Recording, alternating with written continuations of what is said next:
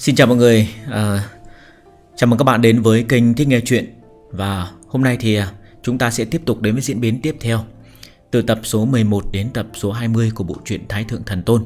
À, Do đây là những tập được áp lại thì cũng rất mong anh em đã nghe rồi Thì hãy ủng hộ Phong nhé. Và những em mà chưa theo dõi thì các bạn có thể tiếp tục theo dõi Và đừng quên à, like video, chia sẻ video và giúp Phong Để lại những bình luận trao đổi tương tác với nhau về các tình tiết của bộ truyện này nhé cũng hơi dài Hơi bất tiện một tí Nhưng mà cũng anh em hết sức thông cảm Bởi vì à, phải chuyển kênh như này. Ok bây giờ thì xin mời các bạn đến với diễn biến Tập 11 đến 20 bộ truyện Thái Thượng Thần Tôn. Chúc các bạn có những giây phút nghe chuyện thật thư giãn, thoải mái.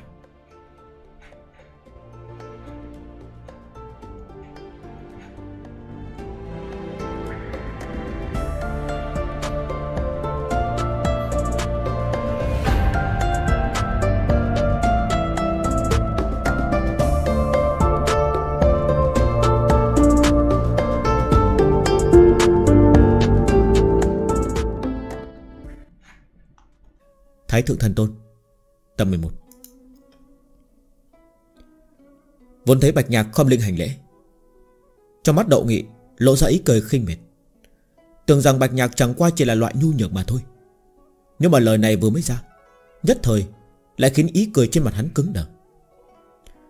Nhiều đệ tử như vậy, Gọi hắn là Đậu Sư Huynh.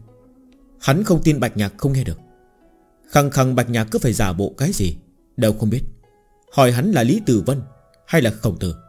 Đây há là chịu phục. Căn bản đang chơi chiêu đánh mặt hắn. Đệ tử nội môn, Đậu Nghị. Sắc mặt có chút khó coi. Đậu Nghị lạnh lùng tự giới thiệu nói. Tức thì ý cười trên mặt Bạch Nhạc từ từ thu liễm. Thay vào đó là về lạnh lùng, Nói. Từ lúc nào mà trong bàn tông, Đệ tử nội môn lại sắp xếp đứng trên hàng chân truyền? Câu nói này Khiến cho Đậu Nghị Nghẹn đến độ mặt đỏ gay Giờ khắc này đậu nghị thật hận, Không thể bóp chết bạch nhạc. Khăng khăng xung quanh còn rất nhiều đệ tử. Tội danh như thế, Vô luận thế nào hắn đều không gánh được. Đệ tử nội môn đậu nghị, Gặp qua bạch sư huynh. À thì ra là đậu sư đệ. Khẽ gật đầu, trên mặt bạch nhạc Vẫn cứ treo lên vẻ lạnh lùng, Hờ hững. Ta nhớ được Tợ hồ không mời qua đậu sư đệ. Sao đậu sư đệ lại tự tiện xông lên thiên tâm phong Ngôn từ như kiếm. Đậu nghị sao cũng không nghĩ đến Cái tên bạch nhạc xuất thân tạp dịch này Lại đột nhiên lộ ra mặt hùng hổ dọa người như vậy. Theo như tin tức được đến, Bạch nhạc chẳng phải là hắn, Là nên khiêm tốn sao? Trong đầu chuyển cao vô số ý niệm, Nhưng mà ngoài mặt, Đậu nghị lại không thể không mở miệng giải thích. Nghe nói Bạch Sư Huynh nhập môn không đến một tháng, Lại được tông chủ và từ trường lão yêu ái, Đề thăng chân truyền, Đậu nghị Chuyên trình tới Trúc. Tới Trúc à? Có hạ lễ chưa? Trong mắt không nháy, Bạch nhạc sừng sững đứng đó Thản nhiên hỏi ngược lại. Hạ lễ? Mụ nội ngươi. Cho dù thực sự tới chúc mừng, Người cũng đâu có thể vừa đi, Vừa há mồm đòi lễ chứ. Còn muốn mặt nữa không? Nếu đổi thành người khác, Nhất thời có lẽ chưa hẳn đã kịp phản ứng. Nhưng mà đậu nghĩ nói thế nào cũng là nhân vật kiệt xuất trong nội môn. Cổ tay khẽ lật, Bội kiếm tùy thân tức thì hiện ở trong tay. Kiếm này tên là Hàn Nguyệt, Chính là một kiếm linh khí hạ phẩm. Có cầu bảo kiếm xứng anh hùng, Đang định đưa cho Bạch Sư Huynh. Lời này vừa mới ra, Đám đệ tử xung quanh lập tức ồ lên. Đừng thấy linh khí hạ thầm tựa hồ không dễ nghe, Nhưng đấy dù sao cũng là linh khí. Đối với đệ tử linh phù cảnh mà nói chỉ có linh khí mới có thể chịu tải linh, linh lực trong cơ thể. Cực kỳ chân quý.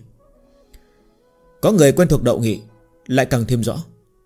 Vì được đến thanh hàn nguyệt kiếm này Đậu nghị phải mất chừng 2 năm liệp sát yêu thú Mới may mắn đổi được.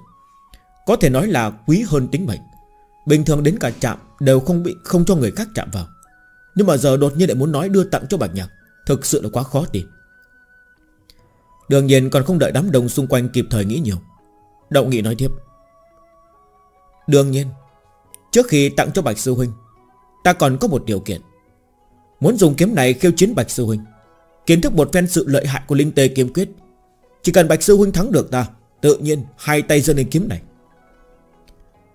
Nghe thế đám đông mới hiểu ra, Hạ lễ này Hay là Hai tay dâng lên gì đó Căn bản đều là nói nhảm. Mục đích thực sự động nghị Chính là muốn dùng cách này đánh mặt Bạch Nhạc. Bạch Nhạc ngươi không phải là chân truyền đệ tử sao? Không phải là nghe đồn là thiên tài tu luyện linh tê kiếm quyết, Được tông chủ và từ trường lão xem trọng sao? Thổi lên lợi hại như vậy, Không biết liệu có gan tỉ thí với ta? Hàn Nguyệt kiếm ở chỗ này, Ta cũng nói muốn đưa cho ngươi. Nhưng mà ngươi có bản sự đánh ta để cầm đi hay không? Nếu có, ta tự nhiên hai tay dâng kiếm. Nhưng mà nếu không có, Ngươi có mặt mũi nào đứng đây mà ngạo xưng đệ tử chân truyền? Đừng nghe đậu nghị nói êm tai. Trên thực tế đây mới là nhục mạ, Còn đường trường đánh mặt. Tất cả mọi người đều nhìn vào. Ta lại không coi thường ngươi. Ta vô cùng kính ngưỡng đệ tử chân truyền. Đáng tiếc người không có bản lĩnh. Người căn bản không xứng với thân phận đệ tử chân truyền. Chỉ có thể ảo não, Cút đi. Trong mắt khẽ co rụt lại. Bạch nhạc tự nhiên cũng hiểu được ý tứ của đối phương. Hơn nữa, Mấy câu đơn giản như vậy Lại khiến hắn thực sự có chút cưỡi hổ khó xuống. Nói tới nước đó rồi. Nếu hắn còn muốn cự tuyệt, Cái mũ nhát gan vô năng Liền triệt để chụp lên đầu. Hơn nữa từ đây về sau, Làm gì còn mặt mũi lấy danh phận đệ tử chân truyền Giáo huấn người khác. Cho dù Bạch Nhạc chỉ là dẫn linh cảnh, Còn Đậu Nghị đã bước vào linh phủ. Trên thực tế, Thực lực còn xa mới công bằng. Nhưng ai bảo ngươi là đệ tử chân truyền chứ? Ngươi được đến lợi ích và đứng hàng chân truyền, Tự nhiên cũng phải gánh vác đại giá tương ứng. Giờ này khắc này Tinh thần chúng nhân không khỏi theo đó dùng lên. Nhất tề đổ dồn ánh mắt lên thân của Bạch Nhạc. Rốt cục chỉ cần Bạch Nhạc bại, Mặt mũi tính là mất sạch. Làm gì còn tư cách đi nói với chấp pháp điện. Chuyện bọn hắn tự tiện xông lên thân thiên tâm phong. Phiền phức trước đó, Tự nhiên cũng được giải quyết dễ dàng. Bất luận thế nào, Bạch Nhạc tự hồ Đều không có lý do cự tuyệt. Khăng khăng. Chỉ một khắc sau đó, Bạch Nhạc lại trầm mặt xuống quát. Hoang đường. Đậu sư đệ Giờ người trong ma đạo chính đang ở trong hậu sơn. Lúc nào cũng có thể uy hiếp tới an toàn của bản tông. Lúc này, Người không tập trung thu luyện, Nghĩ cách làm sao đối phó đám yêu nhân ma đạo kia, Lại đi đánh cực với đệ tử bản tông, Thành cái thể thống gì chứ? Phen lời này, Bạch Nhạc nói hiền ngang lẫm liệt. Như thể rất đau lòng Với hành động không tim không phổi kia của Đậu Nghị. Nhưng mà rơi vào trong tay Lại triệt để khiến cho chúng nhân nghỉ kinh ngốc. Thì ra, Người còn có thể vô sỉ đến mức này. Người không dám tiếp thu kiến khiêu chiến Thì cũng thôi. Lại điên đảo trắng đen, Chỉ trách người khác không biết tiến thủ, Không thành thể thống gì. Đúng là quá không muốn mặt mà. Còn nữa, Cái gì gọi là đánh cược? Đấy là người ta đang khiêu chiến với ngươi. Cơ mặt khẽ giật giật Đậu nghị chế giễu ngược lại. Nói như vậy, Bạch Sư Huynh muốn đợi sau này tiến vào hậu sơn, Tập sát đám ba đầu kia để chứng minh chính mình không sai. Vốn là đậu nghị đang chào phúng hắn, Nhưng Bạch Nhạc tự hồ không chút tự giác Hùng hồn đáp. Lần này ta xuất quan chính là muốn đi tìm Vân Tiên Tử, Thương lượng đối sách ứng phó đám mờ đầu kia. Thoáng ngừng một lát, Bạch Nhạc thần sắc khinh biệt nói tiếp. Khiêu chiến trong đội môn, Chẳng qua là cho đồ của trẻ nít mà thôi. Đậu sư đệ, Nếu người thực sự muốn khiêu chiến ta, Vậy thì đơn giản, Một tháng trước, Ở trong hậu sơn Ta liên tục hai lần cầm chân âm dương quỷ đồng. Đến sau càng là đánh trọng thương âm dương quỷ đồng. Nhờ đó mới kéo được đến khi tông chủ và chư vị trưởng lão chạy tới. May mắn đấy công lao nhỏ bé này để đứng hàng chân truyền. Nếu người cảm thấy không phục, Vậy thì có thể tiến vào hậu sơn, Cầm đầu âm dương quỷ đồng về đây. Nếu lập được đại công, Giúp Vân Tiên Tử đi về côn ngô kiếm, Ta nhường vị trí đại tử chân truyền này cho ngươi. Lại có được không?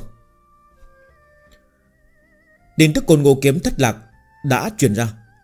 Bây giờ tự nhiên không cần phải giấu giếm nữa. Côn ngô kiếm bị phong ở trong thần hồn bạch nhạc. Dù đậu nghĩ có lật tung cả hậu sơn, Há có thể tìm ra được chứ? Chỉ vào bạch nhạc Đậu nghị tức đến độ toàn thân run lên, Khẳng định. Chỉ vào bạch nhạc Đậu nghị tức đến độ toàn thân run lên, Khăng khăng lại không tìm được bất cứ lý do nào Để chỉ trích.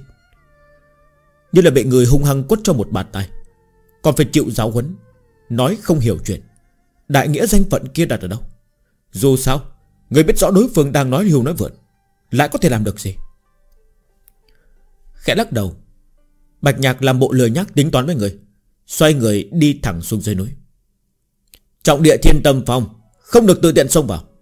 Chuyện lúc trước ta có thể bỏ qua, Nhưng kể từ hôm nay, Ai còn dám tự tiện xông vào thiên tâm phong? Vậy thì đừng trách ta thỉnh mời chấp pháp điện, Chấp hành môn quy. Đây là muốn lập quy củ sao? Tin tức từ thiên tâm phong truyền về. Lý Tử Vân khẽ nhắm mắt lại Thông thả lầm bầm nói. Toàn bộ sự thể diễn biến thế nào? Lý Tử Vân không quan tâm. Hắn chỉ quan tâm kết quả. Từ tên nhãi dành ngay cả đệ tử ngoại môn đều coi thường. Đến trực tiếp đánh mặt động nghị, Không còn người dám loạn xạ xông lên thiên tâm phòng Bạch nhạc vẹn vẹn chỉ dùng có mấy câu, Thậm chí đến tay đều cũng không đụng, liền hoàn thành quá trình lập uy. Điều này tuyệt nhiên bất đồng với ấn tượng mà Bạch Nhạc mang đến cho chúng nhân trước đó. Một tên thiếu niên xuất thân tạp dịch, Lại có được phần tâm cơ và thủ đoạn như thế, Quả thực không phải là nhân vật đơn giản. Hiện tại thiếu hụt lớn nhất của Bạch Nhạc Chỉ là tu vi quá thấp. Nhưng một khi để cho Bạch Nhạc vượt qua đoạn thời gian này, Một khi thành công mở ra linh phủ, Về cơ bản liền ngồi vững ở vị trí đại tử chân truyền. Đúng ra bản thân Lý Tử Vân Cũng là đệ tử chân truyền, Địa vị siêu nhân, Căn bản không cần phải đi chèn ép Bạch Nhạc. Trên thực tế, Sự việc lại không có đơn giản như vậy. Nguyên nhân rất đơn giản. Tài nguyên tông môn có hạn. Bản thân linh tế kiếm tông Chỉ là một tiểu môn phái cấp huyền. Lúc ở dẫn linh cảnh Còn không có cảm giác được. Chỉ khi bước vào linh phù cảnh Mới sẽ cảm thấy tài nguyên xa xa không đủ dùng. Cái gọi là đệ tử chân truyền Kỳ thực chính là thiên tài Được tông môn phán định, Có tiềm lực cực lớn để xung kích tinh cung. Giữa đệ tử chân truyền với nhau, Cũng có cạnh tranh. Hiện tại hắn và khổng tử, Đây đó vô luận là thiên phú Hay là thực lực, đều tương đương. Bởi thế mới tạm thời bảo trì bình an vô sự. Nhưng mà một khi Nhiều thêm bạch nhạc, Rất có thể sẽ dẫn tới đại lượng tài nguyên tông môn Nhưng lệch về phía bạch nhạc. Người đừng tưởng đây chỉ là dọa xuông. Riêng từ thái độ tông môn đối với bạch nhạc hiện giờ, Chẳng phải có thể nhìn ra chút manh mối sao? Thiên tâm phòng Đệ tử bình thường không quá rõ ràng, Nhưng mà bọn hắn lại hiểu được. Đó chính là đạo tràng tu hành sư kia của Linh Tê Kiếm Tổ. Giờ Bạch Nhạc mới chỉ dẫn linh cảnh, Liền trực tiếp để cho hắn nhập chủ Thiên Tâm Phong. Bản thân điều này đã đủ chứng minh rất nhiều vấn đề. Một tên tiểu tạp chỉ có thể ở trong vòng một tháng, Từ không tu ra linh lực Đến đột phá dẫn linh thất trọng, Riêng phần thiên phú này đã rất là khủng bố. Huống hồ trừ cái đó ra, Nếu còn có tâm cơ thủ đoạn, Giành được sự coi trọng của tông môn Tồn tại như thế. Dù cho bây giờ thực lực còn rất yếu, Nhưng không nghi ngờ Đã đủ để cấu thành uy hiếp cực lớn. Nghĩ tới đó, Ánh mắt Lý Tử Vận hơi chuyển lạnh, Hờ hững, phân phó nói. Truyền lời của ta, Để động nghị tức gặp Cùng lúc đó, Bạch Nhạc cũng đến bên ngoài thiên, thiền điện Nơi Vân Mộng chân cư trú. Lúc đi ra thiên tâm phong Đến đánh mặt đậu nghị Mặc dù đa phần đều nói Nói hiểu nói vượt Nhưng mà có một điểm hắn không nói bậy. Đó là muốn đến tìm Vân Mộng Trần thương lượng đối phó đám người trong ma đạo Trước tuy bước lui dạ nhận, Nhưng mà ngươi phải hiểu rõ, Trên thực tế không phải bọn Vân Mộng Trân Và Bạch Nhạc thắng, Mà chỉ là kéo đến Khi người Linh Tê Kiếm Tông tới viện, Khiến cho dạ nhận tạm thời phải rút đi. Gần một tháng qua, Bạch Nhạc một mực tu luyện trong thiên tâm phòng, Có thể đoán được Phía dạ nhận e rằng cũng không có nhàn rỗi. Mặc dù dạ nhận có lật tung hậu sân cũng có khả, không có khả năng tìm được thông thiên ma quân Và côn ngô kiếm. Nhưng mà rốt cuộc chuyện này Vẫn phải kết thúc mới được. Mà theo như Bạch Nhạc thấy, Người có thể kết liễu chuyện này Tuyệt đối không phải trường lão Hay là tông chủ linh tế kiếm tông, Mà là Vân Mộng Trần. Vào đi. Bạch Nhạc đứng ngoài điện chừng gần nửa canh giờ, Mới nghe được tiếng kêu của Vân Mộng Trần. Trên thực tế, ngay từ khi Bạch Nhạc đến, Vân Mộng Trần đã biết. Chỉ là trong lòng nàng một mực vô cùng phức tạp. Căn bản không muốn đối mặt với Bạch Nhạc. Thế nên mới kéo lâu đến vậy. Tưởng là muốn để cho Bạch Nhạc tự động rời đi. Đáng tiếc hỗn đàn Bạch Nhạc này Tợ hồ rất cố chấp. Đợi nửa ngày mà vẫn không có ý định bỏ đi. Đẩy ra cửa điện tiến vào. Tất cả người trong thiên điện sớm đã lùi ra. Vân Mộng chân lặng lặng đứng ở đó, Đưa lưng về phía Bạch Nhạc, Lại không có ý cất tiếng. Nhìn vào bóng lưng Vân Mộng chân Trong lòng Bạch Nhạc thực ra Cũng có chút phức tạp chỉ là rất nhanh, Tâm tình đó bị bạch nhạc để ép xuống. Vân Mộng Trần, Người không thể đổi một bộ quần áo khác được à? Lúc nào cũng một màu trắng tình, Âm mưu tử khí. Nhảy mắt cả người Vân Mộng Trần Khẽ cứng đờ. Nàng nghĩ tới rất nhiều lời mà Bạch Nhạc có thể sẽ nói. Nhưng mà làm sao cũng không ngờ được, Vừa mới thấy mặt nhau, Bạch Nhạc đã ném ra cái câu vô sỉ như vậy. Miệng chó không chọc được ngà voi.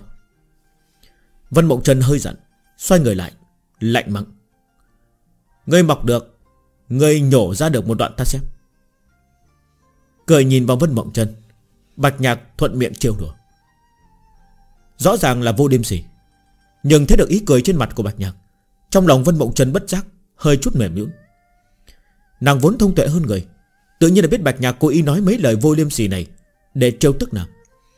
Bạch Nhạc chính là muốn cãi nhau với nàng Chính là muốn lấy phương thức này để khôi phục quan hệ hai người như lúc trước. Bạch Nhạc muốn nói cho nàng biết. Trong mắt của hắn, Nàng không phải là thánh nữ đạo lăng thiên tông cao cao tại thượng, Mà là chỉ là vân mộng chân bình thường Hay đấu miệng với hắn. Chỉ hai câu đơn giản, Tình tự cất chứa trong đó Lại vô cùng phức tạp. Rất nhiều lời không tiện nói ra, Kỳ thực đều giấu ở bên trong. Tỉ như, Trước đây đối mặt dạ nhận, Lúc tưởng rằng hắn phải chết, Bạch nhạc bày tỏ với nàng. Những lời đó giờ sống sót, Tự nhiên không thể nhắc lại. Bằng không vô luận trong lòng nàng nghĩ thế nào, Sau cùng chỉ có thể trở mặt. Nhưng nếu nàng không phải là thánh nữ đạo lăng thiên tông, Mà chỉ là Vân Mộng chân Vậy liền không có nhiều cố kỵ đến như thế. Vân Mộng chân rất rõ ràng ý tứ của Bạch Nhạc, Nhưng trầm mặc rất lâu, Rốt cuộc chỉ đánh nhẹ nhàng, Thở ra một tiếng. Nghe nói người trở thành đệ tử chân truyền Ninh Tế Kiếm Tông. Ý cười trên mặt thu lại, Bạch Nhạc nhẹ giọng đáp Ờ Nói như vậy Người đã quyết định lưu lại Linh tê Kiếm Tông. Vân Mộng Trần lần nữa mở miệng hỏi. Linh tê Kiếm Tông đối xử với ta không sai. Ta tự nhiên không có lý do gì mà vứt bỏ đi. Lắc đầu, Bạch Nhạc giải thích nói. Huống hồ, Dù ta có cự tuyệt, Người có thể mang ta về đạo lăng thiên tông được à? Nếu ta có thể tìm về ngô kiếm, Người liền có thể theo ta đi về. Ngẩng đầu, Vân Vọng chân bình tĩnh đáp. Trước kia đánh cuộc với Bạch Nhạc. Tuy thực tế nàng chưa từng nghĩ tới Bạch Nhạc có thể thắng, Nhưng mà kỳ thực lại cũng ẩn hàm ý tứ này. Nếu Bạch Nhạc có thể làm được, Vậy liền tính là thông qua khảo nghiệm của nàng. Dù mang Bạch Nhạc về đạo lăng thiên tông, Cũng có thể khiến hắn tan vào trong đó. Hiện tại Bạch Nhạc đã triển hiện đầy đủ thiên phú. Tuy chưa hẳn có thể khai mở linh phủ trong một tháng, Nhưng mà chỉ bằng phần thiên phú kiếm đạo kia, Mặc dù đặt ở đạo lăng thiên tông Cũng hơn hẳn bình thường. Chỉ là đối với nàng mà nói, Cục diện đã phát sinh biến hóa. Nếu không tìm về được côn ngô kiếm, Dù nàng có trở lại đạo lăng thiên tông, Cũng sẽ phải đối mặt với phiền toái vô cùng vô tận. Ốc còn không mang nổi mình ốc, Làm gì còn dư lực một quan tâm bạch nhạc. Không cần. Khẽ cười một tiếng, Bạch nhạc lắc đầu nói, Linh tê kiếm tông tuy nhỏ, Nhưng mà đối với ta mà nói, Lại là rất tốt. Nếu thật đến đạo lăng thiên tông, Ngược lại chưa chắc là chuyện tốt. Hống hồ ta không muốn sống dưới cái bóng của ngươi. Đợi chuyện này kết thúc rồi nói sau đi. Hiển nhiên hiện tại Vân Mộng Trần không muốn tranh cãi chuyện này với Bạch Nhạc, Trực tiếp đổi đề tài. Mấy ngày nữa thôi, Người bản tông hẳn là sẽ tới. Chân mày đột nhiên hơi nhảy. Bạch Nhạc rõ ràng, Bản tông trong miệng Vân Mộng Trần Tuyệt đối không phải là Linh Tê Kiếm Tông, Mà là Đạo Lăng Thiên Tông. Trước kia Vân Mộng Trần không truyền tin là bởi nàng không muốn có người khác quấn vào chuyện này. Nhưng trận chiến với dạ nhận đã khiến nàng nhanh thanh tình Nhận thức được. Chuyện này đã phát triển vượt ngoài tầm khống chế của nàng. Với tình hình bây giờ, Vô luận nàng làm thế nào Cũng không có khả năng đơn phương giải quyết được nữa. Như thế so ra, Không bằng cầu viện tông môn. Mặc dù làm vậy sẽ trôn xuống một ít họa ngầm, Nhưng mà chỉ cần tìm về được côn ngô kiếm, Nàng tự tin có thể giải quyết những phiền toái này. Nếu không tìm về được côn ngô kiếm thì sao? Nghĩ đến côn ngô kiếm, Bạch nhạc khó tránh khỏi có chút trột dạ Nhịn không được mở miệng hỏi. Liếc nhìn bạch nhạc một cái, Vân Mộng Trần nhạt nhạt mở miệng nói, Vậy liền giết sạch tất cả người ma đạo ở đây, Phong cấm toàn bộ hậu sơn, Vĩnh viễn liệt làm cấm địa, Cấm chỉ bất cứ kẻ nào ra vào. Lý Sư Huynh Bước vào động phủ Lý Tử Vân. Trên mặt động nghị chớp qua một tia lúng túng cúi đầu hành lễ nói, Làm sao? Cảm thấy mất mặt sao? Ngồi ở trước bàn, Lý Tử Vân không không hề có ít che đậy, Giúp đậu nghị Thông thả mở miệng nói, Sắc mặt đỏ lên, Đậu nghị nửa ngày không nói được nên lời. Nào chỉ mất mặt, Lúc này chuyện hắn tranh chấp với Bạch Nhạc Ở thiên tâm phòng Đã truyền khắp toàn bộ tông môn, Quả thực đã thành trò cười cho tất cả mọi người. Rõ ràng chiếm lấy ưu thế tuyệt đối nhưng chỉ với hai ba câu, Lại bị bạch nhạc đánh mặt đến độ khí thế mất sạch. Như thể hắn đi thiên tâm phong, Chính là để nghe mắng vậy. Biết mất mặt là chuyện tốt. Lý Tử Phận khẽ lắc đầu, Hờ hững mở miệng. Hống hồ chuyện này không có gì khó xử cả. Bạch nhạc chẳng qua xuất thân tiểu tạp dịch. Qua nhiều năm rồi, Một mực dãy ruộng ở tầng đáy ngoại môn. Thứ học được cũng chỉ là cái giả rào hoạt Của đám tiểu nhân vật. Hắn dùng miệng lưỡi khinh thường người Nhìn như là ngươi thua thiệt. Thực tế càng lộ rõ, Hắn khiếp đảm và vô năng. Nhìn vào đậu nghỉ, Lý Tử Vân thẳng thắn nói, Nhất thời mất mặt không đáng sợ. Đáng sợ là Người ngay cả dũng khí tìm về mặt mũi đều không có. Nét mặt đỏ ngay, Đậu nghị lập tức khom lưng cúi đầu. Mong Lý Sư Huynh dạy ta. Từ lúc đi xuống thiên tâm phòng tới giờ Đậu nghị lúc nào cũng cảm thấy ánh mắt đệ tử xung quanh nhìn mình. Đầy chết rượu cật Cảm giác nhục nhã đó Thực sự khó mà diễn tả bằng lời. Khăng khăng, Hắn đã không làm gì được. Hệt như là có một thân khí lực, Lại căn bản không có chỗ để dùng. Hắn so với ai, Đều từng muốn báo thù, Muốn đánh trả Lại cái bàn tay kia. Đáng tiếc lại không tìm ra được cách gì hay ho. Nâng dậy đậu nghỉ Lý Tử Vân chậm rãi mở miệng nói. Người đúng là. Bị cái bộ ngôn từ như là quang minh chính đại của hắn Lừa gạt mà thôi. Thân phận đệ tử chân truyền do tông chủ không thử. Người muốn chất vấn hắn Chính là chất vấn tông chủ, Chất vấn quy củ của bản tông. Tự nhiên, Sẽ bị hắn nắm chặt đằng đuôi, Tiến thoái lưỡng nan. Dừng một lát, Lý Tử Vận nói tiếp. Thực ra người có thể nghĩ theo chiều ngược lại. Chẳng phải Bạch Nhàng muốn bãi tư cách đệ tử chân truyền sao? Chẳng phải muốn làm bộ sư huynh sao? Được Người cứ thừa nhận thân phận đệ tử chân truyền quán Gọi hắn một tiếng sư huynh Đã có sao? Bản tông đấy kiếm lập phái Thiên tâm phong càng là hạch tâm kiếm đạo truyền thừa. Người muốn khiêu chiến Hắn có thể không tiếp thu. Nhưng mà nếu cầu dạy Luận kiếm với hắn thì sao? Nói đến đây Khóe miệng Lý Tử Vân nhếch lên cười nhạt, nhạt.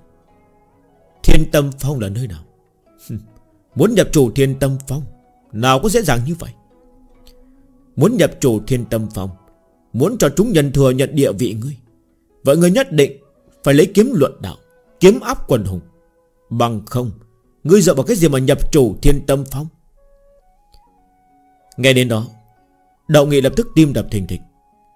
Lấy kiếm luận đạo, Đây là khái niệm mà trước kia hắn chưa từng nghĩ qua. Hơn nữa, Tuyệt đối hữu hiệu. Cái này so với đơn thuần đi khiêu chiến địa vị bạch nhạc Thì thông minh hơn nhiều lắm. Quan trọng hơn là, Lời này của Lý Tử Vân Khiến hắn thanh tỉnh ý thức được. Vì đệ tử chân truyền Lý Tử Vân này Vô cùng bất mãn với chuyện bạch nhạc nhập chủ thiên tâm phòng Thậm chí tùy theo sự khuếch đại, Hắn có thể sẽ đích thân can dự. Có Lý Tử Vân trong đỡ, Rất nhiều chuyện có thể yên tâm, Lấn mật đi làm. Hơn nữa một khi giúp Lý Tử Vân xử lý xong chuyện này, Tự nhiên không thiếu được lợi ích dành cho hắn. Nghĩ vậy, Đạo nghị tức tốc đưa ra quyết định. Đa tạ Lý Sư Huynh chỉ điểm. Đạo nghị hiểu rồi. Hai ngày ngắn ngủi, Có một tin tức lần lan truyền Trong đệ tử Linh Tê Kiếm Tông. Vốn rất nhiều đệ tử còn xa lạ đối với Thiên Tâm Phong, Lại đột nhiên nghe nói, Xưa kia Thiên Tâm Phong vốn từng là đạo tràng của Linh Tê Kiếm Tổ, Đại biểu cho truyền thừa kiếm đạo Cường đại nhất của Linh Tê Kiếm Tông. Thế là chuyện Bạch Nhạc trở thành đệ tử chân truyền, Nhập chủ Thiên Tâm Phong, liền nhiều thêm một cách hiểu khác. Trước đây bởi vì mấy câu nói kia của Bạch Nhạc Khiến cho chúng nhân tạm thời Không tin được, Không tìm được cớ để khiêu chiến Bạch Nhạc. Nhưng mà giờ tình hình đã khác rồi. Rất nhanh, Lại có đệ tử đề ra ý kiến Lên thiên tâm phòng luận kiếm. Muốn khiêu chiến, Người có thể bãi ra từ các đệ tử chân truyền, Kể ra Phong công vĩ tích, Đối kháng yêu cầu ma đạo. Nhưng mà giờ chúng ta muốn lên thiên tâm phong luận kiếm, Người còn lý do nào để mà cự tuyệt chứ? Luận kiếm mà. Đây là đều là trợ giúp có chúng nhân tu hành. Là quá trình đề thăng lẫn nhau, Là chuyện tốt giúp thiên tâm phong tái hiện huy hoàng. Một khi có đệ tử dẫn đầu, Đăng báo chuyện này lên tông môn, Dù là chấp pháp điện Thì cũng không cách nào có ngăn cản được. Ngày trước khi đám đệ tử này lên thiên tâm phòng Dương Nghiên và Liễu Như Tân Nhận được tin tức, Vội trước một bước chạy lên thiên tâm phòng báo tin. Với người khác, Bạch Nhạc có thể không thấy, Nhưng mà người quen như là Dương Nghiên và Liễu Như Tân Hắn lại nhất định phải gặp. Sau một hồi hàn huyên, Rất nhanh Dương Nghiên tiến vào chính đề, Nói qua tình hình hiện tại cho Bạch Nhạc. Luận kiếm. Luận kiếm cái gì? Đây chẳng qua là mượn cớ thôi, Bản chất vẫn là muốn khiêu chiến người. Bạch sư đệ, Không. Bạch sư huynh ngàn vạn đừng có đến kích động. Giờ thực lực ngươi còn rất yếu, Vô luận dùng cách gì Trước cứ kéo lại chuyện này. Đợi ngày sau bước vào linh phù cảnh, Món nợ này liền có thể đòi về. Dương Nghiên lắc đầu giải thích. Đúng vậy, Bạch sư huynh. Từ trường lão đối với ngươi không tệ. Không bằng ngươi trước đi tìm từ trường lão. Mời hắn áp trường luận kiếm đến sau khi người bước vào linh phủ. Liễu Như Tần cũng khuyên nhủ. Không phải bọn hắn không tín nhiệm Bạch Nhạc. Thực sự là tranh lệch quá lớn. Phải biết cái gọi là luận kiếm Không chỉ riêng mỗi đệ tử ngoại môn, Mà cả những đệ tử nội môn Bước vào linh phủ cảnh cũng sẽ ra tay. Không thể không nói, Dù là Bạch Nhạc, Sau khi nghe được cái tin tức này, Đều không khỏi có chút đau đầu. Thật không dễ dàng mới mượn động nghị lập uy, Lập quy củ cho thiên tâm phòng. Giờ yên tĩnh chưa được hai ngày, Không ngờ lại đã nói được chuyện khác. Đúng là không choán được sống yên mà. Còn về đi tìm từ trưởng lão xin giúp đỡ. Bạch nhạc Nhất thời không nhịn được cười khổ. Kết quả này, Từ phòng chắc đã sớm liệu tới. Trước đây, lúc để mình nhập chủ thiên tâm phòng, Liền đã từng nói qua, Tất sẽ có một chút phiền hà.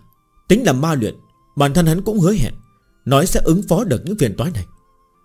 Giờ mà đi tìm từ phong xin giúp đỡ Chẳng phải là trò cười sao? Hiện tại xem ra chính từ phong nói Nhập chủ thiên tâm phong Quả nhiên không phải là chuyện đơn giản. Hơn nữa đây há chỉ là chút phiền phức. Nhất thời ứng phó không tốt Kết cục sẽ là thân bại danh liệt, Bị quét ra thiên tâm phong. Nhưng mà tính cách bạch nhạc xưa nay luôn đề rất cao Há có thể dễ dàng nhận thua chứ? Trước đó tùy tiện tìm cái cớ đuổi đi đậu nghỉ Giờ nhìn qua giống như là tránh chiến. Nhưng mà thực tế, Chẳng qua là bạch nhạc ngại lắm chuyện Không muốn tốn bao nhiêu tinh lực và mấy chuyện vô vị mà thôi. Hoàn toàn không phải hắn thực sự sợ cái đám người này kêu chiến. Quan trọng hơn là, Bạch nhạc đột nhiên ý thức được, Luận kiến kiểu này, Đối với hắn mà nói, Chưa hẳn đã là chuyện xấu. Trong một tháng ngắn ngủi trước đó, Bạch nhạc có thể Từ vừa mới tu ra linh lực, Một hơi đột phá đến dẫn linh thất trọng, Trừ thông thiên mã công trợ giúp ra, Một phần rất lớn còn là bởi vì trước đây, Hắn một mực đặt mình ở trong nguy hiểm, Không thể không uốn lượn chu toàn Với đám cao thủ Ma đạo âm dung quỷ đồng. Dạ nhận anh. Thực tế hồi tầng một phen, Minh ngộ Chân ý kiếm đạo nguyên Là đến từ trận chiến với phong thần. Sau đó lần nữa đột phá Là lúc bị đám quỷ đồng kia Đẩy vào tuyệt cảnh. Tinh quang chợt hiện, Nhờ đó mới có kỳ tích Thập tức phá cảnh, Kiếm kinh tứ phương. Người khác thế nào, Bạch Nhạc không rõ. Nhưng mà đối với hắn mà nói, Chiến đấu lại là phương thức đột phá tốt nhất. Hiện tại Bạch Nhạc chính đang kẹt Ở thức thứ 9 linh tề kiếm quyết. Khổ tu đã không có tác dụng. Vậy thì tại sao phải cự tuyệt lần luyện kiếm này? Đối với hắn mà nói, Lần luyện kiếm này đúng là nguy cơ Và khiêu chiến, Nhưng mà cũng chưa hẳn Không phải là một cơ hội. Bước đến con đường tu hành, Sao mà tránh đối mặt với đủ loại khiêu chiến chứ? Trừ phi nguyện ý làm thường nhân, Bằng không Nhất định phải chủ động nghênh tập nghênh tiếp khiêu chiến để thăng chính mình. Chính như là từ phòng nói, Thiên tâm phong nhất mà trước này Đều dựa vào Kiếm để nói chuyện, Tài trí bình thường, Há xứng nhập chủ thiên tâm phong. Nếu ngay cả chút phiền toái nho nhỏ trước mắt Đều không ứng phó được, Vậy lại dựa vào cái gì Để đuổi theo đuổi bước chân Vân Mộng chân? Nghĩ tới đó, Trong lòng Bạch Nhạc tức thì có quyết định. Không cần, Nếu bọn hắn đã muốn luận kiếm, Vậy cứ để tới là được. Ta chờ bọn hắn ngay trên thiên tâm phòng. Ngẩng đầu lên, Bạch nhạc trầm giọng. Bạch sư huynh, Ngươi Nhất thời liễu như tần không khỏi có chút chán nản. Có lòng muốn nói thêm, Chỉ là còn chưa nói xong, Liền đã bị bạch nhạc ngắt lời. Liễu sư tỷ, Ngươi cứ yên tâm, Ta không phải là hành động theo cảm tính đâu. Khoát tay, Bạch nhạc nhẹ giọng nói. Nếu ta đã nhập chủ thiên tâm phòng, Tự nhiên phải đại biểu cho gương mặt thiên tâm phòng. Lời đồn không sai. Thiên tâm phong vốn là nơi kiếm tổ tu hành. Từ trường lão để ta nhập chủ thiên tâm phong, Chính là tin tưởng ta có thể khiến thiên tâm phong Tái hiện huy hoàng. Bọn hắn muốn luận kiếm. Được, Nhưng quy củ luận kiếm Lại nhất định Phải do ta định ra. Nói tới đây, Trong mắt bạch nhạc Lộ ra thần thái tự tin nói, Luận kiếm, Ta sẽ không thua đâu. Bọn Dương Nghiên còn chưa có rời đi Người chấp pháp điện đã chạy tới thiên tâm phòng Đề ra chuyện luận kiếm. Đối với chuyện này, Bạch Nhạc hoàn toàn không hề có ý cự tuyệt, Chỉ nói hy vọng trong quá trình luận kiếm, Chấp pháp điện có thể ở lại thiên tâm phòng Đảm bảo tính công bình cho luận kiếm. Bạch Sư Huynh yên tâm, Chấp pháp điện tất sẽ công bình nghiêm chính Không Không chỉ có đệ tử chấp pháp điện trú đóng thiên tâm phòng Từ trưởng lão cũng truyền lời, Nói sẽ tới trường theo dõi. Nghe được lời này của Bạch Nhạc đại tử chấp pháp điện tức thì đưa ra hứa hẹn.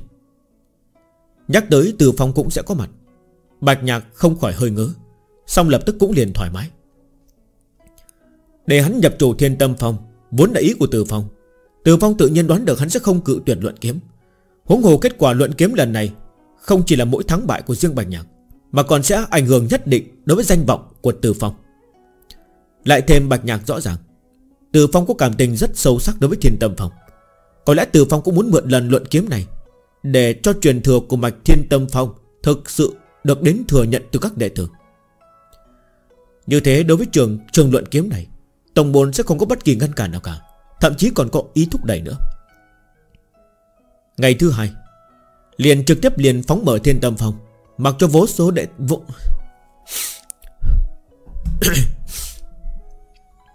Ngày thứ hai, Liền trực tiếp phóng mở thiên tâm phong Mặc cho vô số đệ tử đi lên.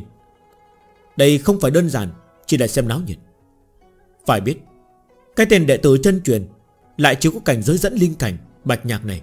Quả thực, Hệt như là một phiến đá kê chân Mà ai cũng có thể dẫm lên được. Đặc biệt là với đệ tử ngoại môn, Đa phần bọn hắn đều vốn tư chất bình thường. Bước vào linh phù cảnh chỉ là hy vọng xa vời, Căn bản không có bất kỳ đường đối nào Để dẫn lên tông môn coi trọng. Nhưng giờ thì hay rồi, Có bìa ngắm bạch nhạc ở đây. Chỉ cần mượn cơ hội luận kiếm đánh bại bạch nhạc, Lập tức đều có thể đạp lên bạch nhạc thượng vị. Không dám nói Có thể thay thế địa vị đệ tử chân truyền của bạch nhạc hay không Chỉ ít cũng phải được tông môn coi trọng chứ. Ôm theo ý niệm như thế, Đệ tử ngoại môn liền Là thành phần tích cực nhất Muốn tham gia luận kiếm. Đợi trời chật đề sáng hẳn, Đến thời gian ước định, Bạch nhạc Đắc ý đổi một bộ trang phục Đệ tử hết sức bình thường, Bên hồng treo lên bội kiếm. Từ trong động phủ bước ra. Cách đó không xa.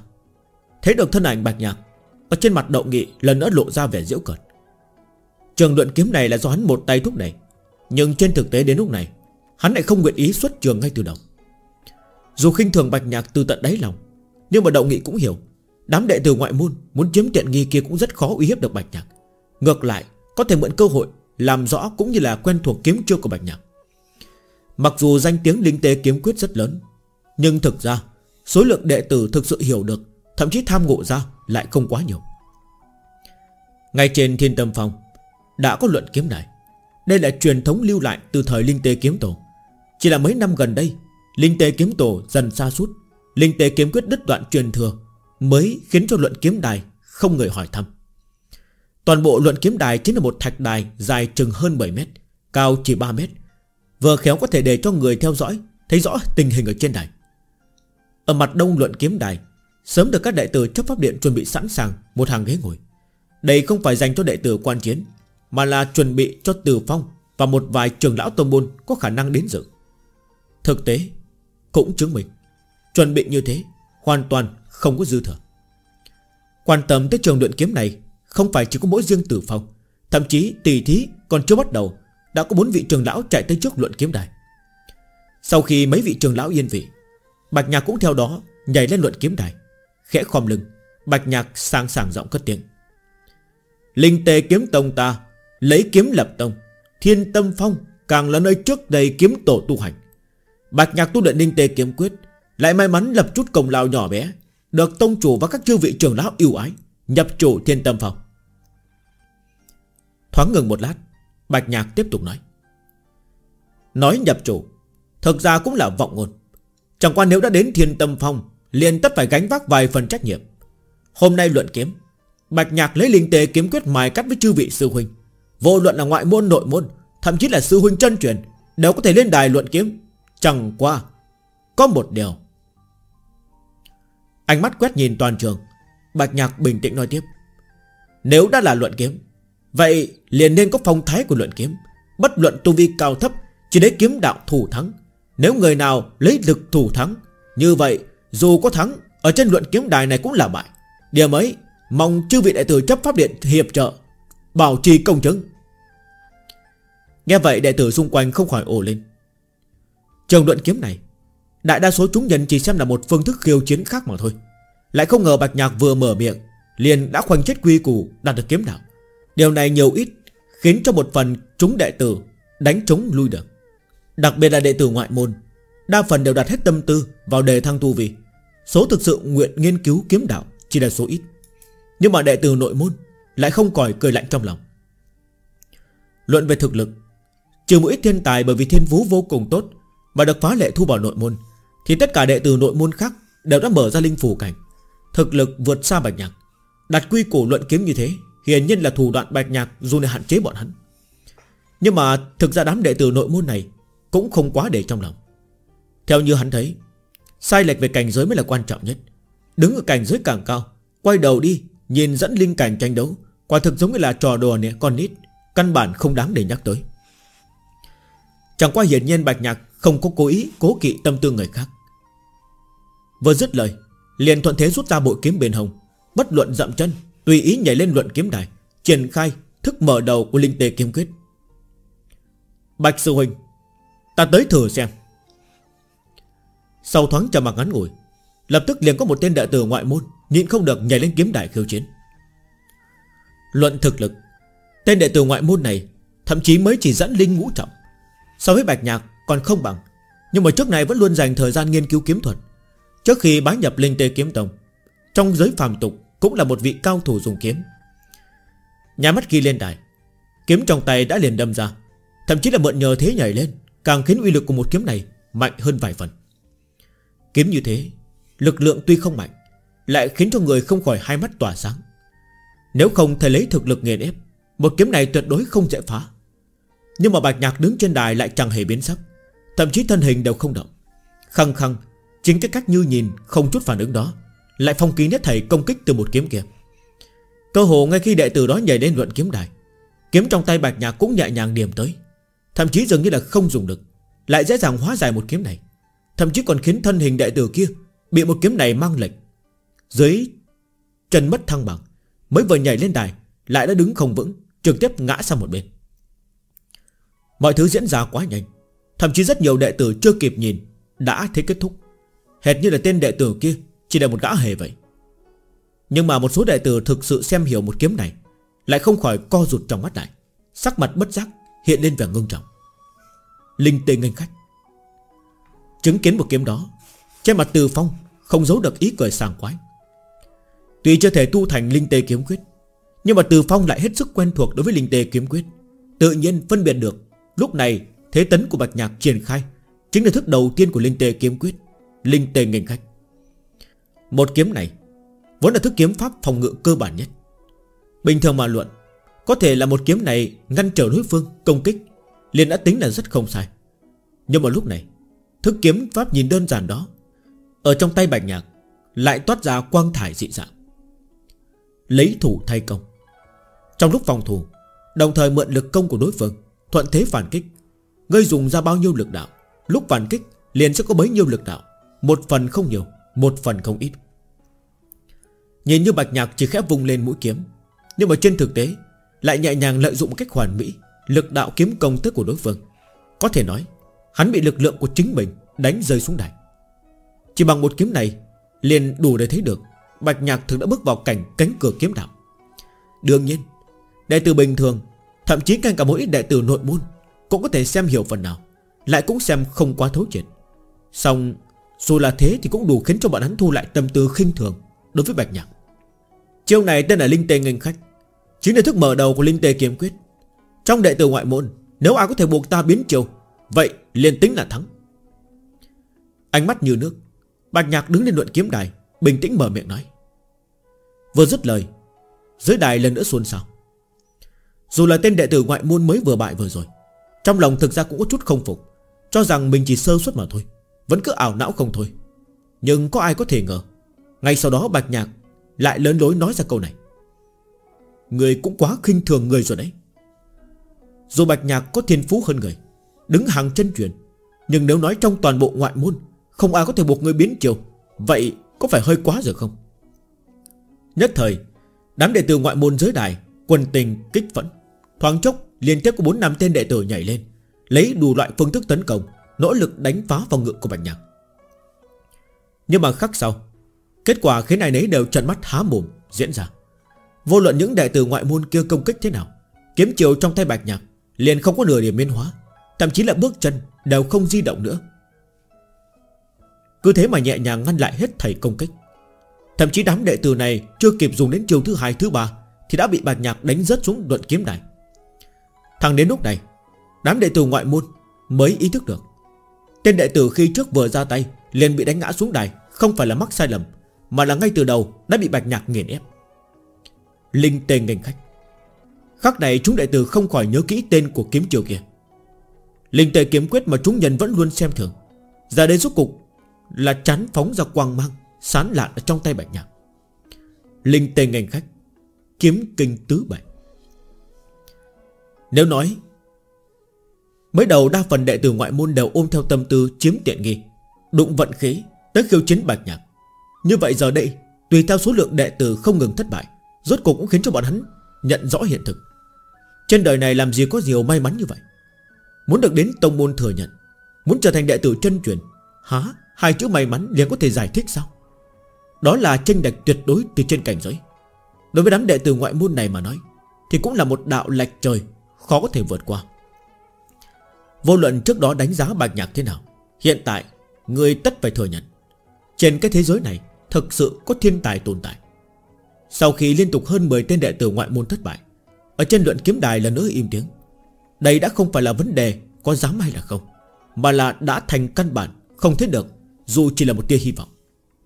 Như là đệ tử ngoại môn, Tuyệt đối sẽ không dám đi khiêu chiến đệ tử nội môn vậy. Nào sợ, Chỉ cần bức bạch nhạc biến chiêu, liền có thể thắng, Nhưng mà lại không có ai có thể làm được. Trầm mặc ước chừng nửa khắc, Dương Nghiên đột nhiên nhảy lên luận kiếm đài. Bạch Sư Huynh. Hơi hấp hé miệng. Dương như muốn giải thích cái gì đó, Lại không biết nên giải thích thế nào cho phải. Lấy quan hệ giữa hắn và Bạch Nhạc, Vốn làm sao cũng không nên bước ra luận kiếm này. Nhưng mà chuyện trên đời này vốn phức tạp dị thường Hà có thể chỉ bằng một câu Có thể giải thích được hết. Ở trong hàng ngũ đệ tử ngoại môn, Thực lực dương nghiên tính là thuộc loại đỉnh cấp, Chả có bao nhiêu ma luyện. Với ma đạo ở trong hậu sơn, Lại càng tiến thêm một bước, Chỉ thiếu chút nữa liền có thể đột phá linh phủ cảnh. Không khoa trương mà nói. Hiện tại trong toàn bộ ngoại môn, Thực lực của Dương Nghiên hẳn là xếp hàng đầu tiên. Hơn nữa, Gần như là Đều đã được đệ tử ngoại môn tại trường công nhận. Lần luận kiếm này, Nhiều đệ tử ngoại môn như vậy lên đài Lại đều bị bại sạch. Có thể nói là ném hết mặt mũi đệ tử ngoại môn. Trong tình cảnh như thế, Đã không biết bao nhiêu đệ tử ngoại môn Rồi lấy mắt hy vọng lên chân thân của Dương Nghiên. Bất luận thành bại, Ngươi cứ phải thử một chút chứ. Nếu trong tình cảnh đó, Dương Nghiên còn tự cự tuyệt, Lấy lại mặt mũi cho đệ tử ngoại môn E rằng sẽ bị chúng nhân phỉ nhổ Huống hồ mặc dù không nhắc tới những điều này, Bản thân Dương Nghiên Há lại không muốn thử Phải biết đường sờ lúc hắn quen biết Bạch Nhạc Bạch Nhạc thực ra mới chỉ tu gia linh được mà thôi. Nhưng sau chỉ chấp mắt, Lại đã đứng hàng chân truyền, Xa xa vượt qua hắn. Quả thực Bạch Nhạc với hắn có thể nói là sinh tử trí sao Quan hệ không tầm thường. Nhưng càng là vậy, Hắn mới càng không cam tâm bị bỏ lại. Giờ đây chứng kiến Bạch Nhạc đứng trên luận kiếm đài, Kiếm kinh tứ bề. Trong lòng hắn, như bị bắt trào cào tâm. Khó mà đè nén dục vọng, Muốn lên đài đánh một trận với Bạch Nhạc. Nhìn Dương Nghiên, Trên mặt Bạch Nhạc đột nhiên hiện ra ý cười nói, Dương Trường Huynh, Ta còn tưởng rằng ngươi thực sự nhịn được chứ. Mặc dù hiện nay Bạch Nhạc đã đứng hàng chân truyền, Nhưng mà xưng hô lại vẫn không hề thay đổi. Bản thân điều này đủ để chứng minh Tình cảm giữa hắn và Dương Nghiên. Ta Mặt hơi có chút nóng lên. Dương Nghiên thực sự không biết nên nói cái gì cho phải. Dương Sư Huynh Giờ chúng ta không cần khách sáo. Nếu ta đã dám lên luận kiếm đài Liền không e sợ bất luận người nào khiêu chiến cả. Tới đi. Thực ra ta trước giờ vẫn luôn muốn tỉ thí một trận với người. Nhân cơ hội này Vừa khéo. Khẽ cười một tiếng, Bạch Nhạc nói tiếp. Luận kiếm Vốn là cơ hội ẩn chứng kiếm đạo với nhau. Đối với ta mà nói, Ngành tiếp càng nhiều chiến, khiêu chiến, Thì cũng là cơ hội để thăng thực lực bản thân. Tới đi, Thắng thua thế nào không quan trọng. Quan trọng là, Từ trong đận kiếm này, Sẽ giành được thu hoạch gì. Nghe được lời đó của Bạch Nhạc, Dương Nghiên lập tức thở vào một cái.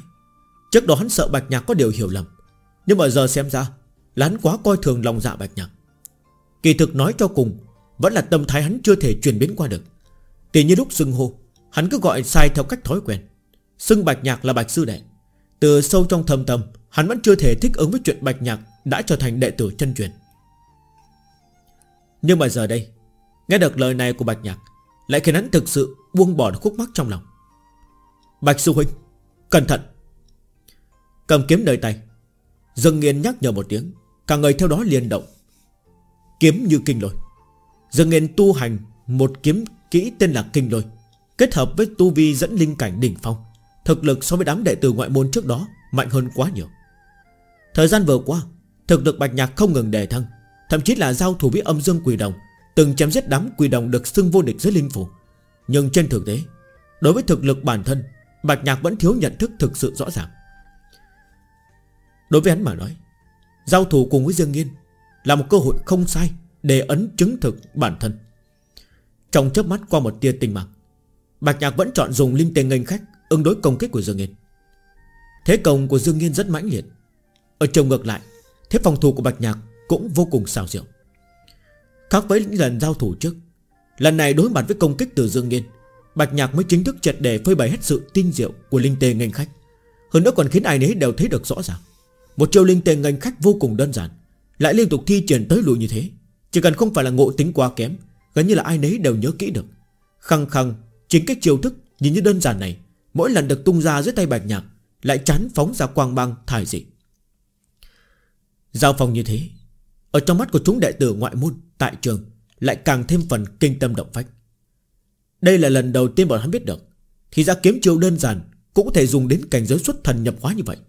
Mặc dù không có khả năng từ đó cảm ngộ ra kiếm đạo, song cũng có thể từ đó Ẩn ẩn ý thức được ý nghĩa của kiếm đạo.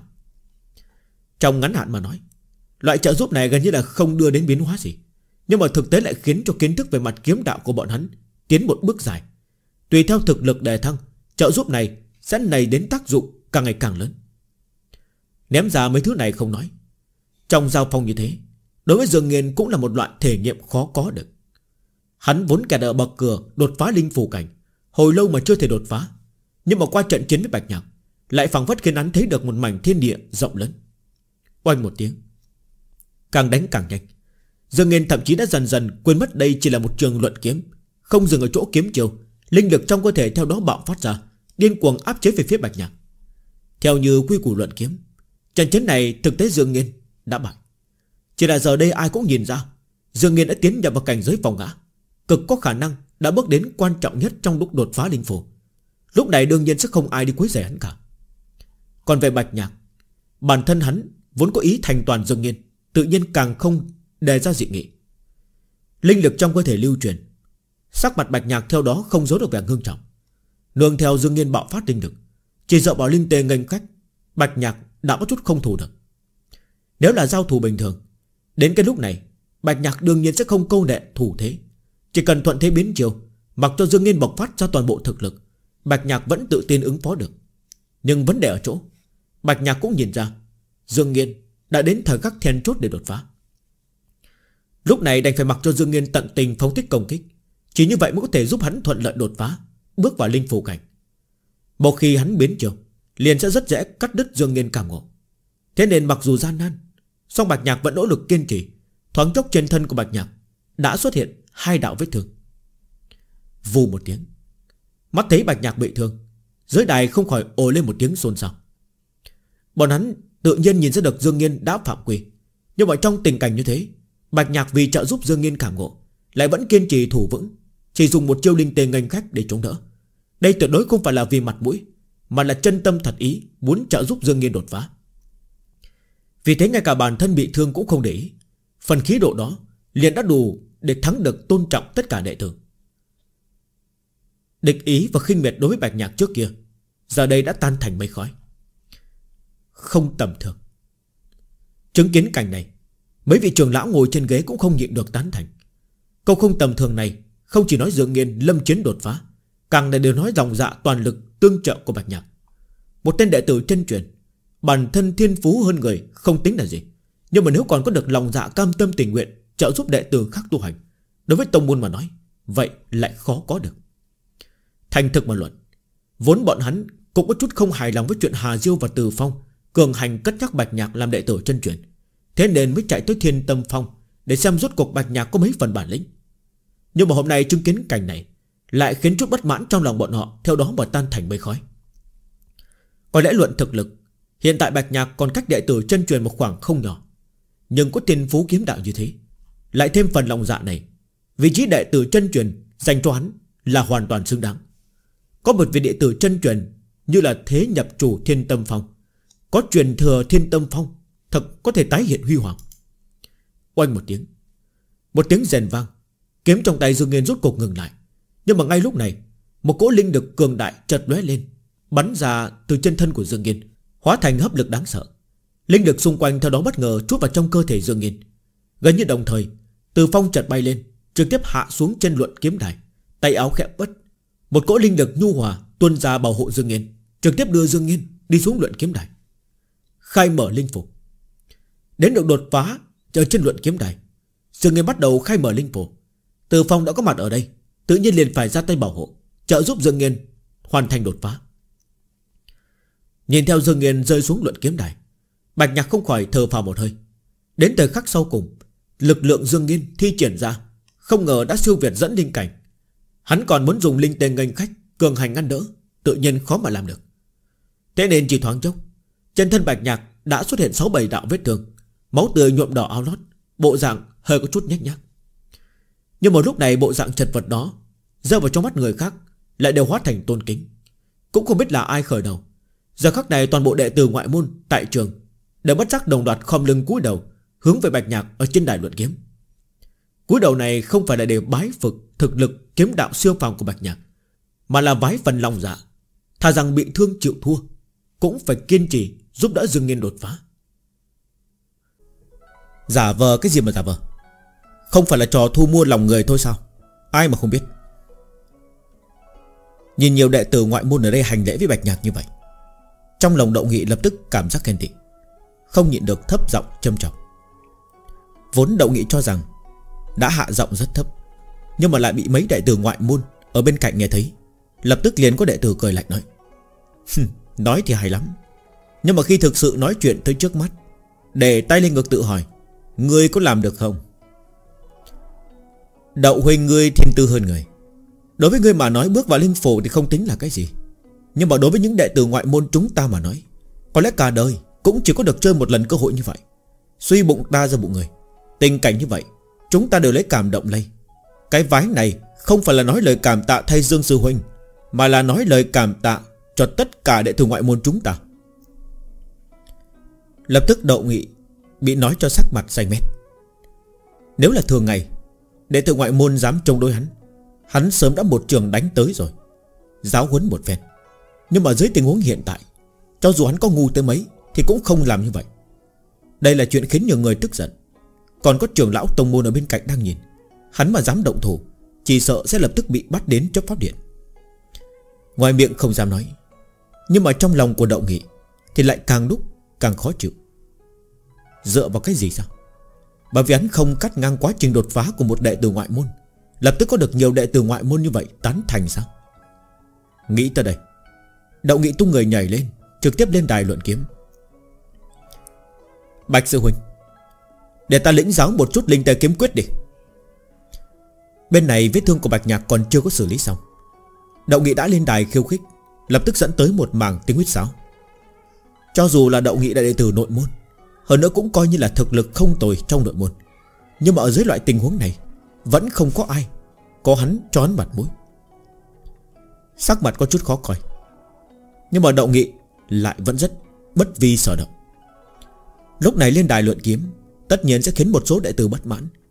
Nhưng mà hắn không bận tâm, Chỉ cần có thể đánh bại Bạch Nhạc, Hùng hăng dẫm Bạch Nhạc dưới chân, Phần lớn mọi người sẽ chỉ nhớ tới hắn Đánh bại đệ tử chân truyền này. Chứ không phải là Bạch Nhạc Thế giới này vốn là rất thực tế. Sẽ chỉ nhớ người thắng. Hơi nhíu mày, Ánh mắt nhìn động nghị. Trong lòng Bạch Nhạc cũng biết, Khảo nghiệm chân chính cuối cùng Cũng tới rồi. Lúc trước khi xuất quan, Bạch Nhạc từng gặp Đậu Nghị. Lúc đó Đậu Nghị muốn khiêu chiến, Lại bị hắn tìm cớ, Nói đùa vài ba câu cho qua. Nhưng mà hiện giờ mượn cơ hội luận đài kiếm đậu nghị lại khiêu chiến khi hắn muốn tránh cũng không thể tránh. Mấy ngày nay, Bạch Nhạc cũng đã từng đến rút hỏi thăm một số tin tức nội môn. Tất nhiên biết được thực lực của Động Nghị. Luận thực lực, Cho dù là với âm dương quỷ đồng E rằng Động Nghị cũng có sức đánh một trận. Không dám nói là thắng, Nhưng mà ít ra tranh lệch sẽ không quá nhiều. Thực lực cường đại như vậy, Đối với Bạch Nhạc mà nói, Áp lực cũng cực lớn, Nhưng không phải hoàn toàn không có lợi ích. Nếu nói trận chiến với Dương Nghiên Bạch Nhạc đã đánh tan địch ý của đệ tử ngoại môn đối với hắn. Như vậy chỉ cần hắn lại có thể thắng được Động Nghị, Đệ tử nội môn Hơn phân nửa Sẽ không ai tùy tiện xuất thủ nữa. Có thể nói, Chỉ cần thắng được trận này, Luận kiếm này, Cơ bản có thể xem như đã kết thúc. Đậu sư đệ, Đây cũng không phải lần đầu tiên gặp mặt. Ngẩng đầu, Nhìn Đậu Nghị, Bạch Nhạc thản nhiên mở miệng nói, Khi đối mặt với Dương Nghiên cho dù Dương Nghiên là đệ tử ngoại môn, Bạch Nhạc cũng gọi sư huynh. Nhưng mà đến chỗ Đậu Nghị, Gọi thẳng Đậu sư đệ. Chỉ một xưng hô này đã nhìn ra được sự bất mãn trong lòng của Bạch Nhạc. Lần trước Bạch sư huynh cự tuyệt khiêu chiến, Hôm nay chắc chắn sẽ không cự tuyệt luận kiếm chứ. Trong mắt mang theo mấy phần ý dẫu cợt Đậu Nghị cố gắng cắn chết hai chữ luận kiếm này. Dụng ý tất nhiên là không cần nói cũng biết.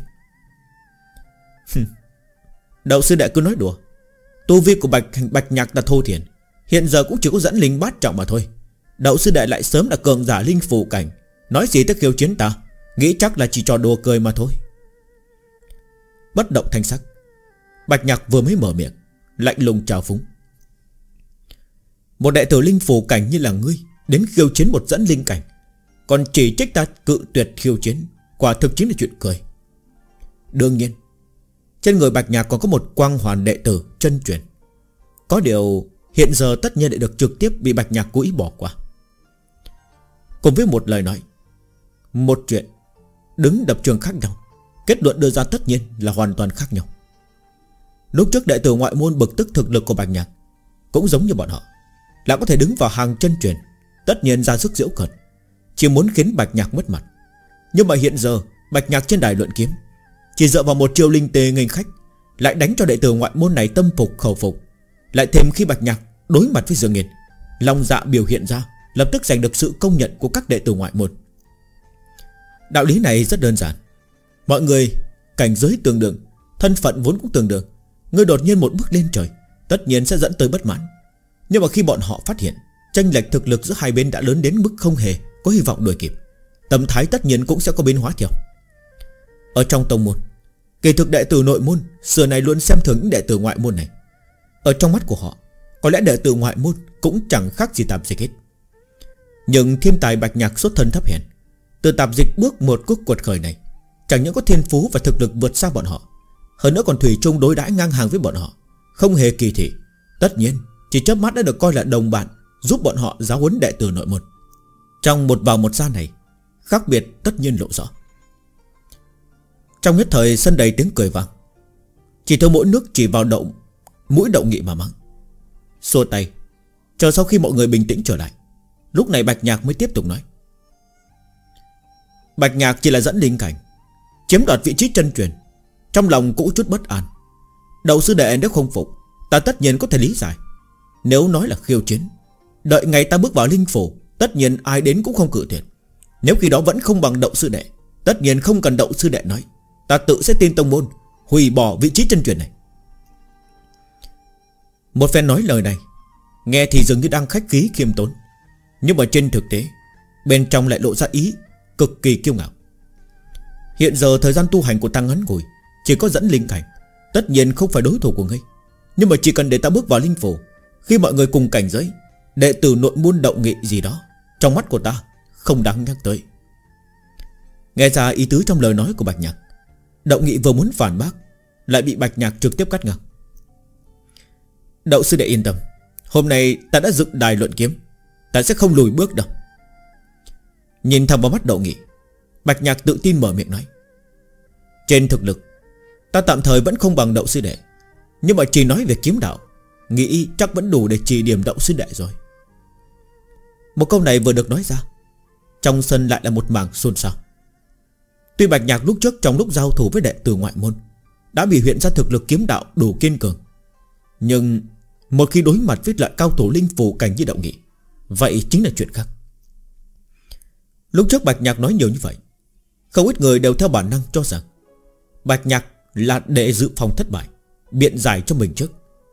Tuy nói năng có lý, Nhưng mà lại không tránh khỏi chút hiểm nghi mưu lợi Tự làm yếu đi khí thế. Nhưng mà không ai ngờ rằng Bạch Nhạc lại nói ra những lời và thằng mặt như vậy. Quả thực là muốn đánh cho đạo nghị sưng vù mặt, Còn đè xuống và dẫm hai cái nữa. Bạch Sự Huynh Làm người vẫn phải khiêm tốn một chút. Cẩn thận, không đại gió to, Cắt mất đầu lưỡi đấy. Cười lạnh một tiếng. Đạo nghị không giận mà cười, Lạnh lùng lên tiếng. Cười khẩy một cái, bạch nhạc lại dứt khoát không cãi lại. Lật cổ tay, Trường kiếm đột nhiên vào tay, Vẫn là thức mở đầu của linh tề ngành khách. Sinh miệng lưỡi vô ích. Đậu giữ đệ, Mời. Nhìn bạch nhạc xuất kiếm dứt khoát như vậy, Đậu nghị lại thiếu chút nữa tức tối hồng màu. Cái loại người gì thế này? Lúc trước người nói một hồi, Còn thiếu mỗi bước chỉ vào mũi ta mà mắng. Lúc này ta mới đốt lại có một câu, Lại thành xính miệng lưỡi. Người còn trực tiếp rút kiếm nữa, Bày ra cái bộ dáng khinh thường, Không thèm tranh cãi với ta. Có ai có kiểu chơi như ngươi không? Quan trọng nhất là, Biết rõ Bạch Nhạc là cố ý, Nhưng mà hắn lại không có bất kỳ biện pháp nào cả. Người ta đã rút kiếm rồi. Chả lẽ người vẫn tiếp tục mở miệng trào phúng? Vậy không phải thực sự sẽ thành xính miệng lưỡi à?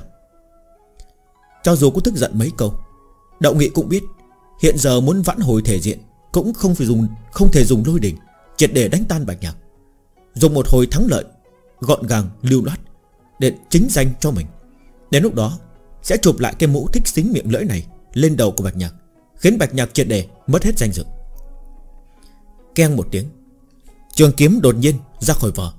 Mặt âm trầm. Đậu nghiện đã đánh ra một kiếm đầu tiên, Nhắm thẳng tới cổ họng của Bạch Nhạc. Từ rút kiếm đến đâm ra một kiếm này, Tới trước mặt của Bạch Nhạc, Toàn bộ quá trình thậm chí là Không đến thời gian một hơi thở, Kiếm quang như điện. Hơn nữa bất luận Nhân phẩm của Đậu Nghị thế nào, Chỉ từ trên thực lực mà nói, Đích xác là vô cùng đáng sợ. Cho dù giới hạn trong quy tắc luận kiếm, Không thể sử dụng lực lượng của linh phù nhưng mà một kiếm này Cũng hơn xa đệ tử ngoại môn Có khả năng sánh được. Nói một cách không hề khoa trương, Thì một kiếm này Đổi lại là bất kỳ đại tử ngoại môn nào Tuyệt đối đều không thể đỡ được. Tranh lệch một cảnh giới lớn, Tuyệt đối không đơn giản, Chỉ là linh lực mạnh hơn một chút. Đồng tử đột nhiên co rút lại, Chỉ dựa vào một kiếm này, Bạch Nhạc biết rằng Trận chiến này tất thế cực kỳ gian nan. Đừng nhìn hắn lúc này nói năng thoải mái Muốn thắng được cường giả linh phủ cảnh như động nghị, Có bao nhiêu khó khăn chứ? Bạch Nhạc biết rõ hơn bất kỳ ai. Phải biết rằng hắn đã chân chính kiến thức loại cao tổ linh phủ cảnh Như là âm dương quỷ đồng Và ba sơn đục ma xuất thủ. Keng một tiếng. Trong một hô hấp, Mỗi kiếm hơi dùng. Nhờ vào thủ thế của linh tê nghênh khách, Bạch Nhạc vẫn đỡ được một kiếm này. Nhưng mà hoàn toàn khác lúc giao phóng với đệ tử ngoại môn. Kiếm của đậu nghị một khi đã động, Chính là kiếm thế triển khai điên miên không dứt. Giống như là một hồi mưa to ập vào mặt, Căn bản không có được cơ hội thở dốc. Thế công như vậy, Chỉ dựa vào một chiêu linh tề nghênh khách, Căn bản không thể cản. Đây còn là quy tắc có hạn chế. Đối phương Thủy Trung áp chế linh lực Chỉ ở mức dẫn linh cảnh. Nếu không chỉ sợ một kiếm này Đã đủ để đánh tan bạch nhạc rồi. Nhưng mà áp lực như vậy Không dọa được bạch nhạc trên thực tế. Trong lòng bạch nhạc ngược lại Hơi có chút hưng phấn. Chấp nhận trận luận kiếm này Bản thân chính là bạch nhạc muốn dùng chiến đấu Để giúp bản thân đột phá. Bất kể là lúc trước đối mặt với đệ tử ngoại môn Hay là đối mặt với Dương Nghiệt, Áp lực đều không có đủ. Trận chiến này mới là trận chiến đấu mà Bạch Nhạc thực sự mong muốn. Phòng thủ không được, Cũng căn bản không cần phòng thủ. Kiếm, Bản thân chính là dùng để công kích. Với tính tình của Bạch Nhạc căn bản cũng không am hiểu phòng thủ. Mỗi kiếm nhấp nhoáng, Cơ hồ là trong nháy mắt, Kiếm thế đột nhiên thay đổi. Linh tề ngành khách hóa thành cô vân xuất tụ ở trong phút chốc liền hóa thành chuyển hóa giữa công và thủ Kiếm như mây lẻ loi, Mơ hồ bất định, Không có vết tích để tìm ra. Một kiếm này đồng dạng với nhắm vào chỗ yếu hại của động nghị. Dùng công đối công, Đây chính là câu trả lời của Bạch Nhạc. Lập tức sự kích thích của một kiếm này Đột nhiên dẫn đổ toàn trường. Đúng vậy, Bạch Nhạc chính là đang dùng phương thức như vậy Để nói với tất cả mọi người. Lời nói lúc trước của hắn Không phải là khoe khoang tinh vi, Mà là thực sự có can đảm. Cũng có sự tự tin Đánh với trận đậu nghị một trận. Đối với đại đa số đệ tử ở đây mà nói, Sự hiểu biết đối với linh tề kiếm quyết đều vô cùng nông cạn. Biết trong tông môn, Có một môn công pháp gân gà Danh khí lớn như vậy, Nhưng mà không thể tu luyện. Lúc trước dạo vào một triệu linh tề ngành khách, Bạch nhạc đã khiến bọn họ ý thức được Môn công pháp này tuyệt đối không có đơn giản. Nhưng có một bực phòng thủ, Tuy lợi hại, Trung quỳ vẫn cũng có thể khiến người ta sốc lên được bao nhiêu tinh thần. Trong lòng mỗi một người tu hành Kỳ thực đều có một loại dục vọng Chiến đấu kích thích. Bọn họ khát vọng một loại chiến đấu kịch liệt, Khoái ý ân cửu Mà lúc này Bạch Nhạc lập tức chuyển thành công, Chính là đang nói với bọn họ. Linh tế kiếm quyết tuyệt đối không phải là một môn công pháp phòng thủ Bị động. Khi thủ, có thể đặt chặt chẽ kín kẽ. Khi công, cũng có thể nhanh như là kinh đôi. Trong nhà mắt truyền thủ thành công, Cho dù là đậu nghị theo bản năng, Cũng cảm nhận được một tia cảm giác nguy hiểm. Nếu nói lúc trước hắn ít nhiều có khinh thường bạch nhạc, Như vậy bắt đầu từ một kiếm này, Lại khiến hắn ý thức được rất rõ ràng. Dùng phương thức luận kiếm tùy tiện như vậy Để khiêu chiến bạch nhạc Có thể thực sự đã có chút chủ quan. Dưới tình huống không có thể sử dụng được lượng của linh phù, Đối mặt với kiếm chiêu lớn như vậy, Hắn cảm giác đã áp lực rất lớn. Khác với đệ tử tầm thường, Trên thực tế Đậu Nghị cũng từng cố ý nghiên cứu linh tề kiếm kiếp một thời gian, Quen thuộc với bộ kiếm chiêu này hơn người khác. Hơn nữa kỳ thực đối với cái gọi là linh tê kiếm quyết này, Cũng căn bản không cho là đúng. Lúc trước tuy nhìn thấy Bạch Nhạc thi triển linh tê ngành khách Một cách xuất thầm nhập hóa, Nhưng mà lại không quá để ở trong lòng. Nhưng mà lúc này, Khi thực sự động thủ với Bạch Nhạc, Hắn mới đột nhiên phát hiện, Bộ linh tê kiếm quyết mắn tự cho là đã quen thuộc, Được thi triển trong tay Bạch Nhạc, Chính là hoàn toàn khác với những gì mà mình nghĩ giải. Mượn một chiều cô vân xuất tụ này mà nói, Trong ấn tượng của hắn chính là một đòn đâm thẳng Rất tầm thường. Không có chỗ nào thần kỳ hết. Nhưng mà lúc này, Bạch nhạc thi triển ra, Lại thực sự giống như là mây trên trời, Mơ hồ bất định. Với thực lực của hắn, Thậm chí căn bản không phán đoán được một kiếm này Sẽ đâm về phía vị trí nào, Mà bản thân điều này có nghĩa là nguy hiểm cực lớn. Ưu thế trên tâm lý không còn sót lại một chút gì. Lúc này đậu nghị mới chính thức trở nên nghiêm túc. Trong phút chốc, Linh lực trong cơ thể đột nhiên bùng nổ. Ở trên mũi kiếm đột nhiên lộ ra một tia quang mang màu bạc Hùng hăng đánh tới. Phát hiện linh tê kiếm kết hoàn toàn khác với trong ấn tượng của mình. Trên thực tế, đạo nghị đã không còn lòng tin đơn thuần Dùng kiếm đạo để thủ thắng, Mà là trực tiếp thôi động kiếm mang để cường công. Theo hắn, Dẫu sao Bạch Nhạc chỉ tu hành có 2 tháng thời gian ngắn ngủi, Cho dù thiên phú kiếm đạo có cao tới đâu, Tinh lực cũng có hạn, Chỉ đơn giản chính là đạt được một chút kỹ xảo Ở trên kiếm trường. Một khi nghiền ép chính diện tới, Tất nhiên sẽ không bằng anh bằng em. Không thể không nói Lối suy nghĩ của Đậu Nghị là hoàn toàn không có bất kỳ vấn đề gì. Nếu không phải dưới cực hạn, Chiến đấu với những quy củ Mà âm dương quỷ đồng phóng ra, Cho dù Bạch Nhạc đã nhìn lén được một chút Môn hạm của kiếm đạo, Miễn cưỡng thi triển ra Quy lực cũng giảm mạnh, Căn bản không thể ứng phó với loại công kích bá đạo này. Nhưng mà vấn đề ở chỗ, Lúc chiến đấu với âm dương quỷ đồng, Bạch nhạc đã hoàn toàn một lần đột phá. Cơ hồ không chút do dự. Trong một đợt giơ tay, Cũng là kiếm mang màu xanh từ mũi kiếm chậm chạp bay ra. Lưu vân tán hỏa. Kiếm như mây trôi, Giống như là lập tức nứt vỡ, Hóa thành mấy đạo lưu quang bắn ra. Mỗi đạo lưu quang Thực là một dòng kiếm mang. Mọi người đều chỉ có thể thi triển thực lực Dẫn linh cảnh. Cho dù linh lực của đạo nghị mạnh hơn bạch nhạc một chút, Nhưng mà tuyệt đối cũng chỉ có hạn, Căn bản không thể đạt tới mức nghiền ép. Cho nên cho dù là phóng thích kiếm mang Xét đến cùng. Kỳ thực cái đọ với nhau Vẫn là sự lý giải Tuyệt đối Đối với kiếm chiêu, Kiếm ý. Đạo nghị dựa vào thực lực linh phủ cảnh, Lý giải kiếm ý, Tất nhiên mạnh hơn đệ tử dẫn linh cảnh tầm thường rất nhiều. Nhưng mà xét đến cùng, Hắn vẫn chưa tu thành kiếm đạo. Đối với kiếm ý, Cũng chỉ có một lý giải cực kỳ mơ hồ. Từ trên cảnh giới, Vẫn kém hơn Bạch Nhạc. Ở một bậc, Dưới tình huống như vậy, Làm sao có thể chiếm được một chút thượng phong? So sánh với động nghị, Bạch Nhạc lại đã được lý không buông tha người.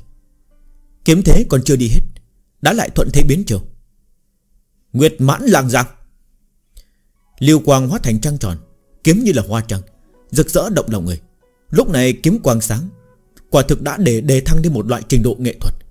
Cho dù là đệ tử ngoại môn, Căn bản khó có thể lý giải kiếm ý. Lúc này cũng cảm nhận được mỹ cảm, kinh tâm động phách này. Trong linh tê kiếm tổng, Bọn họ được chứng kiến, Cơ bản đều là đồng môn, Có thực lực tranh đạch không lớn, Căn bản chưa thấy bao giờ được thấy thiên tài kiếm đạo chân chính. Trong giao phong kiếm chiêu, Người tới ta đi. Trước giờ khó có thể tưởng tượng được. Ra kiếm chiêu Còn có thể dùng một cách đẹp mắt như vậy. Kiếm như vậy, Bọn họ căn bản là chưa từng nghe nói. Bất kể thắng bại, Đánh tới mức này, Thực lực bạch nhạc trên kiếm đạo đã triệt đề thuyết phục được bọn họ. Lúc này cho dù là người hà khắc tới mấy, Trong đầu cũng sẽ tự nhiên nghĩ rằng, Khi bạch nhạc có thể bước vào linh phủ cảnh, Lại thi triển kiếm pháp như vậy, Lúc đó sẽ là một phen quang cảnh như thế nào? Kiếm như vậy, Người như vậy, Đích xác không thẹn với đại cái danh chân truyền. Đương nhiên lúc này đậu nghị căn bản không thể bận tâm tới những cái này. Thế công lần lượt bị hóa giải, Thậm chí là trải qua sự áp chế của Bạch Nhạc, Cả người hắn cơ hồ đều đã điên giải Hiện giờ hắn nào còn nghĩ tới chuyện thưởng thức Sự rực rỡ của linh tê kiếm quyết này? Đối với hắn mà nói, Đánh bại Bạch Nhạc, Cái này đã trở thành chấp niệm duy nhất. Chỉ dùng kiếm đạo mà nói, Hắn đích xác không bằng Bạch Nhạc. Nhưng ảnh hưởng tới thắng bại không chỉ có riêng kiếm đạo. Cho dù áp chế tù vi, Không sử dụng lực lượng của linh phủ Nhưng linh lực của đậu nghị có khả năng điều động Vẫn nhiều hơn xa Dẫn linh cảnh đỉnh phong tầm thường. Bất kể là nhãn lực hay là phán đoán, Đều là chính xác hơn. Tuy nhất thời rơi vào hạ phong, Nhưng mà lại không bị bạch nhạc áp chế triệt đề Hai mắt đỏ bừng, Dưới chân đậu nghị bước ra một bước, Cả người đột nhiên nhảy lên, Kiếm mang màu bạc lập tức tăng vọt, Hóa thành một đạo cầu vòng nghênh đón kiếm mang. Giống như là ánh trắng lao tới. Hàn Nguyệt Kinh Hồng. Nhìn thấy một kiếm này, Mấy vị trường lão cách đó không xa, Không khỏi khẽ lắc đầu. Không phải một kiếm này không lợi hại, Mà là từ trên trình độ nào đó mà nói, Thì triển ra một kiếm này, Động nghị đã vượt tuyến rồi. Trên lý thuyết, Một kiếm này căn bản không phải là dẫn linh cảnh Có khả năng thi triển ra, Cần phải dẫn động linh phủ chi lực Mới có thể thực sự thể hiện được ra uy lực. Tuy động nghị không sử dụng linh phủ chi lực, Nhưng mà lại dẫn động lực lượng của bản thân Hàn Nguyệt Kiếm trong tay. Phải biết rằng, Bản thân Hàn Nguyệt Kiếm Chính là linh khí. Mà khi đại tử linh phủ như ngươi, Dùng Hàn Nguyệt Kiếm giao thủ với người ta, Bản thân đã là chiếm tiện nghi trên binh khí. Hiện giờ không ngờ còn dẫn động lực lượng của bản thân linh khí để công kích. Từ trên bản chất, Cái này đã xem như là phạm quy. Đương nhiên, dựa theo quy củ, Luận kiếm chỉ cần không dẫn động linh phủ chi lực trên quy tắc hắn sẽ không tính là thua. Nhưng mà loại chuyện luận kiếm này Vốn là công đạo tự có trong lòng người. Cho dù ngươi có dựa vào uy lực linh khí đề thăng Vậy thì sao?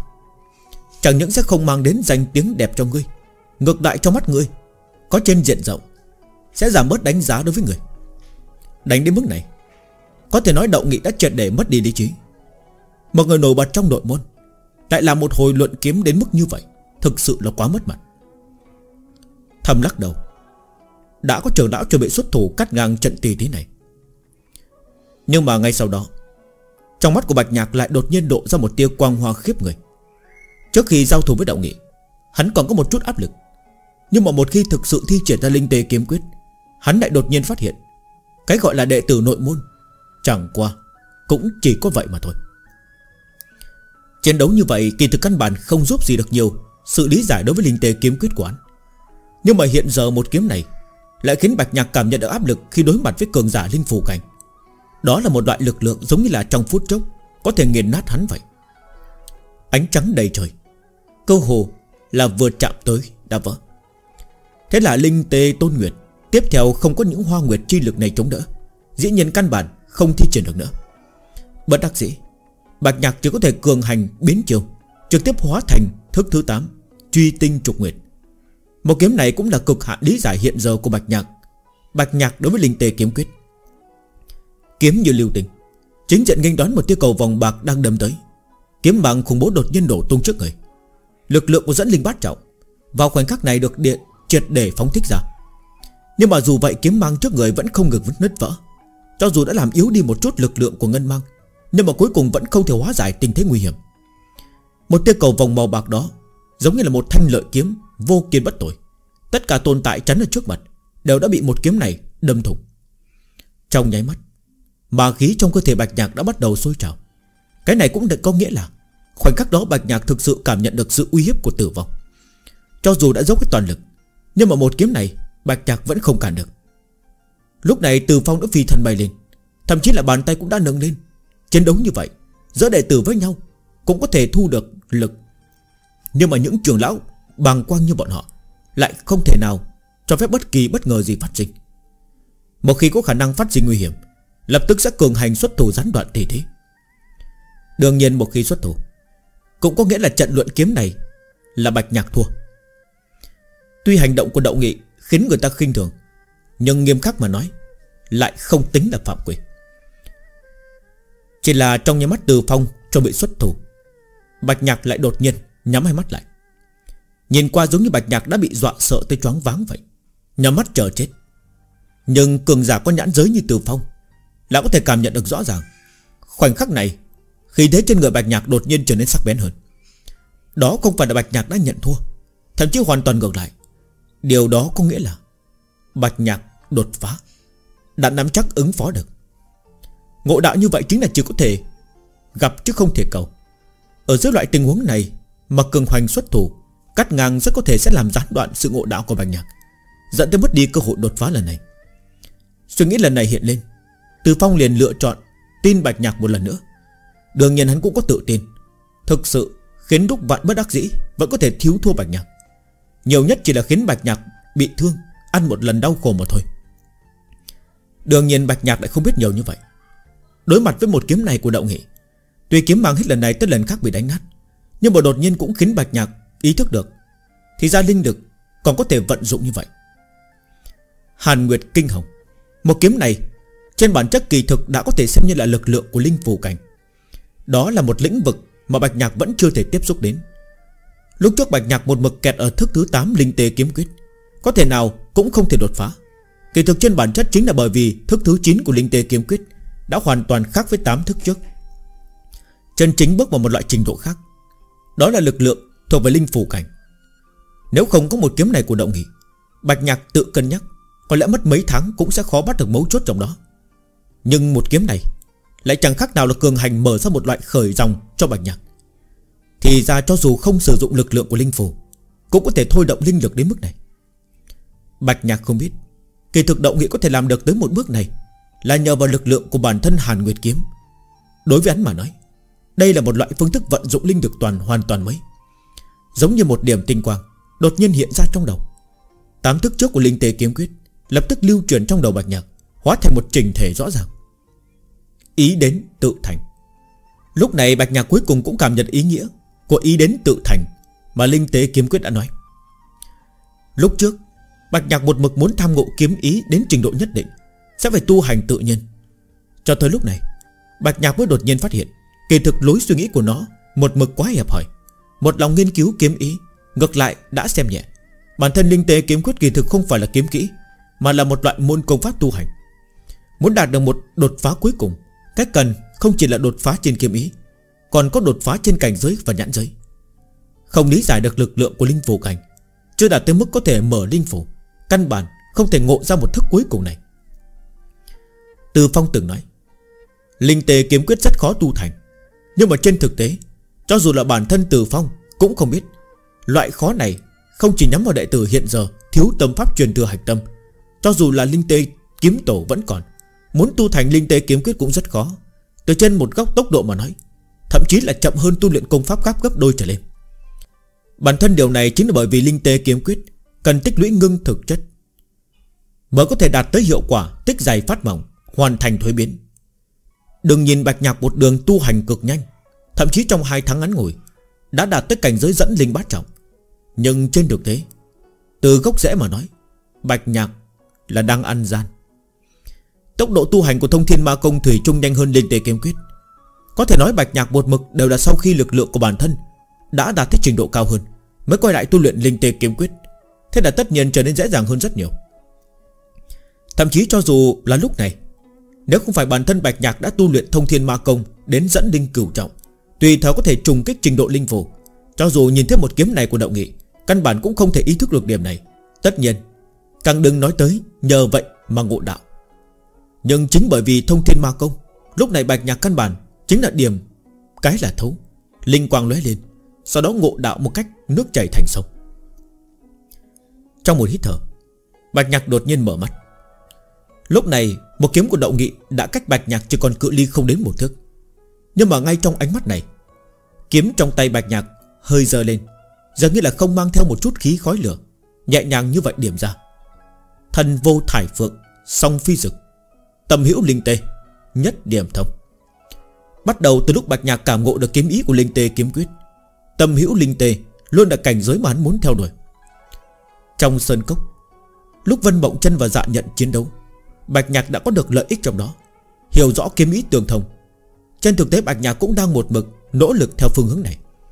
Hiện giờ Bạch Nhạc lại đột phá. Toàn bộ kiếm thức của Linh Tê kiếm quyết lập tức hóa thành một thể, Hồn nhiên thiên thành. Rất tự nhiên, Bạch Nhạc đã thực sự bước vào cảnh giới Tâm kiếm tương thông. Linh lực trong cơ thể lưu chuyển một cách tự nhiên, Hóa thành một dòng suối chảy dốc rách.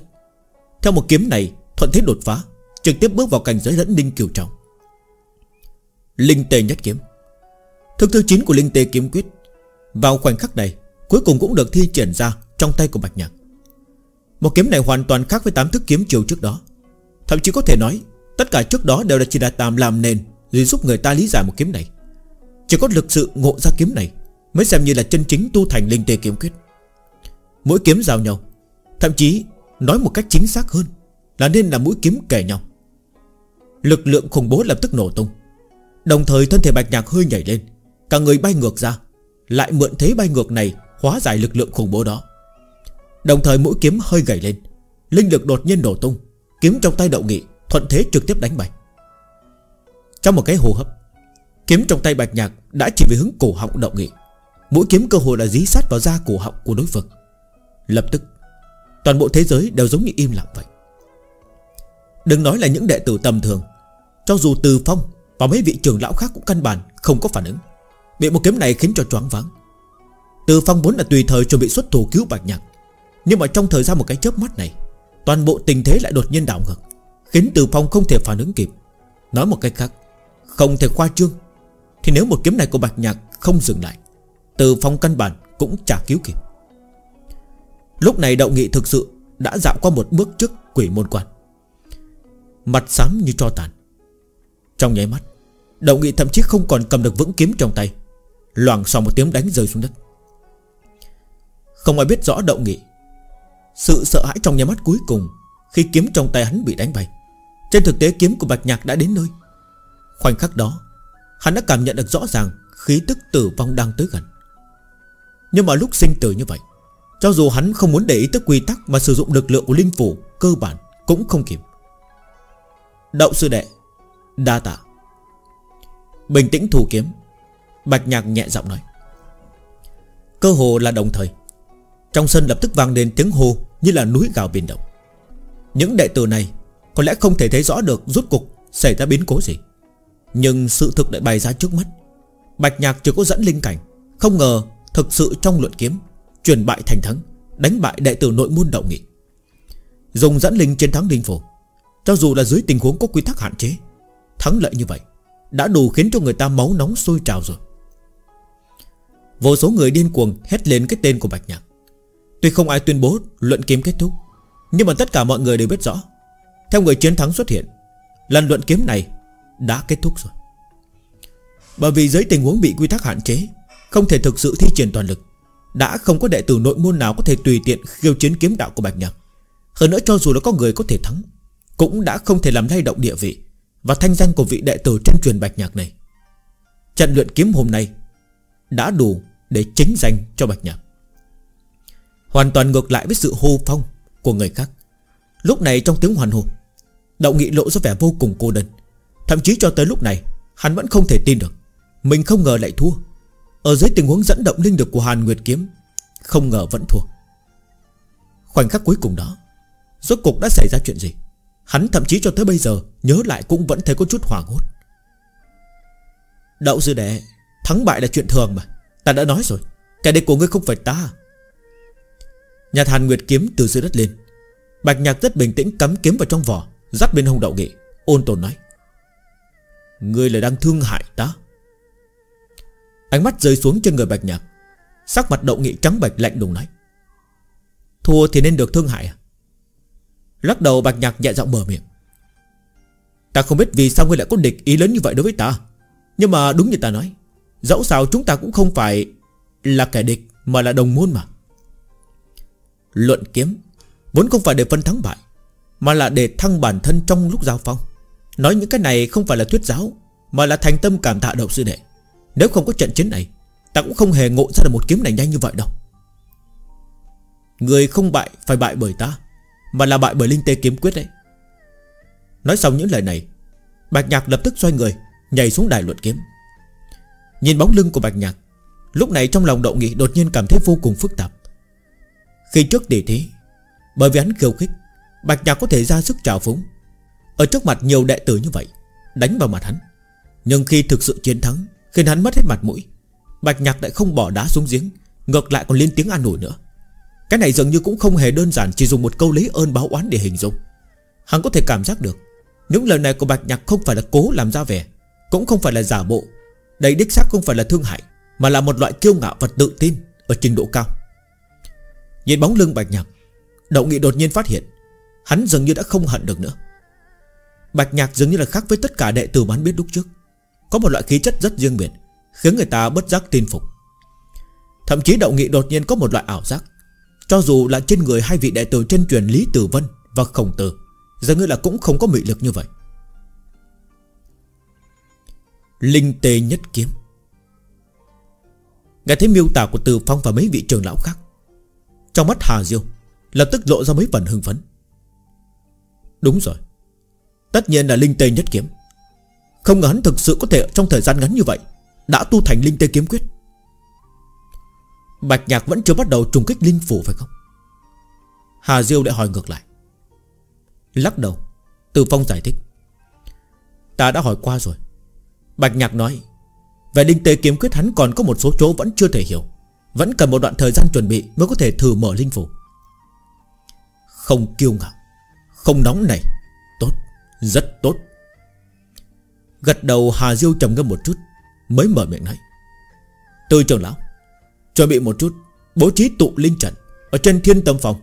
Đừng tiếc linh thạch Hoặc toàn lực giúp bạch nhạc đột phá. Nói không chừng kẻ này thực sự có khả năng thành tựu tử phù. Đến khoe khoang là ngươi chuẩn bị mở linh phủ à? Cho dù Vân Mộng Trần xưa này không quan tâm chuyện linh tê kiếm tông, Càng không đi xem luận kiếm, Chi chiến của Bạch Nhạc. Nhưng mà chuyện liên quan đến Bạch Nhạc, Trung Quỳ vẫn bất giác lưu tâm mấy phần. Sau khi luận kiếm kết thúc không lâu, Tin tức liền truyền tới trong tay Vân Mộng Trần. Hơn nữa khiến Vân Mộng Trần càng đau đầu Là rất nhanh Bạch Nhạc lại tới. Nàng ta thực sự không quá muốn đặt Đối mặt với Bạch Nhạc, Nhưng mà nếu nói cự tuyệt gặp mặt Thì cũng không tránh khỏi quá yếu khí thế. Thế là khi Bạch Nhạc vừa tiến vào Vân Mộng Trần đã mở miệng chào phúng. Trợn mắt, Bạch Nhạc tức giận trả lời. Ta chỉ là tới nhắc nhở ngươi, Đánh cược lúc trước của chúng ta, Chắc đã xem như là ta thắng rồi chứ. Lúc trước Bạch Nhạc và Vân Mộng Trần đã từng đánh cược. Cược hắn có thể cũng giống như là Vân Mộng Trần Trong 3 tháng mở ra linh phủ hay không. Lúc trước bất luận là Vân Mộng Trần hay là bản thân Bạch Nhạc, Trên thực tế đều không có tự tin. Nhưng trong thời gian gần 2 tháng ngắn ngủi này Bạch Nhạc lại tùy chung, Đều đang dùng một loại tốc độ không thể tưởng tượng Để đề thăng tới cảnh giới này. Theo cảm ngộ ra linh tê nhất kiếm, Hiện giờ Bạch Nhạc đã bước vào dẫn linh cửu trọng. Chỉ thiếu một bước nữa Là có thể mở linh phủ. Mà thời gian ước định đã còn tới một tháng. Với cảnh giới hiện giờ của Bạch Nhạc, Tất nhiên là có thể xem như là thắng chắc rồi. Vậy cũng chưa có chắc. Vốn Vân Mộng Trần theo bản năng muốn nói còn một tháng nữa, Bất ngờ gì cũng khả năng phát sinh. Nhưng mà nghĩ lại, Cảm thấy nói như vậy thực sự có chút quá xui xẻo. Lập tức chuyển giọng điệu. Được rồi, Cho dù ngươi có thể làm được. Vậy thì sao? Há há miệng, Bạch nhạc lập tức trợn tròn mắt. Lúc trước chỉ muốn cược khẩu khí này, Có thể thắng Vân Mộng Trân là rất vui rồi. Vân Mộng Trân nói như vậy, Hắn mới ý thức được. Lúc trước khi ước định, Vân Mộng chân chính là không đưa ra bất kỳ cái giá gì cả. Cho dù hắn có thắng, Thì cũng chỉ là xóa bỏ chuyện trước đây mà thôi. Trải qua nhiều như vậy, Vốn không có cần thiết lo lắng Vân Mộng chân, Lại giết hắn diệt khẩu. Vậy thì ván cược đó có nghĩa gì? Nhìn thấy Bạch Nhạc chịu thiệt, Khóe miệng Vân Mộng chân không khỏi Hiện lên một tia nụ cười thản nhiên, Có chút vui vẻ một cách khó hiểu. Dường như là bản thân cũng cảm thấy đây Là có chút quá đáng. Vân Mộng chân xua tay nói, Tuy cảnh giới của ngươi đã tới, Nhưng mà ta vẫn đề nghị Ngươi đừng có tùy tiện mở linh phủ Nói đến chính sự Biểu cảm của Vân Bộng Trân trở nên nghiêm túc hơn mấy phần. Ta nghe nói khi luận kiếm, Ngươi còn giúp một đại tử ngoại môn thành công mở linh phủ. Có lẽ người còn rất đắc ý phải không?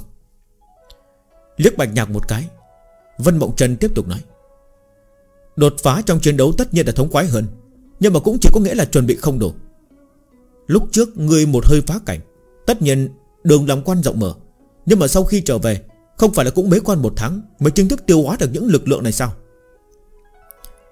Trên cảnh giới nhỏ như dẫn linh còn như vậy, Ngươi còn cho rằng đột nhiên phá một cảnh giới lớn Thực sự là chuyện tốt sao? Những lời này Khiến Bạch Nhạc nghe mà mồ hôi lạnh đầm đìa. Trên thực tế lúc trước khi hắn đột phá, Thiếu chút nữa Đã nghĩ tới muốn trực tiếp thuận thế mở linh phổ. Nếu không phải lo lắng tới thông thiên ma công, Vẫn chưa thể gặp ánh sáng, Chỉ sợ hắn đã làm như vậy rồi. Vân Mộng Trần biết rất rõ, Nội tình Bạch Nhạc quá nhỏ, Nghe thì tự hồ đã đang trào phúng, Nhưng mà trên thực tế lại mượn cơ hội này để giải thích cho Bạch Nhạc những mấu chốt này. Mượn linh phủ cảnh mà nói Tuy cùng là mở linh phủ Nhưng mà trên thực tế Linh phủ cũng chia làm thượng, trung, hạ Ba phẩm. Nói một cách đại khái Mở linh phủ chia làm ba loại Xanh lam, tím. Màu xanh là kém nhất Màu tím tốt nhất. Bình thường mà nói Ít nhất cũng phải mở ra linh phủ màu lam Tương đương với có hy vọng bước vào tinh cung cảnh. Trong các đệ tử của Linh Tế Kiếm Tông các người Linh phủ không phải là cảnh hiếm thấy nhưng mà nhiều năm như vậy trôi qua, Người có thấy ai bước vào tinh cung không? Cười lạnh một tiếng, Vân Mộng Trần có vẻ khinh thường. Đừng nói là đệ tử, Cho dù trong các trường lão, Ngày sau có hy vọng đột phá tinh cung cảnh, Cũng chỉ có hai ba người mà thôi. Không phải bọn họ không chịu nỗ lực, Mà căn cứ quá kém, Điểm cao nhất được được định rồi. Trừ khi có vận khí nghịch thiên, Nếu không đã định trước là vô vọng với đại đạo. Nghe thấy những cái này Bạch Nhạc cuối cùng mới hiểu. Tranh lệch chân chính giữa tông môn huyền cấp và thiên tông Lại liên hệ đến hậu sơn. Từ phong, Ba sơn lục ma, Âm dương quỷ đồng, Những người này đều là linh phù cảnh, Nhưng mà tranh lệch trên thực lại quá rõ ràng. Vốn Bạch Nhạc cho rằng Chỉ là cảnh giới khác nhau, Nhưng mà hiện giờ nghe Vân Mộng Trần nói như vậy, Mới hiểu được có lẽ là tranh lệch lớn hơn kỳ thực Là tranh lệch của bản thân linh phủ Cái quyết định phẩm chất linh phủ Trừ công pháp tu hành Cùng với tư chất của bản thân người ra Ngoại chỉ ngoại lực cũng là một bộ phận nhân tố ảnh hưởng rất lớn. Vân Mộng Trần tiếp tục giải thích. Linh tề kiếm quyết chính là kiếm tổ sáng chế ra Người đã có thể tu thành, Chứng tỏ công pháp tất nhiên không tồn tại vấn đề. Nhưng mà dù vậy, Nếu người không hề có chuẩn bị mà trực tiếp đột phá, Chỉ dựa vào linh khí loãng tuyệt ở xung quanh, Nhiều nhất chỉ là một linh phủ màu lam tạp sắc. Muốn mở ra linh phủ màu lam phẩm chất cao, Thậm chí là từ phủ Nhất định phải bố trí tụ linh trận trước. Chuẩn bị đủ linh thạch Để cung cấp linh được dư thừa chống đỡ. Dừng một chút, Vân Mộng Trần tiếp tục nói. Nếu người thực sự muốn một ngày kia đuổi kịp cảnh giới của ta, Nhất định Phải mở ra từ phủ trước. Được thôi. Cho dù Vân Mộng Trần không nói rõ, Bạch Nhạc cũng hiểu. Lúc trước đối phương mở ra tất nhiên là từ phủ phẩm chất tốt nhất. Mỗi khi hắn đắc ý, Rào rặt cho rằng có thể tinh vi Với Mân Vân Mộng chân một chút, Sẽ gặp một lần đả kích. Nói thánh nữ của Lăng Thiên Tông có giỏi không? Được rồi, Thực sự là rất giỏi. Nghĩ tới đây Bạch Nhạc không khỏi cảm thấy chán nản. Nhận thấy Bạch Nhạc dường như là có chút suy sụp, Trong lòng Vân Mộng Trần không khỏi có chút không đành lòng, Khẽ hư một tiếng, Mới mở miệng nói. Người cũng không cần quá lo.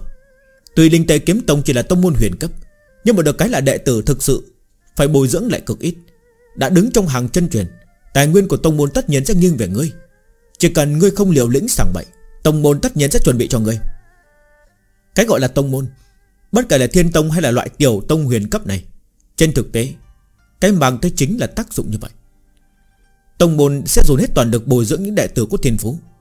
Đồng dạng, Một khi những đệ tử này tu hành thành tựu, cũng phải tận lực tranh đoạt tài nguyên nhiều hơn, Trả lại cho tông môn. Đạo lý này đặt khắp tứ hải đều chuẩn. Kỳ thực trong lòng Bạch Nhạc cũng hiểu đạo lý này, Chỉ là trong nhất thời, Không thể phản ứng kịp mà thôi. Hơi do dự một chút. Vân Mộng chân lật cổ tay. Từ trong vòng tay lấy ra một hộp ngọc. Trong đó có một trái màu xanh To bằng quả mơ Ông ánh, lòng lành Chỉ mở ra Bạch Nhạc nhìn. Rất nhanh, lại đóng vào. Nhưng mà cho dù mở ra trong nháy mắt cũng tỏa ra một cỗ linh khí nồng đậm Thấm vào ruột gan. Đây là một trái linh khư quả Sinh trưởng trong đinh mạch.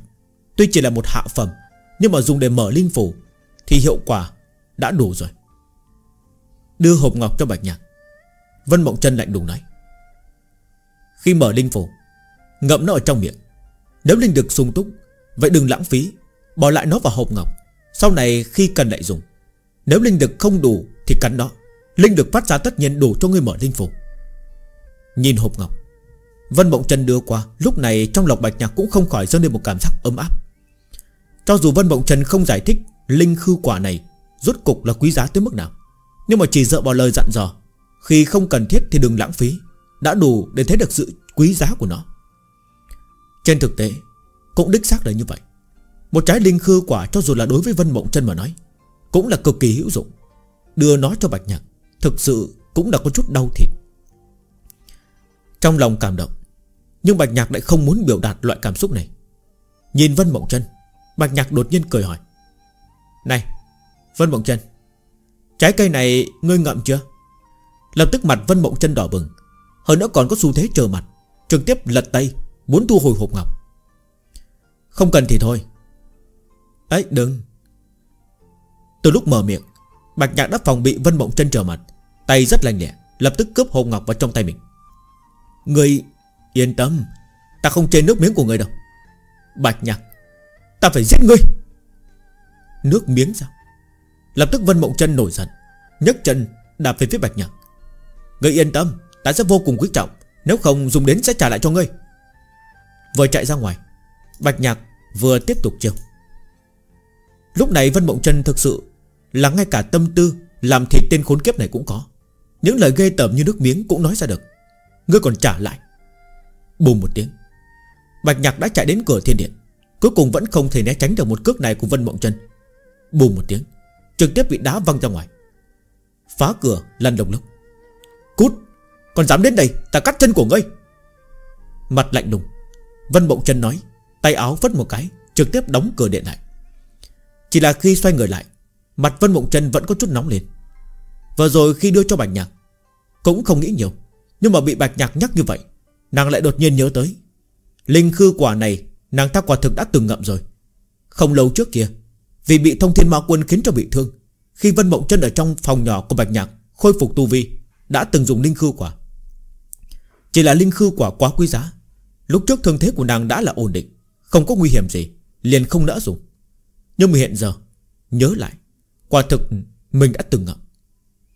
Nước miếng sao?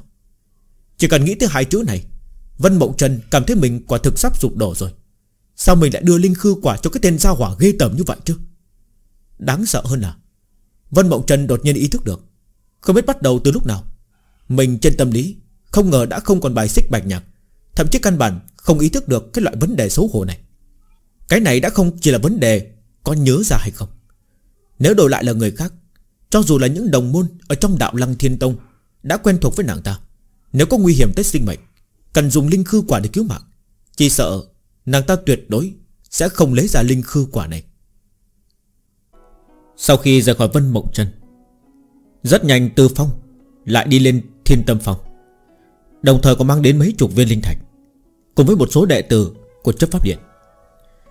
Đúng như Vân Mộng Trân suy đoán Tổng môn bố trí một tụ linh trận Ở ngoài động phủ của Thiên Tâm Phong Những linh thạch này chính là trận nhãn. Chỉ cần một khi kích phát, Tụ linh trận sẽ vận chuyển, Tụ tập toàn bộ linh lực xung quanh thiên tâm phong Vào trong trận. Thậm chí bản thân những linh thạch này cũng sẽ dần dần đứt vỡ, Phóng thích ra linh khí.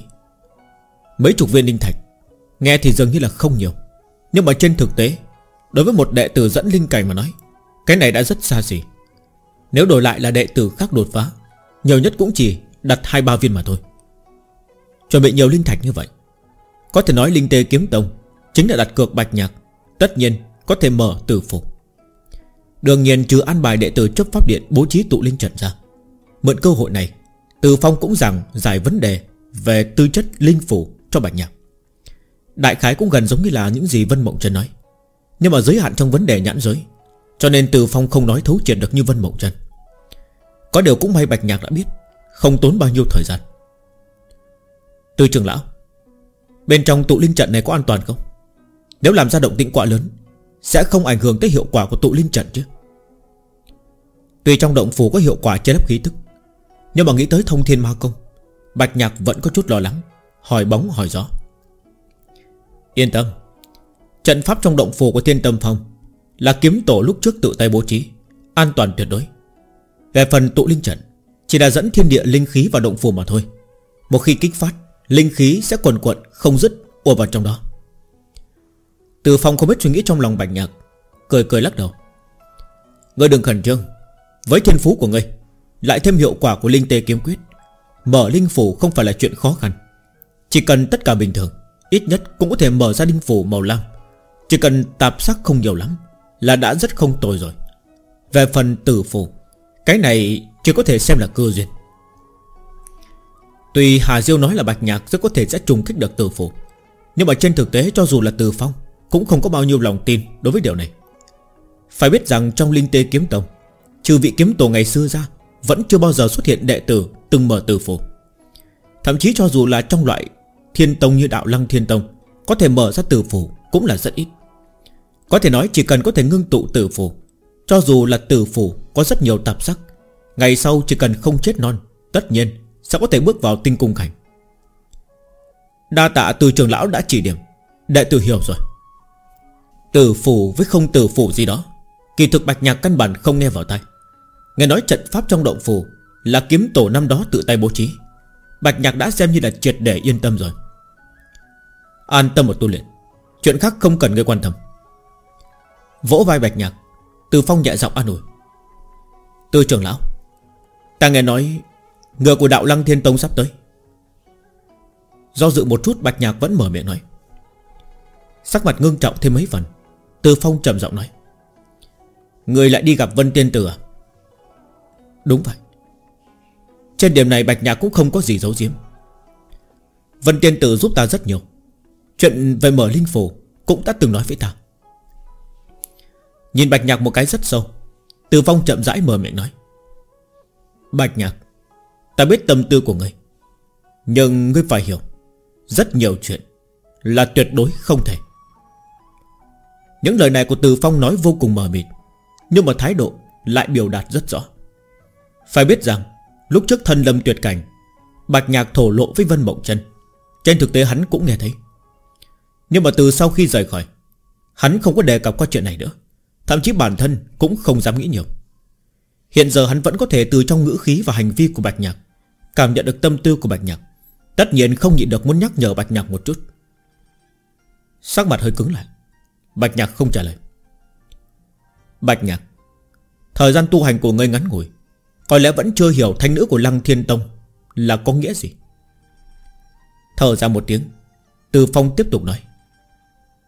Tiên tử Tiên tử, Ở trên người nàng ta, Cái này không chỉ là một cách xưng hô, đó là tồn tại mà người tu hành tầm thường, Cả đời cũng không thể ngước nhìn được.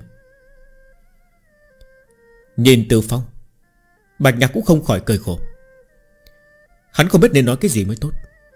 Tuy chỉ là xuất thân tạp dịch, Nhưng trên thực tế, Bạch nhạc không có ngốc. Nhãn giới cũng cực kỳ rộng. Tất nhiên hiểu tranh lệch giữa mình và Vân Mộng Trần. Nhưng hắn Thủy chung không nghĩ tới từ bỏ. Từ lúc còn là một tiểu tạp dịch ngoại môn, Đến giờ sắp mở linh phổ, Bạch Nhạc một mực đang nỗ lực thu hẹp lại cự ly giữa mình và Vân Mộng Trần. Nhưng mà những tâm tư này Lại không thể nói. Bất kể là quan hệ giữa mình và Vân Mộng Trần hay là truyền thừa của thông thiên ma công? Đều là vạn lần không thể nói ra miệng. Cho nên cái Bạch Nhạc có thể làm, Kỳ thực cũng chỉ là không ngừng nỗ lực tu luyện mà thôi. Trầm mặc một lát, Lúc này Bạch Nhạc mới ngẩng đầu nói, Những cái đó đối với ta mà nói, Thực sự quá xa xôi. Ta chỉ muốn làm tốt chuyện của mình. Dừng một chút trên mặt của Bạch Nhạc lộ ra một nụ cười sán lạn. Tư trưởng lão, Tin ta, Lần này ta nhất định có thể mở được từ phủ Nói đến đây, trên mặt Bạch Nhạc lại lộ ra một tia tự tin. Từ phủ có lẽ thật sự khó, Nhưng mà đối với mình mà nói, Lại đã có cơ sở.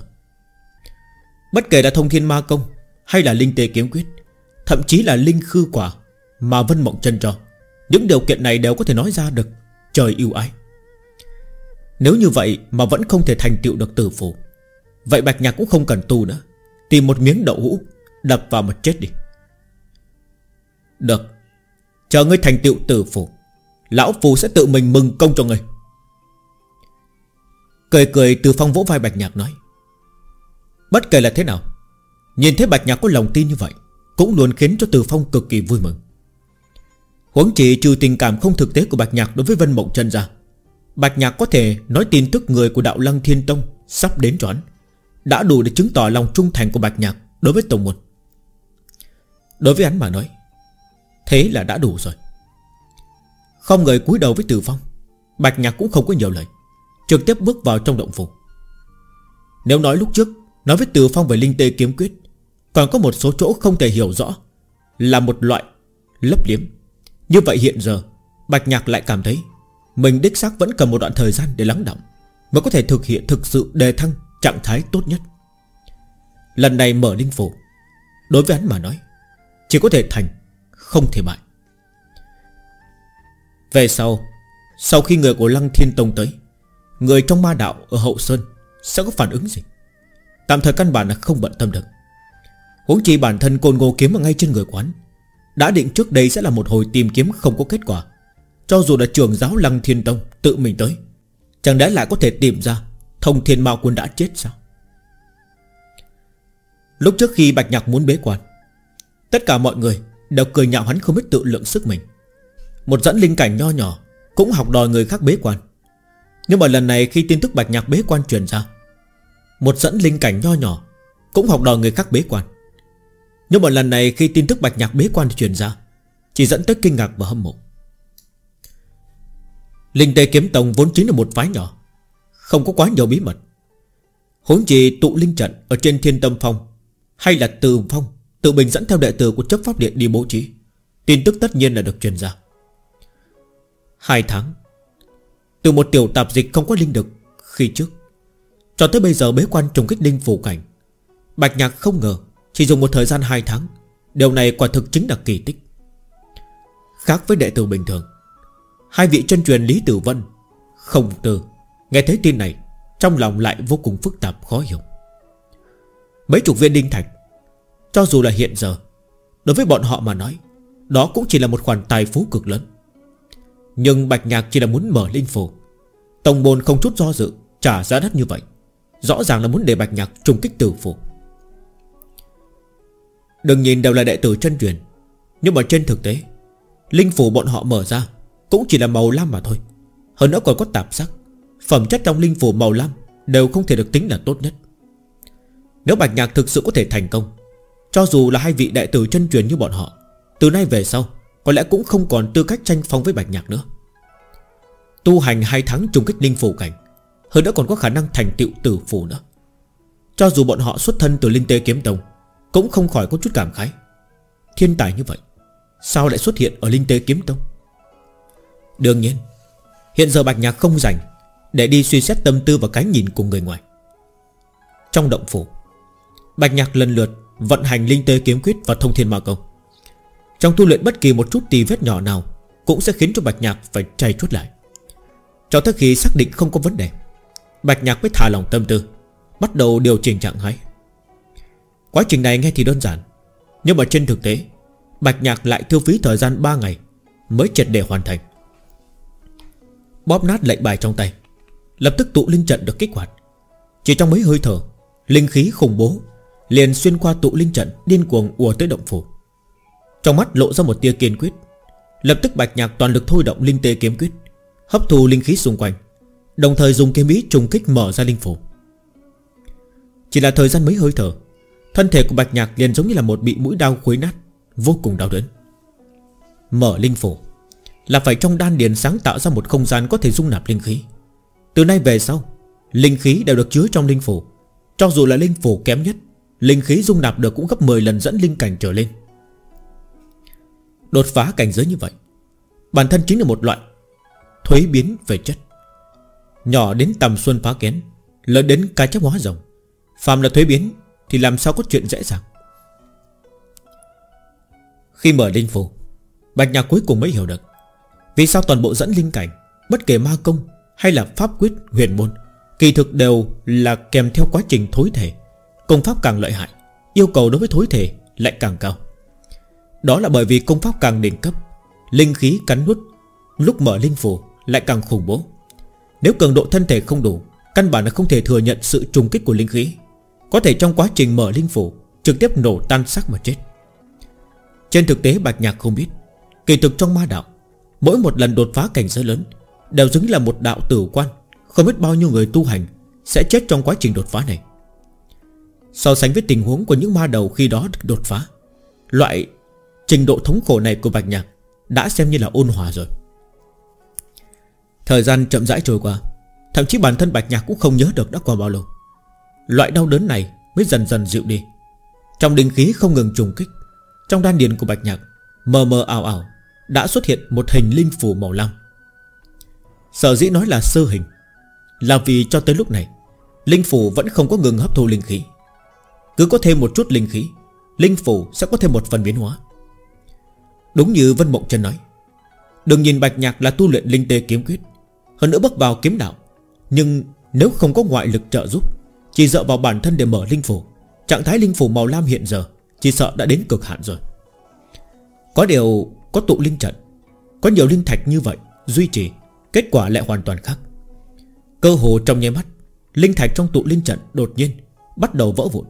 Linh khí đồng đậm hơn, Điên cuồng ùa vào trong cơ thể. Dung nhập vào trong linh phủ, Thôi động linh phủ lại thuê biến tiếp. Tạp sắc trên linh phủ dần dần rút đi, Hóa thành mây xanh ra trời nồng đậm. Nếu là dưới tình huống bình thường, Đến loại trình độ này, Kỳ thực đã qua thời kỳ nguy hiểm nhất. Còn lại chính là dốc hết toàn lực Để hấp thu linh lực. Thử xem trước khi linh phủ triệt đề mở ra, Có thể khiến nó thuế biến thành tử phủ hay không? Nhưng trên thực tế, Ngay cả bản thân Bạch Nhạc cũng cảm nhận được Loại khả năng này là không lớn. Tuy linh khí mà tụ linh trận Từ mấy chục viên linh thạch bố trí thành, Mang đến cũng không ít.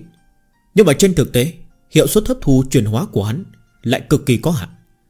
Dưới tình huống như vậy, Có thể thành tựu linh phủ màu lam thuần sắc Đã là không tồi. Muốn trùng kích tử phủ, Cơ hồ là không có khả năng.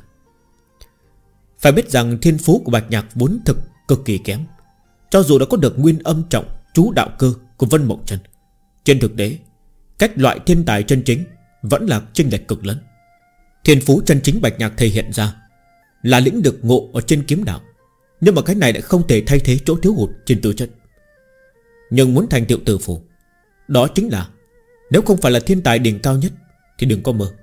Bất kể là công pháp tu hành Hay là tư chất, Chuẩn bị ngoại lực, Ba thứ, bất kỳ một thứ nào Có tì vết Thì đều tuyệt đối sẽ không thành công. Nếu không phải điều kiện hà khắc như vậy tử phủ trong giới tu hành Cũng không quý giá đến như vậy.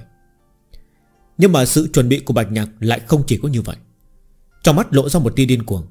Cơ hồ là trong nháy mắt, Thông thiên ma công trong cơ thể Bạch Nhạc Đột nhiên vận chuyển, Cũng bắt đầu quá trình mở linh phủ.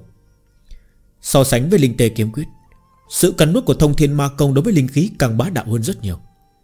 Trong nháy mắt, Xung quanh thân thể bạch nhạc cơ hồ hình thành một vòng xoáy linh lực, Điên cuồng cắn nuốt tất cả linh lực xung quanh về phía cơ thể. Nếu nói linh tê kiếm quyết chỉ hấp dẫn linh khí nhập thể, Như vậy thông thiên ma công Chính là cướp đoạt cắn nuốt một cách trắng trợn, Căn bản không nói đạo lý. Đáng sợ hơn là, Linh khí thông thiên ma công cắn nuốt được, Lại không ngoan ngoãn dung nhập vào linh phủ lúc trước, Mà là ở trong đan điền của bạch nhạc, Mở một linh phủ khác. Thế là bạch nhạc chẳng khác nào Là phải đồng thời mở hai linh phủ. Cho dù là có tụ linh trận trợ giúp, Linh lực cung cấp vẫn còn xa mới đủ. Bạch nhạc thậm chí cảm thấy Linh phủ mà thông thiên ma công vừa hình thành, Thậm chí có thể xu thế cắn nuốt linh phủ còn lại. Trong lòng đột nhiên giật thoát, Bạch nhạc không dám do dự nữa, Lập tức lấy ra hộp ngọc, Ngậm linh khư quả vào trong miệng. Cơ hồ là trong nháy mắt, Linh khư quả vừa vào miệng, Một cỗ linh khí thuần túy Đột nhiên thấm vào trong cơ thể, Tưới tắm thân thể của Bạch Nhạc Cũng chậm rãi dung nhập vào trong linh phủ. Linh phủ vốn đã có chút bất ổn, Lại trở nên ổn định. Lúc này cho dù là Bạch Nhạc Cũng không khỏi sợ toát mồ hôi lạnh. Vốn hắn kỳ thực cũng cho rằng Có tụ linh trận trợ giúp, Có lẽ căn bản không cần dùng đến linh khư quả này. Nhưng trên thực tế, Lại cho hắn một cái tát rõ vàng.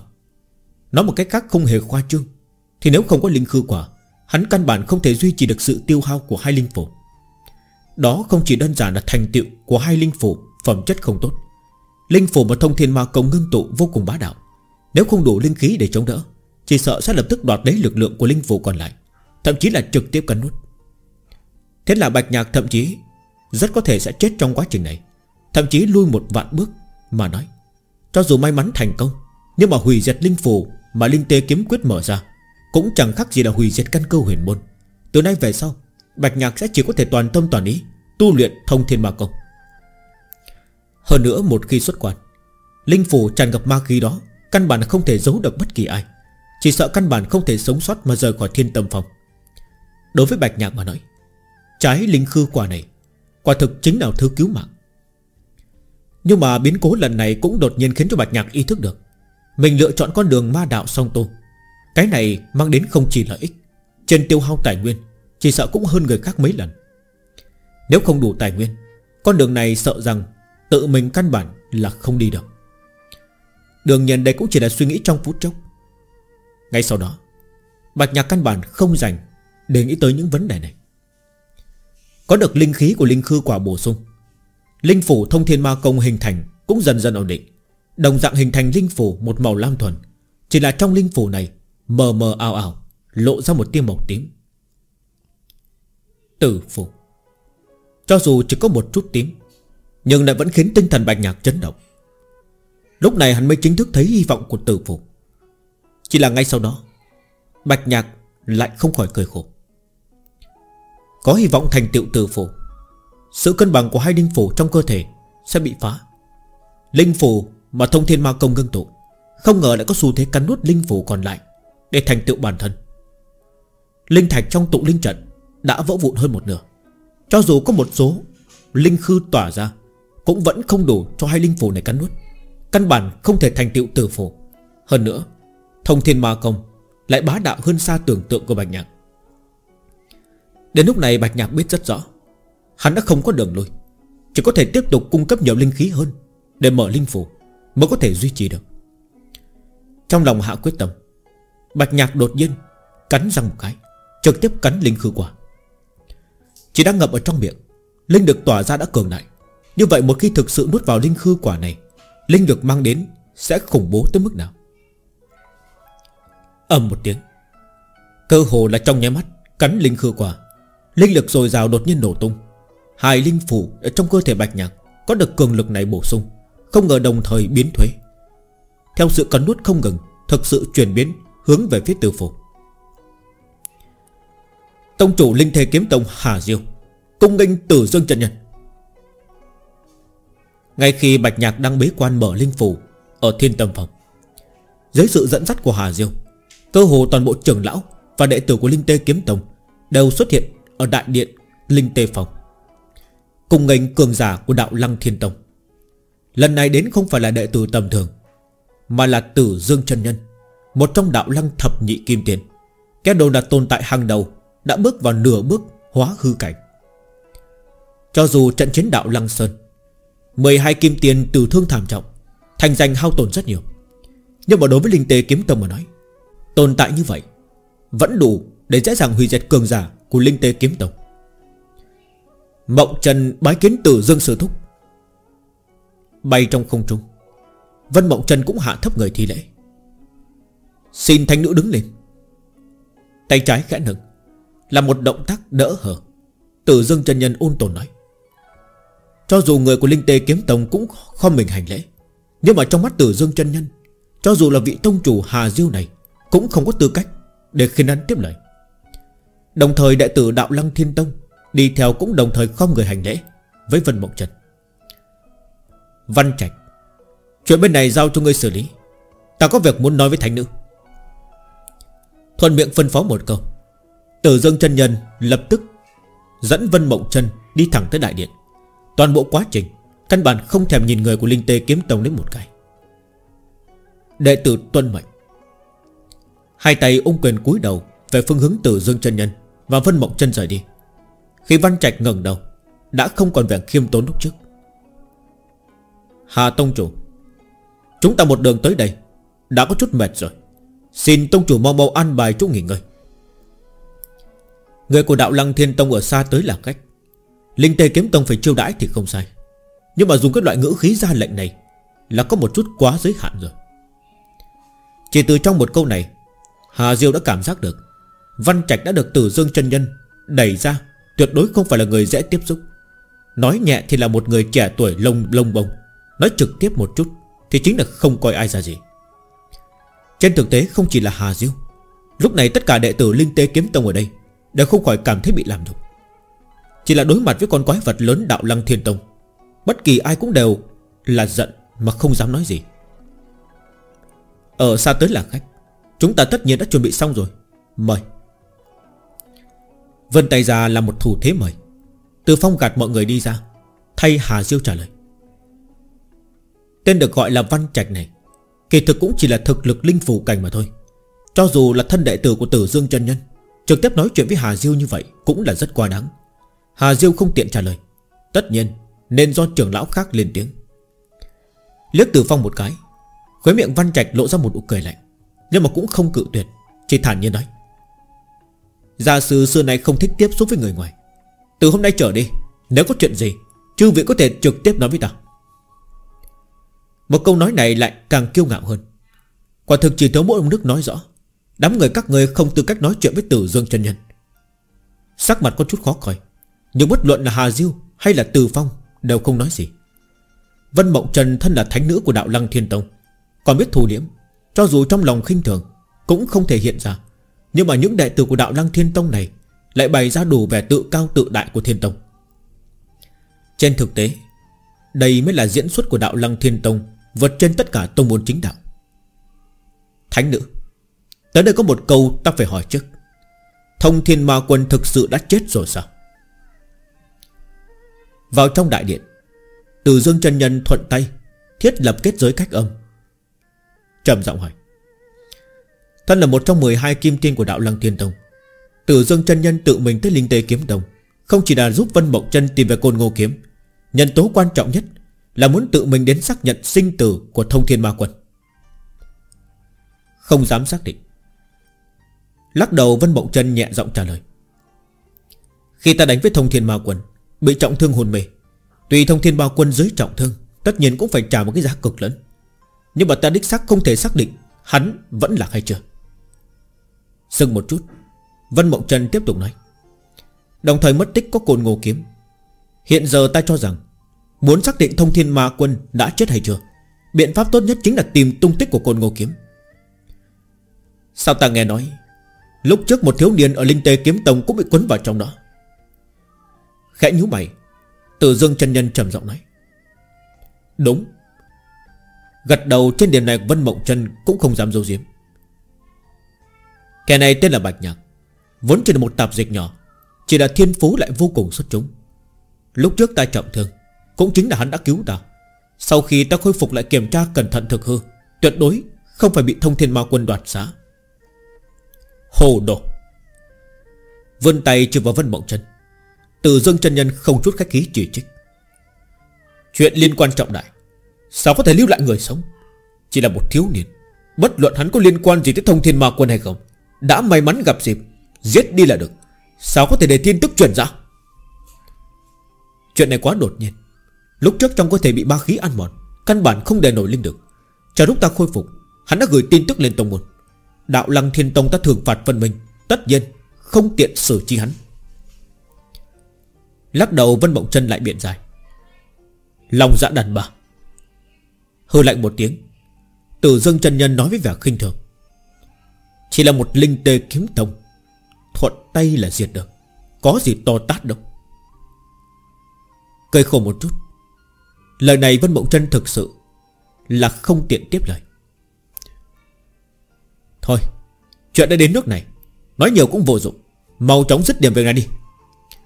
Xô tay từ dương chân nhân trầm giọng nói. Lúc trước người truyền tin nói Dạ nhận đời này đã xuất hiện à? Đúng. Nhắc tới dạ nhận, Sắc mặt Vân Mộng Trần cũng ngưng trọng hơn mấy phần. Ta đã từng giao thủ một lần với người này. Bất kể là thiên phú hay là thực lực, Đều không kém ta.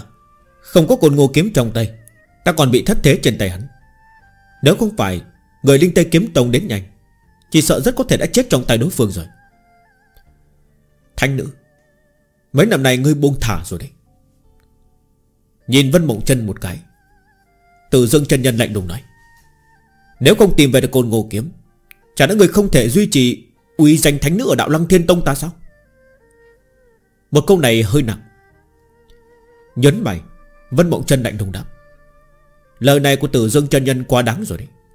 Bất kể có côn ngô kiếm hay không, Truyền thừa của thánh nữ nhất mạch ta Cũng tuyệt đối không đứt đoạn.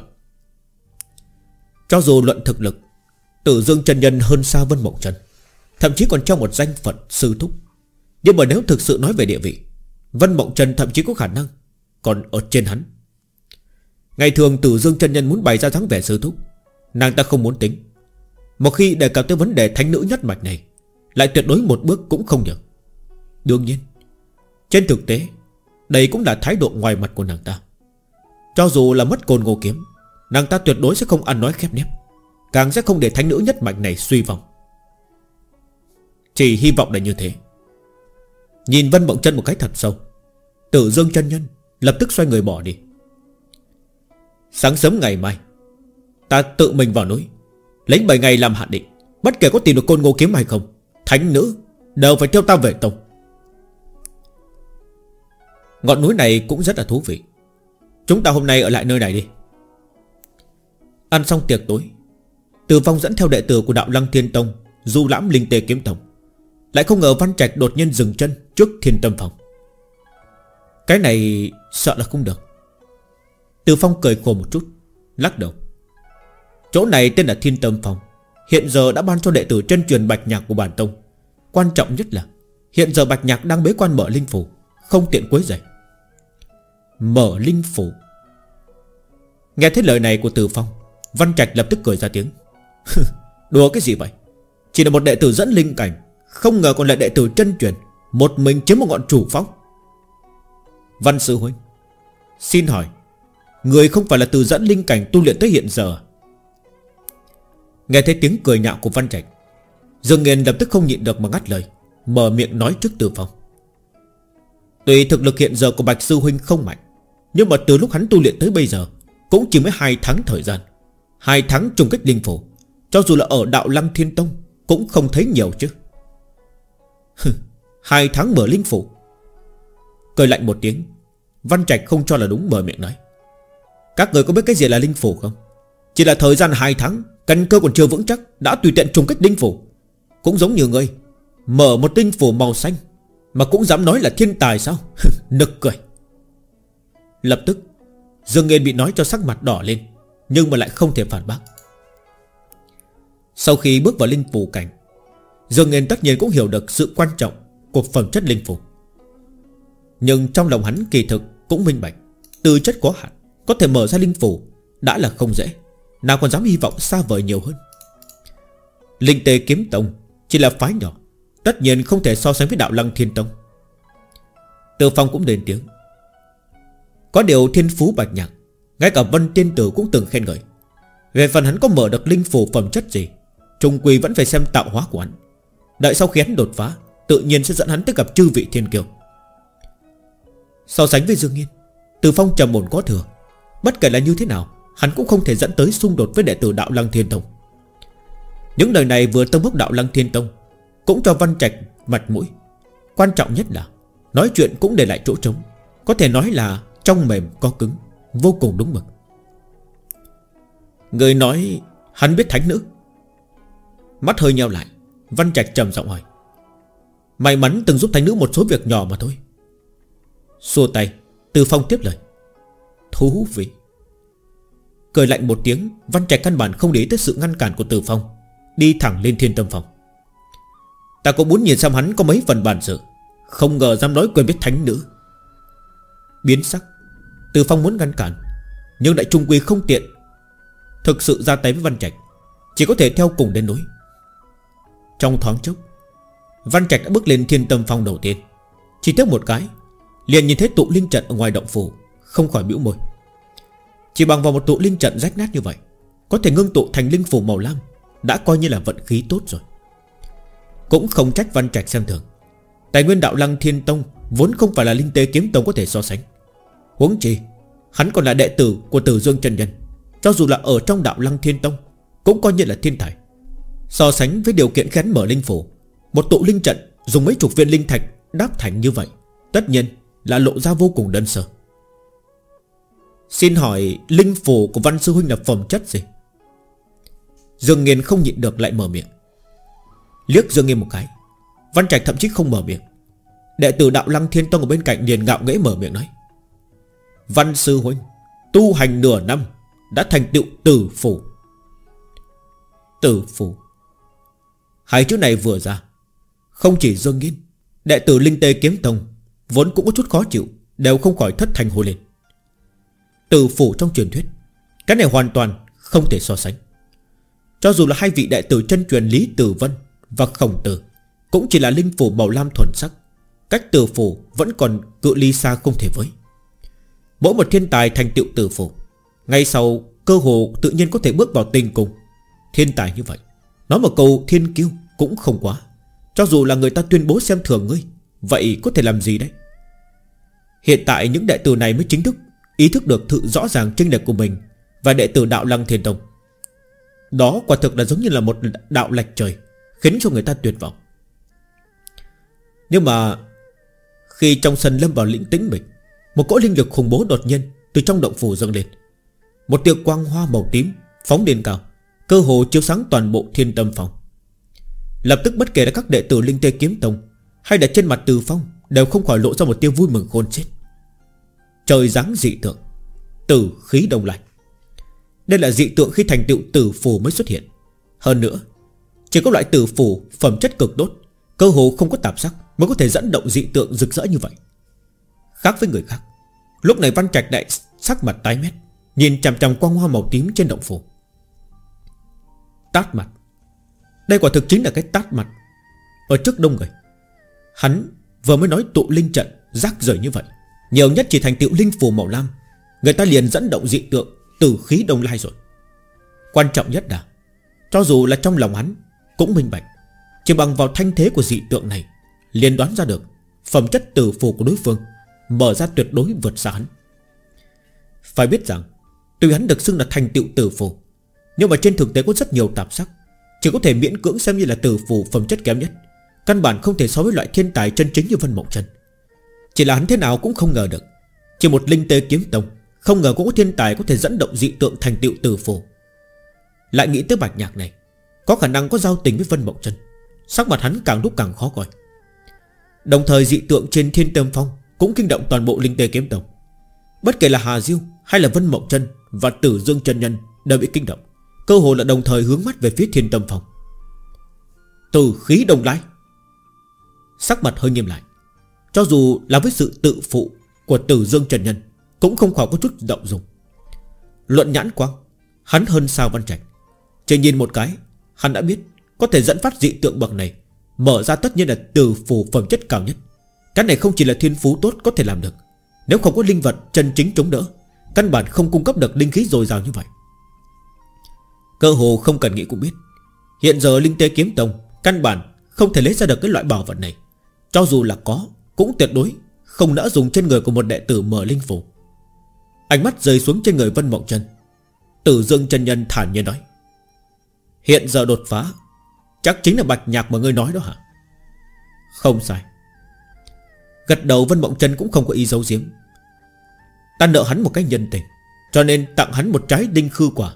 Giúp hắn trùng kích tử phù.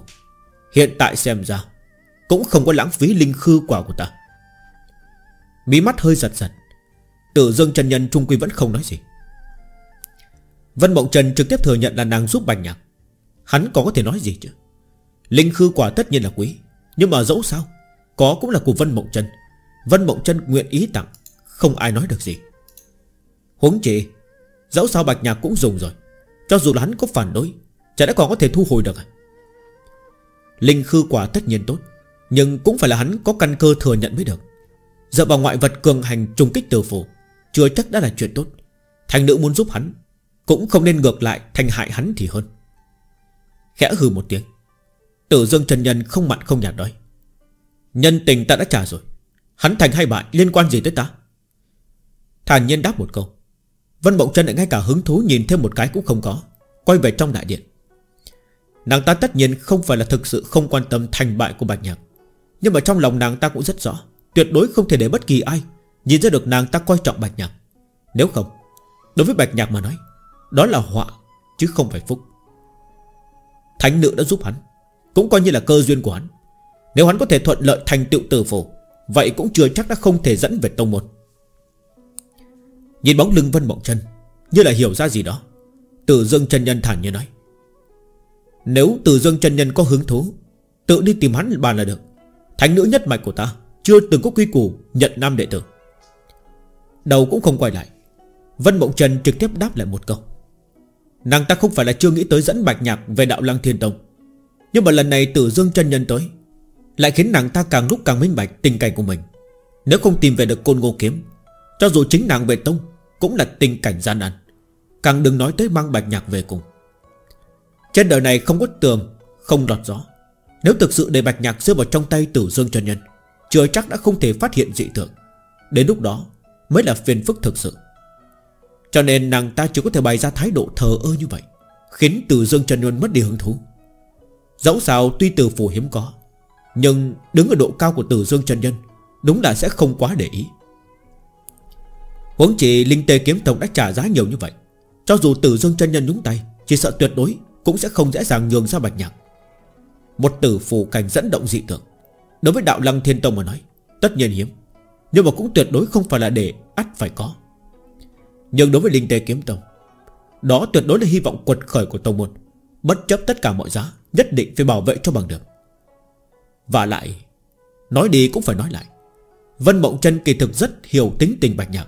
Chỉ bằng vào tính tình Mắt để trên đỉnh đầu của tử dương chân nhân Và môn hạ đệ tử quán Bạch nhạc tuyệt đối không chịu được, Căn bản không thể đáp ứng.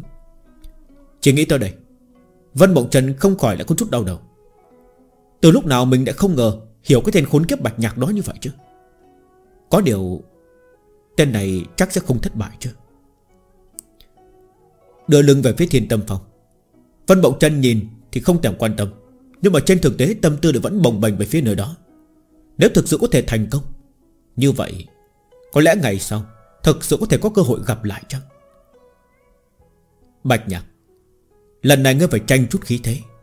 Đừng làm phí linh khư quả của ta.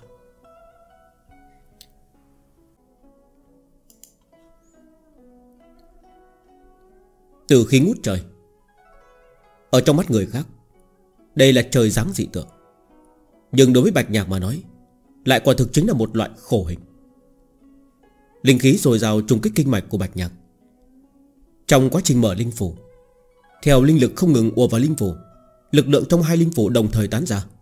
Mà khí và linh lực đan vào nhau, Thậm chí còn xen lẫn cả kiếm khí. Mở tù phủ tất nhiên là chuyện tốt, Nhưng phẩm chất linh phủ càng cao, Yêu cầu đối với căn cơ lại càng cao. Bất kể là lý giải đối với công pháp tu hành, Hay là yêu cầu đối với cường độ thối thể, Thậm chí là ý chí lực Và thần hồn của bản thân, Đều có yêu cầu cực kỳ hà khắc. Thành công mở ra tử phủ, Trở thành thiên kiêu. Tất nhiên là cả nhà đều vui.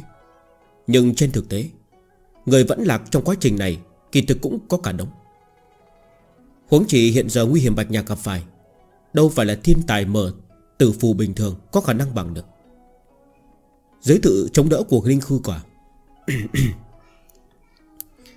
Dưới sự chống đỡ của Linh Khư Quả, Bạch Nhạc là muốn đồng thời mở hai linh phù hơn nữa cả hai đều còn phải là tử phù, Phẩm chất cao nhất, Mà có thể đạt thành cân bằng. Độ khó trong đây Không chỉ đơn giản là một cộng một bằng hai. Nói một cách không thể khoa trương, Thì cơ hồ là lúc ban đầu, Cả người bạch nhạc cơ hồ đã triệt để sụp đổ. Từ da đến xương cốt toàn bộ đều vỡ vụn, Thậm chí là tạng phù Cũng bị thương theo. Máu tươi là thức nhuộm đỏ mặt đất. Cái này đáng sợ hơn Khổ hình rất nhiều. Thế vẫn chưa hết. Rất nhanh loại đau khổ này Liền lan đến trong thần hồn. Thậm chí cồn ngô kiếm được thông thiên ma quân phong ấn sâu trong thần hồn bạch nhạc Cũng dục dịch, Đột nhiên gia tăng loại thống khổ này. Nếu là người bình thường, chỉ sợ sớm đã đau tới hồn mê bất tỉnh. Nhưng cho dù là ở dưới loại thống khổ này, Bạch Nhạc cũng phải cắn chặt răng Mà kiên trì. Đối với Bạch Nhạc mà nói, Đây là một đạo tử quan, Cũng là một lần thay hoán cốt chân chính. Từ một tiểu tạp dịch tư chất bình thường lúc trước, Cho tới một bước hiện tại, Bạch Nhạc chỉ dùng thời gian 2 tháng. Bất kể có nhiều cơ duyên tờ mấy Cũng sẽ dẫn tới căn cơ Bất ổn. Mà một đạo tử quan trước mắt này, Hắn muốn thuế biến, Vậy cần phải bước qua được trạm kiểm soát. Khoanh chân ngồi tại chỗ, Bạch Nhạc không chỉ một lần cảm thấy ý thức dần dần trở nên mơ hồ, Cho dù ý chí quán có cứng cỏi tới mấy, Ở dưới loại tra tấn này cũng rất khó có thể chống đỡ. Phải biết rằng đó không phải đơn giản Là cắn răng chống đỡ trả tấn. Hắn phải thời thời khắc khắc bảo trì bình tĩnh, Dẫn dắt linh lực không ngừng mở linh phủ. Còn phải bảo trì sự cân bằng giữa hai linh phủ. Chỉ cần một thoáng thất thần, Có khả năng dẫn tới toàn bộ sụp đổ. Bạch Nhạc lại cảm thấy Tử vong đang tới gần một chút một. Dưới cực hạn, Bạch Nhạc không nhịn được mà mở mắt. Hướng ánh mắt lên trên thân kiếm bên cạnh. Lập tức trong đầu Bạch Nhạc đột nhiên hiện lên một đạo linh quang. Kiếm đạo. Linh tề kiếm quyết kỳ thực chính là một chiếc chìa khóa Để mở ra cửa lớn của thế giới kiếm đạo. Còn đối với Bạch Nhạc mà nói, Chỗ dựa lớn nhất của hắn Kỳ thực cũng ở trên lĩnh ngộ đối với kiếm đạo. Một mực khổ sở chống đỡ, So đấu ý chí, Kỳ thực bản thân chính là biện pháp ngu nhất. Trong một hít thở Lòng Bạch Nhạc không khỏi hiện lên Kiếm ý của Linh Tề Kiếm Quyết. Kiếm tầm tương thông. Vẫy tay, Bạch Nhạc vững vàng cầm kiếm trong tay, Đặt ở trên đầu gối của mình. Lập tức giống như tất cả tạp niệm vào khoảnh khắc này Đều đã triệt để biến mất. Trong hoàng hốt, cả người Bạch Nhạc tự nhiên là biến thành một thanh lợi kiếm, Không thể phá vỡ. Kỳ thực ngay cả bản thân Bạch Nhạc cũng không biết.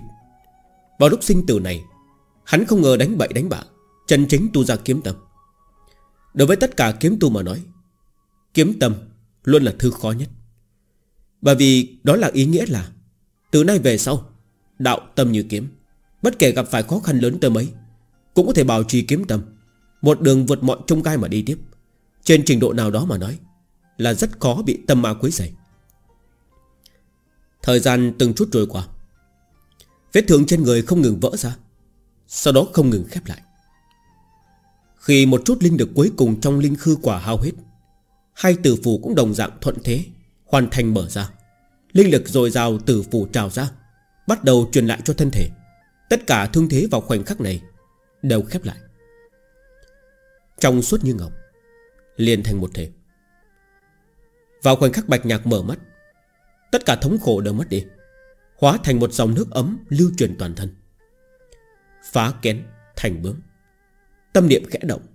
Trên người bạch nhạc đột nhiên Phủ lên một tầng quang hoa màu tím. Quần áo và vết máu đều hóa thành cho bụi. Lúc này bạch nhạc giống như là một đứa trẻ con mới sinh. Tất cả đều lộ ra vô cùng hoàn mỹ. Thậm chí khoảnh khắc này, Bạch nhạc đã có thể lờ mờ cảm nhận được Lực lượng của côn ngô kiếm trong thần hồn. Lần đột phá này khiến Bạch Nhạc thực sự có năng lực thành lập liên hệ với Côn Ngô Kiếm. Theo thời gian trôi qua, Rồi sẽ có một ngày Côn Ngô Kiếm bị Bạch Nhạc luyện hóa triệt đề Khi đó, Phong ấn thông thiên bảo quần trong thần hồn Bạch Nhạc Mới có thể triệt đề nứt vỡ, Khiến hắn có thể lấy ra Côn Ngô Kiếm. Đương nhiên đối với Bạch Nhạc mà nói, Đây vẫn không phải là chuyện quan trọng nhất, Mà quan trọng nhất là hắn còn sống. Một đạo tử quan này Trung quỳ vẫn không thể ngăn hắn lại. Giơ tay lên, Nhìn thân thể của mình, Trong lòng bạch nhạc lập tức dâng lên một tia minh ngộ. Thông thiên ma quân đã từng nói, Cho dù tư chất của bạch nhạc bình thường sợ vào ba phần đại lễ mà hắn tặng, Cũng có thể trải ra một con đường thông thiên cho bạch nhạc.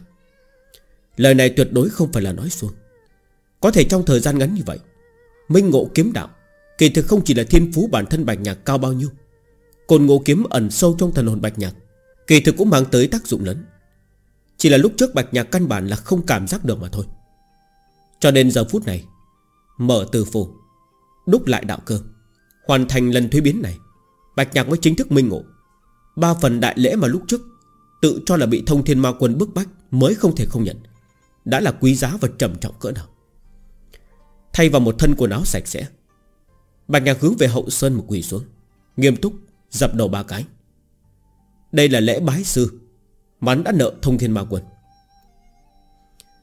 Bất kể thông thiên ma quân mang theo tâm tư gì, Nhưng mà đến thời khắc này Bạch nhạc không thể không thừa nhận.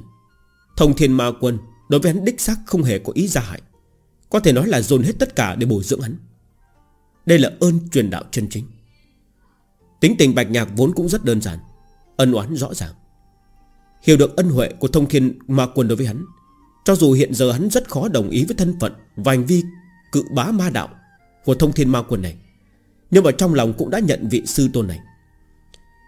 Lại đứng dậy Đi đến trước động phủ. Khi bạch nhạc vươn tay mở cửa lớn, Linh phủ thuộc về thông thiên ma quân Đã triệt để thu điểm. Lúc này bạch nhạc không còn là truyền nhân của thông thiên ma quân, Mà chính là đệ tử chân truyền linh tê kiếm tông, Thiên kiêu bạch nhạc thành tựu tử phủ một tay ấn kiếm, Trong một bước, Bạch nhạc bước thẳng lên không trung, Hoa tím mở ra, Kiếm ý ngút trời bái kiến Bạch Sư Huynh. Cơ hồ là ngay lúc Bạch Nhạc từ trong động phủ đi ra, Các đệ tử Linh Tê Kiếm Tông trên Thiên Tâm Phong liền tự phát mà bái. Nếu nói lúc trước vẫn khó khiến cho bọn họ Sinh ra lực ngưng tụ lớn như vậy, Hôm nay những đệ tử đạo Lăng Thiên Tông này vừa tới, Lại triệt để ngưng tụ Bọn họ thành một sợi dây. Một ngày này, Sự tức tối phải chịu trên người những đệ tử đạo Lăng Thiên Tông Giống như đều triệt để bạo phát ra Khi Bạch Nhạc thành tựu tử phổ đại tử đạo Lăng Thiên Tông ngươi Không phải kiêu ngạo lắm sao? Vậy cho người biết, Tuy linh tê kiếm tông tay nhỏ, Nhưng mà cũng không phải là không có người. Có thể nói Bạch Nhạc thành tựu tử phù, Vừa hay Kẹt ở trên đầu gió, Có được sự tán thành của những đại tử này, Tất nhiên cũng chính là chuyện trong tình lý. Đương nhiên, Một màn này lọt vào trong mắt Văn Trạch Và đệ tử đạo Lăng Thiên Tông Lại giống như là ăn một cái tát vậy. Người chính là Bạch Nhạc à? Ngẩng đầu lên. Văn Trạch vẫn là tư thái Từ trên cao nhìn xuống. Không ngờ loại môn phái nhỏ như linh tê kiếm tông Mà cũng có người có thể thành tựu tử phổ, Không uổng công thánh nữ đánh giá cao người. Vốn Bạch Nhạc vẫn có chút kỳ quái, Sao có nhiều đệ tử như vậy ở trên thiên tâm phòng Nghe thấy lời nói của Văn Trạch, Đầu óc xoay chuyển, Lập tức hiểu ra. Đạo Lăng Thiên Tông. Nghĩ đến thân phận của đối phương, Trong lòng Bạch Nhạc cũng không khỏi có chút phức tạp. Những người này chính là đồng môn của Vân Mộng Trần. Ánh mắt rơi xuống trên người Văn Trạch. Thế bộ dạng kiêu căng đó của đối phương. Lúc này Bạch Nhạc mới thực sự tỉnh lại. Đây là đối phương muốn bày ra dáng vẻ kiêu ngạo của Thiên Tông. Khóe miệng hiện lên một tia châm trọng. Bạch Nhạc thản nhiên mở miệng nói. Xem ra ngươi là thiên kiêu của đạo lăng thiên tông. Không sai. Ta văn trạch. Người có thể gọi ta là văn sư huynh. Ngạo nghễ gật đầu. Văn trạch thuận miệng nói. Chỉ là trên mặt lại khó tránh khỏi lộ ra một tia hài lòng. Thiên kiêu, Hai chữ này dùng hay. Chỉ là văn trạch thế nào cũng không ngờ được. Bạch nhạc một giây trước còn nhìn thì rất thức thời. Chỉ chớp mắt lại trở mặt. Cấm địa thiên tâm phòng. Cho dù đệ tử của bản tông Không được gọi thì không thể tự tiện tiến vào. Văn sư huynh vốn là khách, Nhưng mà cũng không có đạo lý Nào lại đi loạn trong nhà chủ nhân. Chẳng lẽ đạo lăng thiên tông không dạy ngươi Lẽ số làm người sao? Những lời này vừa được nói, Toàn trường lập tức trở nên tĩnh mịch. Cho dù là đệ tử Linh Tê Kiếm Tông Muốn bạch nhạc tranh một hơi cho bọn họ, Cũng không khỏi hít một hơi khí lạnh. Đây không phải là vấn đề hà lòng hà giả. Đây là bạch nhạc đang tắt thầm ở mặt. Một chút thể diện cũng không để lại cho đối phương. Lời này tất nhiên là hà giận. Nhưng Tiếp theo kết thúc như thế nào đây? Sắc mặt xanh mét. Văn Trạch trầm trọng mở miệng nói. Đừng có hồ ngôn loạn ngữ. Chúng ta lên thiên tâm phong. Chính là từ trưởng lão của quý tông tự mình dẫn lên. Sao lại là tự tiện xâm nhập? Cho dù trên thực tế, Hắn chính là không để ý tới từ phong, Mà tự tiện xông vào. Nhưng một lúc này úp nồi cho từ phong, Hắn lại không có chút chứng ngại tâm lý nào cả. Đệ tử phía dưới có thể không biết nặng nhẹ. Nhưng mà hắn không tin vị trưởng lão từ phong này Cũng dám chờ mặt với hắn. Nực cười. Thiên tâm phong nhất mạnh Chính là truyền thừa của kiếm tổ. Bạch mỗ nhập chủ thiên tâm phong. Cho dù là trưởng lão của bản tông, Cũng không có tư cách không mời mà vào. Càng đừng có nói là dẫn người tới. Căn bản không cho từ phong cơ hội lên tiếng. Bạch nhạc mở miệng cắt lời. Đệ tử Linh Tê Kiếm Tông tự tiện xâm nhập thiên tâm phòng còn không tới chấp pháp điện lĩnh phạt Căn bản cũng không tranh cãi văn trạch. Bạch nhạc quay sang đệ tử khác Lạnh lùng mở miệng. Đệ tử nguyện ý trách phạt. Hơi ngẩn ra, Lập tức dừng nghiền đứng không người, Đầu tiên nhận tội. Có người dẫn đầu rồi. Các đệ tử khác cũng lập tức phản ứng, Đồng thời không người nhận tội. Nhìn chằm chằm bạch nhạc, Văn trạch cơ hồ là tức nổ phổi. Đây là đang làm cái gì vậy? Dụ dỗ những đệ tử này đi nhận tội. Dùng cái này để chào phúng ta không hiểu lễ số sao? Ngoài cười, Nhưng mà trong không cười nhìn bạch nhạc. Văn trạch lạnh lùng nói. Bạch nhạc, Chẳng lẽ thành tựu tử phù Lại khiến cho người mắt để trên đỉnh đầu? Ngay cả đạo lăng thiên tông ta cũng dám xem thường sao? Mắt không chấp một cái, Bạch nhạc lập tức cười lạnh. Xin hỏi các hạ là người nào của đạo lăng thiên tông? Thân phận sói vân tiên tử thì ai cao hơn? Lời người nói để đại biểu cho đạo lăng thiên tông sao? Câu này lập tức khiến cho Văn Trạch nghẹn cả nửa ngày, Không nói ra lời. Đại biểu cho đạo Lăng Thiên Tông. Hắn chỉ là một đệ tử nội môn bình thường. Nếu không phải là có thân phận đệ tử Của tử Dương Trần Nhân, Ném vào trong đạo Lăng Thiên Tông, Căn bản chính là không để được chú ý. Sao dám nó có thể đại biểu cho đạo Lăng Thiên Tông? Không chờ Văn Trạch trả lời, Bạch Nhạc tiếp tục nói. Nói đến xem thường Ta lại muốn hỏi một câu. Người há miệng ngậm miệng nói Linh Tê Kiếm Tông ta là môn phái nhỏ Chẳng lẽ là xem thường Linh Tê Kiếm Tông ta sao? Loại cách nói xem thường Linh Tê Kiếm Tông này, Trong lòng mọi người biết rõ, Nhưng mà lại cố tình, Không thể nói ra miệng. Đạo lý rất đơn giản. Đạo Lăng Thiên Tông là thiên tông số một của chính đạo, Lãnh tụ quần luân. Thực lực tất nhiên là rất mạnh. Nhưng mà để củng cố địa vị siêu nhân của mình, Vẫn phải bày ra thái độ đối xử bình đẳng. Ơn uy cũng thực thi Mới có thể khiến cho thiên hạ quy tâm. Lôi một bước mà nói Cho dù là thực sự muốn mở, trở mặt với Linh Tê Kiếm Tông Vậy cũng không phải là một đệ tử nội môn như hắn Có khả năng quyết định. Lần này căn bản là không thể tiếp. Có điều văn trạch trung quy cũng không ngốc Lập tức cũng bắt được lỗi trong lời nói của Bạch Nhạc. Không sai Ta đích xác không thể đại biểu cho đạo Lăng Thiên Tông Nhưng mà chả lẽ người có thể đại biểu cho Linh Tê Kiếm Tông sao?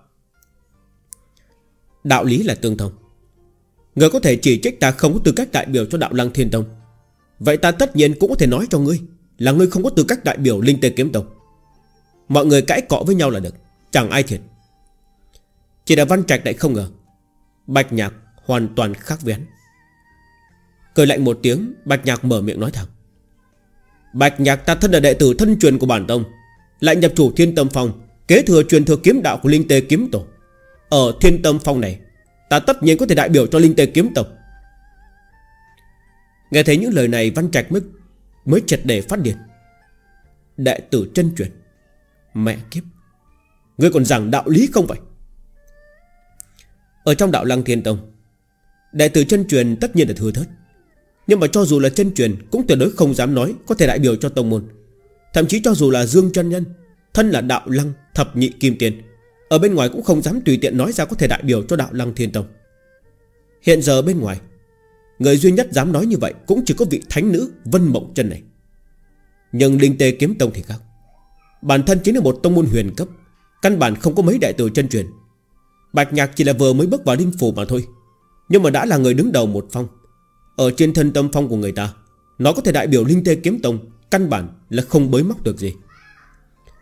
Loại tông môn nhỏ này ở trên loại vấn đề này, Căn bản không có quá nhiều quy củ. Đây căn bản chính là không nói đạo lý. Nhưng mà lại không nói được gì. Một hơi ức nghẹn. Thiếu chút nữa thì tức tương ngất xỉu. Đi! Cố nhịn cục tức. Văn Trạch hậm hực mở miệng nói. Lập tức xoay người, Đi xuống dưới núi. Dân sư huynh Thầy ta tiễn văn sư huynh Người ta không hiểu quy củ. Chúng ta lại không thể cũng mất lễ số. Nhìn bóng lưng của Văn Trạch, Bạch Nhạc lại khoan thai bổ thêm một đao Đột nhiên nghe thấy những lời này, Văn Trạch thiếu chút nữa thì ngã nhào, Quay đầu lại nhìn. Ngay cả tâm chém chết Bạch Nhạc cũng có. Bạch Nhạc, Người có dám súng đánh với ta một trận không? Dưới cơn xấu hổ và giận dữ, Văn Trạch đột nhiên rút kiếm, Lạnh lùng mở miệng nói. Tranh miệng lưỡi vô ích, Nếu là nam nhân thì đánh với ta một trận. Nếu người thua. Quỳ xuống dập đầu nhận sai. Dâng cung bạt kiếm. Một câu này lại lập tức khiến cho tất cả đám người trở nên khẩn trương. Ai cũng không ngờ được, Văn Trạch lại đột nhiên rút kiếm khiêu chiến Bạch Nhạc. Cho dù những đệ tử nhìn Văn Trạch Bị tắt mặt mà ồn ào, Lúc này trong lòng cũng không khỏi giật thoát Đây không phải là tỷ thí trong tông môn bình thường. Bất kể thắng bại, Chỉ cần động thủ, Tính chất sẽ thay đổi. Trong nhất thời, Ánh mắt mọi người không khỏi đều rơi xuống trên người của Bạch Nhạc. Lúc trước Bạch Nhạc nói trên thiên tâm phong, Hắn có thể đại biểu Linh Tê Kiếm Tông. Lời này lúc ấy nói ra tất nhiên là để chút giận tắt mặt, Nhưng mà trên thực tế Cũng là để đưa hắn lên, Dẫn tới hiện tại thậm chí từ phong Cũng không thể mở miệng ngăn cản. Người đã muốn dùng địa vị này để chống đỡ mặt mũi, Tất nhiên cũng phải gánh vác trách nhiệm tương đương. Mắt hơi nhau lại, Nhìn Văn Trạch, Bạch Nhạc khẽ nhớn mày, thản nhiên hỏi. Xin hỏi Văn Sư Huynh, Bước vào linh phủ bao lâu? 6 năm. Sắc mặt có chút khó coi. Văn Trạch tức giận trả lời. 6 năm.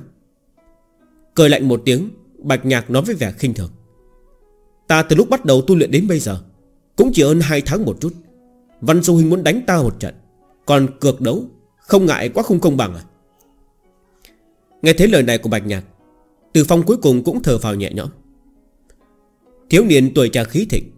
Hắn đúng là sợ Bạch Nhạc máu nóng sọc lên đầu, Trực tiếp đáp ứng sự khiêu chiến của Văn Trạch. Đừng nhìn Bạch Nhạc thành tựu tử phổ Nhưng trên thực tế, Sợ rằng vẫn chưa thể thực sự nắm giữ lực lượng của Linh Phủ. Nhưng mà Văn Trạch đã bước vào Linh Phủ nhiều năm, Chẳng những cũng là tử phủ Hơn nữa, Dựa vào tài nguyên truyền thừa công pháp của đạo Lăng Thiên Tông, Có được, Quả thực là khó có thể tưởng tượng. Đều là Linh Phủ cảnh, Nhưng mà trên thực tế cho dù bản thân Từ Phong Cũng không dám nói có thể thắng dễ dàng Văn Trạch Người yên tâm, Ta sẽ áp chế lực lượng, Sẽ không chiếm nửa tiện nghi của người Liếc bạch nhạc một cái, Văn Trạch nói với vẻ khinh thường. Nếu như vậy Thì tỷ thí có ý nghĩa gì? Khẽ lắc đầu, bạch nhạc lạnh lùng đáp. Chúng ta tu hành, Chính là để chống lại ma đạo, Giúp đỡ chính đạo. Chả đã khi giao thủ với yêu nhân ma đạo, Cũng muốn bắt đối phương áp chế lực lượng à? Ngẩng đầu lên. Bạch nhạc ngạo nghễ mở miệng nói, Hiện giờ côn ngô kiếm chưa tìm về. Yêu nhân ma đạo tàn sát bừa bãi ở hậu sơn. Chúng ta nên nỗ lực tu hành đối kháng yêu nhân ma đạo mới đúng. Đạo lăng thiên tông chính là niềm hy vọng của chính đạo. Linh tề kiếm tông ta chỉ là một tông môn nhỏ huyền cấp. Nhưng mà cho dù là người trong tông môn nhỏ như chúng ta, Cũng hiểu được lúc này Phải lấy đại nghĩa làm đầu. Làm sao có thể vì một chút tranh miệng lưỡi Mà ra tay đánh nhau? Khiến yêu nhân ma đạo chê cười à? Văn sư huynh nếu thực sự muốn tỉ thí Chúng ta cứ tỉ thí Ai à, có thể chạm sát nhiều yêu nhân ba đạo hơn, Tìm về côn ngô kiếm cho Vân Tiên Tử. Dừng lại một chút, Bạch Nhạc Chính nghĩa ngôn tử nói, Nếu Văn Sư Huỳnh có thể tìm về côn ngô kiếm, Ta cho dù phải quỳ xuống dập đầu bồi tội với người, Cũng cam tâm tình nguyện. Lập tức bất kể là Văn Trạch hay là đệ tử khác của đạo Lăng Thiên Đông Lúc này đều không khỏi bị Bạch Nhạc Nói cho trận mắt háo mồm. Tìm về côn ngô kiếm Bản thân chính là chuyện đạo Lăng Thiên Tông. Sao giống như là người người ngoài Bạch Nhạc có thể đề bụng hơn bọn họ? Một khi những lời này truyền tới tai Vân Mộng Trần, Bảo bọn họ biết để mặt mũi vào đâu Khác với bọn họ, Đệ tử Linh tây Kiếm Tông biết nội tình lúc trước, Động nghị khiêu chiến Bạch Nhạc, Không biết hiện tại đang thầm xem thường thế nào. Lại là trò này. Lúc trước chính là đấu pháp với động nghị như vậy, Hiện giờ lại lấy ra đấu pháp với đệ tử Đạo Lăng Thiên Tông. Chiêu này đúng là lần nào cũng chuẩn. Chỉ là quá mất mặt rồi. Cái gì mà tìm về côn ngô kiếm? Hiện giờ tử dương chân nhân đã đến rồi. Cho dù có thể tìm về côn ngô kiếm, Đó cũng là chuyện mà tử dương chân nhân và vân tiên tử, Bọn họ sao có thể nhúng tay vào được chứ? Nói thì quang minh chính đại đấy, Nhưng mà trên thực tế lại chẳng có tác dụng dám gì, Chỉ là nói xuông Đương nhiên, Trong lòng biết là một chuyện, Có thể nói ra chính là một chuyện khác. Mặt văn trạch hết tái xanh lại trắng. Cuối cùng vẫn là một câu Không nói ra được. Chỉ có thể Oán hận thu kiếm, Xám xịt đi xuống phía dưới núi. Cho tới khi nhìn thấy đoàn người văn trạch đã rời khỏi thiên tâm phòng, Các đệ tử linh tê kiếm tông Mới không nhịn được phát ra tiếng hoàn hồ Từ một đệ tử chân truyền lúc trước Ai cũng xem thường, Cho tới bây giờ được mọi người hướng tới, Thậm chí thành giành xu thế vượt qua hai đệ tử chân truyền Lý Tử Vân và Khổng Tử. Bạch Nhạc chỉ dùng có hơn một tháng thời gian. Đối với đệ tử Linh Tê Kiếm Tông mà nói sự tồn tại của Bạch Nhạc Bản thân chính là một truyền kỳ. Người giỏi lắm, Rất giỏi. Nhìn Bạch Nhạc, Từ phong lòng đầy vui mừng. Vỗ vai Bạch Nhạc, nhẹ giọng khen. Đệ tử không dám, May mắn gặp dịp. Cả gan đi quá giới hạn, Xin từ trưởng lão thứ tội. Quay lại trước mặt Từ Phong, Bạch Nhạc đã biến thành một thiếu niên nhu thuận nghe lời. Không nhìn ra một chút phong mặt Trong tông môn từ Phong một mực đối đãi không tồi với Bạch Nhạc. Bất kể là lúc trước, Giúp hắn phân phối biệt viện, hay là giúp hắn tranh thủ thân phận đệ tử chân truyền, Thậm chí cho tới trận đánh trong sơn cốc. Dùng thân thể trọng thương ngăn cản âm dương quỷ đồng, Những cái này đối với Bạch Nhạc mà nói, Đều là ân tình. Cho nên cho dù thành tựu tử phù, Lại nhập chủ thiên tâm phong, Thân phận dường như là không thấp hơn tử phong là bao nhiêu. Bạch Nhạc cũng vẫn không có chút kiêu căng. Đi nghỉ ngơi đi. Tử Dương chân nhân truyền lời. Sáng sớm ngày mai lại vào núi. Người đã xuất quan. Vậy thì cùng đi đi. Gật đầu, Từ Phong nhẹ giọng phân phó. Phong Xoay người lại, Từ Phong xua tay, Bay thẳng xuống dưới núi. Được rồi, Đều giải tán đi. Tuy đã chút được giận, Nhưng mà việc nên ăn bài Thì anh vẫn phải tiếp tục ăn bài. Không thể thực sự gạt những đệ tử đạo lăng thiên tông này sang một bên. Đệ tử tuân mệnh. Một đám đệ tử lập tức không người lĩnh mệnh.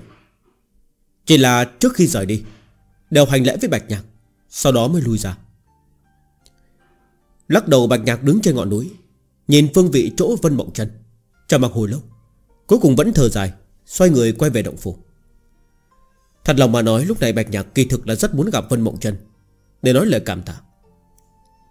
Nếu không phải có trái linh khư quả đó, Chỉ sợ hắn rất có khả năng đã chết rồi. Căn bản không thể vượt qua một đạo tử quan này.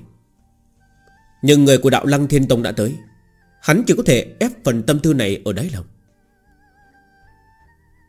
Vào lúc thế này, Khiến người ngoài phát hiện sự khác thường trong quan hệ của hắn và Vân Mộng Trần, Chỉ sợ tuyệt đối không phải là chuyện tốt. Điểm này Bạch Nhạc biết rõ trong lòng. Lúc trước khi còn chưa hiểu gì, Dám nói đuổi kịp bước chân của Vân Mộng Trần, Đó là nghe con mới sinh không sợ hổ. Nhưng mà trải qua nhiều chuyện như vậy theo thực lực đề thăng, Bạch Nhạc càng lúc càng có thể cảm nhận được sự chênh lệch giữa mình và Vân Mộng Trần. Đây mới là đường dài mênh mông. Đương nhiên, Cho dù gian nan, Nhưng mà trong lòng Bạch Nhạc vẫn tràn đầy tự tin. Đúng như Thông Thiên Ma Quân nói, Hắn đã trải sẵn một thông thiên đại đạo cho Bạch Nhạc. Về phần có thể đi được bao nhiêu xa, Tất nhiên Cũng chỉ có thể dựa vào bản thân của Bạch Nhạc. Đường, Trung Quy vẫn phải tự mình mà đi. Ban đêm, Mọi âm thanh đều dừng lại. Một đạo thân ảnh nặng lẽ xuất hiện trước sơn môn của Linh Tê Kiếm Tông.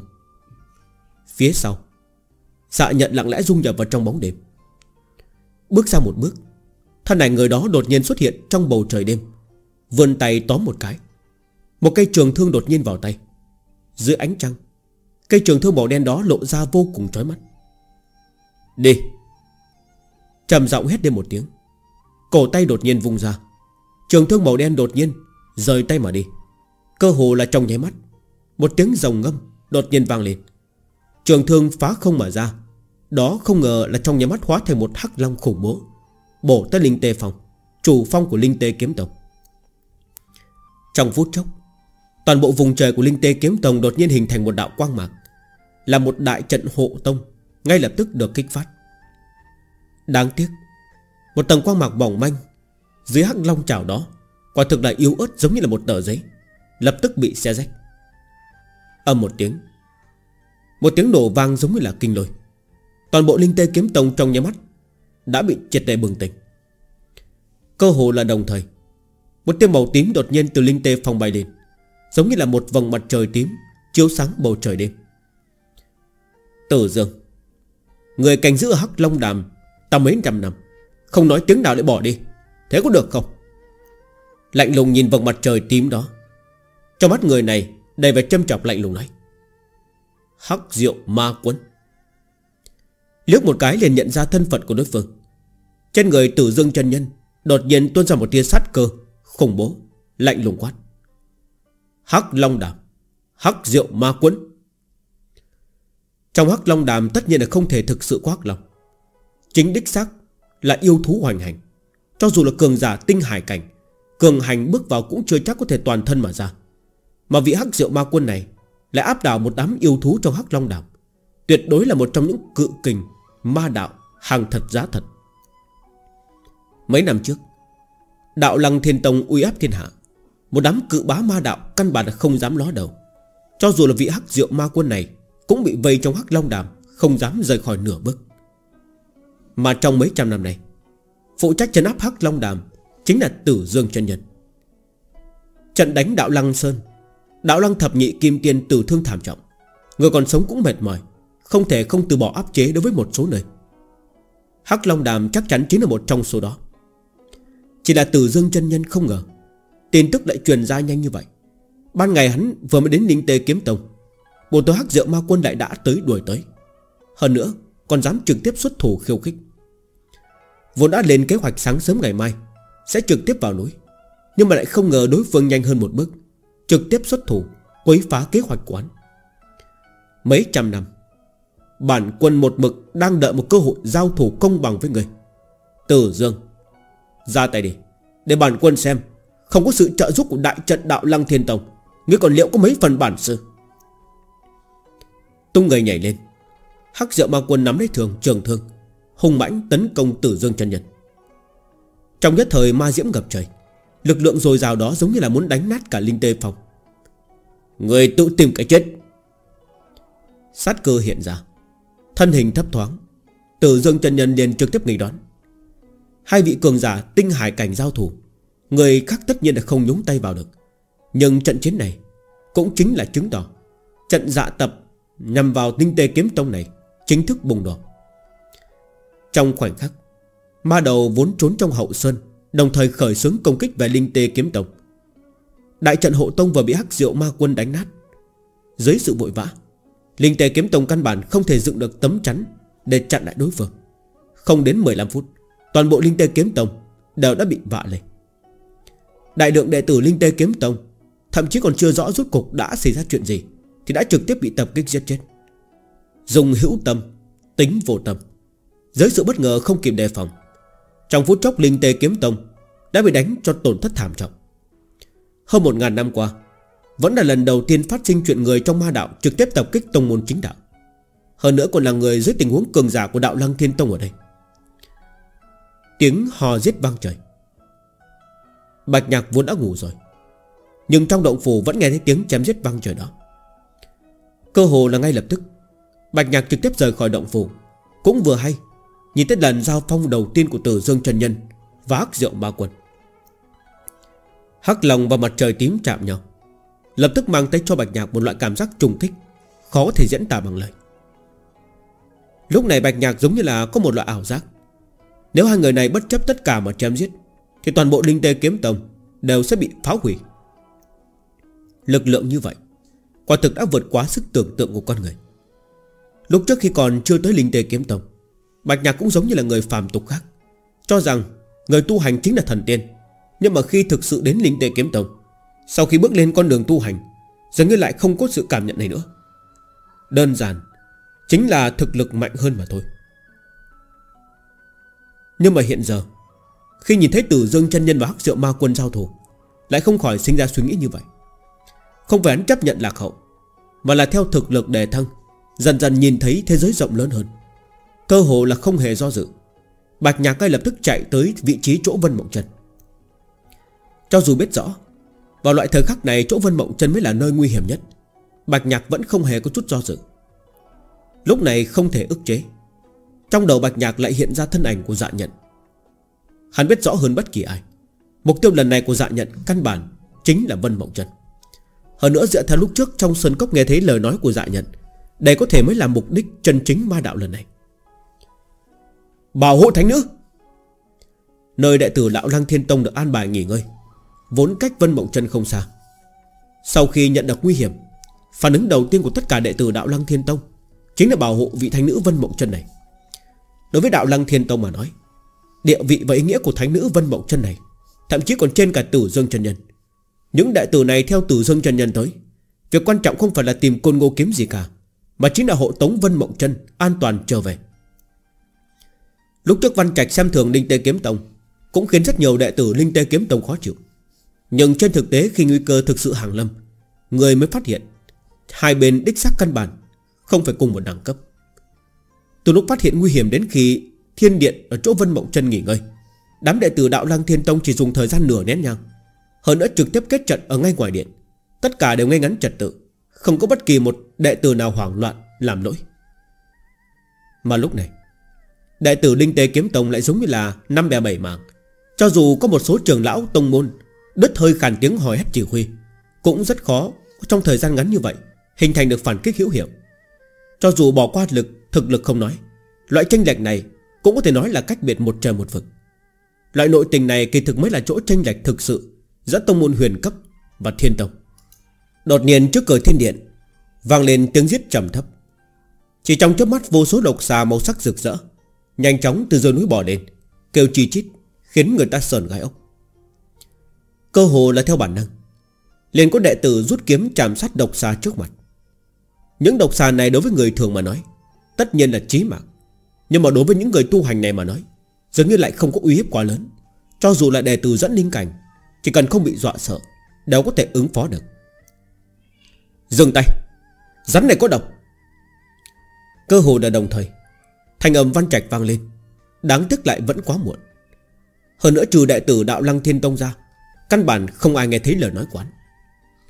Một số đệ tử linh tê kiếm tông, Tức thì bị dọa cho ngây đơ, Giống như là nổi điên, Đâm chém đồng tùng Giống như là muốn chạm sát toàn bộ những độc xà này. Nhưng mà trong nhà mắt giết chết độc xà trước mặt, Những độc xà bị chặt đứt thân thể Lại đột nhiên nổ tung, Hình thành xương độc Năm màu bao phủ tới. Đại tử vừa rồi còn giết hắn rắn hăng say. Ở dưới trước xương một độc này, Cơ hồ là ngay cả một chút năng lực chống cự cũng không có. Lập tức, tắc thở mà ngã xuống đất. Đáng sợ hơn là, Độc xà phía sau căn bản không bận tâm tới đồng bạn bị giết. Lại ùa lên, Nháy mắt đã bao phủ thi thể những đệ tử đó. Đã đến loại tình trạng này, Cho dù là người có ngốc từ mấy Cũng hiểu được, Những độc xà này có huyền cơ khác, Làm sao dám xuất thủ Chảm sát lung tung. Chỉ là, người không giết. Những độc xà này cũng sẽ không lùi. Chúng sẽ chỉ lao lên người của ngươi, Càng hăng say hơn. Đừng sợ. Dùng linh lực bọc lấy vỏ kiếm, Đánh ngược chúng trở về. Đây là ngũ thải độc xà của Hắc Long Đàm. Bản thân bọn chúng đã bị dọc độc tính ăn mòn, Căn bản không sống được bao lâu nữa. Chỉ cần vượt qua được một tốt thế tấn công này, Trận xà sẽ tự sụp đổ. Bước ra một bước, Dẫn đầu đứng ở trước nhất. Linh khí trong cơ thể trào ra, Vẫy tay. Chính là mấy chục độc xà bị Văn Trạch đánh bại. Thân là đệ tử của Tử Dương Trần Nhân, Bản thân Văn Trạch từng lịch luyện ở Hắc Long Đàm, Kinh nghiệm tất nhiên là phong phú hơn nhiều, Lập tức nhận ra lai lịch. Có Văn Trạch làm gương, đệ tử khác của đạo Lăng Thiên Tông cũng học theo. Tuy không tránh được sẽ có chút tay chân luống cuống, Nhưng mà dẫu sao, Thực lực cũng sờ sờ ra đó. Tất nhiên, rất nhanh, Một tốp rắn này đã bị đẩy về. Chỉ là đệ tử Linh Tê Kiếm Tông không có vận khí tốt như vậy. Cho dù là một số đệ tử thính tai, Nghe thấy lời nói của Văn Trạch, Cũng chỉ có thể tự mình làm theo, Chứ không thể gọi đồng bạn liên thủ. Nhiều độc xà như vậy, Làm sao một người có thể cản được chứ? Trong chốc lát, Lại bị độc xà cắn chết. Chỉ trong 15 phút ngắn ngủi, Trên ngọn núi chỗ thiên điện của Vân Mộng Trần, xác chết khắp nơi, Lại không nhìn thấy một đệ tử của Linh Tê Kiếm Tông. Đám nhãi con của đạo Lăng Tiên Tông Quả như có vài phần môn đạo. Thậm chí và không đợi Văn Trạch thở một hơi. Tiếng cười nham hiểm đó Theo đó vang lên. Trong nháy mắt, Hơn 10 thân ảnh xuất hiện trước thiên điện.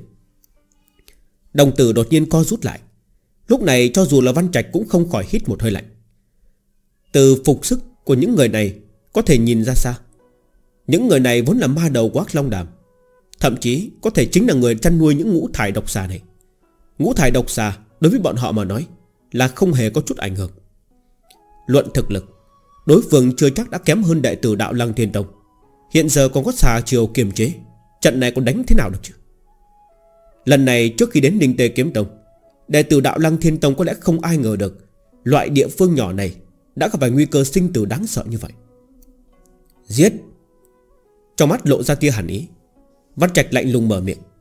Cho dù chiến tới người cuối cùng, Cũng không thể để bọn họ quấy giày thánh nữ. Lập tức những đại tử đạo Lăng Thiên Tông Chiến ý ngút trời. Cho dù bọn họ có nhiều người, Lại không rõ vì sao đến tình trạng này rồi. Thánh nữ trong thiên điện vẫn không xuất thủ. Nhưng Điều thế cũng không làm ảnh hưởng tới dũng khí và phán đoán của bọn họ. Bản thân thánh nữ chính là người có thân phận tôn quý nhất đạo Lăng Thiên Tông. Bảo hộ thánh nữ Có thể nói là trách nhiệm của mỗi đệ tử đạo Lăng Thiên Tông. Trong phút chốc, Cùng với xà chiều lại trùng kích, Những ma đầu quát long đàm này Cũng theo đó giết tới. Lập tức chính là giao sắc chạm nhau. Không ai nhượng bộ ai. Trong phút chốc, Bắt đầu chém giết thảm thiết nhất. Lần này đệ tử đạo Lăng Thiên Tông tới đây, Tổng cộng cũng chỉ có hơn 10 người. Dưới sự chém giết thảm thiết như vậy, Cơ hồ qua một lúc, Sẽ có người chết đi. Mà đồng bạn thậm chí ngay cả thời gian bi thương cũng không có, Nhất định phải lập tức đào lên, Tiếp tục cuộc chém giết tàn khốc này. Trong thiên điện, Vân Mộng Trần đứng trước cửa điện, Xuyên qua kẽ hở, Ở trên cửa, Nhìn thấy rõ ràng tất cả. Mặt trầm như nước Tay Vân Mộng Trần trong tay áo, Nắm chặt lại. Ngón tay xếp tới trắng bệnh, Nhưng mà cuối cùng vẫn không nói gì. Sinh tử của đại tử Linh Tê Kiếm Tông, Nàng ta có thể không bận tâm. Nhưng mà những đại tử đồng môn biết rõ là nguy hiểm, Lại vẫn dùng tính mạng để ngăn cản đối phương. Có thể nói là toàn bộ đều là vì nàng mà chết. Làm sao không khiến nàng ta đau lòng chứ? Nàng ta muốn giết những người ma đạo này hơn bất kỳ ai. Đương nhiên với thực lực của nàng, Cũng có thể dễ dàng làm được điểm này. Bất kể là những ma đầu quát long đàm Hay cái gọi là xà triều, Đều căn bản không cản được nàng ta. Nhưng mà nàng lại biết rõ, Nàng ta căn bản không thể ra tay. Những người này Vẫn là đối phương cố ý Phải tới chịu chết, Mục đích chính là dẫn dụ nàng ta xuất thủ. Theo sự xuất hiện quắc rượu diệu ma quân, Người trong ma đạo ở nơi này Không còn là năm bè bảy mảng nữa, Mà là bị cường hành trình hợp lại thành một trình thể. Mục đích chính là giết chết nàng ta. Sự đáng sợ của dạ nhận Nàng ta biết rõ hơn bất kỳ ai. Dưới tình huống không có cồn ngô kiếm, Cho dù là giao phong chính điện, Nàng ta cũng chưa chắc đã có thể thủ thắng. Nếu để dạ nhận nắm lấy cơ hội đánh đến đắc thủ Chính đã chắc chắn sẽ phải chết. Thân là thánh nữ của đạo lăng thiên tông, Vân Bộng Trần biết rõ hơn bất cứ ai. Một khi mình vẫn lạc trong tay những người của ma đạo này, Sẽ dẫn phát hậu quả đáng sợ như thế nào? Nàng ta phải sống, Cho dù là phải trả giá bằng nhiều nhân mạng. Vân Mộng Trần Ngươi còn muốn trốn tới khi nào? Lần trước để ngươi chạy thoát, Lần này ngươi còn có thể trốn đi đâu? Trong kịch chiến, Tiếng ma khóc vang lên. Thân ảnh âm dương quỷ đồng theo đó trực tiếp xuất hiện trên thiên điện Âm trầm lên tiếng chào phúng. Bọn văn trạch này, Sợ nó bị xà chiều vào người của Hắc Long Đàm, Khiến cho mệt dã rồi Căn bản không dành càn âm dương quỷ đồng. Nhất thời sắc mặt tất cả mọi người đều trở nên vô cùng khó coi. Sát cục này phối hợp rất nhịp nhàng. Mỗi bước đều đang bước vân mộng chân xuất thủ. Cho dù là một số người phản ứng trì trệ, Lúc này cũng đều hiểu được mấy phần. Tất cả sự chuẩn bị của đối phương Đều đã để ép vân mộng trần xuất thủ. Như vậy một khi đi tới khoảnh khắc đó, Tất nhiên Chính là thời khắc phát động sát chiêu khủng bố nhất. Nhưng lúc này bất kể ai cũng không có biện pháp ngăn cản. Hít sâu một hơi, Đột nhiên đẩy ra cửa điện. Trong mắt Vân Mộng Trần lộ ra một tia hàn ý, Cất bước đi ra, Lạnh lùng nhìn âm dương quỷ đồng, Lại vẫn không nói gì. Đến mức này Bản thân Vân Mộng Trần cũng minh bạch. Mình đã không tránh được. Điều duy nhất có thể làm chính là đề thăng cảnh giác tới cao nhất, Chờ một kích lô đình của dạ nhận. Âm dương quỷ đồng. Đồ từ đồ tôn ngươi đều chết sạch rồi. Lần này cũng tới lật người chứ. Ngay khi Vân Mộng Trần Đã bị bức phải xuất thủ, Một tia màu tím đột nhiên từ trên trời rơi xuống, Hóa thành một tia kiếm quang rực rỡ, Rơi thẳng xuống trước người Vân Mộng Trần. Áo xanh đè kiếm, Từ khí ngút trời.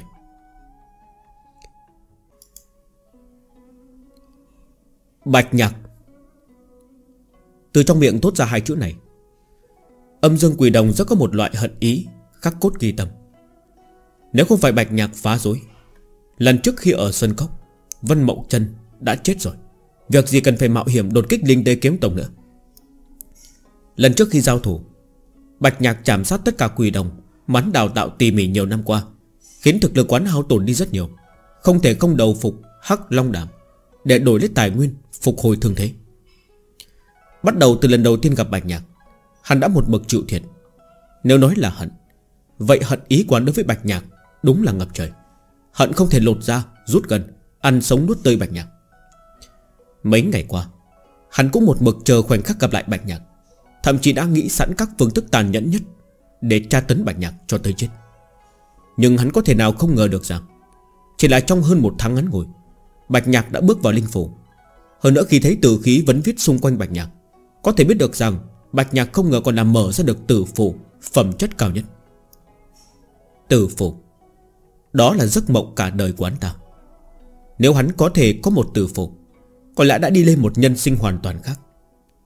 Nghĩ tới đây, Hận ý của âm dương quỷ đồng Càng điên cuồng hơn mấy phần. Tiểu xúc sinh, Quỷ gia nhất định sẽ cắt từng tấc xương cốt của ngươi. Ăn sống nuốt tươi ngươi. Trên thực tế, Bạch Nhạc đột nhiên xuất hiện ở đây. Không chỉ có một mình âm dương quỷ đồng bất ngờ. Cho dù là Văn Trạch và đệ tử của đạo Lăng Thiên Tông Cũng không khỏi giật mình. Nói một cách không hề khoa trương, Hiện giờ tuy Linh Tê Kiếm Tông nhìn thì đã loạn thành một đống. Nhưng mà trên thực tế, Bằng vào thực lực và thân phận của Bạch Nhạc, Chỉ cần trốn trên thiên tâm phòng Hoặc là đi tìm trưởng lão của Linh Tê Kiếm Tông che chở, Vẫn thoải mái giữ được tính mạng. Nhưng chỉ độc có nơi này là nguy hiểm nhất. Hơi vô ý một chút Là có nguy cơ, Là nguy hiểm tới tính mạng. Bọn họ là đệ tử của đạo Lăng Thiên Tông. Vì bảo hộ Vân Mộng chân Nên không thể không đến. Nhưng Bạch Nhạc dường như là cũng Không cần thiết phải bị cuốn vào trong vũng nước đục này. Phải biết rằng lúc trước ở trên Thiên Tâm Phong, Bị Bạch Nhạc vào vào mặt, Văn Trạch đã có thể nhìn ra Bạch Nhạc không có bao nhiêu sự tôn trọng đối với đạo lăng thiên tông. Càng đừng nói tới Vì lấy lòng mà mạo hiểm cầu phú quý. Một mặt một thiên tài Đã mở từ phủ. Bất kể có đi đến đâu, Đều sẽ nhận được ưu đãi. Nhưng Bạch Nhạc lại vẫn tới. Hơn nữa còn là vào lúc bọn họ đã rơi vào yếu thế, Rất có thể là không sống được bao lâu nữa. Dường như đoán được tâm tư của bọn Văn Trạch, Bạch Nhạc nhẹ giọng mở miệng nói, Văn Sư Huynh, Tuy giữa chúng ta từng có một chút không thoải mái, Nhưng bảo Vân Tiên Tử có ơn lớn với ta. Ta có thể có như hôm nay, Có thể nói là hoàn toàn Dựa vào sự thành toàn của Vân Tiên Tử. Cho dù là liều tính mạng này, Ta nhất định cũng phải bảo hộ Vân Tiên Tử được chu toàn. Hy vọng lúc này chúng ta có thể vứt bỏ khúc mắc xưa, Liên thủ ngăn địch. Những lời này kỳ thực nói thì cũng có chút dư thừa, Nhưng Bạch Nhạc lại không thể không nói. Thứ nhất, hắn phải dựa vào bọn Văn Trạch Để ngăn cản xà chiều Và người của Hắc Long Đàm. Còn phải khiến cho bọn Văn Trạch tin rằng Hắn nhất định sẽ tận lực bảo hộ Vân Mộng Trần. Mặt khác, hắn cũng phải mượn cái này để giải thích động cơ của mình. Nếu không, một đệ tử Linh Tê Kiếm Tông như ngươi, Bất chấp sinh tử chạy tới bảo hộ thánh nữ của đạo Lăng Thiên Tông, Khó tránh khỏi quá kỳ quái, Cũng sẽ khiến người ta nghĩ nhiều. Nhìn bạch nhạc, Vân Mộng Trần không biết vì sao lại có chút chua xót. Thân thể không hề cao hơn đó Là chắn trước người, Khiến cho nàng có một loại cảm nhận khác lạ. Đây không phải lần đầu tiên Bạch Nhạc chắn ở trước người của nàng ta. Cho dù luận thực lực, Cho dù là hiện tại Bạch Nhạc đã thành tựu tử phổ So với nàng thì vẫn còn cách biệt một trời một vực. Nhưng mà mỗi lần khi nàng ta gặp phải nguy cơ, Bạch Nhạc luôn có thể xuất hiện ở trước mặt nàng ta. Điều này khiến nàng ta tất nhiên nhớ tới Lời lúc trước của Bạch Nhạc từng nói. Xin để ta chết ở phía trước người. Đây không phải là lời ngon tiếng ngọt, Cũng không phải là hoa ngôn xảo ngữ Để lừa nữ nhân vui, Mà là một lời hứa. Một lời hứa Bạch Nhạc nguyện ý dùng sinh mệnh để thực hiện. Lời hứa như vậy, Bạch Nhạc như vậy. Làm sao có thể không khiến nàng ta cảm động? Được. Nghe thấy lời nói của Bạch Nhạc, Trong mắt Văn Trạch đột nhiên độ ra một tia tinh mang. Bạch Nhạc, Lần này nếu có thể sống sót, Văn mỗ nhất định kết giao bằng hữu với người. Xuất thần đạo lăng thiên tông, Lại là đệ tử của tử Dương chân Nhân, Văn Trạch tất nhiên rất kiêu ngạo, Thậm chí là kiêu ngạo Tôi có chút tự phụ. Thế nhưng không có nghĩa Văn Trạch chính là một tiểu nhân. Thậm chí hoàn toàn ngược lại. Có thể vào lúc Vân Mộng chân gặp nguy hiểm, Dẫn dắt đệ tử khác tới bảo vệ, Không ngại hy sinh ngăn cản người trong ma đạo, Phẩm tính của Văn Trạch Không thể kém hơn bất kỳ ai. Khi Bạch Nhạc nguyện ý vào loại thời khắc nguy cấp này, Mà tới tương trợ, Hắn thực sự đã công nhận Bạch Nhạc này. Chỉ là dưới cái loại tình huống này, Cũng không có thời gian để nói chuyện. Cơ hồ vừa mới quay đầu, Thế công của đối phương Đã lại giống như là thủy triều ập tới. Giết. Lập tức âm dương quỷ đồng cũng xuất thủ, Trực tiếp tóm tới Bạch Nhạc. Lúc trước tuy cũng từng giao thủ, Nhưng mà trên thực tế Bạch Nhạc Chỉ là ứng phó với quỷ quỷ đồng Đối phương phái ra. Nhưng mà lần này lại thực sự chính diện ứng phó với công kích của âm dương quỷ đồng. Tuy thân thể chỉ bằng một hài đồng, Nhưng một khi bàn tay vươn ra, Lại đón gió phóng to, Trong chớp mắt đã hóa thành một cự trường màu đen Hùng hăng vỗ xuống Bạch Nhạc. Lần này đối với Bạch Nhạc Âm dương quỷ đồng không còn một chút lòng khinh thường. Xuất thủ chính là toàn lực. Lực lượng của linh phù cảnh lập tức bùng nổ Ma khí quần quẩn, Giống như muốn một phát đánh chết Bạch Nhạc vậy. Không tránh không né Bạch Nhạc nhấn mày Cũng vẫn là một chiều đó. Linh tê nghênh khách.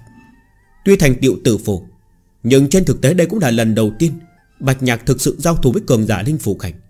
Bạch Nhạc cũng muốn thử lực lượng của mình Cũng xem cứng trọi cứng với âm dương quỷ đồng Sẽ còn có bao nhiêu tranh lệch. Âm một tiếng. Trong nhà mắt giao phòng, Bạch Nhạc đột nhiên lùi ba bước, Nhưng mà bàn tay đang đập xuống của âm dương quỷ đồng Cũng bị một kiếm đánh tàn. Tử phu! Nhìn chăm chăm Bạch Nhạc, Âm dương quỷ đồng hận tơ nghiến răng nghiến lợi. Nhìn từ ngoài mặt, Một kích này vẫn là hắn chiếm thượng phong. Bạch Nhạc dùng thế thủ, Còn hắn bị bước lùi Dường như là thực lực kém xa hắn, Nhưng mà phải biết rằng, Bạch Nhạc chỉ mơ vừa mới đột phá đến phủ cảnh. Mà âm dương quỷ đồng hắn lại bước vào linh phủ, Không dưới 10 năm. Nhưng dù cho vậy, Dưới tình huống đấy cứng trọi cứng, Bạch Nhạc cũng chỉ cần chút thiệt thòi nhỏ. Đây chính là tranh lệch tuyệt đối Trên phẩm chất linh phủ. Quỷ ra uy phong quá, Chẳng qua cũng thế mà thôi. Khóe miệng nở một nụ cười lạnh, Bạch Nhạc cầm kiếm bình tĩnh nói, Đến mà lại không phi lễ, Người cũng tiếp một kiếm của ta thử đi. Tiếp một kích này của âm dương quỷ đồng Trong lòng bạch nhạc cũng lập tức vững tâm hơn. Vì thành tựu tử phù, Hắn có thể nói là chịu hết đau khổ, Có thể nói là đạp quỷ môn quan Mà xông qua. Hiện tại xem ra, tất cả đều đáng. Lần này lại đối mặt với âm dương quỷ đồng, Bạch nhạc thực sự đã nổi lên sát cơ. Cho dù bỏ qua cục diện hiện giờ không nói, Hắn cũng muốn chạm sát âm dương quỷ đồng. Nghĩ đến những quỷ đồng từng bị mình chạm sát, Mỗi một con Đều từng là một hài tử ngây thơ vô tội. Bạch nhạc rất khó ức chế được Sát ý ở trong lòng. Người đã muốn chiến. Vậy thì chiến đi. Cô vân xuất tụ. Cùng là linh tế kiếm quyết. Cùng một chiêu kiếm. Nhưng mà cảnh giới khác nhau. Uy lực thi triển lại hoàn toàn khác nhau. Sau khi bước vào linh phủ cảnh, Linh tế kiếm quyết chẳng những là không lỗi thời, Ngược lại khiến cho Bạch Nhạc Lý giải sâu sắc hơn. Giống như từ lúc này trở đi Linh tế kiếm tông mới có thể thực sự thể hiện ra uy lực Mà nó nên có. Trên con đường tu hành này, Bước vào linh phủ Mới có nghĩa là thực sự bắt đầu. Trận chiến với âm dương quỷ đồng Đối với Bạch Nhạc mà nói Cũng rất quan trọng. Vừa mới bước vào linh phủ Bạch Nhạc vẫn cần thời gian nhất định Để thích ứng với lực lượng như vậy. Một đối thủ vừa sức, Tất nhiên Có thể gia tốc quá trình thích ứng này. Từ linh tề ngành khách đến trục tinh truy nguyệt Tám thức trước của đinh tê kiếm quyết, Được nhất chất thi triển trong tay của Bạch Nhạc. Toàn bộ quá trình, Quả thực giống như đang luyện kiếm vậy. Bất kể âm dương quỷ đồng công kích điên cuồng như thế nào, Cũng không thể cắt ngang được loại tiết tống này. Thi triển đi, thi triển lại. Khi Bạch Nhạc lặp đến lần lượt thứ tư, Trong lòng của âm dương quỷ đồng Đã sinh ra một tia sợ hãi, Khó có thể ức chế. Cho tới giờ phút này, Hắn mới chính thức ý thức được theo Bạch Nhạc thành tựu từ phủ Quan hệ thực lực giữa bọn họ Đã bị đảo ngược. Chỉ luận linh lực, Hắn tất nhiên vẫn mạnh hơn Bạch Nhạc không ít, Nhưng vấn đề là ở chỗ. Thắng bại của giao phong trên đời này Không chỉ linh lực mạnh yếu Là có thể quyết định. Nếu không, vậy cũng không cần đánh tới đánh đuôi Chỉ cần mọi người đứng đó so linh lực Ai mạnh hơn là được. Bản thân âm dương quỷ đồng chính là tu luyện tà đạo ma công, Chẳng những cực kỳ tàn nhẫn hơn nữa kỳ thực hiệu quả không tận ý người. Khi mở linh phủ, Cũng miễn cưỡng mở ra được một linh phủ Màu lam có tạp sắc. Thậm chí là quỷ đồng mà hắn ta tỉ mỉ đào tạo nhiều năm qua, Còn đều bị bạch nhạc Lúc trước giết sạch. Dưới lại tình huống này, Thực lực bản thân âm dương quỷ đồng Sẽ rất khó phát huy ra hoàn toàn. Nhưng bạch nhạc thì khác. Linh tề kiếm quyết chính là công pháp truyền thừa kiếm tổ lưu lại, Là huyền môn chính tộc. Phẩm chất của tử phủ lại ở trên trình độ lớn, Bù đắp tranh lệch trên cảnh giới giữa bạch nhạc Và âm dương quỷ đồng. Thế là chỉ cần bạch nhạc có thể chống đỡ được cung kích của âm dương quỷ đồng Cắn cân thắng lợi theo thời gian trôi qua, Tất nhiên là sẽ nghiêng về phía bạch nhạc. Ý thức được điểm này, Trong lòng của âm dương quỷ đồng lập tức bắt đầu sinh ra một tia điên cuồng. Nếu là trước kia, Nhìn thấy chuyện không thể làm, Hắn tất nhiên sẽ lựa chọn đào tàu Nhưng vấn đề là ở chỗ, Từ sau khi hắn gia nhập Hắc Long Đàm thì đã mất đi tự do. Dạ tập Linh Tế Kiếm Tông Là Hắc Diệu Ma Quân Tự mình hạ lệnh. Mục đích chính là hiệp trợ dạ nhận trảm sát Vân Mộng Trân Vào lúc này mà lùi bước, Về sau tất nhiên sẽ bị Hắc Long Đàm trách phạt, Khó có thể thoát khỏi cái chết. Chạy trốn, Tất nhiên là chỉ có đường chết. Nhưng mà nếu liều mạng, Có lẽ ngược lại có thể liều ra một đường sinh cơ. Nghĩ tới đây âm dương quỷ đồng, Làm sao còn dám do dự? Bạch nhạc tiểu xúc sinh. Đây là ngươi bức ta. Trên mặt lộ ra vẻ dữ tợn. Lập tức vô số quỷ ảnh Từ trong cơ thể âm dương quỷ đồng bay ra, Đột nhiên hóa thành bách quỷ dạ đề. Tiếng khóc đêm ác liệt mà thê thảm, Giống như là âm ma Đột nhiên vang vọng trên bầu trời đêm. Đây không phải là ảo giác. Mỗi một tiếng khóc đều vô cùng chân thật, Bởi vì đó vốn là tiếng kêu rên thống khổ ngày đêm, Bị tra tấn tế luyện Của vô số linh hồn hài đồng Mà âm dương quỷ đồng cắn nuốt. Từng hài tử thiên chân vô tả. Ở dưới loại tra tấn khủng bố này, Đã chỉ còn lại oán giận Và kiêu hận đối với thế giới. Và lúc này được âm dương quỷ đồng phóng thích ra, Hủy diệt và phá hoại, Đã trở thành bản năng duy nhất của bọn họ. Không phân địch ta, Công kích hung lệ nhất. Điên cuồng như vậy, Đối với âm dương quỷ đồng mà nói, Cũng là chuyện cực kỳ nguy hiểm. Thậm chí có thể nói, Một khi thi triển ra, Một môn ma công tu hành nhiều năm này, Sẽ theo đó mà phế bỏ, Còn muốn khôi phục lại không có 10 năm tiềm tu trở lên Và quá trình giết chóc đoạt hồn tàn nhẫn Thì căn bản là không thể hoàn thành. Nhưng đồng thời, Bởi vì sự điên cuồng này, Hiện tại âm dương quỷ đồng cũng trở nên cực kỳ đáng sợ. Lực lượng như vậy ngay cả bản thân hắn cũng không khống chế được. Một khi vô ý, Sẽ bùi cả bản thân mình vào, Chết dưới bách quỷ dạ đề này. Lập tức phía trước toàn bộ đại điện, Tất cả mọi người không khỏi biến sắc. Kết quả này đừng nói là bạch nhạc không ngờ tới. Ở đây có một tính một, Căn bản không ai ngờ được. Âm dương quỷ đồng. Tuy sơn này thanh danh không tốt, Nhưng mà dù sao cũng là ma đầu bước vào linh phủ cảnh nhiều năm. Cho dù là một số người trong ma đạo, Cũng chỉ có thể nghe nói tới sự tàn bạo quán, Chứ chưa từng được thực sự chứng kiến. Hiện giờ nghe thấy bách quỷ dạ đề này, Trong lòng cũng không khỏi đột nhiên co rụt lại. Cho dù là người trong ma đạo, Kỳ thực cũng rất khó chấp nhận công pháp tàn nhẫn như vậy. Huống chỉ bức âm dương quỷ đồng đến cái loại tuyệt cảnh này, Không ngờ còn chỉ là một tiểu tử Vừa bước vào linh phủ cảnh. Chuyện này quả thực là không thể tưởng tượng. Lúc này Tầm mắt mọi người đều không khỏi Rơi xuống trên người của Bạch Nhạc. Bất kể là Văn Trạch Và các đệ tử của đạo Lăng Thiên Tông Hay là người của Hắc Long Đàm, Đều không khỏi nhìn Bạch Nhạc thêm một cái. Công kích điên cuồng như vậy, Cho dù đổi lại là Văn Trạch, Chỉ sợ cũng rất khó ngăn cản sự trùng kích của Bách Quỷ. Một khi lâm vào sự cân nút của Bách Quỷ cho dù có kiếm đạo của Bạch Nhạc, Có khủng bố tới mấy, Chỉ sợ cũng vẫn khó thoát khỏi cái chết. Thậm chí cho dù là Vân Mộng Trân, Cũng không khỏi nắm lấy kiếm bên hồng Cho dù biết rõ Dạ nhận có thể đang ngay ở bên cạnh nàng, Đợi nàng ta phân tâm, Sẽ một kích phát động. Nhưng khi nhận thấy Bạch Nhạc gặp nguy hiểm, Vân Mộng Trần vẫn không áp chế được xung động, Muốn xuất thủ. Nhưng mà điều khiến người ta không ngờ tới là, Cho dù là ở dưới loại tuyệt cảnh này Bạch Nhạc vẫn không hề hoảng loạn, Càng đừng nói tới là sợ hãi.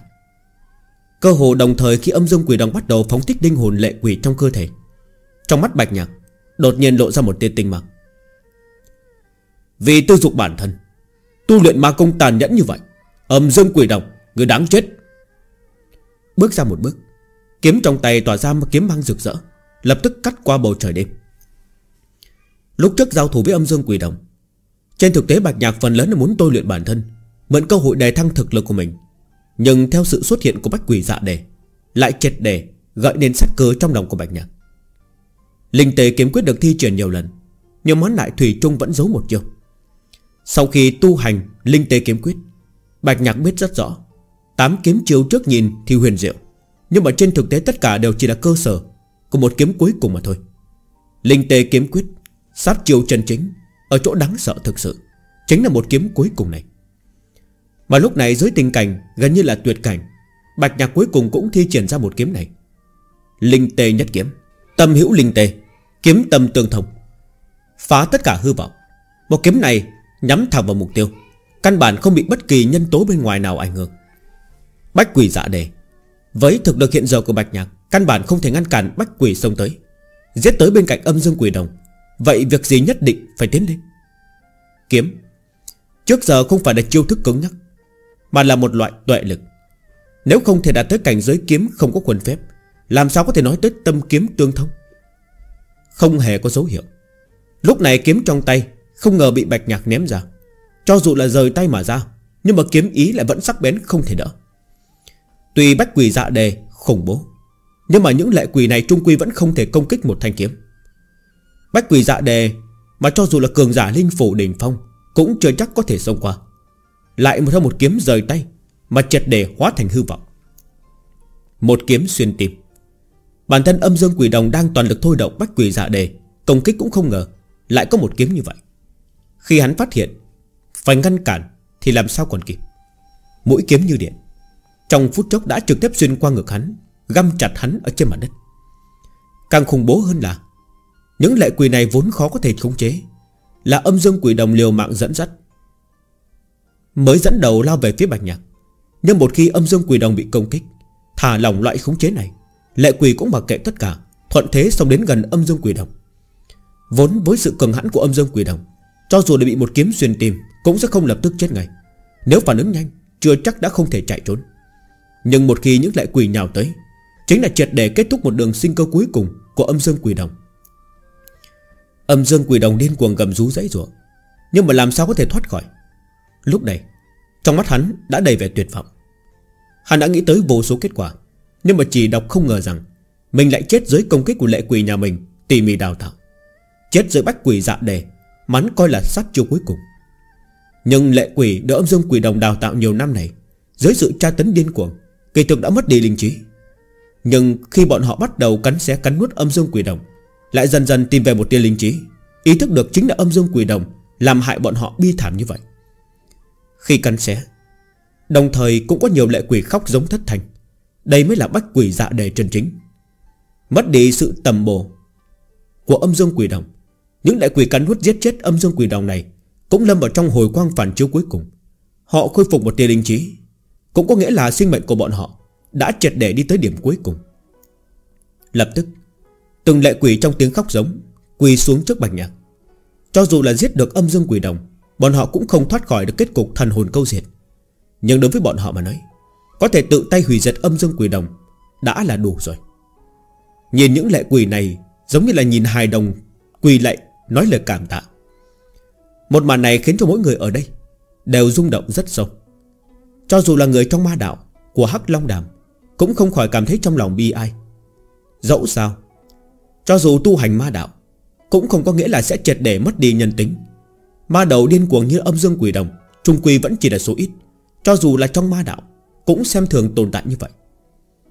Đương nhiên, Mặt khác, Một kiếm cuối cùng đó của Bạch Nhạc Cũng khiến cho tất cả mọi người rung động.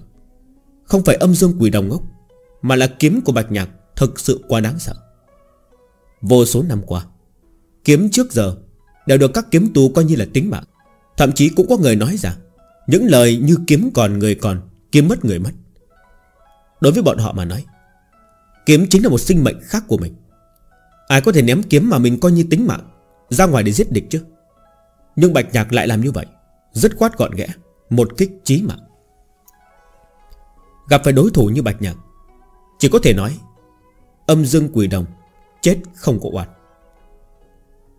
Trong nháy mắt Đào quang như mực Lặng lẽ tỏa ra, Giống như màn đêm đột nhiên hàng lâm. Cơ hồ ngay lập tức, Tinh thần của Vân Mộng chân vô cùng căng thẳng. Từ lúc ban đầu, Hắc dựa ma quân xuất thủ, Người trong ma đạo dạ tập linh tê kiếm tông, Nàng cha chính là chờ lúc này. Vì thế thậm chí thà nhìn đại tử đạo lăng thiên tông chết trước mặt mình, Cũng không chịu xuất thủ. Lúc này cho dù là đối mặt với sự đánh đến của dạ nhận, Vân Mộng Trần cũng có nắm chắc mình có thể đỡ. Nhưng mà, Cơ hồ có đồng thời Vân Mộng Trân lại hoàng sợ phát hiện, Một đau này không ngờ Không phải đánh tới nàng ta, Mà là nhắm thẳng vào bạch nhạc. Dạ nhận. Khi đào quang giống như mực đó xuất hiện, Bạch nhạc đã biết dạ nhận đến rồi. Nhưng mà hắn có thể nào cũng không ngờ Một đau này lại đánh tới mình. Lúc này bạch nhạc vừa mới tập sát âm dương quỷ đồng, Thậm chí ngay cả kiếm trong tay Cũng đang găm trên người của đối phương, Chưa có thu hồi. Cho dù là dưới tình huống có kiếm trong tay, Chuẩn bị đầy đủ Đối mặt với một đạo này của dạ nhận, Bạch nhạc cũng cơ hồ là không thể đỡ được. Càng đừng nói tới là tình huống không hề phòng bị, Bạch nhạc thậm chí Là có thể cảm nhận được sự lạnh lẽo của mũi đao. Đó là một loại tuyệt vọng, Đã gần tử vong. Đúng vậy, Tuyệt vọng. Cho dù hiện giờ Bạch Nhạc đã thành tựu tử phù, Đối mặt với một đao này, Hắn vẫn không hề có năng lực phản kháng.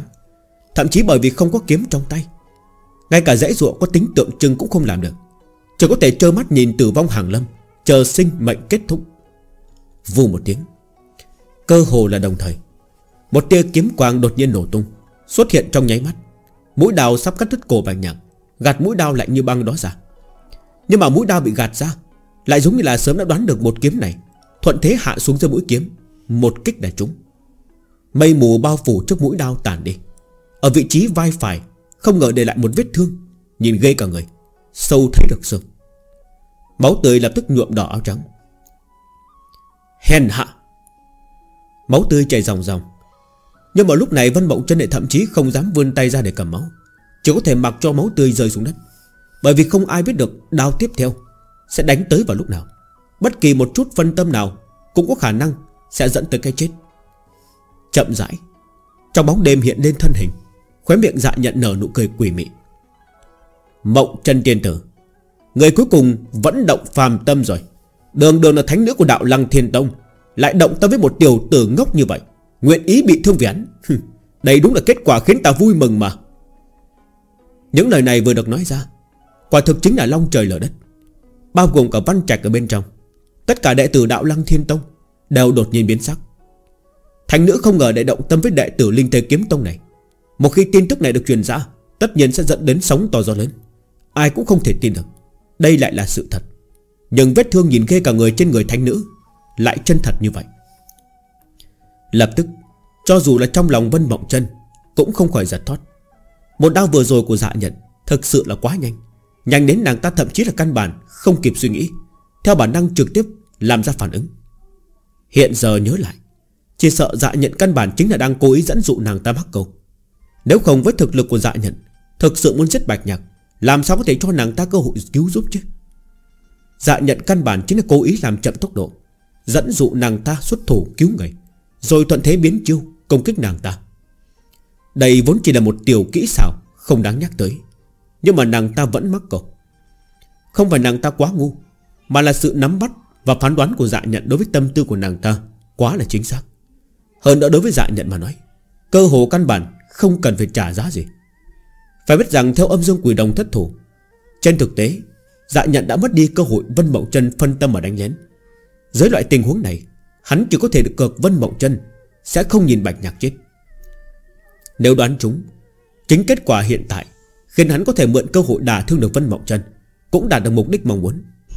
Cho dù là đoán sai, chỉ là bạch nhạc mà thôi, Giết thì giết, Có chuyện gì to tát đâu. Quan trọng hơn là, Nếu đoán đúng như vậy chỉ cần bắt lấy sơ hở bạch nhạc này, Hắn có thể bức Vân Mộng chân tiếp tục phạm sai lầm, Cuối cùng dễ dàng giết chết Vân Mộng chân. Tâm niệm thuê chuyển Rất nhanh trong phút chốc. Vân Mộng chân đã đoán được tâm tư của dạ nhận Khóe miệng khi đến một nụ cười lạnh. Đúng vậy, Ta chính là động tâm với hắn đấy. Vậy thì sao? Một câu này vừa được nói ra, Trong lòng tất cả mọi người đều chấn động. Cơ hồ đều nhìn về phía Vân Mộng chân Với vẻ không thể tin. Thừa nhận sao? Sao có thể như vậy? Cho dù là bạch nhạc, Đầu óc cũng không khỏi ngây đơ. Cơ hồ có chút hoài nghi vào tay của mình. Bất kể là như thế nào, Vân Mộng Trần cũng không có lý nào lại trực tiếp thừa nhận mới đúng. Nhưng mà chỉ suy nghĩ vừa lóe lên, Trong lòng tất cả mọi người Lại sinh ra một tiếng nghi hoặc. Đúng vậy, Sao có thể như vậy chứ? Cho dù Vân Mộng Trần đích xác có tư tình với người ta, Với thân phận của nàng ta cũng tuyệt đối không thể thừa nhận mới đúng. Phải biết rằng lời nói của dạ nhận Cũng chỉ là suy đoán mà thôi. Chỉ cần Vân Mộng chân không thừa nhận Chuyện nàng ta cứu bạc nhạc một mạng, Không thể tính là chứng cớ. Nhưng một khi nàng ta chính miệng thừa nhận, Tính chất của sự việc lại hoàn toàn khác. Thiên hạ này, Thiên tài muốn theo đuổi thánh nữ đạo lăng thiên tông Là nhiều không đếm xuể. Nhưng mà kỳ thực trong lòng ai cũng biết rõ, Từ khoảnh khắc trở thành thánh nữ Nhất định phải cả đời phụng đạo, Không thể có chút tư tình. Như vậy cách giải thích duy nhất chính là Vân Mộng Trần Đang nói dối. Mày đột nhiên nhớ lên, Cổ tay dạ nhận khẽ động, Trong một cái nhấc tay Lại một đạo nhắm thẳng tới chỗ yếu hại của Bạch Nhạc. Bất kể Vân Mộng Trần nói gì, Cũng không đủ để tin, Hắn chỉ tin sự thật. Nếu nói một kích vừa rồi Chỉ là bất ngờ, như vậy lần này đủ để chứng thực thái độ chân thật của Vân Mộng Trân Chỉ cần Vân Mộng Trân Lại ra tay cứu người, Cho dù không có tư tình cũng đủ để chứng minh tầm quan trọng của Bạch Nhạc đối với Vân Mộng trần. Mà hắn cũng chỉ cần kết quả này mà thôi. Cơ hồ là trong nháy mắt dạ nhận vừa chủ động thủ. Vân Mộng Trần cũng lại xuất kiếm. Chỉ là lần này, Không phải cứu Bạch Nhạc, Mà là nhân cơ hội dạ nhận xuất thủ, Giết Bạch Nhạc để phản kích. Một kiếm này, Không cản được dạ nhận giết Bạch Nhạc. Nhưng một khi dạ nhận giết chết bạch nhạc, Vân Mộng Trần cũng có thể nắm lấy cơ hội đả thương đến dạ nhận. Cường hành vãn hồi thấy yếu bị thương vừa rồi. Phập một tiếng. Mũi đào cơ hồ sượt qua cổ bạch nhạc. Da trên cổ bị đau phong cắt qua, Rạch ra một vệt máu, Cũng nhuộm đỏ áo. Nhưng mà dù vậy, Vân Mộng Trần ngay cả mắt cũng không chấp lên một cái. Nàng đừng nói là đột nhiên biến chiều cứu bạch nhạc. Giao phong trong nháy mắt, Động tác mau lẹ, Nhanh đến mức khiến ngược người ta thậm chí không nhìn rõ. Nhưng kết quả lại khác một trời một vực Với suy đoán của dạ nhận. Trong nhất thời, Sắc mặt dạ nhận trầm xuống. Hắn không phải muốn dứt khoát giết chết Bạch Nhạc. Nhưng mà nếu làm vậy, Hắn cũng sẽ phải trả một cái giá không nhẹ. Một khi Bạch Nhạc không còn trở thành nhược điểm của Vân Mộng Trân, Cho dù là hắn Muốn tập sát Vân Mộng Trân, Cũng tuyệt đối không phải là chuyện dễ dàng nào. Nào có dám tùy tiện bị thương. Quan trọng nhất Là hắn không biết hắc rượu ma quân Có thể kéo dài được bao lâu. Đừng nhìn hắc rượu ma quân giống như là lời thề son sắc, Ước chiến tử dương chân nhân. Nhưng trên thực tế, Trong lòng mọi người đều rất rõ, Hắc rượu ma quân hơn phân nửa vẫn không đánh lại từ dương chân nhân. Một khi bại lui, Chờ từ dương chân nhân quay lại, Vở kịch tập sát này sẽ kết thúc. Không thể nào trước đó tập sát Vân Mộng Trần. Như vậy, người chết rất có thể Là bản thân hắn. Ngược lại với dạ nhận Và lúc này Vân Mộng Trân lại cười rất sán lạn. Ta đã thừa nhận rồi. Sao ngươi còn không tin? Chuyện trên đời này, Rất nhiều lúc vốn là không phân rõ thật ra. Vân Mộng Trân là thánh nữ đạo lăng thiên tông, Không sai. Cũng không ai nói. Thánh nữ nhất định là không biết nói dối. Hiện giờ nàng đã nói với người rõ ràng như vậy. Người dám tin không? Lúc này dạ nhận lập tức trở nên vô cùng đau đầu. Lúc trước tuy cùng từng giao phóng với Vân Mộng Trân Nhưng mà lại là chiếm hết thượng phong. Nếu không phải bạch nhạc phá dối Chỉ sợ lần trước Vân Mộng Trân đã chết rồi. Nói thật trên thực tế Dạ nhận ở sâu trong lòng có chút xem thường vị thánh nữ Vân Mộng Trân này. Nhưng mà khi thực sự đến lúc này Dạ nhận mới đột nhiên phát hiện, Vị thánh nữ này khó chơi hơn trong tưởng tượng rất nhiều. Mộng Trần Tiên Tử Đúng là nhẫn tâm thật. Cười lạnh một tiếng Dạ nhận lạnh đùng mở miệng nói, Chỉ không biết tiểu gia hỏa năm lần bày lật không tiếc vì ngươi mà chết này, Sẽ có cảm tưởng gì đây? Trong nhà mắt giao phong vừa rồi, Mặc dù nhanh, Nhưng mà dạ nhận cũng nhìn thấy rõ thái độ của Vân Mộng Trần, Chính là căn bản không bận tâm sinh tử của Bạch Nhạc. Dưới tình huống như vậy, Hắn lại đi giết Bạch Nhạc, Tất nhiên là không hề có ý nghĩa. Hơn nữa sẽ khiến cho bản thân mình Rơi vào trong bị động.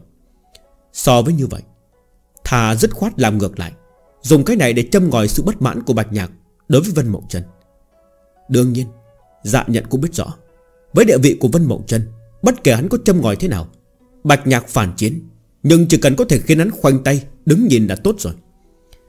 Đừng nhìn dạ nhận vừa rồi giống như là vô cùng thoải mái Thiếu chút nữa có thể trực tiếp chạm sát Bạch Nhạc.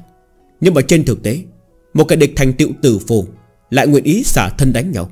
Tuyệt đối không cũng đủ để khiến hắn đau đầu rồi. Phải biết rằng hiện giờ Vân Mộng chân đã bị thương.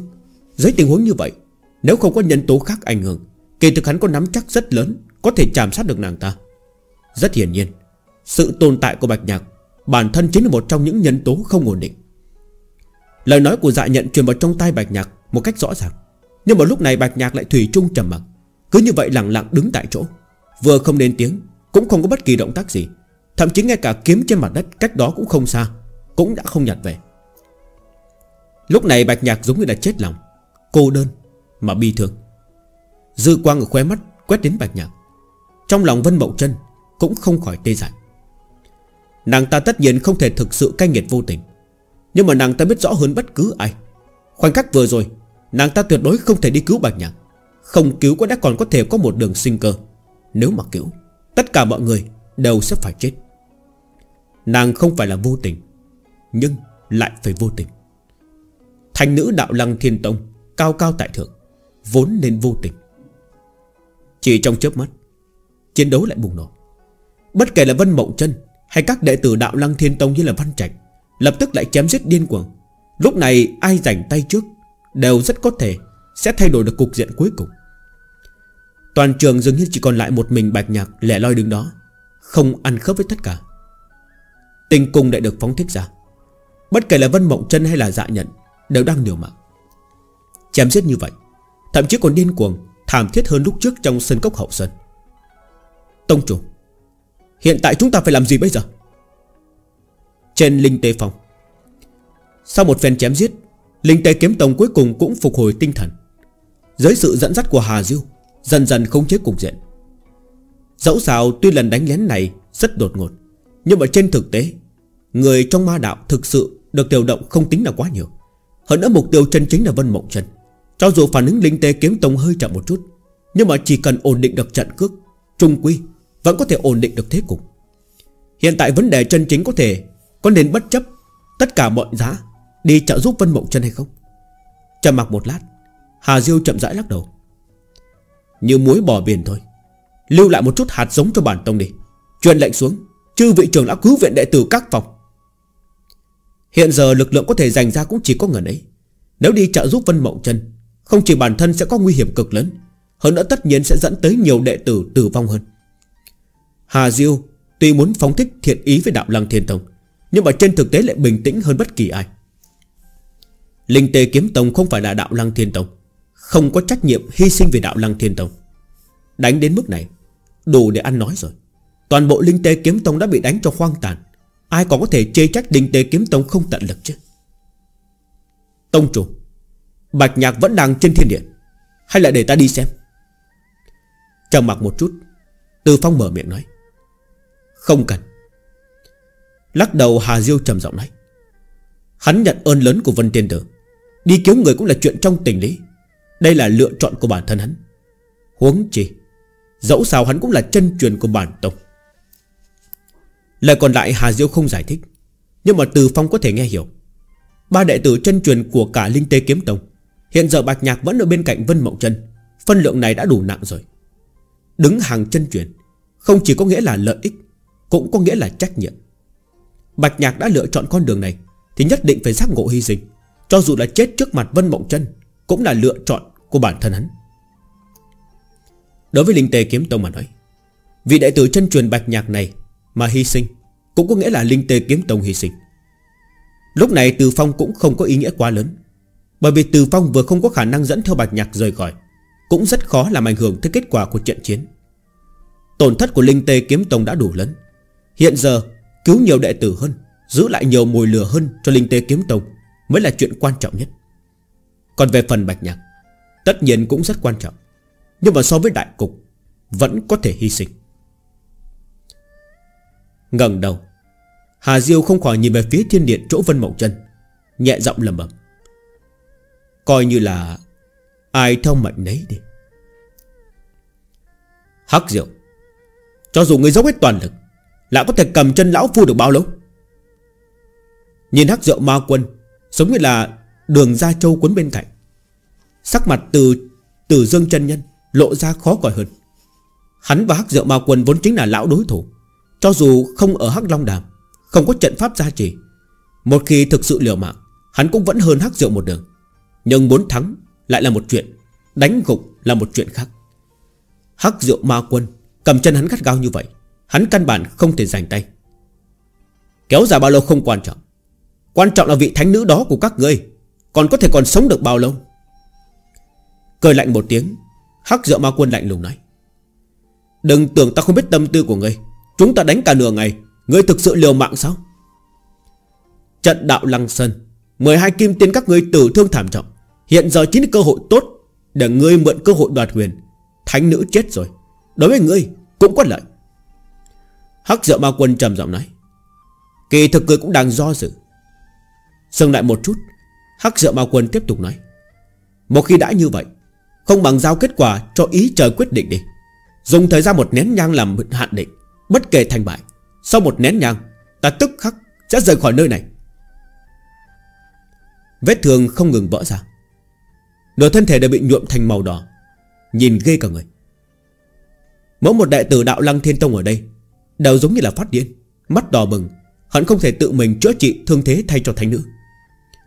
Ở trong đạo lăng thiên tông, Từ lúc bọn họ lần đầu tiên nhìn thấy Vân Mộng chân, Vân Mộng chân giống như là tiên tử đứng trên mây, Cao cao tại thượng, Không nhẽ một chút bụi bặm. Nhưng mà hiện giờ, Vân Mộng Trân thậm chí không có cơ hội Ngăn vết thương đổ máu. Bọn họ tận mắt thấy thanh nữ bị thương, Nhưng mà lại không có biện pháp. Cao thủ Hắc Long Đàm và Sa Triều Đã cầm chân bọn họ, Hơn nữa chém giết sinh tử của cường giả tinh cung cảnh, Căn bản không phải là bọn họ nhúng tay vào được. Truyền thuyết về dạ nhận. Bọn họ tất nhiên cũng từng nghe nói. Nhưng cái này Và chính mắt nhìn thấy dạ nhận xuất thủ Là hai khái niệm hoàn toàn khác nhau. Rõ ràng cũng chỉ là có tuổi sắp gì với mọi người. Nhưng mà thực lực khủng bố đó của dạ nhận, Cho dù là đệ tử đạo lăng thiên tông như bọn họ, Cũng không thể so sánh. Trước đó rất nhiều đều cho rằng Thành nữ chính là nhân vật xuất sắc nhất đời này. Căn bản không ai có thể chống lại nàng ta. Nhưng mà một thanh trùy thủ đó, Rõ ràng đã nói với tất cả mọi người Dạ nhận đời này Cũng là tuyệt đại thiên kiêu, Không kém hơn vị thánh nữ Vân Mộng chân này cả. Trước giờ bọn họ đều sống trong niềm kiêu ngạo đạo lăng thiên hạ. Giờ như là trừ đạo lăng thiên tông ra, Thiên hạ không có cao thủ và thiên tài. Tránh trận đánh ở đạo lăng sơn, Thông thiên ma quân dựa vào sức lực của bản thân, Đánh nát thần thoại đạo lăng bất bại, Cũng khiến bọn họ biết rằng Trên đời này còn có ma quân tuyệt thế như là thông thiên ma quân. Mà vào lúc này Nhìn Vân Mộng chân bị dạ nhận bức liên tiếp bại lui, Lại khiến bọn họ ý thức được. Thì ra ngoài đạo lăng thiên tông, Không ngờ cũng còn có thiên kiêu vô song đáng sợ như vậy. Đây là một loại nhận thức bị phá diệt, Cũng khiến cho bọn họ từ trong lòng sinh ra một loại cảm giác sợ hãi, Khó có thể ức chế. Bọn họ thậm chí không thể tưởng tượng Thành nữ có thể chết ở đây, Chết dưới mũi đau Đen như mực này. Nhưng mà tất cả Dường như là ngay ở trước mắt. Âm một tiếng Liên tục kịch chiến thời gian gần một nén hương. Bất kể là dạ nhận Hay là vân mộng chân, Đều không thể duy trì tinh cung. Lại dưới một lần trùng kích kịch liệt, Hai tinh cung đồng thời tàn đi. Nhưng mà chiến đấu vẫn chưa bởi vậy mà kết thúc, Thậm chí ngược lại, Càng trở nên hung hiểm hơn nhiều. Trong điện quang hỏa thạch Dạ nhận đã giống như một bóng ma tung người mà đến. Thanh trùy thủ khủng bố đó, Khi chém giết cận thân, Lại lộ ra càng khủng bố hơn. Quan trọng nhất là Dạ nhận lúc này Mỗi một kích đều đang ép Vân Mộng chân Phải chống đỡ. Lần trước Vân Mộng chân bại, Trên thực tế là thua trên binh khí trong tay. Không có côn ngô kiếm trong tay, Trường kiếm khác căn bản không thể chống cự được Sự sắc bén của giả nhận. Lần này lại giao thủ trên thực tế, Vân Mộng chân đã đề phòng rồi. Lúc trước dẫn động tinh cung chi lực, Chính là muốn loại bỏ trinh đạch trên vũ khí, Chỉ là theo linh lực tổn hao, Vẫn khó tránh khỏi loại va chạm giáp lá cả này. Keng một tiếng một tiếng vang giòn tan. Kiếm trong tay Vân Mộng chân lại theo tiếng mà gãy. Căn bản không cho Vân Mộng chân cơ hội phản ứng. Mũi đào lạnh như băng, Đã thuận thế hạ xuống, Chỉ thẳng vào cổ họng Vân Mộng chân. Lúc này trong mắt dạ nhận, Đầy vẻ hưng phấn. Giết chết đạo lăng thanh nữ, Luôn là tâm nguyện lớn nhất của hắn cũng là tâm nguyện của truyền nhân vô số đời của dạ nhận nhất mạch. Mà lúc này, Tâm nguyện này sẽ được hoàn thành trong tay hắn, Sao hắn lại không hưng phấn cho được chứ? Cho dù vì như thế Hắn phải trả giá trọng thương. Để thừa nhận sự phản công lúc sắp chết của Vân Mộng Trân Hắn cũng không hề hối tiếc. Cho dù trên lý trí biết rằng, Sau khi chặn đứt mũi kiếm của đối phương, Chỉ cần kéo dài thêm một chút, Có thể dễ dàng giết chết Vân Mộng Trân Nhưng mà hắn đã không chờ được nữa. Đêm dài lắm mộng. Không ai biết Từ Dương chân Nhân sẽ trở về lúc nào. Chỉ dùng tốc độ nhanh nhất giết chết Vân Mộng Trần Hắn mới có thể yên lòng. Lúc sinh tử, Trong lòng Vân Mộng Trần cũng sinh ra một tia kiên quyết. Nàng ta biết rất rõ, Một đau này nàng ta không cản được. Lúc sắp chết, Điều duy nhất nàng ta có thể làm chính là dồn hết toàn lực Dùng kiếm gãy trong tay, Giáng cho dạ nhận một kích cuối cùng. Cho dù không thể giết chết dạ nhận, Ít nhất cũng phải khiến cho hắn bị thương nặng. Chỉ có như vậy mới có thể bức lui người trong ma đạo khác, Cứu sống Văn Trạch, cũng cứu Bạch Nhạc. Bạch Nhạc. Lập tức trong đầu Vân Mộng Trần không khỏi lại hiện ra thân ảnh của Bạch Nhạc, Bất kể là phẫn nộ hay là kiêu hận. Xấu hổ, cảm động. Vào khoảnh khắc này dường như đều đã không quan trọng nữa. Quan trọng là thân ảnh này dường như là thực sự Đã đi vào trong lòng của nàng ta. Như vậy Vĩnh biệt đi. Vù một tiếng Ngay khi Vân Mộng Trân đang thầm vĩnh biệt Chuẩn bị đối mặt với tử vong Mũi kiếm run dày rất nhỏ truyền tới. Cơ hồ nó cũng thời khắc đó Một tia kiếm mang giống như đột nhiên vượt qua Sự cách trở của không gian Trực tiếp xuất hiện trước người Vân Mộng Trần Linh tề nhất kiếm. Từ lúc Vân Mộng chân xuất thủ, Bạch Nhạc đều một mực trầm mặc đứng yên tại chỗ. Bộ dạng giống như tâm đã chết, Không để ý tới gì nữa. Nhưng trên thực tế, Đó đâu có là gì. Tấn công địch Phải tự cứu. Nhưng đạo lý này Dạ nhận có thể hiểu, Vân Mộng Trần có thể hiểu, Bạch Nhạc tất nhiên cũng có thể hiểu. Hắn không phải là loại thiếu niên chưa hiểu sự đời, Chớm biết yêu. Loại suy nghĩ khốn kiếp như là hoài nghi đối phương có yêu mình hay không. Có nguyện ý vì mình mà phải trả giá sinh mệnh hay không? Căn bản sẽ không xuất hiện trong đầu Bạch Nhạc. Hắn hiểu lựa chọn của Vân Mộng Trân Mới là lựa chọn chuẩn xác nhất. Tất nhiên, cũng hiểu Mình phải sắm vai nhân vật gì Mới có thể khiến cho mình không còn trở thành liên lụy của Vân Mộng Trân Đương nhiên quan trọng hơn là Hắn cần phải chờ được một cơ hội. Một cơ hội có thể hết sức khí lực, Thậm chí thay đổi kết cục Dưới sự tranh lệch thực lực tuyệt đối. Nếu hắn máu nóng sọc lên, Trực tiếp xông lên đi liều mạng Trừ chịu chết và khiến Vân Mộng Trần phân tâm ra, Căn bản không thể rút được bất cứ điều gì. Cho nên Bạch Nhạc một mực đang đợi. Cho dù trong lòng vô cùng lo lắng, Cũng không lộ ra một chút manh mối. Mở đúc Vân Mộng Trần Kịch chiến với dạ nhận, Bạch Nhạc cẩn thận di động bước chân, Đi tới vị trí mà vươn ra Có thể rút kiếm. Vào khoảnh khắc này Tinh cùng tiêu tán, Bạch nhạc đã nhặt lại kiếm. Chỉ là ở dưới loại tình huống này, Bất kể ai cũng không có tinh được chú ý tới hắn mà thôi. Cho đến giờ phút này trong mắt Vân Mộng chân và dạ nhận Sắp phân ra thắng bại. Bạch nhạc liền dồn hết toàn lực, Đâm ra một kiếm.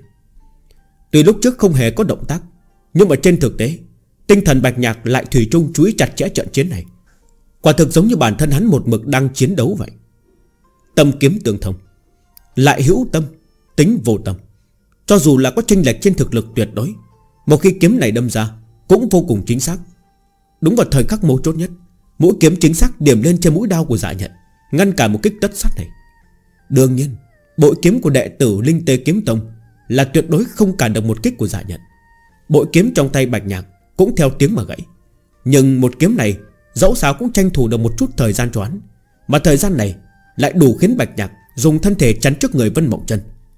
Phập một tiếng, Lập tức Mũi đào cắm vào ngực bạch nhạc, Giống như là một đóa hoa hồng kiều diễm Nở ra trước ngực.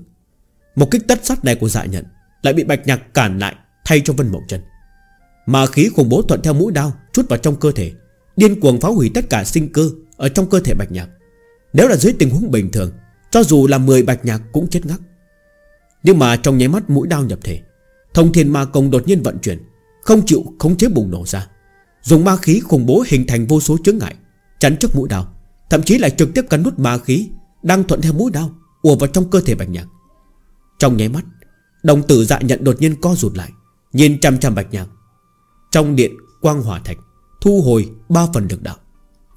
Bùm một tiếng, Đồng thời một kích của đó của Vân Mộng chân Cuối cùng cũng đánh ra. Nửa thanh kiếm gãy đột nhiên đâm vào trong cơ thể dạ nhận. Lực lượng khủng bố thuận thế bùng nổ, Trực tiếp đánh bay Bay ra ngoài. Bạch nhạc Lập tức ôm lấy thân thể bạch nhạc Vân Mộng Trần lo lắng hét lên. Ta đã nói rồi Ta sẽ chết ở phía trước ngươi. Cố gắng chống đỡ để nhìn thấy Vân Mộng Trân không sao. Một hơi trong lòng bạch nhạc lập tức tiết ra. Cố nói xong câu đó, Liền triệt đề mất đi ý thức. Nghe thấy lời nói quen thuộc này, Vân Mộng Trần cơ hồ đã khó có thể khống chế cảm xúc của mình. Trong nháy mắt, Hốc mắt đỏ lên, Nước mắt cơ hồ tràn mi trào ra. Ngay sau đó, Một vầng mặt trời tím rực rỡ Đột nhiên tỏa ra trong bầu trời đêm. Thân ảnh từ dương chân nhân Đồng thời từ chân trời hạ xuống Ở trên thiên điện. Phập một tiếng, Phun ra một búng máu. Dạ nhận đột nhiên rút nửa thanh kiếm gãy, Đâm vào trong cơ thể mình, Rút xuống mặt đất. Cuối cùng nhìn bạch nhạc một cái rất sâu. Phút chốc, liền biến mất trong bóng đêm. Từ dương chân nhân trở về, Cũng có nghĩa là vở kịch này Đã hạ màn. Người trong ma đạo quát long đàm Cũng theo đó mà nhanh chóng bỏ chạy xuống dưới núi. Trên toàn bộ ngọn núi, Chỉ để lại thây rắn khắp nơi. Nhìn ghê hết người. Thánh nữ. Phục hồi tinh thần, Đám người văn trạch vội vàng vây tới. Chỉ là lúc này Vân Mộng chân, Nào còn rảnh để đế tới bọn họ. Một tay đặt trên hậu tâm của Bạch Nhạc, Linh lực còn sót lại, Không nhiều trong người thuận thế không ngừng ùa vào trong cơ thể Bạch Nhạc, Duy trì sinh cơ cuối cùng của Bạch Nhạc. Đổi lại là bất kỳ một ai, Sợ rằng chưa chắc có thể đưa linh lực vào trong linh phủ của Bạch Nhạc Một cách thông thuận như vậy. Nhưng lúc trước Bạch Nhạc đúc lại đạo cơ Chính là dựa vào nguyên âm của Vân Mộng Chân. Đối với Bạch Nhạc mà nói, Khi tức và lực lượng của Vân Mộng Chân Thực sự quá thần thiết, Căn bản không hề có trở ngại. Trực tiếp hút những linh lực này vào trong linh phủ Mất đi uy hiếp. Khi tức thông thiên ma công cũng theo đó Mà thu lại. Cho dù là một số ma khí vẫn còn sót lại, Vân Mộng Trần cũng theo bản năng Cho rằng là ma khí của dạ nhận lưu lại, Trực tiếp lợi dụng linh lực xua ra ngoài. Càn quấy trong giây lát, tự dương chân nhân theo đó hạ xuống, Nhìn thấy Vân Mộng Trân ôm bạch nhạc, Mày lập tức nhíu lại, Tay áo vùng lên, Trực tiếp đẩy Vân Mộng Trân ra, Đồng thời đưa linh lực vào trong cơ thể bạch nhạc. Cũng mày là Vân Mộng Trần rót linh lực vào cơ thể bạch nhạc trước, Khiến linh phủ bạch nhạc đã khôi phục được mấy phần, Tất nhiên lại vận chuyển, Giấu đi khí tức của thông thiên ma công. Nếu không, cho dù là thời gian mấy hơi thở Từ dương chân nhân đã có thể nhận được sự khác thường. Chỉ là linh lực tiêu hao quá độ mà thôi. Không có tổn thương đến tim Không thể chết. Không phát được tín hiệu gì dị thường. Từ dương chân nhân lập tức không còn hứng thú với bạch nhạc nữa. Thuận tay giao bạch nhạc cho văn trạch vừa tới Thản nhiên phân phó. Kẻ này có công cứu thanh nữ. Cho phép hắn ngoại lệ tiến vào đạo lăng thiên tông. Chờ hắn tỉnh lại Mang về bản tông đi. À, Vốn bị tử dương chân nhân đẩy ra Vân Mộng Trần đã muốn phát tác nhờ nghe thấy Bạch Nhạc không tổn thương đến tâm trạng, Cũng không đến nỗi lo tới tính mạng, Vân Mộng Trân lập tức bình tĩnh lại. Bạch Nhạc đã không chết. Vậy nàng ta nhất định phải thu liễm tất cả cảm xúc lại. Lời nói vừa rồi của dạ nhận, Tuy bị nàng ta dùng một mặt vô tình để hóa giải, Nhưng mà lại trung quy vẫn khó tránh khỏi, Sẽ lưu lại một chút dấu vết. Nếu lại có biểu hiện khác thường gì, Nàng ta muốn giải thích nữa, Chính là ngàn khó vạn khó. Ở lâu trên địa vị cao, Sức khống chế của Vân Mộng Trân rất mạnh. Một ý niệm liền cường hành thu điểm cảm xúc. Bạch nhạc hai lần cứu tính mạng của ta. Nếu nguyện bái vào bản tông, Ta hứa sẽ cho hắn một vị trí đệ tử chân truyền. Liếc bạch nhạc một cái, Vân Mộng Trân bình tĩnh mở miệng. Sau đó thì không có nói thêm một câu phân phó, Xoay người rời đi. Cùng là đệ tử chân truyền, Nhưng đệ tử chân truyền của đạo Lăng Thiên Tông và đệ tử chân truyền của Linh Tê Kiếm Tông Lại tuyệt đối không phải là cùng một khái niệm. Dưới tình huống bình thường, Cho dù là tử dương chân nhân, Muốn trực tiếp thăng chức cho ai làm đệ tử chân truyền Cũng không có đơn giản. Cho dù là Văn Trạch là đệ tử quán, Bởi vì chưa bước vào tinh cung Cũng không được ban cho thân phận đệ tử chân truyền. Vừa mới vào cửa đã thực được thăng chức trưng chân truyền. Thăng chức như vậy Tuyệt đối là ban ân ngoại lệ. Cũng chỉ có Vân Mộng chân Dùng thân phận thanh nữ mới có thể tùy hứng như vậy. Nếu đổi lại là tử dương chân nhân, Cũng không dám chơi như thế. Nhưng mà ở dưới tình huống nào đó, Ban thưởng càng nặng, Lại càng dễ gác quan hệ sang bên. Ít nhất tử dương chân nhân cũng không nghi ngờ, Chỉ thản nhiên liếc bạch nhạc một cái mà thôi. Đương nhiên, Cũng bởi vì sự tranh lệch thân phận của Vân Mộng chân Và bạch nhạc thực sự quá lớn, Cho dù là thành tựu tử phù, Thậm chí đã cứu mạng của Vân Mộng chân cũng không đủ để kéo đến loại tranh lệch này. Xoay người trở lại trong thiên điện, Đóng cửa lại, Tựa vào cánh cửa. Vân Mộng Trần không khống chế được cảm xúc của mình nữa, không khỏi rơi lệ. Không tự mình trải qua, Tuyệt đối không thể lý giải Cái loại sợ hãi và cảm động Ở bên dưới sinh tử này. Từng cảnh tượng quen biết với người bạch nhạc Tới này đã chậm rãi sọc lên trong lòng. Từ sự chán ghét và kiều hận lúc ban đầu, Vì mất đi trong sạch, Đến bạch nhạc vì nàng ta mà chiến thắng sợ hãi chạm sát tên bập ghê tầm đó, Chịu đựng một thân đau đớn Cõng nàng ta xuống núi. Rồi khi đến đình tê kiếm tông, Vô cùng đúng mực Đi đối mặt với nàng ta. Chỉ hai tháng thời gian, Bạch Nhạc từ một tạp dịch không hề có căn cơ, Biến thành thiên kiêu tử phủ, Cho dù so sánh với đệ tử đạo lăng thiên tông, Cũng là kinh diễm tuyệt luân. Bị dạ nhận áp chế, Còn hao hết tâm tư cảnh báo cho nàng ta. Ở dưới tuyệt cảnh, Dùng thân thể đơn bạc đó chắn trước người mình Nói với mình, Cho dù là chết Thì cũng phải chết phía trước mình. Hiện giờ lại thực hiện lời hứa của hắn. Vào lúc sinh tử, Dứt khoát dùng thân thể Đỡ mũi đau của dạ nhận Từng hành động này Giống như dòng suối nhỏ Hợp dòng thành sông. Cho dù là Vân Mộng chân cũng không thể không thừa nhận Nàng ta thực sự bị cảm động rồi. Bất kể có thân phận tôn quý thế đâu, Nàng ta trung quy vẫn chỉ là một nữ hài. Một nữ hài Mới chỉ có 19 tuổi mà thôi. Nhưng thực tại lại lạnh lùng như vậy, Tựa như là một cánh cửa Ngăn cách nàng ta lại. Đừng nói là cùng với Bạch Nhạc, Hiện giờ Bạch Nhạc trọng thương, Nàng ta ngay cả nhìn một cái, Quan tâm một chút cũng không được. Chỉ có thể ép mình thu liễm tất cả cảm xúc, Làm bộ như là không có gì phát sinh. Bất kể nàng ta lý trí bình tĩnh cỡ nào, Nhưng Tim trung quy vẫn sẽ đau. Khi Bạch Nhạc tỉnh lại, Đã là buổi sáng ngày hôm sau. Vết thương trên người sớm đã được băng bó bằng thuốc tốt nhất. Trên thực tế, Băng bó cũng chỉ là đi tình thế mà thôi. Với năng lực tự chữa lành của Bạch Nhạc hiện giờ, chỉ cần không phải là vết thương chí mạng, Rất nhanh sẽ tự động khép lại. Phiền phức thực sự vẫn là linh phủ quán. Vốn vừa là vừa ra linh phủ, Đầu tiên là kịch chiến với âm dương quỷ đồng, Lại phải đỡ một đao của dạ nhận. Cho dù may mắn không chết, Linh phủ cũng bị thương nghiêm trọng, Ít nhất phải mất 10 ngày nửa tháng Mới có thể triệt để khôi phục. Bạch sư huynh, Ngươi tỉnh rồi à? Bạch nhạc vừa mở mắt, liền nghe thấy một thanh âm kinh hỉ vang lên.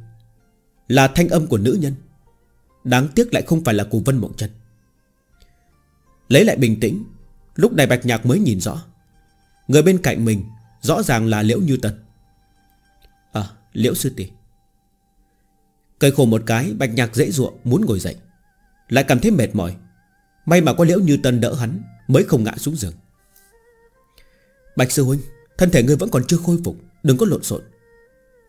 Liễu Như Tân có chút oán trách nói. Những người trong ma đạo đó đã rút chưa? Tựa như tựa vào trên giường, Bạch nhạc không nhịn được mở miệng hỏi. À ngươi yên tâm, Bọn họ sớm đã chạy mất rồi, Vân tiên tử cũng không sao. Liễu Như Tân lắc đầu giải thích. Nghe thấy Vân tiên tử không sao? Bạch nhạc cuối cùng thở phào nhẹ nhõm. Nhìn Bạch nhạc, Liễu Như Tân đột nhiên hỏi. Bạch sư huynh, Không phải người thích Vân tiên tử chứ? Tâm tư bị điểm phá, Bạch nhạc lập tức có chút xấu hổ, Thề thốt phủ nhận. Nói bậy, Vân tiên tử là thân phận gì? Ta xứng sao? Nhìn bộ dạng vội vàng giải thích của Bạch nhạc Liễu Như Tân lập tức không nhịn được mà cười ra tiếng. Nhìn bộ dạng này của ngươi, Còn nói không thích được. Vươn tay ra chọc vào gáy Bạch nhạc. Liễu Như Tân nói khẽ. Trên đời này người thích Vân Tiên Tử Có không biết bao nhiêu. Nếu ta là nam tử, Có lẽ cũng động tâm. Cái này có gì mà lạ? Cười khổ một chút. Lời này Bạch Nhạc cũng không biết nên tiếp như thế nào. Liễu sư tỷ, Người đừng gọi ta là sư huynh. Rất không được tự nhiên. Chúng ta cứ giống như trước kia đi. Nhìn Liễu Như Tân, Bạch Nhạc quyết định đổi đề tài. Vậy ta trực tiếp gọi tên ngươi nhé. Liễu Như Tân cười nói Ờ được. Bạch Nhạc gật đầu, Tất nhiên là không cự tuyệt. Liễu sư tỷ, Sao ngươi lại ở đây? Tỉnh lại rồi Bạch Nhạc tất nhiên là nhận ra được. Nơi này chính là trong động phủ thiên tâm phong của mình. Ngươi là đệ tử chân truyền. Dựa theo quy củ của trong tông Là có thể từ trong ngoại môn Lựa chọn đệ tử tới hầu hạ. Ngày hôm qua ngươi bị thương, Từ trường lão phân phó cho Dương Sư Huynh Từ trong ngoại môn lựa chọn người, Xem như là nhiệm vụ của tông môn, Phần thưởng cũng không thấp đâu. Ta nghĩ dẫu sao chúng ta cũng là người quen, Chủ động tới, Nếu ngươi không hài lòng, Bảo Dương Sư Huynh người đổi cho một cô gái xinh đẹp nhé. Cười khẽ một tiếng, Liễu Như tần thuận miệng giải thích. Bạch Nhạc tất nhiên hiểu. Đây là Liễu Như Tân đang diễu cờ hắn. Có điều với thực lực của Liễu Như Tân, Chủ động nhận cái loại nhiệm vụ tông môn này Chiếu cố hắn. Nhưng tuyệt đối không phải là vì chút phần thưởng, Mà là thực sự quan tâm tới hắn. Đa tạ Liễu Sư Tỷ. Hơi ôm quyền, Bạch Nhạc cảm ơn. Bạch Nhạc, Người không cha ta gọi ngươi là sư huynh, Sao còn gọi ta là sư tỷ? Trong vào gáy Bạch Nhạc Liễu Như Tân khẽ sáng giọng. Há há miệng, Bạch Nhạc nhất thời cũng không biết nên xưng hô thế nào với Liễu Như Tân. Ấp úng cả nửa ngày Mới mở miệng nói.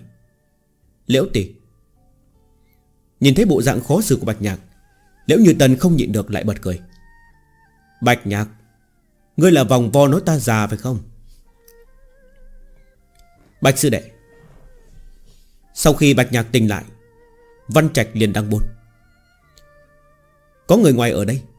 Liễu Như Tân không nói với Bạch Nhạc nữa, Mà lặng lặng lui sang một bên. Ờ Văn Sư Huynh, xin lỗi. Có thương tích trong người, Không tiện đứng dậy chào đón. Cười khổ một chút, Bạch Nhạc hơi ôm cười nói. Không cần khách sáo. Xua tay, Văn Trạch cười nói. Chuyện lúc trước ta vẫn phải cảm ơn người. Nếu thực sự để thánh nữ có bất chắc gì, Đám người chúng ta cũng không có mặt mũi nào để mà quay về. Thanh nữ có ơn với ta. Ta có thể thành tựu hôm nay. Có thể nói là toàn nhờ vào thánh nữ ban tặng. Đây là điều nên làm mà. Bạch nhạc nhẹ giọng giải thích. Đáng tiếc, Không ra gì. Ngược lại bởi vì ta mà khiến thánh nữ bị thương. Tuy chuyện đã qua, Nhưng mà ngay cả người ngoài như là Liễu Như Tân Cũng có thể nhìn ra tâm ý của Bạch Nhạc đối với Vân Mộng Trần. Đâu phải Bạch Nhạc giải thích vài câu như vậy Là có thể che giấu được chứ. Cười khẽ một cái, Văn Trạch lắc đầu nói. Bạch Sư Đệ, Ta biết tâm tư của ngươi. Thích nữ Không phải là chuyện mất mặt gì. So sánh với người khác, Kỳ thực người đã rất may mắn rồi đấy.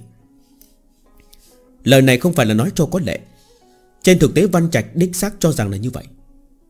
Trên đời này người thích Vân Mộng chân, Quả thực là nhiều như là cá giết qua sông. Nhưng mà có thể được Vân Mộng chân nhớ tới, Thì liệu có được mấy ai? Nghiêm mặt, Văn Trạch lập tức mở miệng nói. Bạch sư đệ Phụng lệnh gia sư Lần này là tới mời ngươi bái vào tông môn. Một câu này vừa mới nói ra Chẳng những bạch nhạc hơi ngẩn ra Nếu như tên bên cạnh cũng không khỏi biến sắc. Đạo Lăng Thiên Tông Đó là tông lớn số một thế gian chân chính. Nếu so sánh Linh Tê Kiếm Tông quả thực không đáng một xu. Đạo Lăng Thiên Tông chủ động Vươn cảnh, Ai có thể cự tuyệt chứ? Lúc này cho dù Bạch Nhạc cũng không khỏi có chút hoảng hốt. Trước kia Đạo Lăng Thiên Tông Luôn là giấc mơ quán. Hiện giờ có cơ hội như vậy bày ra trước mặt, Nói không động tâm Thì khẳng định là giả. Huống chỉ còn có Vân Mộng chân ở đó.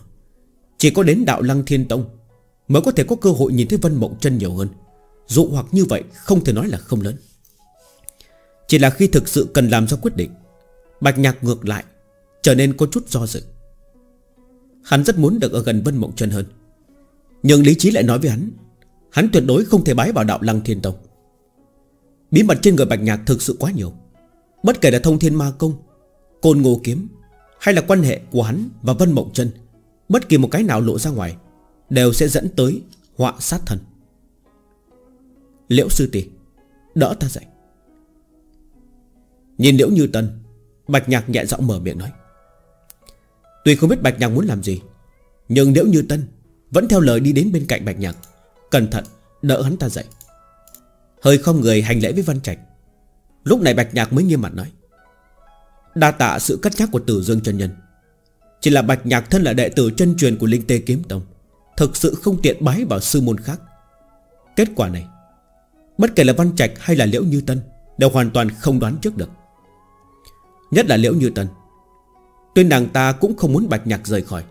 Nhưng mà khi nghe thấy Bạch Nhạc thực sự cự tuyệt đạo Lăng Thiên Tông, Sự rung động trong lòng Đã không thể diễn tả bằng ngôn từ. Nhưng mà thực sự khiến cho nàng ta rung động Vẫn ở phía sau. Đệ tử chân truyền có là gì đâu chứ? Chỉ là một cái xưng hô mà thôi. Lắc đầu, Văn Trạch tiếp tục nói. Bạch sư đệ có lẽ vẫn còn chưa biết, Thánh nữ đã hứa, Chỉ cần ngươi chịu bái vào bản tông sẽ cho ngươi vị trí chân truyền. Chính ngươi cũng từng nói, Thánh nữ có ơn với ngươi. Hiện giờ thánh nữ tự mình mời ngươi nhập nhập tông. Chả lẽ ngươi còn vẫn cự tuyệt sao? Điều kiện như vậy, Đừng nói là bạch nhạc. Liễu như tân bên cạnh qua thực Nghe mà muốn gất xỉu. Đại tử chân truyền của đạo lăng thiên tông, Hơn nữa là thánh nữ tự mình mở miệng mời. Đây quả thực chính là cá vượt lòng buồn. Chỉ cần bạch nhạc đáp ứng, Chuyện tu hành ngày sau có thể nói là một con đường bằng phẳng. Ít nhất bước vào tinh cung cảnh Là không có vấn đề. Nghe vậy, cho dù là bạch nhạc Cũng không khỏi cười khổ. Lúc trước hắn vừa mới trở thành đệ tử chân truyền, Khi bế quan đi ra gặp Vân Mộng chân, Cũng đừng từng nói với nàng ta về vấn đề này. Vân Mộng chân từng nói, Nếu có thể tìm về Côn Ngô Kiếm, Sẽ dẫn Bạch Nhạc tới đạo Lăng Thiên Tông. Hiện giờ Côn Ngô Kiếm tất nhiên là không tìm được, Nhưng mà dưới loại tình huống này Vân Mộng chân lại đột nhiên nói toán vị trí đại tử chân truyền. Hiển nhiên Sợ rằng không phải là bổn ý Mà là thể hiện cho người khác xem. Điểm này chỉ cần suy tư một chút Là Bạch Nhạc có thể hiểu. Hắn tất nhiên cũng muốn ở gần Vân Mộng Trân. Hơn một chút Nhưng mà lại càng hiểu rằng Nếu mình thực sự muốn đuổi kịp bước chân của Vân Mộng Trân, Trước tiên nhất định phải cách xa nàng một chút. Trời cao mặc chim bay Biển rộng Tùy cá nhảy. Đối với Bạch Nhạc mà nói, Loại tông môn đỉnh cấp đạo lăng thiên tông này Có lẽ ngược lại sẽ là ước thúc sự tự do quán, Hạn chế tương lai quán. Đa tạ thanh nữ. Thở ra một tiếng, bạch nhạc cuối cùng vẫn lắc đầu, Cự tuyệt. Linh tề kiếm tông đối với ta không tệ. Tông môn tuy nhỏ, Nhưng đối với ta mà nói, Giống như là nhà vậy. Làm sao lại có chuyện ghét bỏ nhà nhỏ Mà rời khỏi chứ? Lần này Văn Trạch mới chính thức là lâm vào động dung. Bình tĩnh nhìn Bạch Nhạc. Sau khi xác định Bạch Nhạc không phải đang giả ý chối từ, Văn Trạch không khỏi không người cúi đầu về phía Bạch Nhạc. Thân là đệ tử đạo Lăng Thiên Tông, Hắn tất nhiên vô cùng minh bạch. Điều này đối với người khác mà nói Là một loại dụ hoặc thế nào? Thậm chí có thể nói, Điều này có nghĩa là một loại nhân sinh hoàn toàn khác. Ở trước mặt loại lựa chọn này Bạch Nhạc vẫn có thể giữ được bản tâm. Không vì ngoại vật mà động lòng. Phần thủ vững này tuyệt đối đáng giá cho bất kỳ ai bội phục. Bạch sư đệ tâm tư tinh thuần. Có tình có nghĩa, Ta cũng không bằng. Thở dài một tiếng, Văn Trạch trầm giọng mở miệng nói. Thật đáng tiếc, Không thể làm đồng môn với người. Có điều bằng hữu như ngươi, Thì Văn Trạch ta kết giao chắc rồi. Cười cười Bạch Nhạc nói khẽ. Chỉ cần Văn Sư Huynh không chê, Tiểu đệ tất nhiên là nguyện kết ra bằng hữu với Văn Sư Huynh. Cự tuyệt sao? Có được hồi báo của Văn Trạch, Tử Dương chân Nhân cũng không hỏi ngần ra. Nói thật kết quả này Là hắn hoàn toàn không ngờ đến, Cho nên có chút kinh ngạc. Chuyện thánh nữ đáp ứng cho hắn là đệ tử chân truyền, Người đã nói với hắn chưa? Dạ đã nói. Gật đầu Văn Trạch trả lời. Bạch nhạc này tâm tư tinh thuần, Ân oán rõ ràng. Thực không phải là người bình thường có khả năng so sánh. Hắn nói, Đối với hắn mà nói, Linh Tê Kiếm Tông giống như là nhà vậy, Không có đạo lý nào mà lại bỏ nhà mà đi. Hơi gật đầu, Từ dương chân nhân thản như nói, Cũng có vài phần cốt khí. Thôi, cứ kệ hắn. Đối với tử dương chân nhân, Có thể cho phép Bạch Nhạc vào đạo lăng thiên tông, Đã là ân huệ lớn rồi.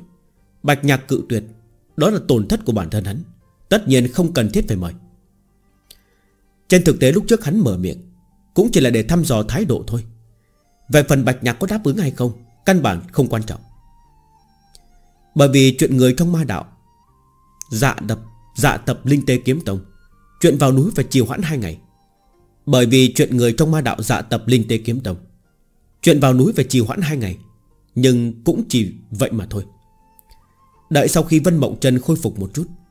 Dựa theo kế hoạch ban đầu, Từ Dương chân Nhân sẽ tự mình dẫn người vào núi Tìm kiếm tung tích của côn ngô kiếm.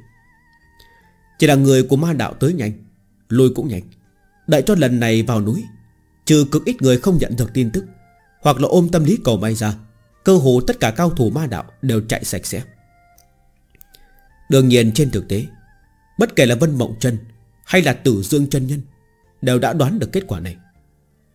Cái gọi là soát núi, Trên thực tế chính là làm thủ tục. Lúc trước khi Tử Dương chân Nhân đến Ninh Tê Kiếm Tông, Đã từng nói, Chỉ dùng 7 ngày làm hạn định, Cho dù đã xảy ra một số bất ngờ, Phương châm này cũng không có gì thay đổi. 7 ngày này, Toàn bộ hậu sơn, Cơ hồ bị lật tung.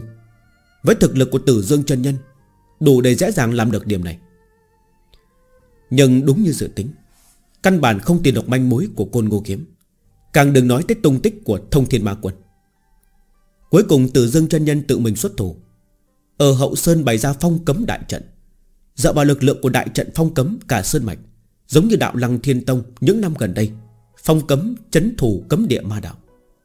Đương nhiên khác với những cấm địa ma đạo đó, Tử dương chân nhân tất nhiên là không thể thực sự chấn thủ nơi này. Nhưng cho dù là muốn như vậy, Phá cấm chế này ra, Để vào hậu sơn, Ít nhất cũng phải có thực lực tinh hải cảnh mới được. Cho dù nơi này trên thực tế, Xem như là chỗ của Linh Tê Kiếm Tông, Nhưng mà đối mặt với đạo Lăng Thiên Tông, Ai dám đứng ra phản đối? Bởi vì do bị thương 7 ngày này, Bạch Nhạc không tham dự hành động tìm kiếm ở Hậu Sơn, Mà một mực tu dưỡng trong thiên tâm phòng. Trên thực tế, Tin tức Bạch Nhạc cự tuyệt lời mời của đạo Lăng Thiên Tông, Thông qua Liễu Như Tân, Truyền vào tai của Từ Phong và Hà Diêu, Hai vị này cũng cảm động vô cùng. Thật tâm mà nói, Nếu đổi chỗ, Bọn họ ở vị trí của Bạch Nhạc chỉ sợ không ai dám nói nhất định có thể cự tuyệt yêu cầu của đạo Lăng Thiên tộc. Không, Thậm chí có thể nói, Căn bản không thể cự tuyệt. Đệ tử chân truyền của đạo Lăng Thiên Tông Nói một cách không khoa trương, Thân phận như vậy, Cho dù là tông chủ như hắn cũng phải thấy khách khí. Bất kể là địa vị Hay là tài nguyên có được, Đều hơn xa những gì mà Linh Tế Kiếm Tông có thể cho. Nhưng dù vậy, Bạch Nhạc vẫn lựa chọn ở lại. Sao có thể không khiến cho bọn họ cảm động chứ? Cơ hồ là ngay khi nhận được tin tức, Hà Diêu tuyên bố với bên ngoài, Bạch Nhạc là truyền nhân cách đời của kiếm tổ, Địa vị cùng với cấp với trưởng lão, Vượt trên cả hai vị chân truyền. Nếu là trước kia, có thể nói có người phản đối, Nhưng mà hiện giờ Thành danh Bạch Nhạc cơ hồ đã được tất cả đệ tử tán thành. Bất kể là luận kiếm thiên tâm phong, Hay là kiếm tràm âm dương quỷ đồng hoặc là cự tuyệt đời mời đạo lăng thiên tông, Tất cả đều tích lũy đủ thanh danh cho Bạch Nhạc. Khi Hà Diêu tuyên bố kết quả này, Giống như là nước chảy thành sông. Cho dù là hai vị chân truyền Lý Tử Vân, Khổng Tử Cũng bảo trì trầm mặc. Rất khó tưởng tượng. Hơn hai tháng trước, Bạch Nhạc thậm chí chỉ là một tạp dịch ngoại môn. Bóng đêm hàng lâm. Đứng trên thiên tâm phòng, Bạch Nhạc do dự hơn một tiếng. Cuối cùng vẫn không nhịn được, Nhảy xuống núi, Bước vào thiên điện chỗ Vân Mộng Trần. Bạch nhạc cầu kiến thanh nữ. Đứng trước thiên điện, Bạch nhạc kho mình hành lễ. Hiện giờ ngoài thiên điện, Từng thời khắc đều có đệ tử, Đạo lăng thiên tông canh gác. Tất cả tự nhiên đều cần dựa theo kia củ mà làm. Cũng may, Bởi vì trận chiến lúc trước, Những đệ tử đạo lăng thiên tông này Cũng rất có hào cảm với bạch nhạc, Không hề ngăn cản. Két một tiếng. Cửa điện chậm rãi bị đẩy ra. Vân Mộng chân mặc một thân váy dài màu trắng thuần, Không chờ Bạch Nhạc mở miệng, Thản nhiên nói, Đi thôi, Tới thiên tâm phong của ngươi. Đêm đã khuya. Dưới loại tình huống này, Có đệ tử khác ở đây, Vân Mộng Trần không muốn ở cùng một phòng với Bạch Nhạc, Để rồi lưu lại một câu chuyện. Đương nhiên trên thực tế, Cũng có một phần dụng ý muốn kéo giãn Một chút cự ly. Mấy ngày nay Vân Mộng Trân đã triệt đề bình tĩnh lại. Đã định trước là không có kết quả. Chẳng thà dứt khoát một chút, Chặt đứt tất cả ràng buộc. Tuệ kiếm chảm tơ tình. Được. Hơi trầm mặc một đát Bạch nhạc nhẹ giọng đáp ứng. Một đường không nói chuyện, Bạch nhạc cứ như vậy dẫn Vân Mộng chân Bước lên thiên tâm phòng. Phía sau mấy đệ tử đạo lăng thiên tông một mực đi theo, Vẫn duy trì một đoạn cự ly Không xa không gần. Bước đến chỗ cao nhất của thiên tâm phòng. Vân Mộng Trần vẫy vẫy tay phân phó. Ta có chút chuyện muốn nói với Bạch Nhạc. Các người không cần đi theo. Vâng. Không người đáp ứng, Mấy đại tử đạo lăng thiên tông Lập tức lùi ra một chút. Có điều vẫn trong phạm vi tầm mắt nhìn thấy.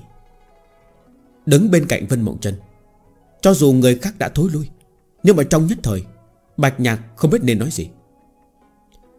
Bên tai có tiếng gào thét. Đêm hơi lạnh. Chuyện lúc trước. Cảm ơn người. Chờ mặc một đát Vân Mộng chân mở miệng. Đây là lần đầu tiên nàng ta nói cảm ơn với Bạch Nhạc. Cho dù là lúc trước trong sân cốc hậu sơn, Bạch Nhạc đã cứu nàng ta. Nàng ta vẫn chưa từng nói cảm ơn. Rất nhiều lúc nói cảm ơn không phải cảm động, Mà là xa cách. Người biết mà, Ta không muốn nghe cái này. Bạch Nhạc thở dài, Nói khẽ. Nhưng ta chỉ có thể nói cái này. Đưa lưng về phía Bạch Nhạc. Vân Mộng chân ngẩng đầu nhìn ánh trăng trên trời, Nói, Ta hiểu tâm tư của người Nhưng mà người chắc cũng hiểu. Không có khả năng đâu. Ta là thánh nữ đạo lăng thiên tông. Cả đời phụng đạo, Đây là trách nhiệm của ta, Cũng là số mệnh. Số mệnh? Khóe miệng lộ ra vẻ châm trọng. Bạch nhạc chậm rãi nói nếu tin số mệnh, Vậy ta vĩnh viễn chỉ là làm tiểu tạp dịch đó sao? Nhắc tới chuyện này, Vân Mộng Trần chậm rãi xoay người lại, Sắc mặt cũng lạnh đi mấy phần, Thản nhiên nói. Ngươi nên hiểu, Đây không phải là chuyện năng lực ngươi mạnh thế nào, Mà là vận khí tốt hơn người khác. Cảm ngộ linh tê kiếm quyết cũng là vận khí sao? Không chút đùi bước, nghênh đòn ánh mắt của Vân Mộng Trần, Bạch Nhạc nhẹ giọng hỏi ngược lại. Lần này cho dù Vân Mộng Trần cũng trầm mặc.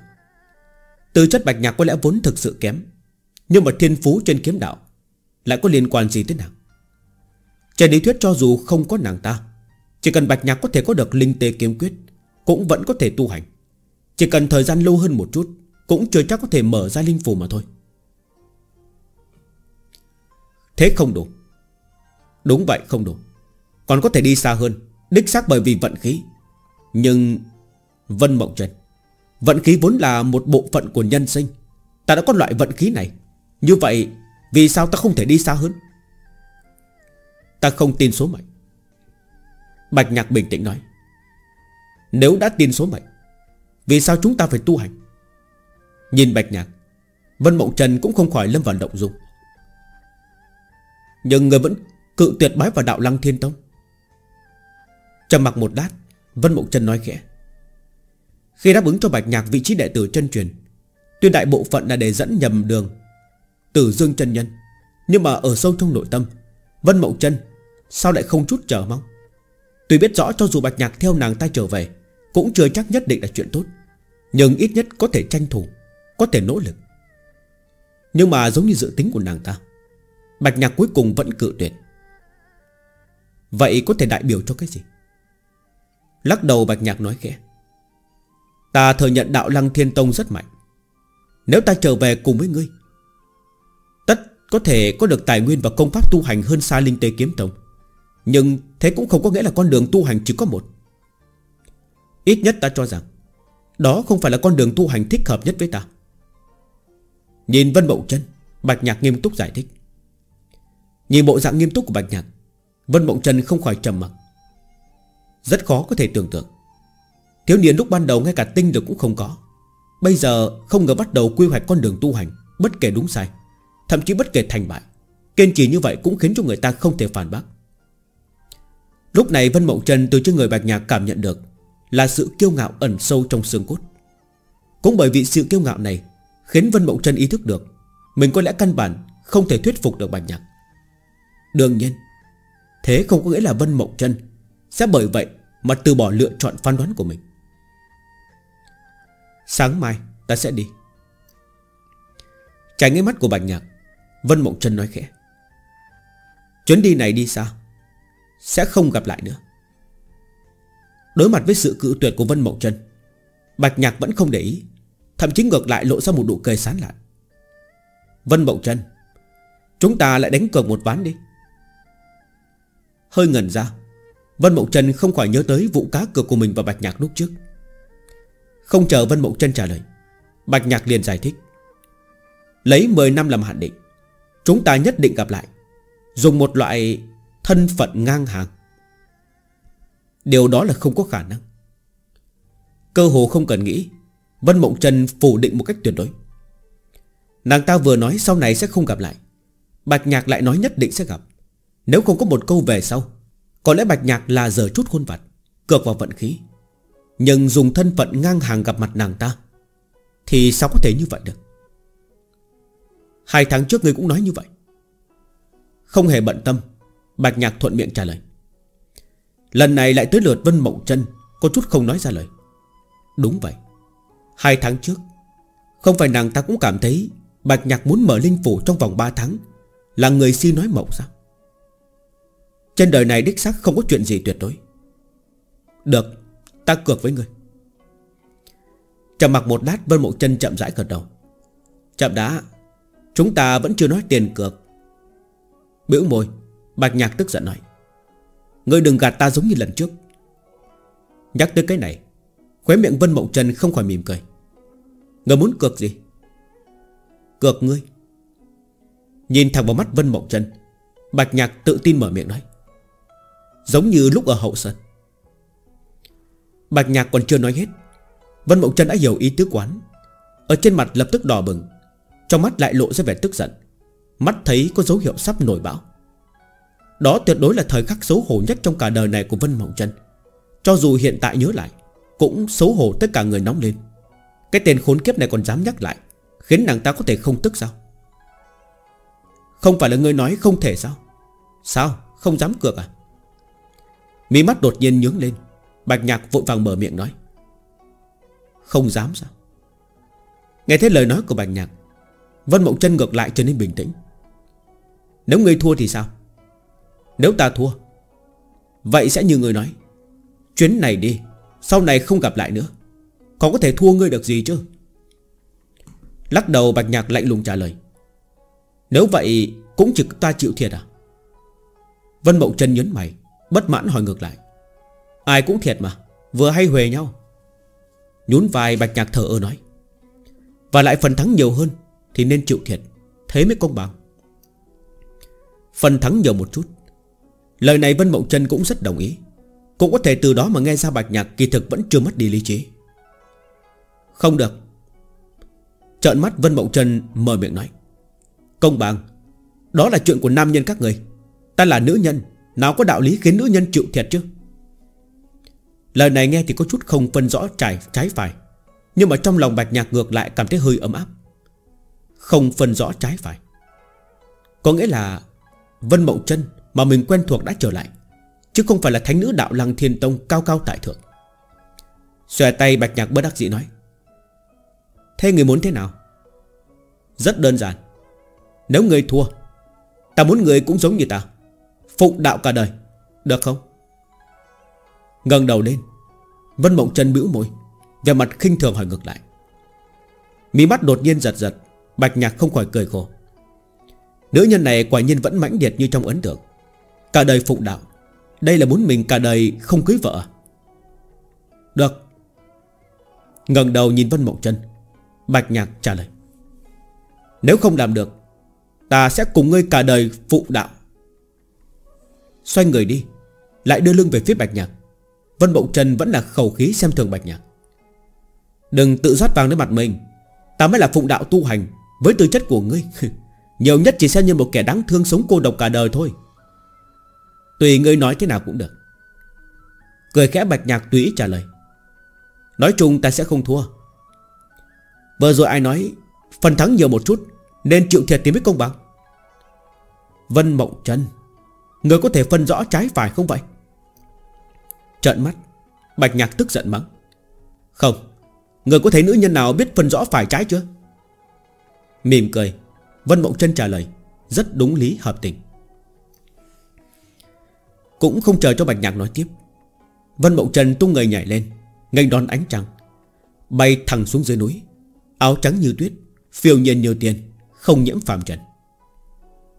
Bạch nhạc, Chuyến này chia tay, Không hẹn gặp lại. Người ở không trung Vân Mộng Trân lại lặp lại những lời này, Trực tiếp biến mất trong bóng đêm. Chỉ là lần này Vân Mộng Trân khống chế âm thanh, Không chỉ bạch nhạc, Cũng khiến cho đệ tử Đạo Lăng Thiên Tông Đi theo xa xa nghe rõ. Đây vốn là một lần cáo biệt, Nhưng mà lại không còn là Vân Mộng Trân cáo biệt, Mà là thánh nữ Đạo Lăng Thiên Tông cáo biệt. Cùng một câu Nhưng ý nghĩa đại biểu như hoàn toàn khác nhau. Nếu không gặp lại, Đây chính là tuệ kiếm tràm tơ tình. Không có chút lưu luyến, Từ biệt này chính là vĩnh biệt. Ánh trăng lặng lẽ, Lại càng lúc càng lạnh. Đứng trên đỉnh núi, Nhìn bóng lưng Vân bộng chân, Bạch nhạc im lặng mà đứng, Suy nghĩ lại càng bồng bềnh đi xa. Đêm trăng sáng, Không chỉ có nữ nhi tình trường, Cũng thích hợp Cho giết người cướp của. Bạch nhạc thậm chí còn chưa thoát khỏi Cái loại phiền muộn biệt ly này. Mũi đào lạnh như băng đã hạ xuống cổ quán. Sự băng hàn trong nháy mắt đó, Thậm chí không cần quay đầu, Bạch nhạc đã đoán được người xuất hiện ở phía sau. Dạ nhận. Tử Dương chân Nhân và Vân Mộng chân Còn chưa rời khỏi Linh Tê Kiếm Tông. Dưới lại tình huống này, Cả gan xâm nhập Hơn nữa còn có thể vô thanh vô tức như vậy lèn tới. Bạch nhạc biết Cũng chỉ có một mình dạ nhận mà thôi. Chỉ là bạch nhạc không rõ, Với thực lực của dạ nhận, Sao lại tìm tới mình? Không thể vì, chỉ vì xả giận chứ. Thiên tâm phòng cách linh tê kiếm tông không gần.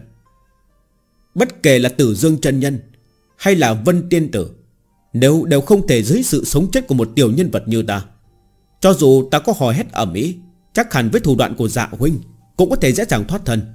Việc gì phải lưỡi đào quấn thân? Từ lần đầu tiên nhìn thấy người, Cảm thấy người tuyệt không phải là những tục vật có thể so sánh. Nhưng không ngờ, Ngươi lại mang tới cho ta một kinh hỉ lớn. Thanh âm dạ nhận sau lưng chậm rãi vang lên.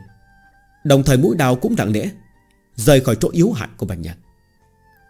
Đúng như Bạch Nhạc nói Dạ nhận đã dám đến, Không sợ Bạch Nhạc Dở mánh lới gì. Ở cự đi gần như vậy, Cho dù là tử dương chân nhân tự mình tới, Hắn cũng có nắm chắc giết chết được Bạch Nhạc trước. Kinh hỉ thì chưa nói tới.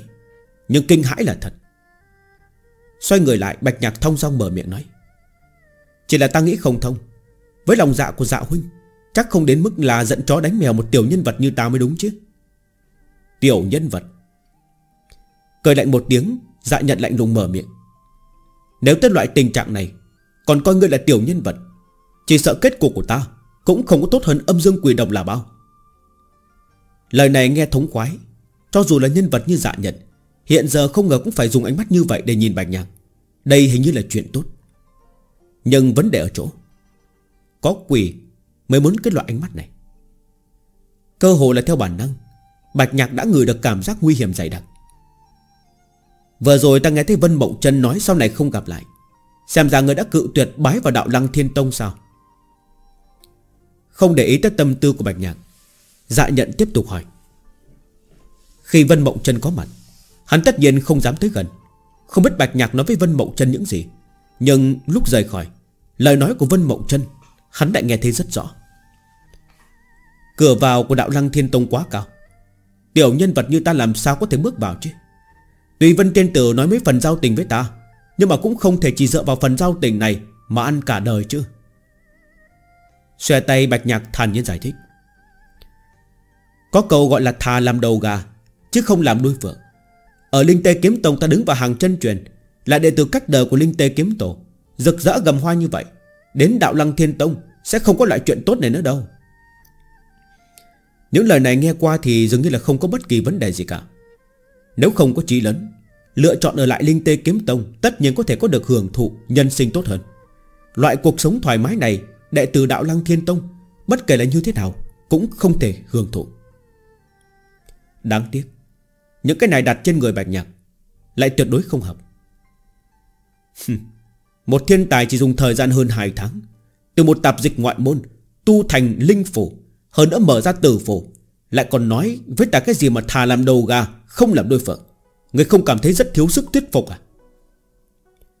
Lạnh lùng liếc bạch nhạc một cái Dạ nhận thản nhiên hỏi ngược lại. Ta không xem thường ngươi, Nhưng mà ngươi lại coi thường ta. Nhìn bạch nhạc Dạ nhận bình tĩnh nói Nếu người vẫn muốn dùng lời lẽ này để qua lo với ta, Vậy rút kiếm ra đi. Thử xem ngươi còn có thể đỡ được một kích của ta không? Lập tức sắc mặt của Bạch Nhạc trở nên khó coi. Đến loại tình trạng này, Bạch Nhạc tất nhiên hiểu. Dạ nhận đã đoán được gì đó. Đối phương rốt cuộc đã nhìn thấu gì, Bạch Nhạc vẫn không thể nắm bắt được.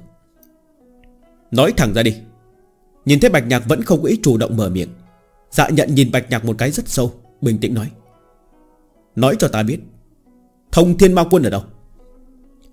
Thanh âm của dạ nhận rất khẽ, Giống như chỉ là thuận miệng hỏi. Nhưng một câu này lại đột nhiên giống như xét đánh giữa trời quang, Khiến cho tâm thần Bạch Nhạc chấn động. Cơ hồ theo bản năng, Bạch Nhạc đã muốn phản bác, Nhưng mà khi lời nói vừa đến bên miệng, liền bị hắn cường hành nuốt xuống. Cũng không phải hắn sợ dạ nhận uy hiếp, Mà là trong nháy mắt này, Tất cả câu đố giống như là đều theo một tiếng sét này, Trở nên rõ ràng. Tất cả mọi chuyện trong nháy mắt này Đã được liên hệ lại toàn bộ. Lúc trước, Mình đỡ một kích của dạ nhận cho Vân Mộng Trân. Có thể sống sót, Không phải là vận khí của mình tốt, Lại càng không phải là lực của dạ nhận không đủ. Mà là bởi vì lúc đó Dạ nhận đã cảm nhận được khí tức của thông thiên ma công. Nghĩ thông điểm này, Tất cả đều biến thành Thuận lý thành trương Chính bởi vì đã nhận ra thông thiên ma công, Cho nên dạ nhận trong nháy mắt cuối cùng Mới lưu thủ, Cho mình con đường sống. Mạo hiểm lên tới linh tê kiếm tông Trước khi Vân Mộng chân và Tử Dương chân Nhân rời đi. Là vì lo lắng Tử Dương chân Nhân và Vân Mộng chân Cũng nhìn ra khác thường, Dẫn mình về đạo lăng thiên tông. Hiện giờ tìm thấy mình, Đâu phải để để xả giận. Căn bản chính là vì thông thiên ma quân mà đến. Lúc này cả người bạch nhạc toát toát mồ hôi lạnh, Càng cảm nhận được uy hiếp từ tử vong rõ ràng hơn. Đúng vậy Dạ nhận xuất hiện ở đây. Không phải là bởi vì mình được hắn coi trọng, Mà là bởi vì tung tích của thông thiên ma quân Thực sự quá quan trọng, Thậm chí có thể ảnh hưởng tới tương lai của ma đạo. Tất cả những cái này nói thì dài, Nhưng trên thực tế cũng là chuyện trong một cái nháy mắt. Nghĩ thông mấu chốt này, Nên trả lời dạ nhận thế nào Đã không còn phải lăn tăn. Trong mắt lộ ra một tia hàn mang, Tinh lực ở bên người đột nhiên thu liễm, Thay vào đó là ma khí của địa đạo thông thiên ma công. Dạ huynh, Người nói như vậy thì không phải bằng hữu rồi. Thanh âm có chút lạnh Chân mặt bạch nhạc cũng không còn vẻ sợ hãi, Thậm chí ngược lại còn lộ ra sát cơ. Ta là một thích khách, Người đã bao giờ nghe tới thích khách có bằng hữu chưa? Vẫn bất vi sở động Dạ nhận thản nhiên mở miệng nói. Quả như là thông thiên ma công, Có điều người tốt nhất đừng có lộ ra sát ý với ta thì tốt hơn. Cho dù ngươi là truyền nhân của thông thiên ma quân Thì cũng không thể vượt qua một cảnh giới lớn mà uy hiếp tới ta. Dừng lại một chút Dạ nhận tiếp tục nói. Nếu đệ tử Dương chân Nhân Hoặc là Vân Mộng chân nhận thức khác thường, Ta cam đoan Bất kể lúc trước người đã làm gì cho nàng, Nhất định sẽ chết thảm hơn ta. Khẽ nhấn mày, Thu liễm khí tức trên người, Không lưu lại một tia dấu vết. Quả thực giống như là vừa rồi Là ảo giác vậy. Nếu ta nói, Thông thiên mạo quân chết rồi Người có tin không? Ngẩng đầu trong mắt lộ ra một tia châm trọng. Bạch nhạc chậm rãi mở miệng nói. Ta nói rồi. Người dám tin không? Một chiêu này kỳ thực là bạch nhạc Học của Vân Mộng Trân Lúc trước dạ nhận nghi ngờ Vân Mộng Trân Có tư tình với bạch nhạc, Vân Mộng Trân chính là đáp lại như vậy. Nhưng mà kết quả thì sao? Nàng ta dám thừa nhận, Nhưng mà dạ nhận lại không dám tin. Bị bức cho vẫn bị Vân Mộng chân Dắt mũi kéo đi. Không thể không từ bỏ quân cờ bạch nhạc này. Hiện giờ dạ nhận muốn hỏi tung tích của thông thiên ma quân. Phản ứng bạch nhạc làm ra, Kỳ thực cũng giống hệt Vân Mộng chân lúc trước. Người nói ta có quan hệ với thông thiên ma quân. Không thành vấn đề, Ta thừa nhận. Nhưng ta có quan hệ gì với thông thiên ma quân hay không? Đối với ngươi mà nói, Không có bất kỳ ý nghĩa gì. Ý nghĩa chỉ ở chỗ, Thông thiên ma quân ở đâu, Là còn sống hay đã chết. Tốt. Ta cũng nói rõ cho người.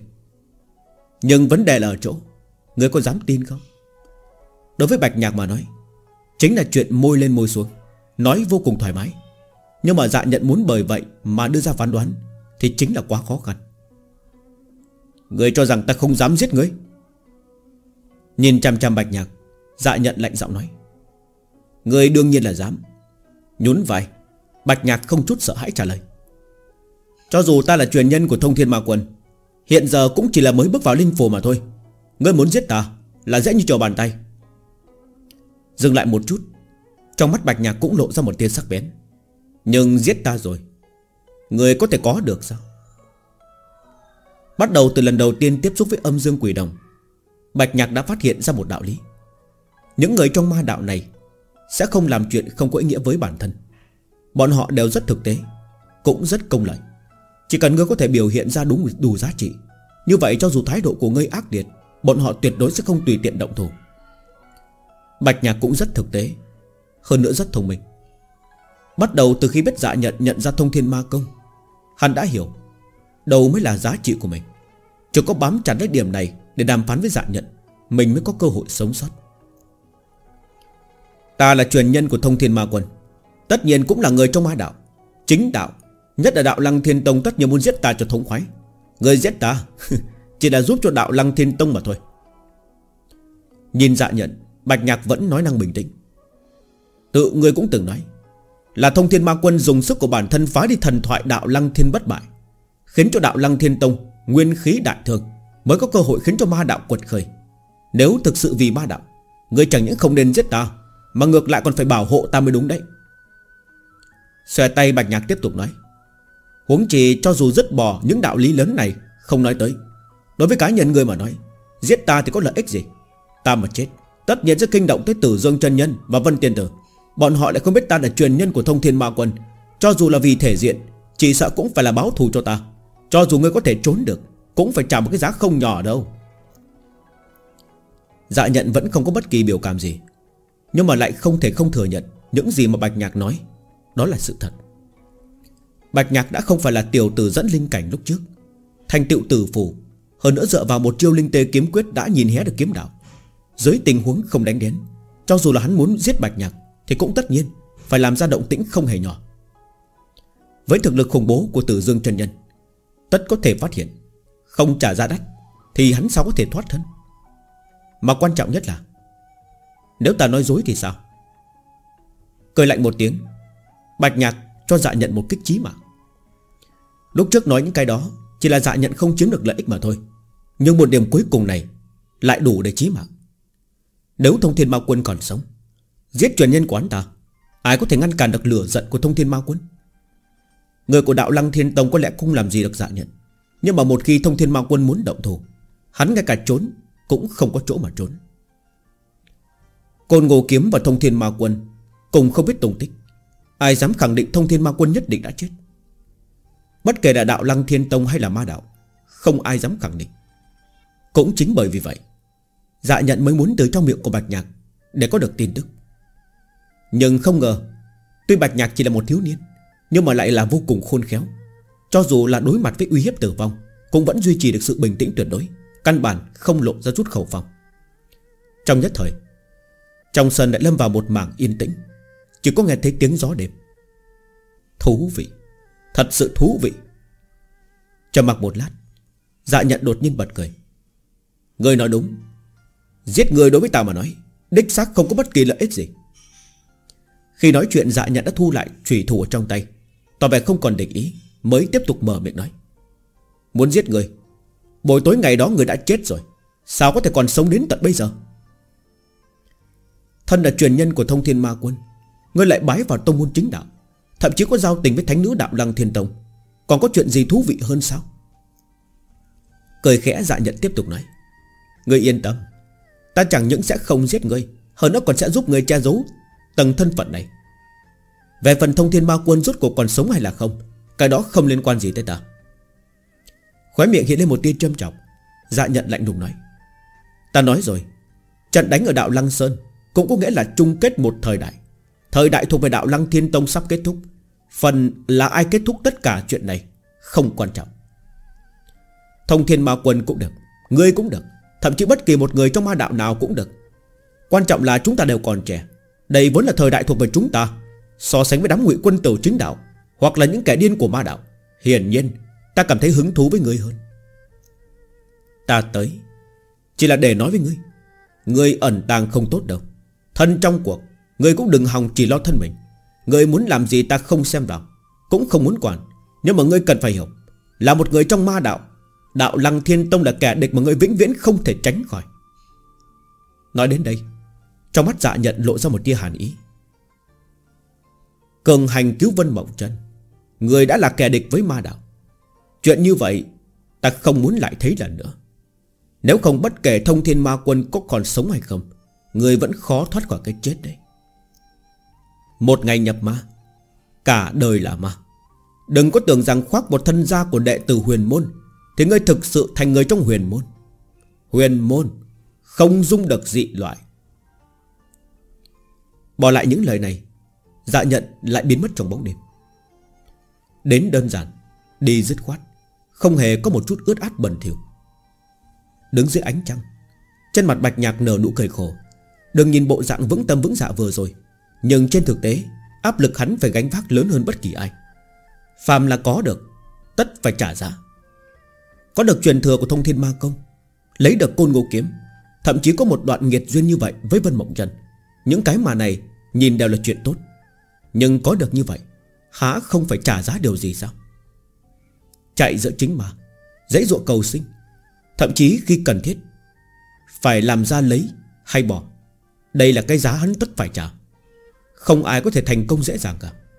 Đi lên con đường như vậy, Trừ khoái ý ra, Còn có trầm trọng. Nhưng đã không có lựa chọn. Bất kể là chủ động cũng cũng được, Bị động cũng thế. Đã đi trên con đường này, Vậy thì có thể một mực đi tiếp. Cho đến một ngày, Có thể có đủ lực lượng để nắm giữ vận mệnh của mình. Trong thời gian hơn 2 tháng ngắn ngủi này, Bạch Nhạc đã trải qua quá nhiều. Cho đến giờ phút này, Phải cáo biệt không chỉ là Vân Mộng chân Mà còn có loại sinh hoạt Và nhân sinh quá khứ. Có chờ mong, Cũng có nguy hiểm. Tương lai thế nào, Không ai biết. Nhưng mà có một điểm, Lúc này Bạch Nhạc lại cảm nhận được vô cùng rõ ràng.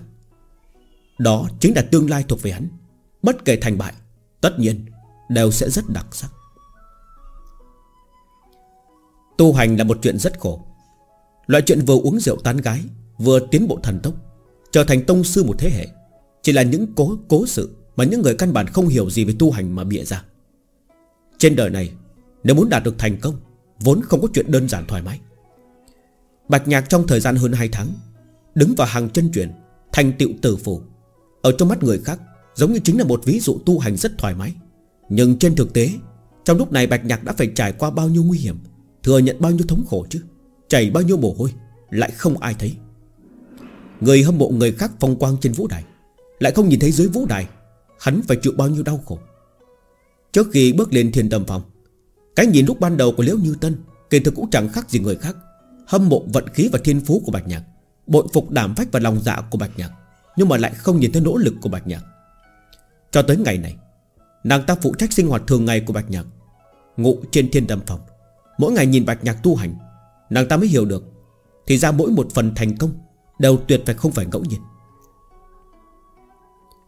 Vân Mậu Trần đã rời đi được nửa năm. Nhưng nửa năm qua, Bạch Nhạc cơ hồ ngay cả thiên tâm phong cũng không xuống.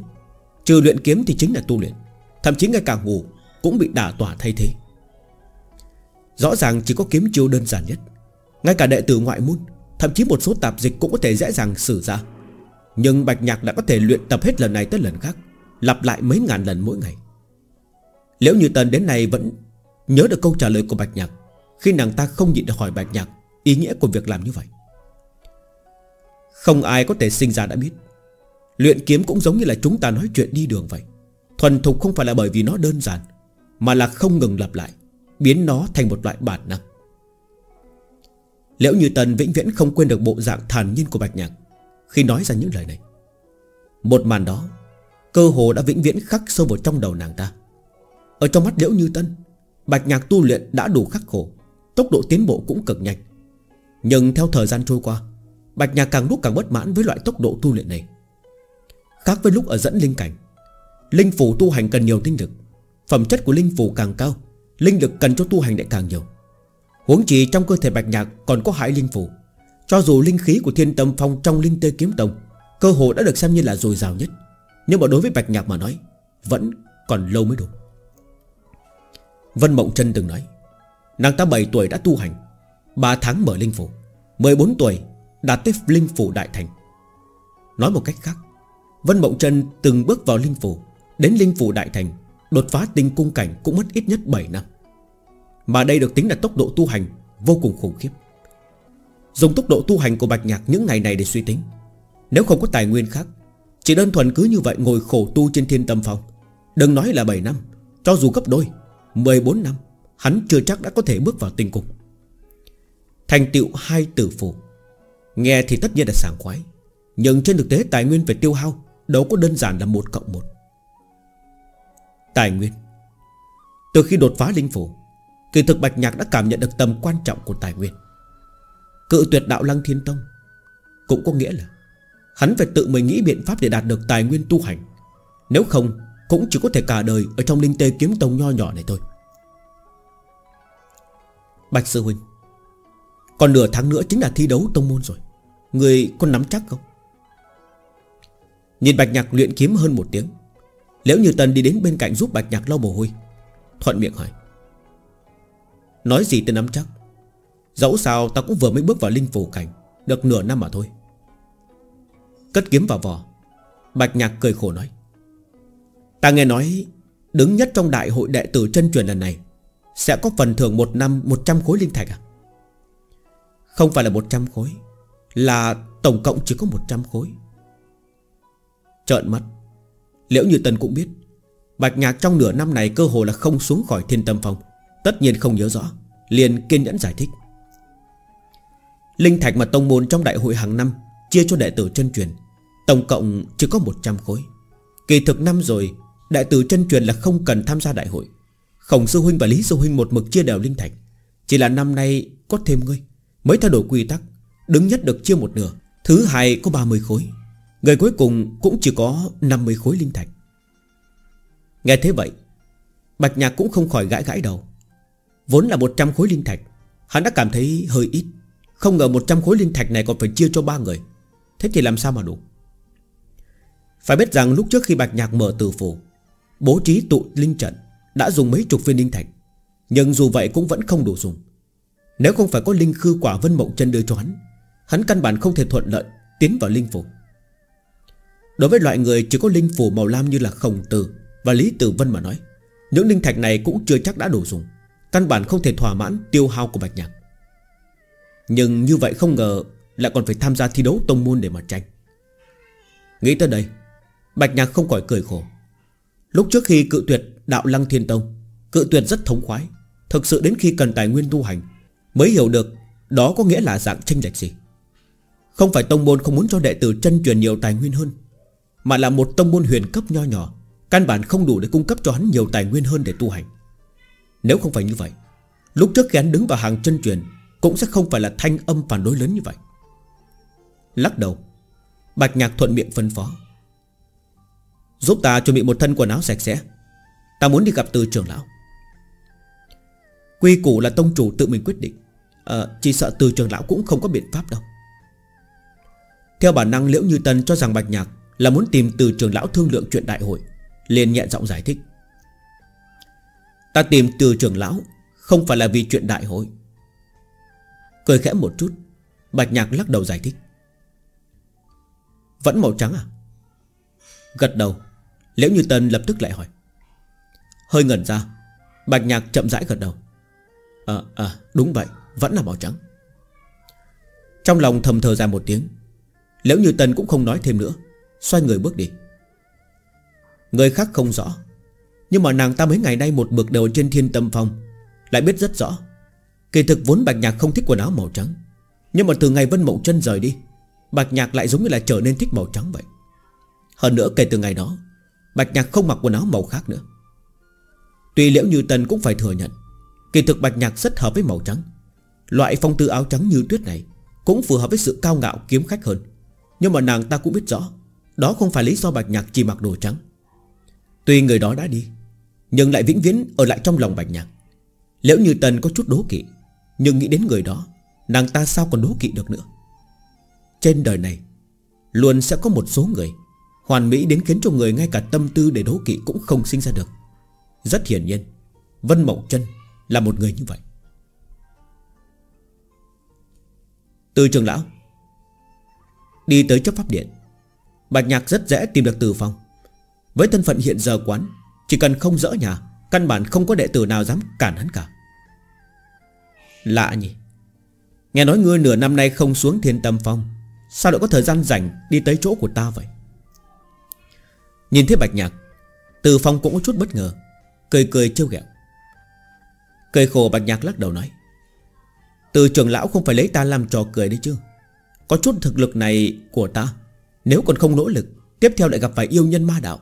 Sợ là sẽ không có vận khí tốt như vậy. Gật gật đầu. Hiển nhiên rất hài lòng với loại thái độ khiêm tốn này của Bạch Nhạc. Từ phong xoay người đi vào một gian tĩnh thất ở bên cạnh. Chỉ vào Chỉ vào ghế dựa, Ý bảo Bạch Nhạc ngồi xuống, Mới mở miệng nói. Nói đi, Tìm ta có chuyện gì? Đối với đại tử khác mà nói, Tới tìm Từ Phong chỉ có thể là Để kéo gần quan hệ. Liên lạc tình cảm. Nhưng Bạch Nhạc hiển nhiên không phải loại người như vậy. Ta muốn rời tông môn du lịch. Bạch Nhạc không khách sáo, Nhìn Từ Phong nói thẳng. Trước khi Bạch Nhạc lên tiếng, Từ Phong cũng từng nghĩ tới nhiều khả năng. Nhưng mà thế nào cũng không ngờ được Bạch Nhạc Lại đề xuất một yêu cầu như vậy. Lập tức, Lông mày đột nhiên nhớn lên. Càn quấy, Ngươi vừa bước vào linh phủ cảnh được bao lâu chứ? Đến lúc cần du lịch để đột phá bình cảnh rồi à?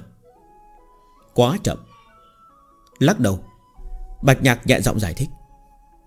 Nếu làm từng bước tu luyện trong tông, Cho dù là khổ tu 10 năm, Cũng không có hy vọng bước vào tinh cung cảnh.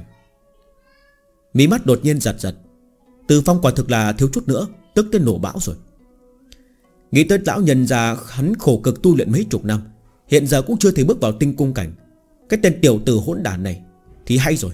Khổ tu 10 năm có hy vọng bước vào tinh cung cảnh, Không ngờ lại còn ngại chậm. Thế không phải là tắt thầm vào mặt hắn à? Người nghĩ tinh cung cảnh là cái gì? Cho dù ngươi thành tựu tử phổ Cũng không thể mơ hỏng mộng hão huyền như vậy được. 10 năm có thể bước vào tinh cung, Đã là thành tựu không tồi đâu. Tức giận hừ một tiếng, Từ phong lập tức mở miệng quát. Luôn có một số người có thể nhanh hơn. Lắc đầu, Bạch nhạc khẽ nói, Ai? Lời vừa ra khỏi miệng, Từ phong lập tức nhạy bén Ý thức được một số người mà Bạch nhạc nói là ai. Vân Mộng Trần. Nhưng mà Vân Mộng chân đó là ai chứ? Đó là thanh nữ của đạo Lăng Thiên Tông. Phóng mắt khắp thiên hạ, Cũng là thiên kiêu xuất sắc nhất. Cho dù Từ Phong có đánh giá cao thiên phú và tư chất của Bạch Nhạc như thế nào, Thì cũng chưa nghĩ tới Đánh đồng Bạch Nhạc với Vân Mộng Trần Ý thức được điểm này, Từ Phong lập tức cười khổ. Người chắc không phải là muốn so sánh với Vân Tiên Tử đấy chứ? Vì sao không thể? Trầm mặc một lát, Bạch Nhạc cũng không có ý tứ che giấu, Bình tĩnh hỏi ngược lại. Nếu ngay cả bản thân cũng phải xem thường. Còn có tư cách gì mà truy tìm đại đạo?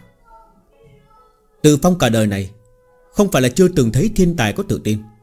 Tự thấy cũng nghe qua rất nhiều truyền thuyết nhân vật truyền kỳ, Nhưng mà chưa từng có bất kỳ khoảnh khắc nào rung động hơn nữa lúc này.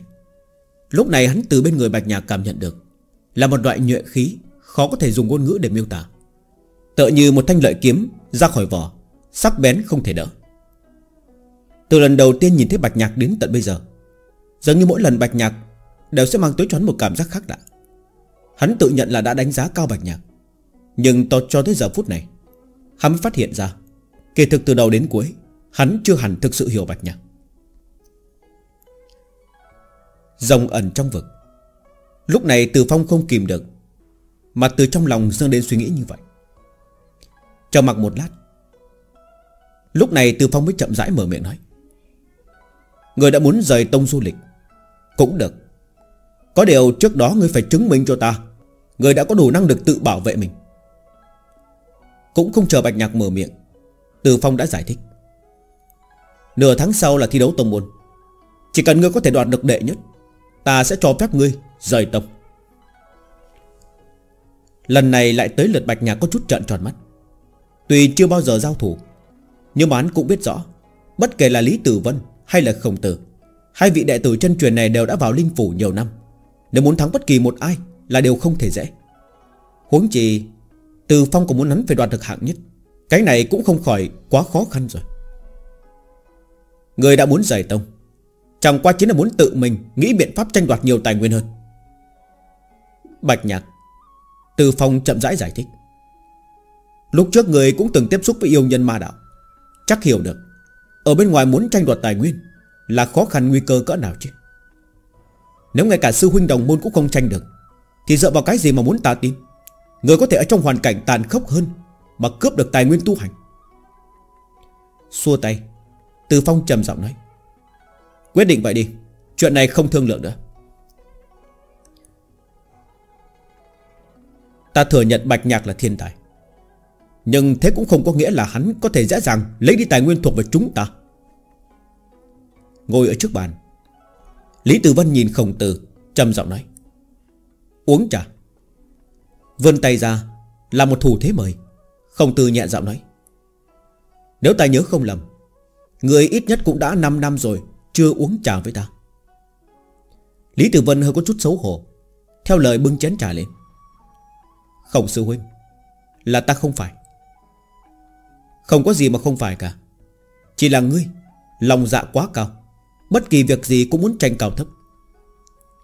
Lắc đầu khổng tử chậm rãi nói, Kỳ thực nhân sinh đôi khi tự như là phẩm trà. Hòa hậu không đủ, Bất kể ngươi có gấp như thế nào, Cũng không phẩm ra được mùi vị. Nhiều năm như vậy trôi qua Ngươi luôn muốn tranh cao thấp với ta. Hiện giờ lại xuất hiện một bạch nhạc.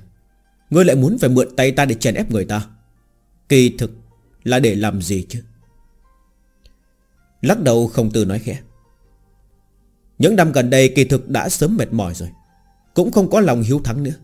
Người muốn phần cao thấp với vị bạch sư đại này, Thì cứ tự mình làm là được, Không cần hỏi tới ta. Nghe thấy vậy, sắc mặt Lý Tử Vận lập tức trở nên có chút khó coi. Những lời này của khổng tử, Quả thật giống như là một con dao Đâm vào trong lòng hắn, Đâm cho máu tươi chảy đầm đìa. Không sai. Ta đích xác là muốn tranh cao thấp, Nhưng Ta hiếu thắng thì sai sao? Bỗng nhiên đứng dậy. Lý Tử Vân Nhìn chăm chăm khổng tử, trầm giọng nói. Người tu hành chúng ta, Nếu ngay cả lòng hiếu thắng cũng không có, Vậy làm thế nào có thể đi được tiếp? Tài nguyên của tông môn chỉ có ngần đó. Nếu cho hắn rồi, Phần chúng ta có được càng ít đi. Ta tranh Là vì ta muốn thắng, Ta muốn tông môn tốt hơn. Ngược lại ngươi thì sao? Khổng sư huynh, Ngươi chỉ thích ta tranh cường háo thắng, Nhìn thì giống như là rất có đạo lý. Nhưng mà ngươi cái gì cũng không tranh như vậy. Có ích lợi gì cho tông môn? Chúng ta là đệ tử chân truyền. Sứ mạng duy nhất. Chính là dùng hết tất cả tu hành Để tranh Mà để thắng. Người nói ta 5 năm chưa tới chỗ của ngươi. Đúng. Bởi vì từ 5 năm trước, Chúng ta đã bước lên con đường khác nhau. Đạo bất đồng, Bất tương vi mưu. Nhìn không tử, Lý Tử Vân trầm giọng nói Người Thủy Trung nói với ta là không tranh Nhưng mà người đã bao giờ từng bỏ xuống cái dáng về đại sư huynh chưa? Người không chịu xuất thủ. Vậy tự ta đi tránh Đến lúc đó người đừng có nói là sư đệ không nể mặt khổng sư huynh ngươi. Bỏ lại lời này. Lý Tử Vân lập tức phẩy tay áo bỏ đi. Bạch Nhạc, Người thực sự muốn động thủ với Lý Sư Huynh và Khổng Sư Huynh à? Được Liễu Như Tân gọi tới Nghe nói Bạch Nhạc là muốn hỏi thăm chi tiết thực lực hai vị Sư Huynh này. Dương Nghiên không nhịn được mở miệng hỏi. Cái gì gọi là động thủ? Là thi đấu tông môn? Là tỷ thí? Hiểu chưa? Trợn mắt, Bạch Nhạc tức giận sửa lại. Thế không phải giống nhau sao? Dương Nghiên có chút bất đắc dĩ trả lời. Nhìn mặt Bạch Nhạc có chút tối sầm. Liễu Như Tần không khỏi không nhịn được mà cười ra tiếng. Tuy Bạch Nhạc đã thành đệ tử chân truyền nhưng mà trên thực tế, Mấy ngày nay ở chung với Bạch Nhạc Liễu Như Tần sớm đã quen thuộc với tính tình quán Tuy thân phận thay đổi, Nhưng mà tính tình lại vẫn không thay đổi. Bạch Nhạc ở trong mắt người ngoài, Tựa hồ là một truyền kỳ của tông môn, Cao cao tại thượng. Nhưng ở trong mắt người thực sự quen thuộc với Bạch Nhạc Như Liễu Như tần và Dương Nghiên Bạch Nhạc lại Thủy chung, Vẫn là thiếu niên tính tình đáng yêu đó. Bất kể là Dương Nghiên hay là Liễu Như tần Trên thực tế đều nhìn Bạch Nhạc giống như là một đệ đệ Có chút tùy hứng. Lại xuất sắc, Tất nhiên không hề sợ hãi. Bạch Nhạc, Ý của ta là lần đại hội này, Người tốt nhất lui một bước thì tốt hơn. Hơi trầm ngâm một chút, Dương Nghiên nghiêm mặt nói. Dẫu sao người cũng chỉ vừa mới bước vào linh phủ cảnh, Còn cần thời gian để lắng động. Vào lúc thế này, Tranh cường háo thắng không phải là chuyện tốt đâu.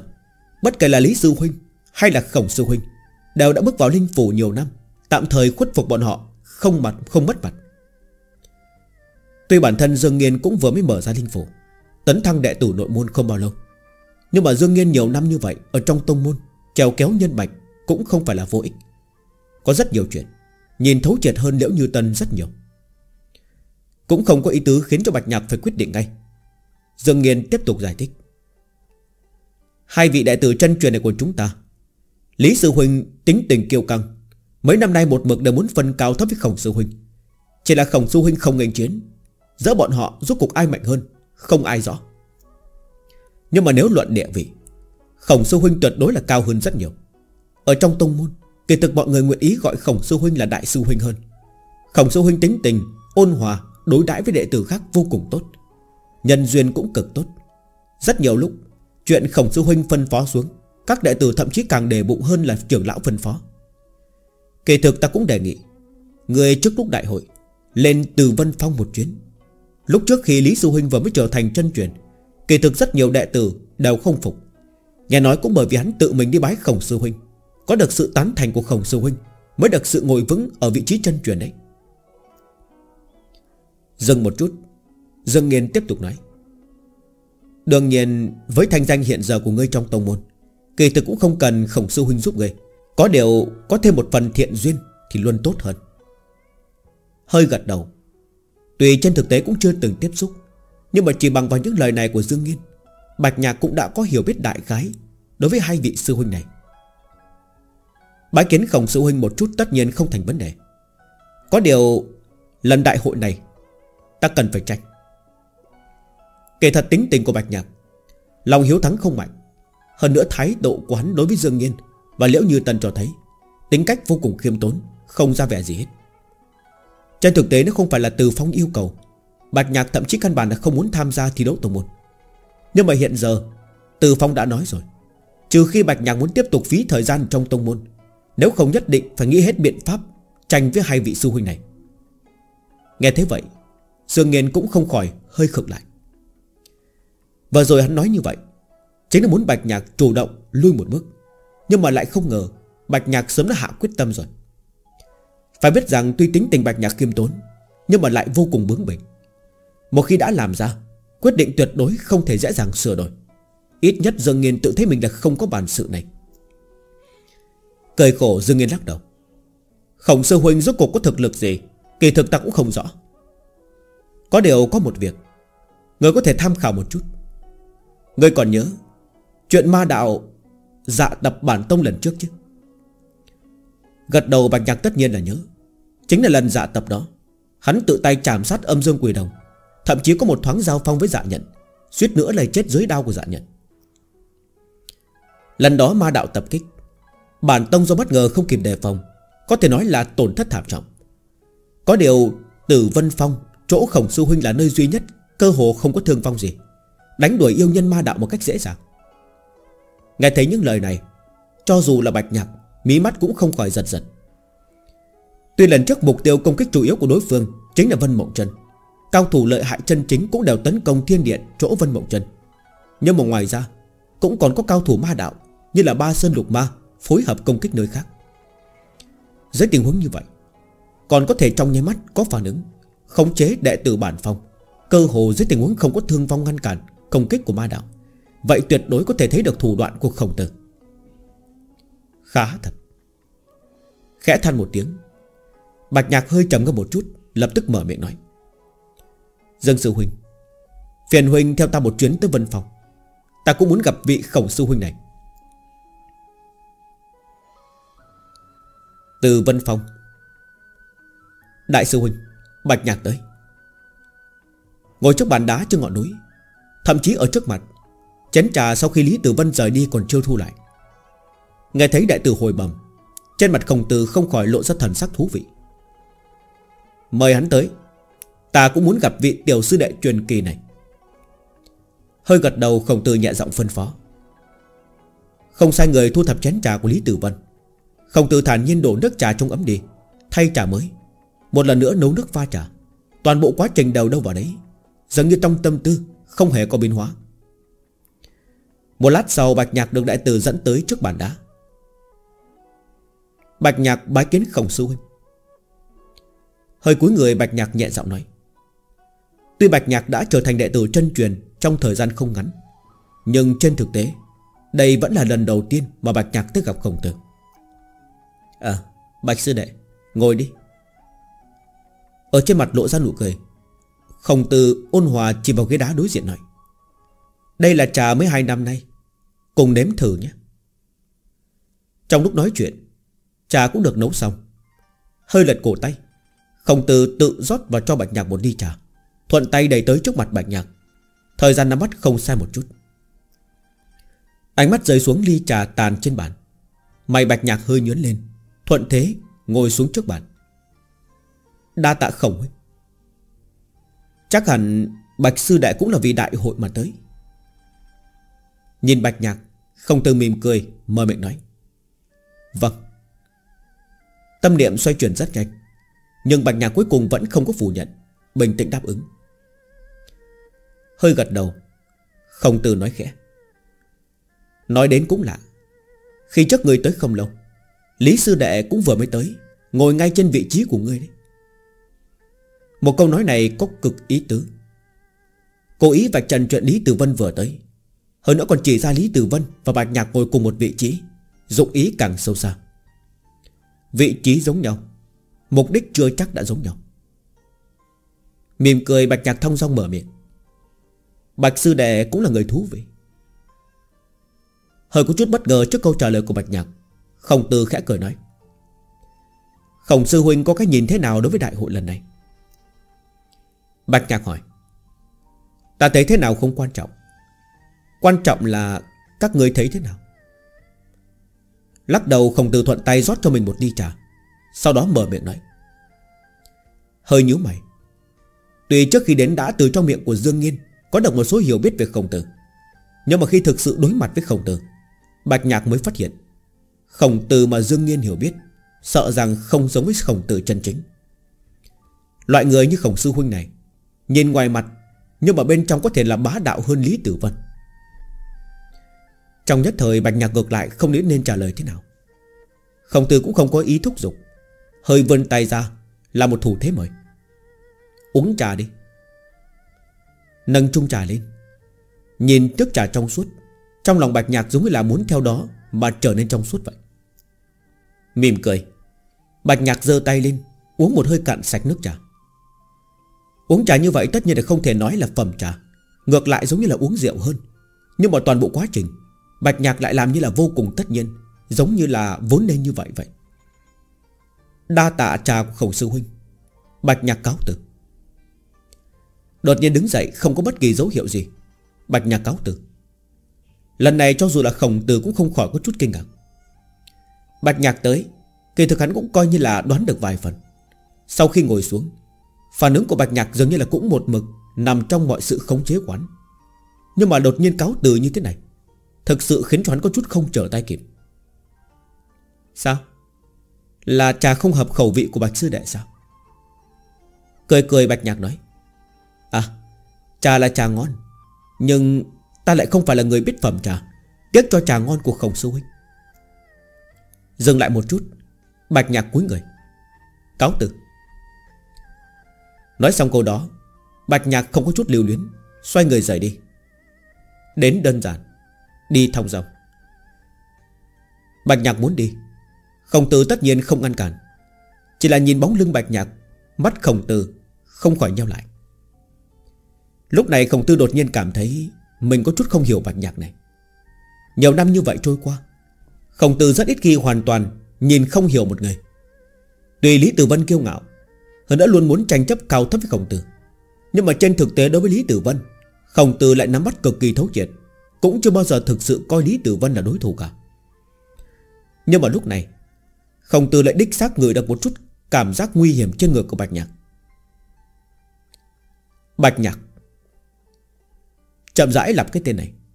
Trong mắt khổng tử có một tia tình mang. Thả nhiên bưng chén trà trước mặt mình lên, Im lặng, chậm rãi uống cả. Đại sư Huynh, Lúc trước khi Bạch Nhạc ngồi Đại tử khác tất nhiên là không dám tới quấy rầy. Nhưng Bạch Nhạc đi nhanh như vậy Lại khiến cho bất kỳ ai Cũng không ngờ tới.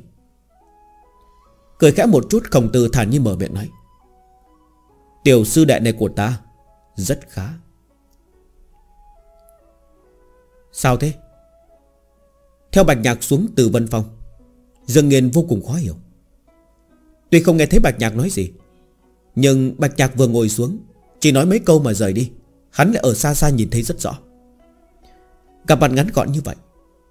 Có thể nói là rất không lễ phép. Trước khi tới, Dương Nghiên có thể cảm thấy Bạch Nhạc thực là mang thiện ý mà tới. Nhưng mà với kết quả này, Hắn có thể nào nghĩ không thông? Bởi vì Không lách ra được. Ngẩng đầu Bạch Nhạc nhẹ giọng trả lời. Trước khi đến, Bạch Nhạc muốn làm quen khổng tử, Tính tình ôn hòa đôn hậu Trong lời đổi một chút, Thử xem có thể câu thông, Thậm chí là dùng phương thức nhường ra đại bộ phận Phần thưởng linh thạch của đại hội, Làm cái giá để đổi lấy hạng nhất của đại hội lần này. Dẫu sao đối với Bạch Nhạc mà nói, Những linh thạch phần thưởng trong đại hội cũng chả tính là gì. Cái hắn muốn Là mượn cơ hội này để mà ra ngoài, Tranh đoạt tài nguyên trong thế giới rộng lớn hơn. Thế nhưng khi thực sự nhìn thấy khổng tử, Bạch Nhạc mới đột nhiên ý thức được, Bất kể là Lý Tử Vân hay là khổng tử, Kỳ thực trên bản chất đều như nhau. Bọn họ đều đang dùng phương thức của mình Để tranh đoạt tài nguyên. Lý Tử Vân bất kỳ việc gì cũng muốn tranh cao thấp. Thậm chí khi Bạch Nhạc vừa thăng chức chân truyền, Liền bày ra mưu kế, chèn ép Bạch Nhạc. Nhưng mà trên bản chất, Kỳ thực đó cũng là một loại phương thức giữ gìn lợi ích của mình, Tranh thủ tài nguyên quán mà thôi. Khổng tử. Nhìn thì bày ra cái bộ dạng ôn hòa, Cái gì cũng không tranh. Nhưng mà trên thực tế, Cái loại không tranh này Chính là tranh. Hắn đối với bất kỳ đại tử nào bày ra dáng vẻ đại sư huynh, Nhìn thì ôn hòa Thực tế lại thủy chung cao cao tại thượng. Bởi vì cái hắn muốn chính là loại danh phận cao cao tại thượng này. Bạch nhạc thậm chí có thể đoán được. Nếu mình thương lượng chuyện đại hội với khổng tử Khổng tử rất có thể sẽ xuất nhường ra một bộ phận, Phần thưởng linh thạch Để bồi thường cho tiểu sư đệ bạch nhạc này. Nhưng lại hy vọng bạch nhạc Đừng tranh thắng bại với Lý Tử Vân. Một bộ phận lợi ích trước mắt, Khổng tử có thể không bận tâm. Nhưng mà dáng vẻ đại sư huynh này, Hắn lại muốn Thủy Trung nắm giữ, Không chút nhượng bộ. Nếu mục tiêu của Bạch Nhạc Chỉ là bản thân Linh Tê Kiếm Tông, Muốn dung nhập vào cái vòng này, Như vậy có lẽ hợp tác với Khổng Tử Cũng là một phương thức dung nhập rất tốt. Nhưng trong lòng Bạch Nhạc lại biết rõ, Cái hắn muốn thấy Không phải Linh Tê Kiếm Tông, Mà là thiên địa rộng lớn hơn đó. Khi hắn muốn đi ra ngoài, Muốn thoát khỏi cái vòng này, Đứng ở vị trí cao hơn Để nhìn thế giới này, Nhất định phải tranh. Tranh. Có nghĩa là nhất định sẽ phá lợi ích của đối phương. Hai bên căn bản không có khả năng hòa hiệp. Lúc ban đầu, tư duy Bạch Nhạc kỳ thực cũng lâm vào một cái vòng ổn định. Chỉ nghĩ tới xử lý quan hệ với Khổng Tử Và Lý Tử Vân thế nào Để đạt được mục đích của mình thôi. Nhưng mà một câu nói của Khổng Tử Đã đột nhiên đánh thức Cho Bạch Nhạc nhớ. Khổng Tử nói, Hắn nhìn thế nào không quan trọng. Quan trọng là Bạch Nhạc và Lý Tử Vân nhìn như thế nào. Cái này kỳ thực chính là đặt bản thân hắn vào một vị trí cao hơn Bạch Nhạc và Lý Tử Vân. Điều này cũng khiến cho Bạch Nhạc lập tức bừng tỉnh. Đúng vậy, Người khác nhìn thế nào không quan trọng. Hắn đã muốn đi, Vậy đã định trước là phải bỏ lại những người này phía sau, Thậm chí là làm đá lót chân choán tiến thần. Khi Bạch Nhạc bưng chén trà đó lên, Kỳ thực đã hiểu rõ rồi. Có một số việc, Có một số người Là căn bản không vòng qua được. Nghĩ thông được những cái này Bạch Nhạc tất nhiên minh bạch. Còn nói chuyện tiếp với khổng tử Thì cũng không hề có ý nghĩa. Ngược lại sẽ khiến mình thực sự lâm vào một loại bị động. Cho nên hắn dứt khoát dùng phương thức trực tiếp nhất, Cường hành gián đoạn Loại liên hệ này. Đến đơn giản, Đi thong dòng Đạo lý ở đây, Có lẽ khổng tử đã đoán được mấy phần, Nhưng mà Dương nhiên lại không thể lý giải được. Bởi vì thực lực của thân phận của Dương nhiên Quyết định, Tư duy quán Chỉ có thể dừng lại ở cái vòng nhỏ hẹp này thôi. Tựa như cá ở trong nước. Cái nó nhìn thấy Vĩnh viễn chỉ có thế giới trong nước. Không biết thế nào để nhảy ra khỏi mặt nước Đi tới một bầu trời rộng lớn hơn. Thời gian từng ngày trôi qua Chỉ một chớp mắt đã đến đêm trước ngày thi đấu tổng một. Mấy ngày nay Bạch Nhạc lại trở lại thiên tâm phòng, Lại khôi phục trạng thái lúc trước. Mỗi ngày chính là tu luyện một cách đơn điệu Dường như là thờ ơ với tất cả. Và không quan tâm tới trong tông môn xuất hiện nhân vật thiên tài nào. Cũng không vừa bận tâm Lý Tử Vân, Khổng Tử Chuẩn bị gì cho đại hội. Thậm chí ngay cả Liễu Như Tân và Dương Nhiên Có lòng muốn thu thập choán một số tư liệu Về kiếm thuật và công pháp tu hành của Lý Tử Vân và Khổng Tử. Hắn cũng chả buồn xem. Đối mặt với kết quả này Dương Nhiên và Liễu Như Tân Cũng có thể nhìn nhau cười khổ. Liễu Sư Tỷ Người sắp đột phá rồi à? Một ngày này Bạch Nhạc kết thúc tu hành sớm. Cố gắng tìm tới Liễu Như Tân hỏi. À đúng vậy. Ta vẫn đang do dự, Có nên đột phá trước khi đại hội bắt đầu hay không? Nhắc tới chuyện này, Liễu Như Tân có chút do dự nói. Mấy ngày này tuy Liễu Như Tân phụ trách chiếu cố sinh hoạt hàng ngày của Bạch Nhạc, Nhìn thì có thêm một số chuyện dườm già Chậm trễ tu hành. Nhưng thú vị là, Bởi vì theo Bạch Nhạc cùng tu luyện, Nhìn Bạch Nhạc luyện kiếm, Liễu Như Tân ngược lại tiến bộ cực nhanh. Đêm trước ngày thi đấu tổng môn, Đã bước vào dẫn linh cửu trọng. Chỉ thiếu một bước nữa là có thể mở linh phủ. Dựa theo quy củ linh tê kiếm tông, Tuy đệ tử ngoại môn cũng có thể tham gia đại hội, Nhưng mà trên thực tế, Phần thưởng đạt được lại căn bản không thể bằng đệ tử nội môn. Nếu đột phá trước đại hội, Có thể dùng thân phận của đệ tử nội môn tham gia đại hội. Nói không chừng vận khí tốt còn có cơ hội thắng được mấy trận. Đừng vội đột phá. Lắc đầu Bạch Nhạc nói khẽ. Phẩm chất linh phủ có ảnh hưởng rất lớn Đối với chuyện tu hành ngày sau. Người tận lực trong tỷ thí ở ngoại môn, Lấy được một vị trí tốt, Sau này ta sẽ nhờ từ trưởng lão hỗ trợ, Xem có thể bố trí một tụ linh trận loại nhỏ cho ngươi, Giúp ngươi có mở linh phủ không? Có thể sao? Nghe thấy lời nói này của Bạch Nhạc, Mắt của Liễu Như Tân lập tức sáng rực lên. Phải biết rằng những đại tử ngoại môn bọn họ Muốn đột phá Sẽ không có loại đãi ngộ của Bạch Nhạc. Trừ khi là một số đệ tử tư chất xuất chúng, Được trưởng lão tông môn nhìn chúng chuẩn bị thu vào môn hạ. Nếu không căn bản, Không có khả năng bố trí tụ linh trận để trợ giúp. Nhưng với thân phận của Bạch Nhạc, Nếu nguyện ý nói chuyện với Từ Phong giúp nàng ta, Tất nhiên là có thể Sẽ có được ưu đại Cho dù chỉ là một tụ linh trận nhỏ nhất, Thì cũng có thể mang đến trợ giúp to lớn. Đương nhiên, Gật đầu, Bạch Nhạc nhẹ giọng đáp. Trên thiên tâm phòng linh khí dư thừa. Đến lúc đó bảo bọn họ bố trí tụ linh trận ở đây. Động phủ của ta có thể cho ngươi mượn. Kiểu gì cũng phải giúp ngươi đề thăng một phần phẩm chất linh phủ mới được. Cảm ơn Bạch Sư Huynh. Nghe vậy Liễu Như Tân lập tức vui mừng quá đỗi. Vội vàng không người cảm ơn. Nếu người còn gọi ta là Sư Huynh, Ta đổi ý đấy. Tuy đã sửa nhiều lần, Nhưng mà Liễu Như Tân Thủy Trung vẫn gọi hắn là Sư Huynh. Mượn cơ hội này, Bạch Nhạc lại trêu ghẹo. Không nhịn được mà cười ra tiếng trên mặt Liễu Như Tân lộ ra mấy phần hờn dỗi. Vươn tay, vỗ lên gáy Bạch Nhạc. Người vẫn trẻ con như vậy. Trợn mắt, Bạch Nhạc tức giận trả lời. Liễu sư muội, Ta đổi ý. Người cứ gọi ta là sư huynh đi. Mơ à? Cười dài lườm Bạch Nhạc một cái. Liễu Như Tân nói với vẻ khinh thường. Đã nói ra rồi Còn muốn đổi ý? Không có cửa đâu. Đại hội của Linh Tê Kiếm Tông bình thường phải cần thời gian 7 ngày. Trong đây đại bộ phận thời gian Đều là tỷ thí của đệ tử ngoại môn. Bởi vì trong Linh Tê Kiếm Tông, Trên thực tế đệ tử ngoại môn mới là đại đa số. Chỉ là một bộ phận này tỷ thí, Thường thường đều chỉ là coi là làm cho nóng đại hội chân chính mà thôi. Bất kể là trường đạo tông môn Hay là đệ tử nội môn khác, Độ chú ý đều không cao. Về phần đệ tử chân truyền, Bình thường mà nói, Căn bản sẽ không chú ý cái loại tỷ thí này.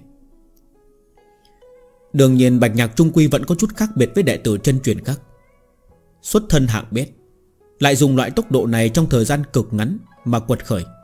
Kỳ thật Bạch Nhạc đối với đệ tử ngoại môn Lại có cảm giác quen thuộc hơn Với đệ tử nội môn.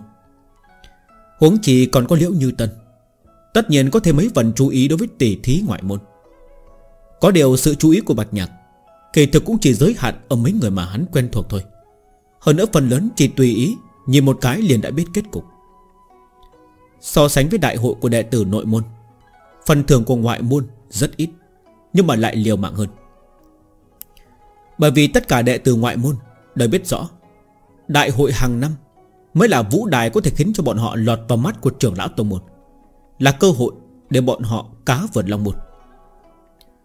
Dựa theo lệ thường hàng năm, Đệ tử trong top 10 của mỗi lần đại hội ngoại môn Đều có khả năng được phá cách thanh chức làm đệ tử nội môn.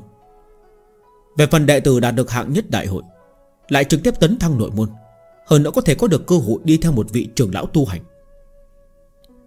Một tháng thời gian này, Không chỉ có thể được trưởng lão dốc lòng trì điểm, Đạt được cơ hội phá linh phủ, Mà có thể kéo gần quan hệ với vị trưởng lão đó. Kém nhất thì cũng có thể kiếm được chức đệ tử ký danh. Đương nhiên, kỳ thực trước khi đại hội bắt đầu, Trong ngoại môn, Nhân tuyển có tư cách tranh đoạt top 10 Kỳ thực cũng là trong lòng mọi người đã có tính toán đại khái. Nhưng mà bất kỳ ai cũng không ngờ được rằng, Trong đại hội liễu như Tần vốn thực lực tầm thường, Hơn nữa đã lâu không có tin tức, Không ngờ lại dùng tư thái của một hắc mã, Thế như trẻ tre, Một đường thắng liên tiếp, Trực tiếp giết vào thập lục cường. Trong lúc này, thời gian mỗi trận tỉ thí của Liễu Như Tân Thậm chí là không vượt qua quá nửa khắc. Thực lực như vậy Thậm chí đã trở thành nhân tuyển hàng đầu Đạt giải quán quân. Chuyện khác thường như vậy, Lập tức khiến đệ tử ngoại môn xôn xao. Rất nhanh những đệ tử này liền nghe được. Thì ra trong thời gian hơn nửa năm này, Liễu Như Tân đã tiếp nhận nhiệm vụ của Tông Môn, Một mực ở Thiên Tâm Phong Chiếu cố sinh hoạt hàng ngày của Bạch Nhạc. Nói thật từ rất sớm, đây kỳ thực là một nhiệm vụ Khiến rất nhiều đệ tử ngoại môn đều xem thường. Hầu hạ ăn mặc, Không phải chính là thị nữ sao? Người có tâm tư âm u một chút, Thậm chí căn bản cho rằng Liễu Như Tân là đang bán sắc tướng, Chủ động đưa lên cửa cho người ta đùa bỡn. Nhưng cho đến giờ phút này, Những đại tử xem thường Liễu Như Tân Mới đột nhiên ý thức được, Bước lên thiên tâm phòng. Cho dù là là một thị nữ hạ nhân, Nhưng mà lại trung quy có được cơ hội tiếp xúc gần với Bạch Nhạc, Thậm chí được Bạch Nhạc trì điểm. Mà cơ hội như vậy Đủ để khiến bất kỳ đại tử ngoại môn nào đố kỵ tức phát cuộc. Thậm chí cho dù là bản thân Liễu Như Tân, Căn bản cũng không ngờ tới kết quả này. Phải biết rằng khi cùng tu luyện với Bạch Nhạc, Trong lơ đãng, Mục tiêu so sánh của nàng ta là Bạch Nhạc. Luôn nhìn thấy chỗ không đủ của mình, Nhìn thấy tranh lệch khủng bố giữa mình và Bạch Nhạc, Nhưng mà lại không ý thức được. Trong bất chi bất giác, Thực lực của nàng ta Đã để thăng. Đối với những đại tử ngoại môn đó mà nói, Cũng là cơ hồ không thể tưởng tượng. Không đơn giản như vậy. Lắc đầu, Khổng tử nói khẽ. Cùng tu luyện với người thực lực cao hơn, Đối với bản thân tất nhiên là Sẽ có một số đề thăng, Nhưng mà cũng không đến nỗi khoa trương như vậy. Tư chất của Liễu Như Tân kỳ thực không có xuất chúng. Trong nửa năm ngắn ngủi, cho dù ta dốc lòng chỉ điểm, Cũng chưa chắc có thể khiến cho nàng ta tiến bộ lớn như vậy.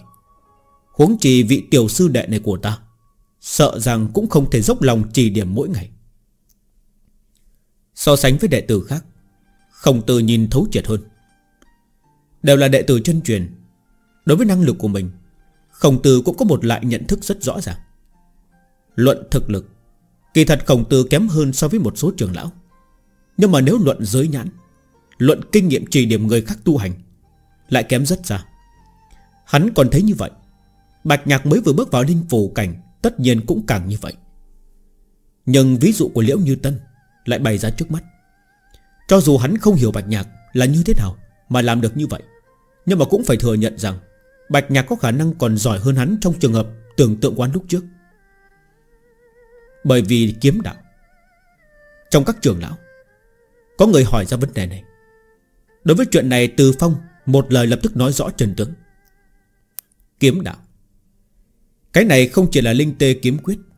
Bạch nhạc là vì linh tê kiếm quyết mà hiểu ra kiếm đạo. Không có nghĩa là kiếm đạo Chỉ là linh tê kiếm quyết. Đó là một loại cảnh giới trình độ cao hơn, Là một loại cảm ngộ, Chỉ hiểu mà không diễn đạt được bằng lời. Đi theo bên cạnh Bạch Nhạc, Tự nhiên sẽ bị Bạch Nhạc ảnh hưởng, Xuyên qua biểu tượng của kiếm chiêu, Minh ngộ bản chất của kiếm đạo. Cho dù rất có thể là Liễu Như Tân, Căn bản không ý thức được điểm này. Nhưng mà trong vô thức, Đã bị ảnh hưởng từng chút Từng chút mà thay đổi. Mà điều này kỳ thực chính là điểm Mà Hà Diêu và Từ Phong coi trọng Bạch Nhạc nhất. Bạch Nhạc tu thành linh tế kiếm quyết, Nhưng với cảnh giới hiện giờ của Bạch Nhạc, Cùng với lý giải quán đối với kiếm đạo, Tất nhiên không thể thực sự bổ toàn tâm pháp đã mất đi của linh tế kiếm quyết, Truyền linh tê kiếm quyết cho người khác.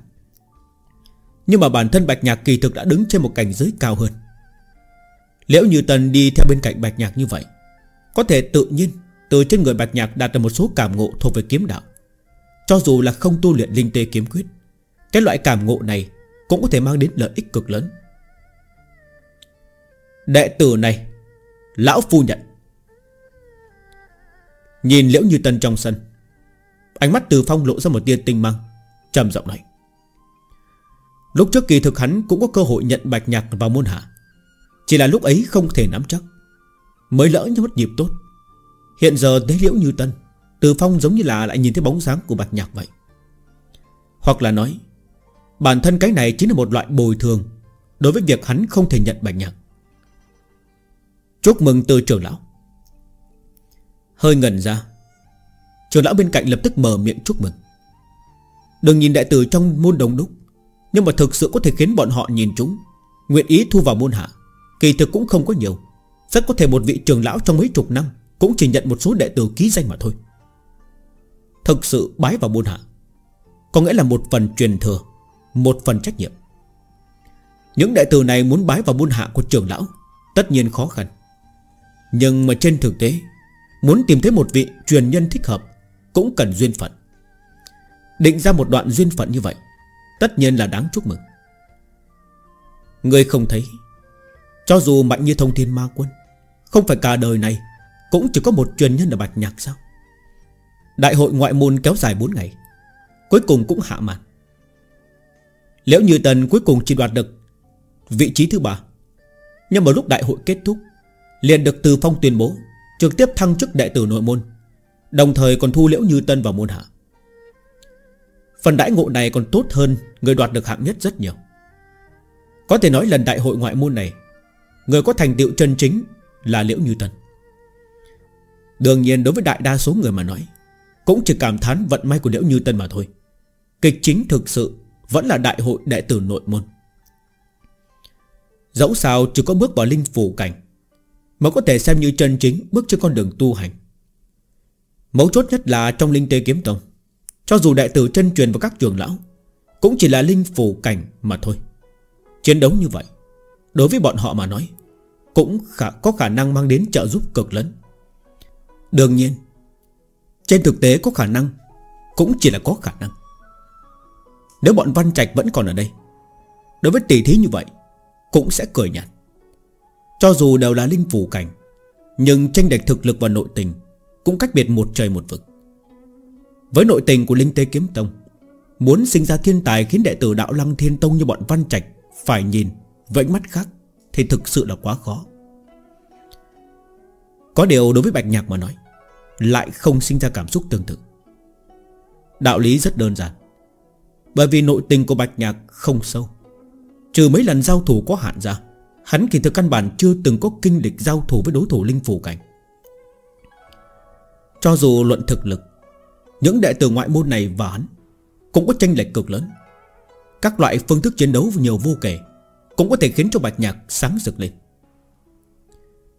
Hiện giờ Bạch Nhạc giống như là một khối bọt biển, Không ngừng hấp thu tất cả tri thức hữu dụng đối với hắn.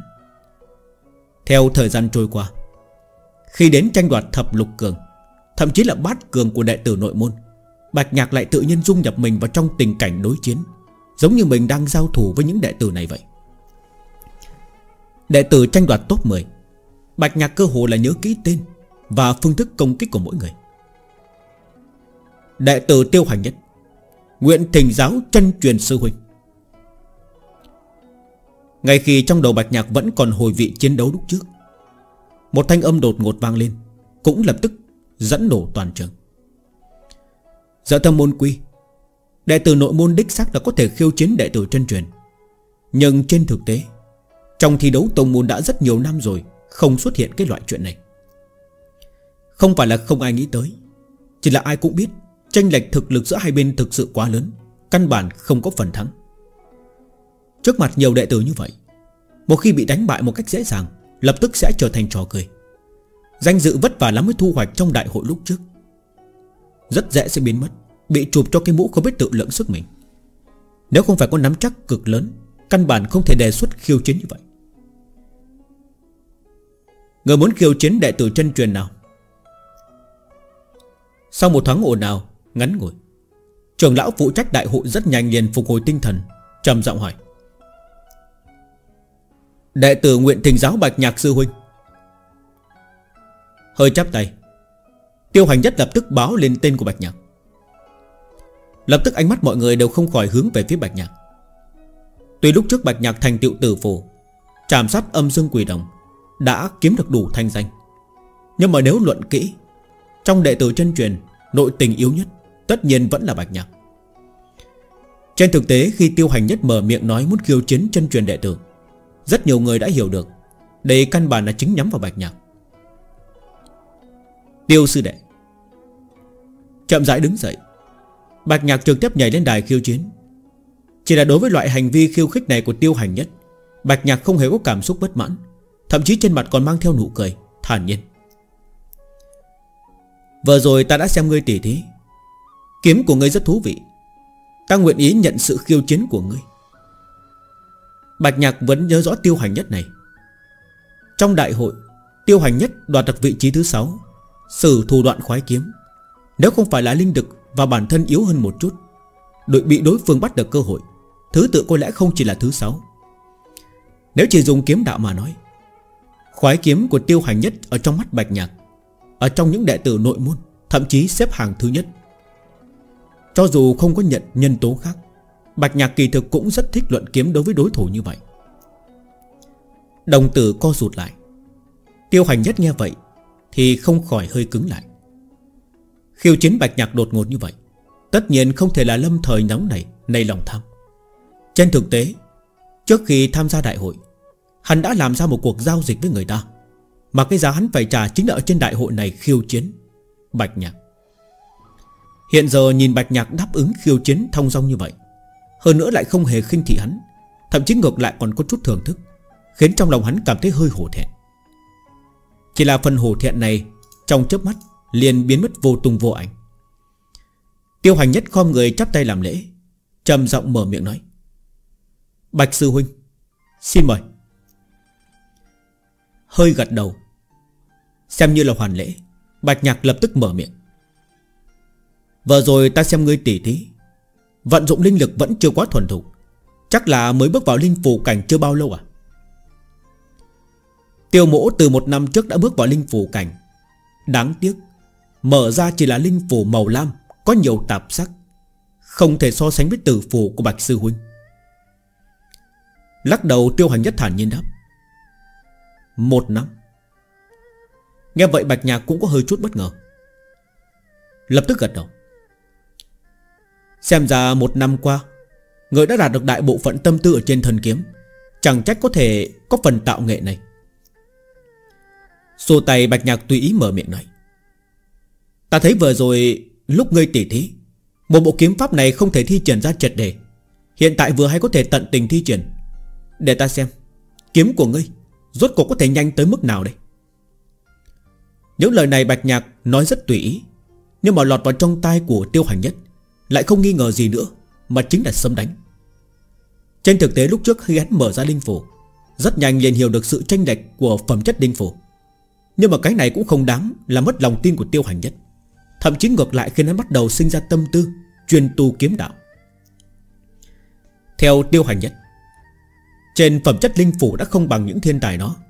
Như vậy, trên dùng kiếm đạo cường đại hơn để bù đắp. Chiêu khoái kiếm này có thể nói là ngưng tụ toàn bộ tâm huyết của hắn.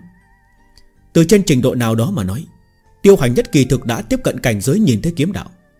Đây cũng là lòng tin để hắn có gan đáp ứng khiêu chiến bạch nhạc.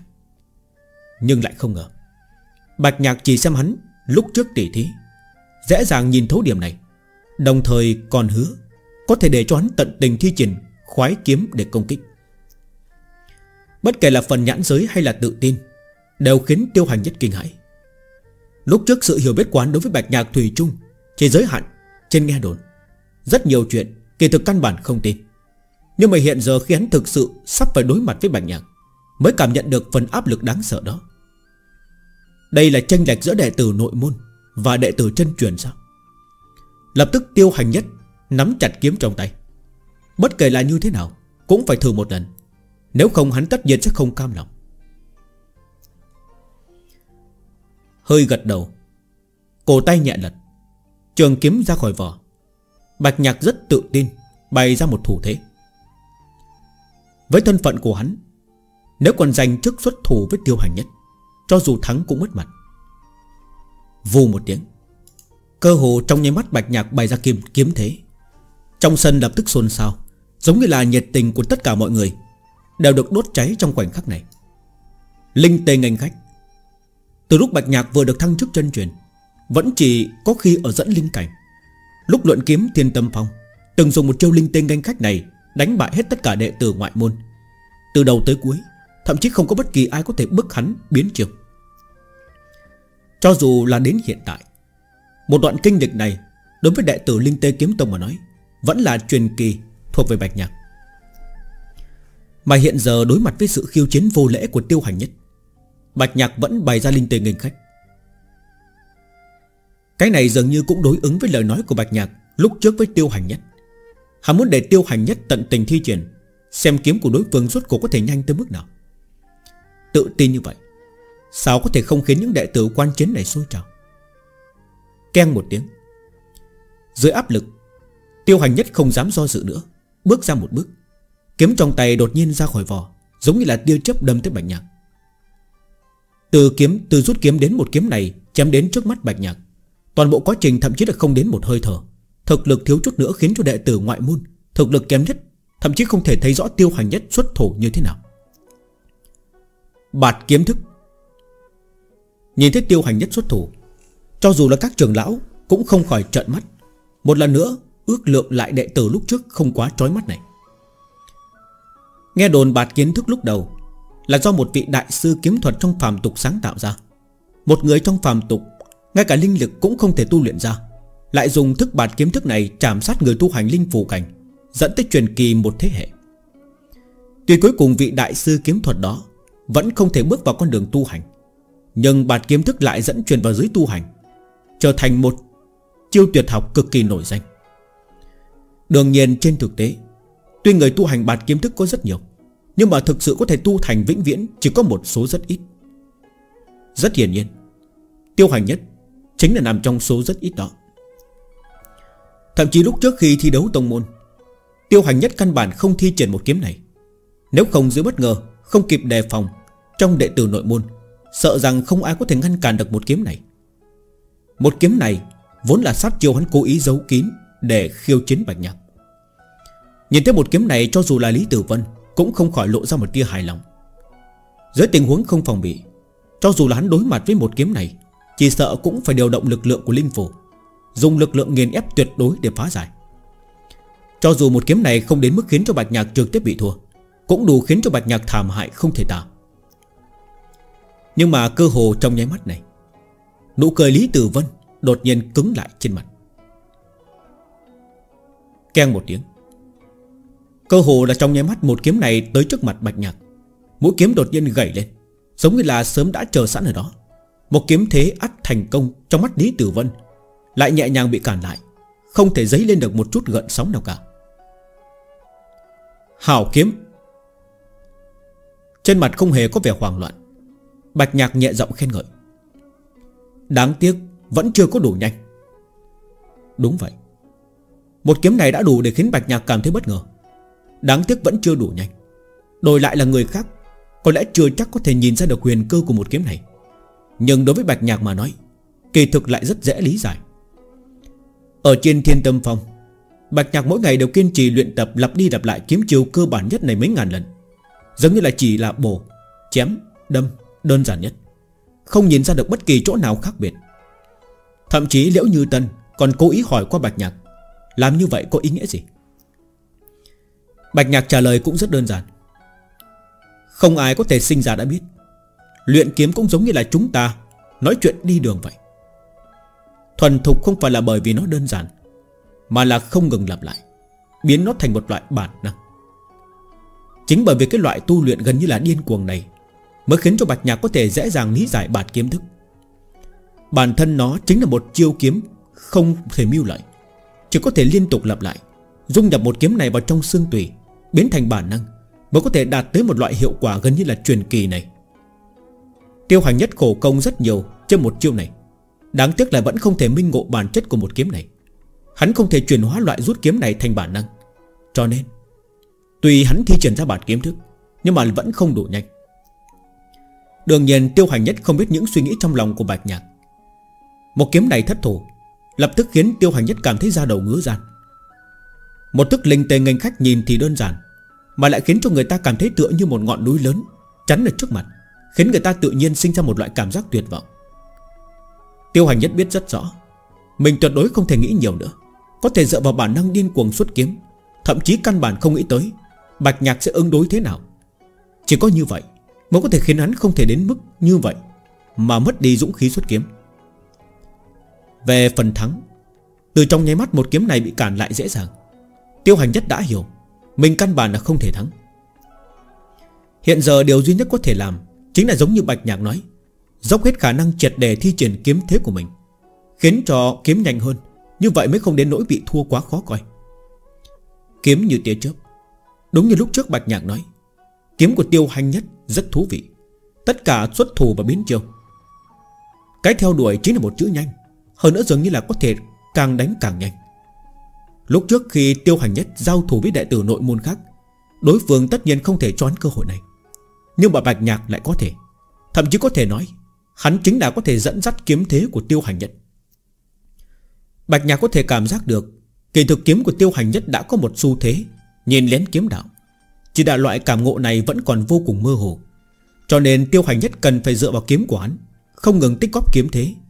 Cho tới khi kiếm thế đạt tới cực hạn Mà hắn có khả năng chịu đài.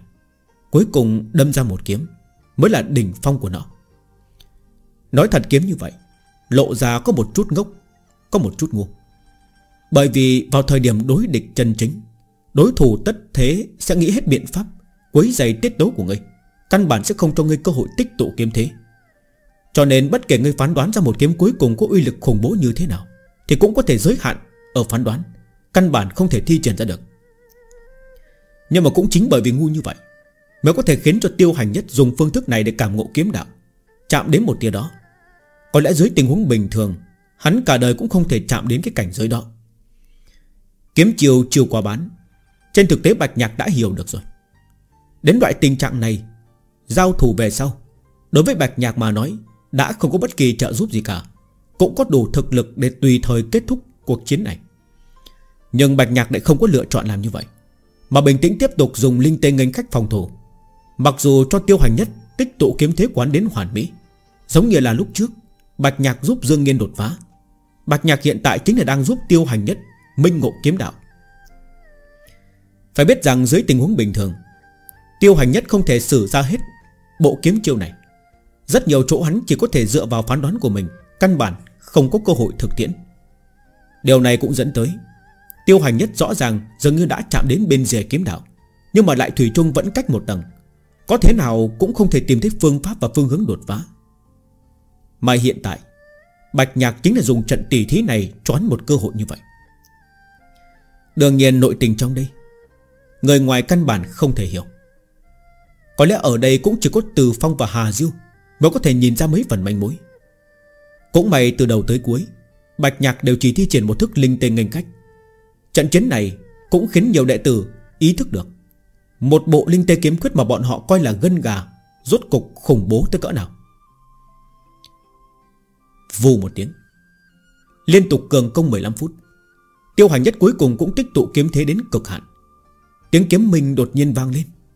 Tất cả lực lượng, Tất cả khí thế toàn bộ dung nhập vào trong một kiếm cuối cùng này. Thực sự có thể gọi là kiếm như cầu vòng Cho dù là với thực lực của Bạch Nhạc, Lúc này trong mắt cũng không khỏi lộ ra một tia ngưng trọng. Linh tê ngành khách. Chống đỡ được khoái công của tiêu hành nhất Lúc trước, Nhưng mà lại tuyệt đối không cản được một kiếm nhanh như lôi đình này. Trong mắt bạch nhạc đột nhiên lộ ra một tia tinh mang.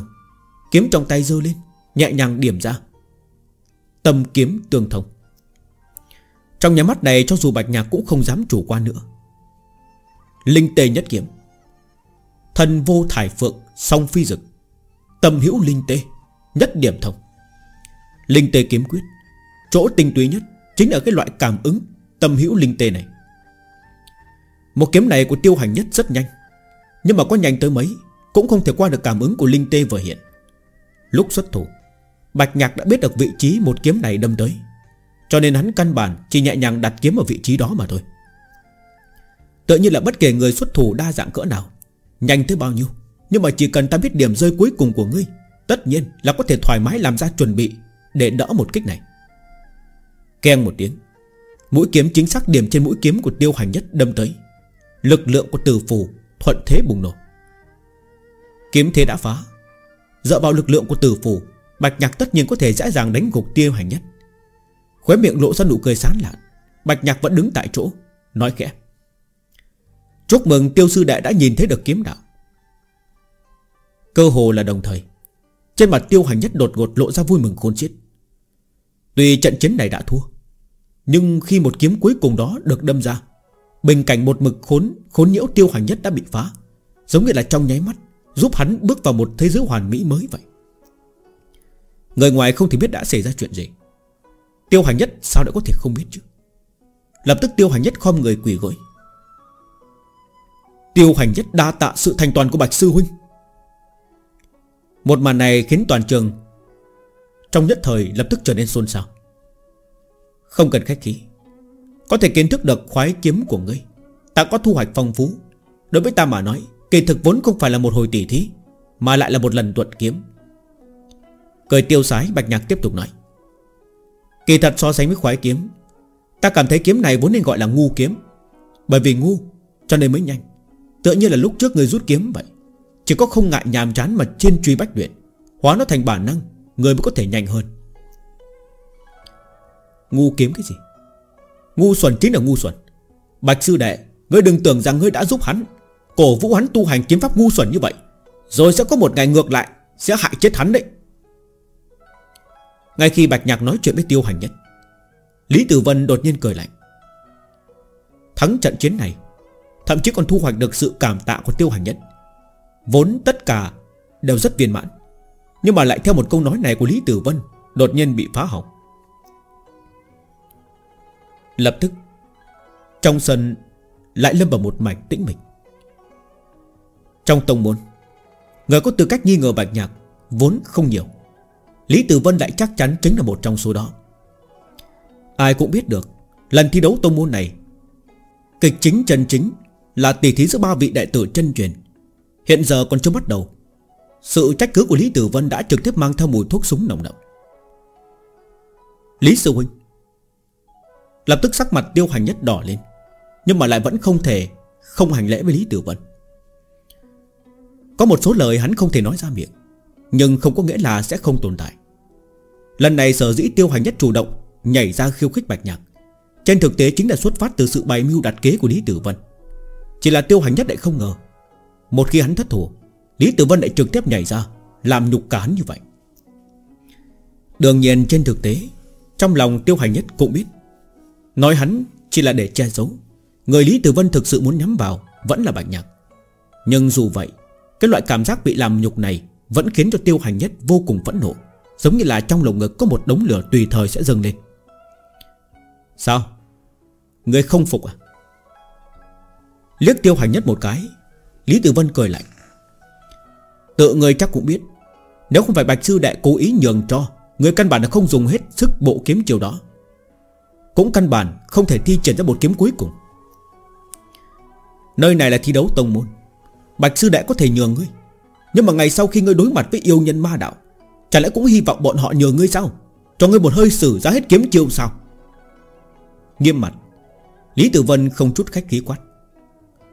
Cái loại kiếm pháp ngu xuẩn này, Căn bản không có giá trị tồn tại. Có phần tâm tư này, Ngươi đặt ở nơi khác, Thực lực sẽ mạnh hơn hiện tại nhiều. Lập tức tiêu hành nhất bị mắng cho đỏ bừng mặt, Nhưng lại không thể nói được gì. Cho dù hắn Thủy Trung vững tin, Lựa chọn của mình mới là chính xác, Nhưng mà đối mặt một phen chỉ trích này của Lý Tử Vân, Lại không tìm ra bất cứ lý do gì có thể phản bác. Trên thực tế, không chỉ là tiêu hành nhất, Những đại tử vừa rồi còn bởi vì một phen giải thích Về ngu kiếm đó của Bạch Nhạc Mà hâm mộ tiêu hành nhất. Lúc này cũng không khỏi trở nên có chút do dự. Nhìn Lý Tử Vân, Ánh mắt Bạch Nhạc vẫn bình tĩnh như nước. Giống như là căn bản không nghe thấy những lời chỉ trích này. Tiêu sư đệ Ngươi cảm thấy ngươi sai sao? Không để đến Lý Tử Vân Bạch Nhạc lặng lặng Nhìn Lý Tử Vân Lại hỏi. Lập tức tiêu hành nhất giống như là bị đặt lên lửa mà nướng. Có một loại cảm giác rơi vào tình huống khó xử. Bạch Nhạc hỏi ra loại vấn đề này Dường như chính là cố ý Kẹp hắn ở giữa Bức hắn làm ra một loại, một loại lựa chọn. Đây đã căn bản không phải là vấn đề Hắn sai hay là đúng? Mà là vấn đề lựa chọn tin Bạch Nhạc Hay là Lý Tử Vân? Nói nghiêm trọng hơn một chút, Chính là vấn đề đứng thành hàng. Cho dù bản thân tiêu hành nhất trong các đệ tử nội môn, Cũng xem như là thiên tài rất khá, Nhưng mà bị kẹp giữa Bạch Nhạc và Lý Tử Vân Lại vẫn chỉ là một quân cờ. Lúc này tiêu hành nhất lại lâm vào trong do dự. Được rồi, Bạch sư đệ, Kiến giải của ngươi và Lý sư đệ khác nhau, Cũng không có đáng gì để tranh cãi. Không cần kéo cả tiêu sư đệ vào. Chậm rãi đứng dậy. Không từ ở cách đó không xa, Nhúng tay vào nói. Vẫn là thái độ công chính đứng giữa. Nhưng mà trên thực tế, Những lời này lại lộ ra ý chèn ép bạch nhạc. Dẫu sao đối với rất nhiều đệ tử mà nói, Kỳ thực vẫn chưa ý thức được. Câu hỏi này của bạch nhạc Là khiến tiêu hành nhất làm ra lựa chọn. Nhưng khổng tư vừa nói như vậy, Liền chẹt để có phản ứng. Cũng theo đó mà sinh ra một tia cảm xúc bất mãn với bạch nhạc. Đáng tiếc bạch nhạc lại vẫn không có tỏ vẻ gì. Chỉ nhìn chằm chằm tiêu hành nhất, Giống như là cứ muốn ép tiêu hành nhất Phải đưa ra một đáp án. Thế là áp lực trên người tiêu hành nhất trở nên lớn lớn hơn. Không chỉ bạch nhạc và Lý Tử Vân, Còn có một vị khổng tử, Ba vị đệ tử chân truyền Dùng thái độ quán làm chiến trường. Trận giao phong vô hình này Khiến hắn cứ như đứng trên đống lửa vậy, Ngồi trên đống than. Khổng tử và Lý Tử Vân xây dựng ảnh hưởng đã lâu.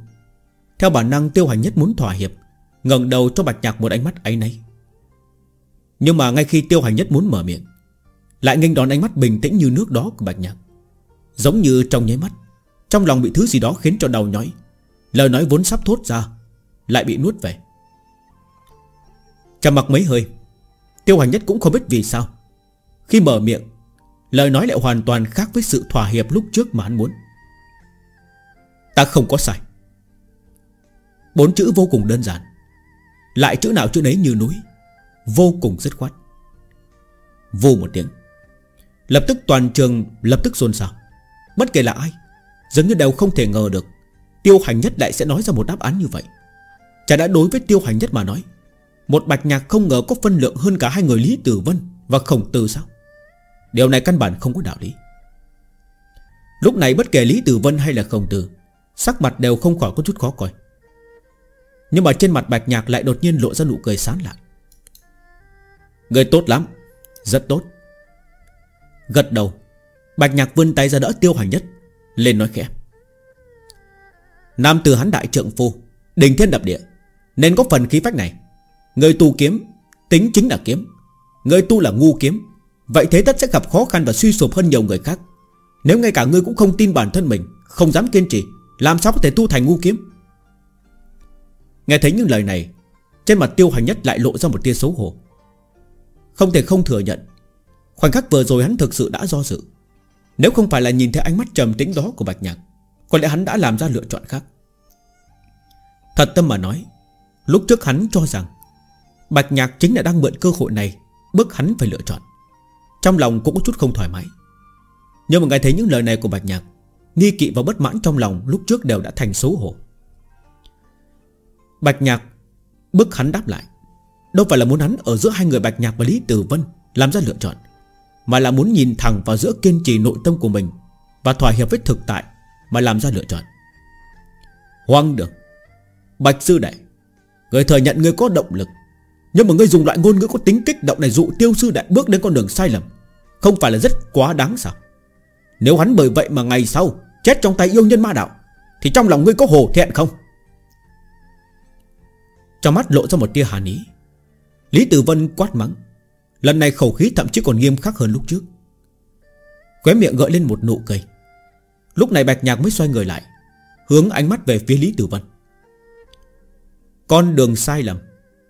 Lý Huynh Huynh cũng không tránh khỏi quá chủ quan rồi. Dứt lời đồng thời ánh mắt Bạch Nhạc đột nhiên lộ ra một tia sắc bén, Giống như trong nháy mắt, Khi thấy cả người đều đã khác. Nhìn thấy Bạch Nhạc như vậy cho dù là khổng tử, Đồng tử cũng không khỏi đột nhiên co rụt lại. Trong lòng giật thót, Ý thức được phán đoán lúc trước của mình là sai. Về phần Từ Phong Và các trưởng lão trong tông khác, Lúc này từ trên người Bạch Nhạc cảm nhận một tia tự tin cường đại. Khẽ lắc đầu, Bạch Nhạc lạnh lùng nói, Lý Sư Huynh, Luận về thực lực, Người bước vào linh phủ nhiều năm, Mà ta chỉ vừa thành tựu linh phủ nửa năm. Nhưng nếu luận kiếm Dừng một chút. Trong mắt Bạch Nhạc lộ ra một tia khinh miệt ngạo nghĩa nói. Người ngay cả con đường kiếm đạo cũng chưa nhìn được. Có tư cách gì mà chỉ điểm người khác? Kiếm đạo Nên là thế nào? Từ khi Lý Tử Vân nhảy ra, Bạch Nhạc kỳ thực đã ý thức được Sự khiêu khích của tiêu hành nhất. Chỉ sợ chính là Lý Tử Vân trong ngòi, Trong lòng cũng sinh ra một chút tức giận. Sau đó Lý Tử Vân thừa cơ làm khó Châm biếm kiếm đạo của tiêu hành nhất không đáng một xu. Lại thực sự khiến Bạch Nhạc xem thường hắn. Lý Tử Vân, người muốn chèn ép ta thì không thành vấn đề. Nhưng mà nếu mượn cơ hội này làm khó, Cũng rất có khả năng Hủy diệt một thiên tài kiếm đạo. Người có từng nghĩ tới hậu quả không? Chỉ là trước khi Bạch Nhạc phản kích, Cần phải xem phản ứng của bản thân tiêu hành nhất đã. Nếu bản thân tiêu hành nhất không thể kiên trì bản tâm, Tin tưởng kiếm đạo của mình, Như vậy Bạch Nhạc tất nhiên sẽ không ra mặt cho hắn. Bởi vì nếu là như vậy cho dù tiêu hành nhất tiếp tục tu luyện, Căn bản không thể thực sự bước vào kiếm đạo, Tu thành ngu kiếm. Nhưng tiêu hành nhất đã phòng thủ bản tâm Như vậy Bạch Nhạc có lý do Để đòi công đạo cho hắn, Đòi công đạo cho ngu kiếm. Về phần Bởi vậy mà có thể đánh vào mặt Lý Tử Vân, Bạch Nhạc căn bản không để ý. Càn rỡ! Lập tức Lý Tử Vân giận tím mặt. Trực tiếp bị Bạch Nhạc chỉ trích không hiểu kiếm đạo, Thậm chí ngay cả con đường kiếm đạo cũng không nhìn được. Đây căn bản chính là tát vào mặt hắn. Bảo hắn làm sao có thể chịu được chứ? Người càn rỡ chỉ sợ là ngươi. Lạnh lùng nhìn Lý Tử Vân, Bạch Nhạc thản nhiên phản kích. Tuy bản tông dùng kiếm, Nhưng chỉ vào những lời vừa rồi, liền biết người căn bản không hiểu gì về kiếm, Càng đừng nói tới hai chữ rút kiếm. Cho dù Lý Tử Vân Cũng hoàn toàn không ngờ, Bạch Nhạc lại dám không hề kiêng đề Mà làm nhục hắn, Lập tức giận tín mặt. Ngôn ngữ không có sức. Bạch Nhạc, Người dám luận kiếm với ta không? Lời nói như kiếm, Bạch Nhạc không hề có ý nhượng bộ, Lại tát mặt một cách trắng trợn. Ngươi và ta đánh một trận, Chỉ có thể nói là tỉ thí. Về phần luận kiếm Người vẫn chưa có tư cách này. Căn bản không cho Lý Tử Vân một cơ hội lên tiếng. Bạch Nhạc lại nói tiếp. Không phải ngươi xem thường ngu kiếm sao? Ta sẽ dùng ngu kiếm của tiêu sư đệ Đánh với ngươi một trận. Muốn đánh vào mặt Thì phải đánh triệt để. Sự châm chọc trong lời nói, Cho dù có thể chiếm được một chút tiện nghi, Nhưng mà cũng là yếu ớt không có sức. Bạch Nhạc hạ quyết tâm đòi công đạo cho tiêu hành nhất. Cho ngu kiếm, Vậy sẽ không có bất kỳ ai bỏ xuống đề tài này. Không phải là ngươi xem thường ngu kiếm sao? Được, Ta sẽ dùng chính ngu kiếm này để đánh vào mặt ngươi, Cho ngươi thấy rõ Kiếm gì mới xứng đáng hay chú kiếm đạo. Một tay đè kiếm, Áo trắng như tuyết. Lúc này tư thái bạch nhạc bày ra giống hệt với tiêu hành nhất, Khiêu trên hắn. Nhưng một tiếng ngạo trên người lại hơn xa tiêu hành nhất. Ngu kiếm. Đây không chỉ là một câu nói cho có lẽ Bạch nhạc muốn dùng thực sự để chứng minh mỗi một chữ mà nói. Chỉ một tư thế đè kiếm, Lại đột nhiên khiến tất cả người trong sân Chật để sôi trào. Tỷ thí giữa đệ tử chân truyền, Bản thân chính là kịch chính. Huống chi Hiện giờ còn bởi vì chuyện của tiêu hành nhất, Khiến cho trận chiến giữa Bạch Nhạc và Lý Tử Vân Ngày càng tràn ngập mùi thuốc súng.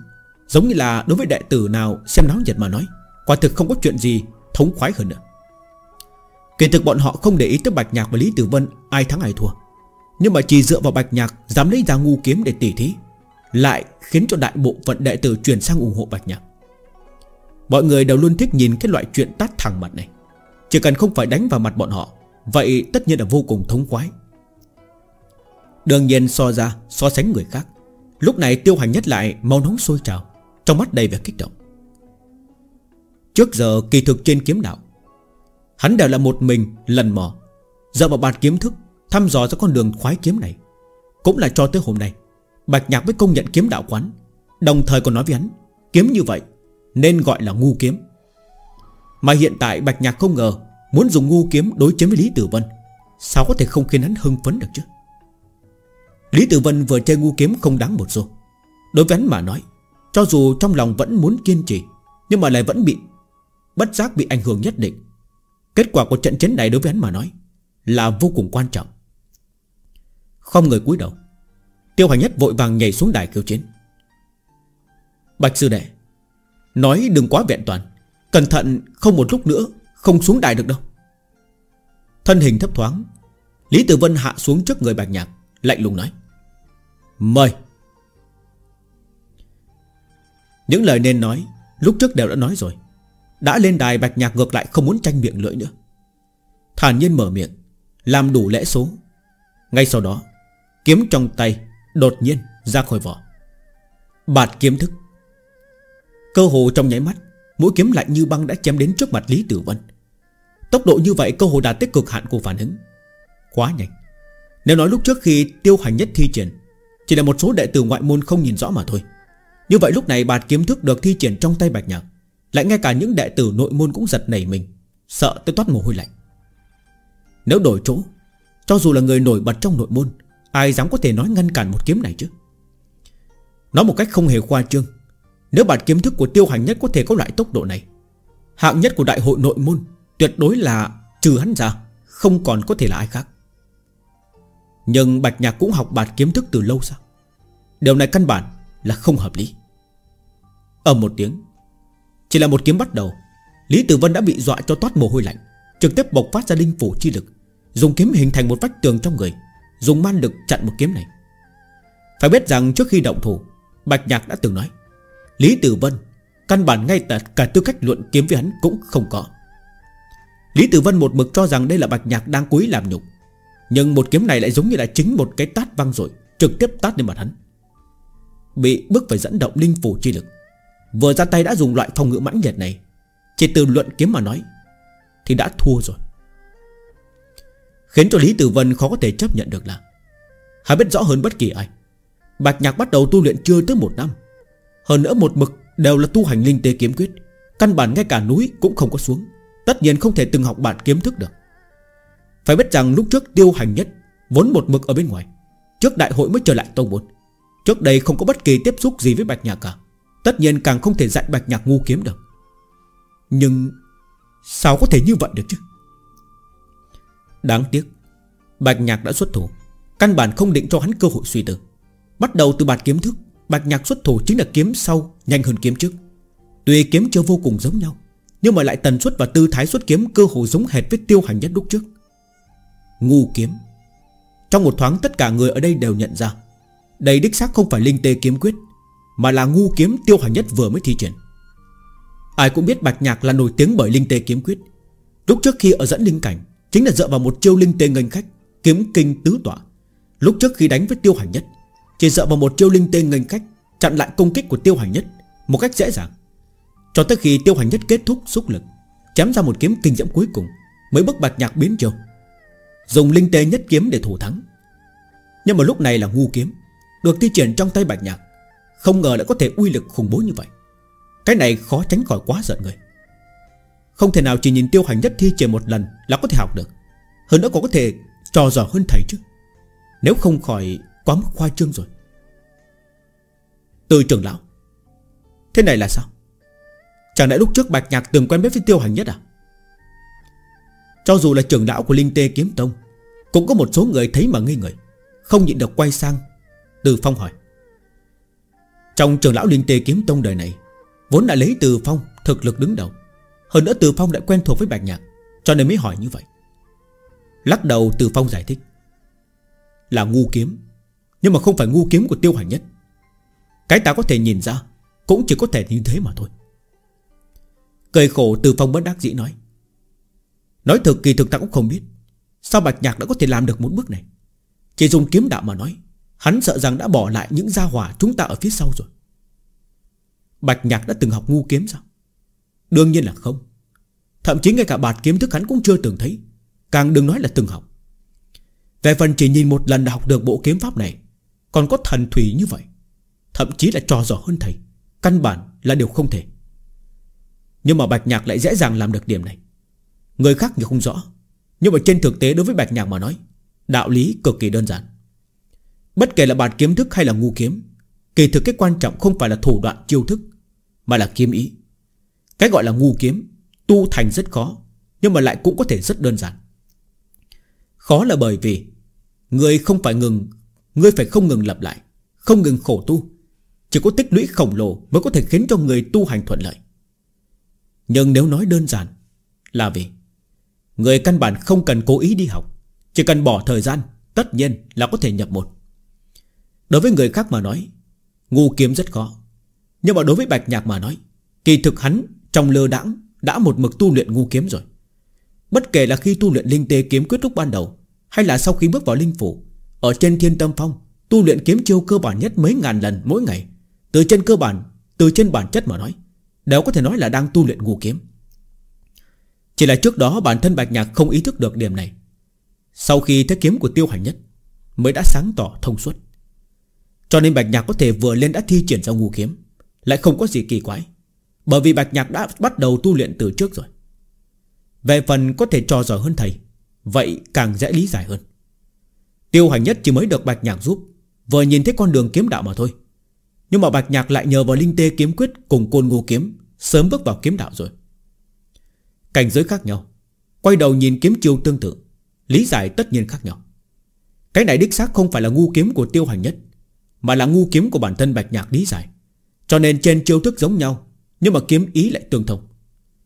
Dùng ngu kiếm đối địch, Đối với Bạch Nhạc mà nói, Cũng không phải chỉ để chính danh trong ngu kiếm, Để tranh một hơi này. Trên thực tế ngu kiếm, Khi thi triển cũng có thể mang đến nhiều cảm ngộ hơn cho Bạch Nhạc.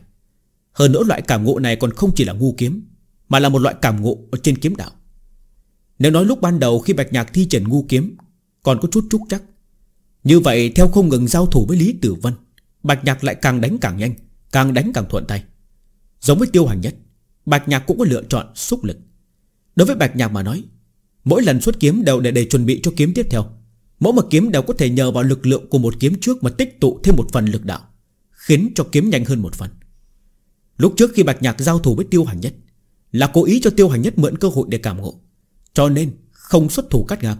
Nhưng mà khi ngu kiếm được thi triển ra trong tay của Bạch Nhạc, Không phải là Lý Tử Vân Hảo tâm cho Bạch Nhạc thi triển hết, Mà là Lý Tử Vân căn bản không tìm thấy phương thức để cắt ngang. Hắn không nhìn ra được kiếm thế của Bạch Nhạc, Thậm chí đã lờ mờ có chút không theo kịp tốc độ xuất kiếm của Bạch Nhạc. Trong lần giao thủ này, Hắn mới là người bị dắt mũi dẫn đi. Quyền chủ động căn bản không ở trong tay hắn. Trong mắt hiện lên một tia tàn khốc. Trong lòng Lý Tử Vân cũng không khỏi dâng lên một tia sợ hãi. Hắn đã xem trận chiến của Bạch Nhạc và Tiêu Hành Nhất. Tất nhiên biết rằng, Một khi để Bạch Nhạc tích tụ kiếm thế lại, Sự bùng nổ cuối cùng là khủng bố cỡ nào. Đến loại tình trạng này, Đối với lúc trước, Nói cái gì luận kiếm? Đối với chuyện Bạch Nhạc châm chọc hắn không hiểu kiếm, Cũng căn bản không bận tâm được nữa. Hắn muốn thắng, Hơn nữa cần phải thắng. Bất kể dùng phương thức gì, Chỉ có thắng, Hắn mới có thể tìm được bậc thang xuống đài. Nếu không trận chiến hôm nay, Chỉ sợ sẽ trở thành một vết nhơ trong đời hắn, Triệt để trở thành chuyện cười trong mắt của tất cả đệ tử. Hắn không thua được. Trong một cái hù hấp, Trên người Lý Tử Vân lộ ra một tiêm màu xanh da trời. Linh khí khủng bố đột nhiên từ trên người tỏa ra, Kiếm trong tay lại lộ ra một tia kiếm ý khủng bố. Bích Hải triều sinh! Trong nháy mắt Linh lực khủng bố giống như đột nhiên dâng lên, Một cơn sóng lớn ập thẳng tới. Lực lượng linh phủ trung kỳ triệt đầy bùng nổ, Đều dung nhập vào trong một kiếm này. Hơn nữa, Kiếm trong tay Lý Tử Vân Cũng không phải là bộ kiếm của đệ tử bình thường, Mà là một liện kiện linh khí trung phẩm.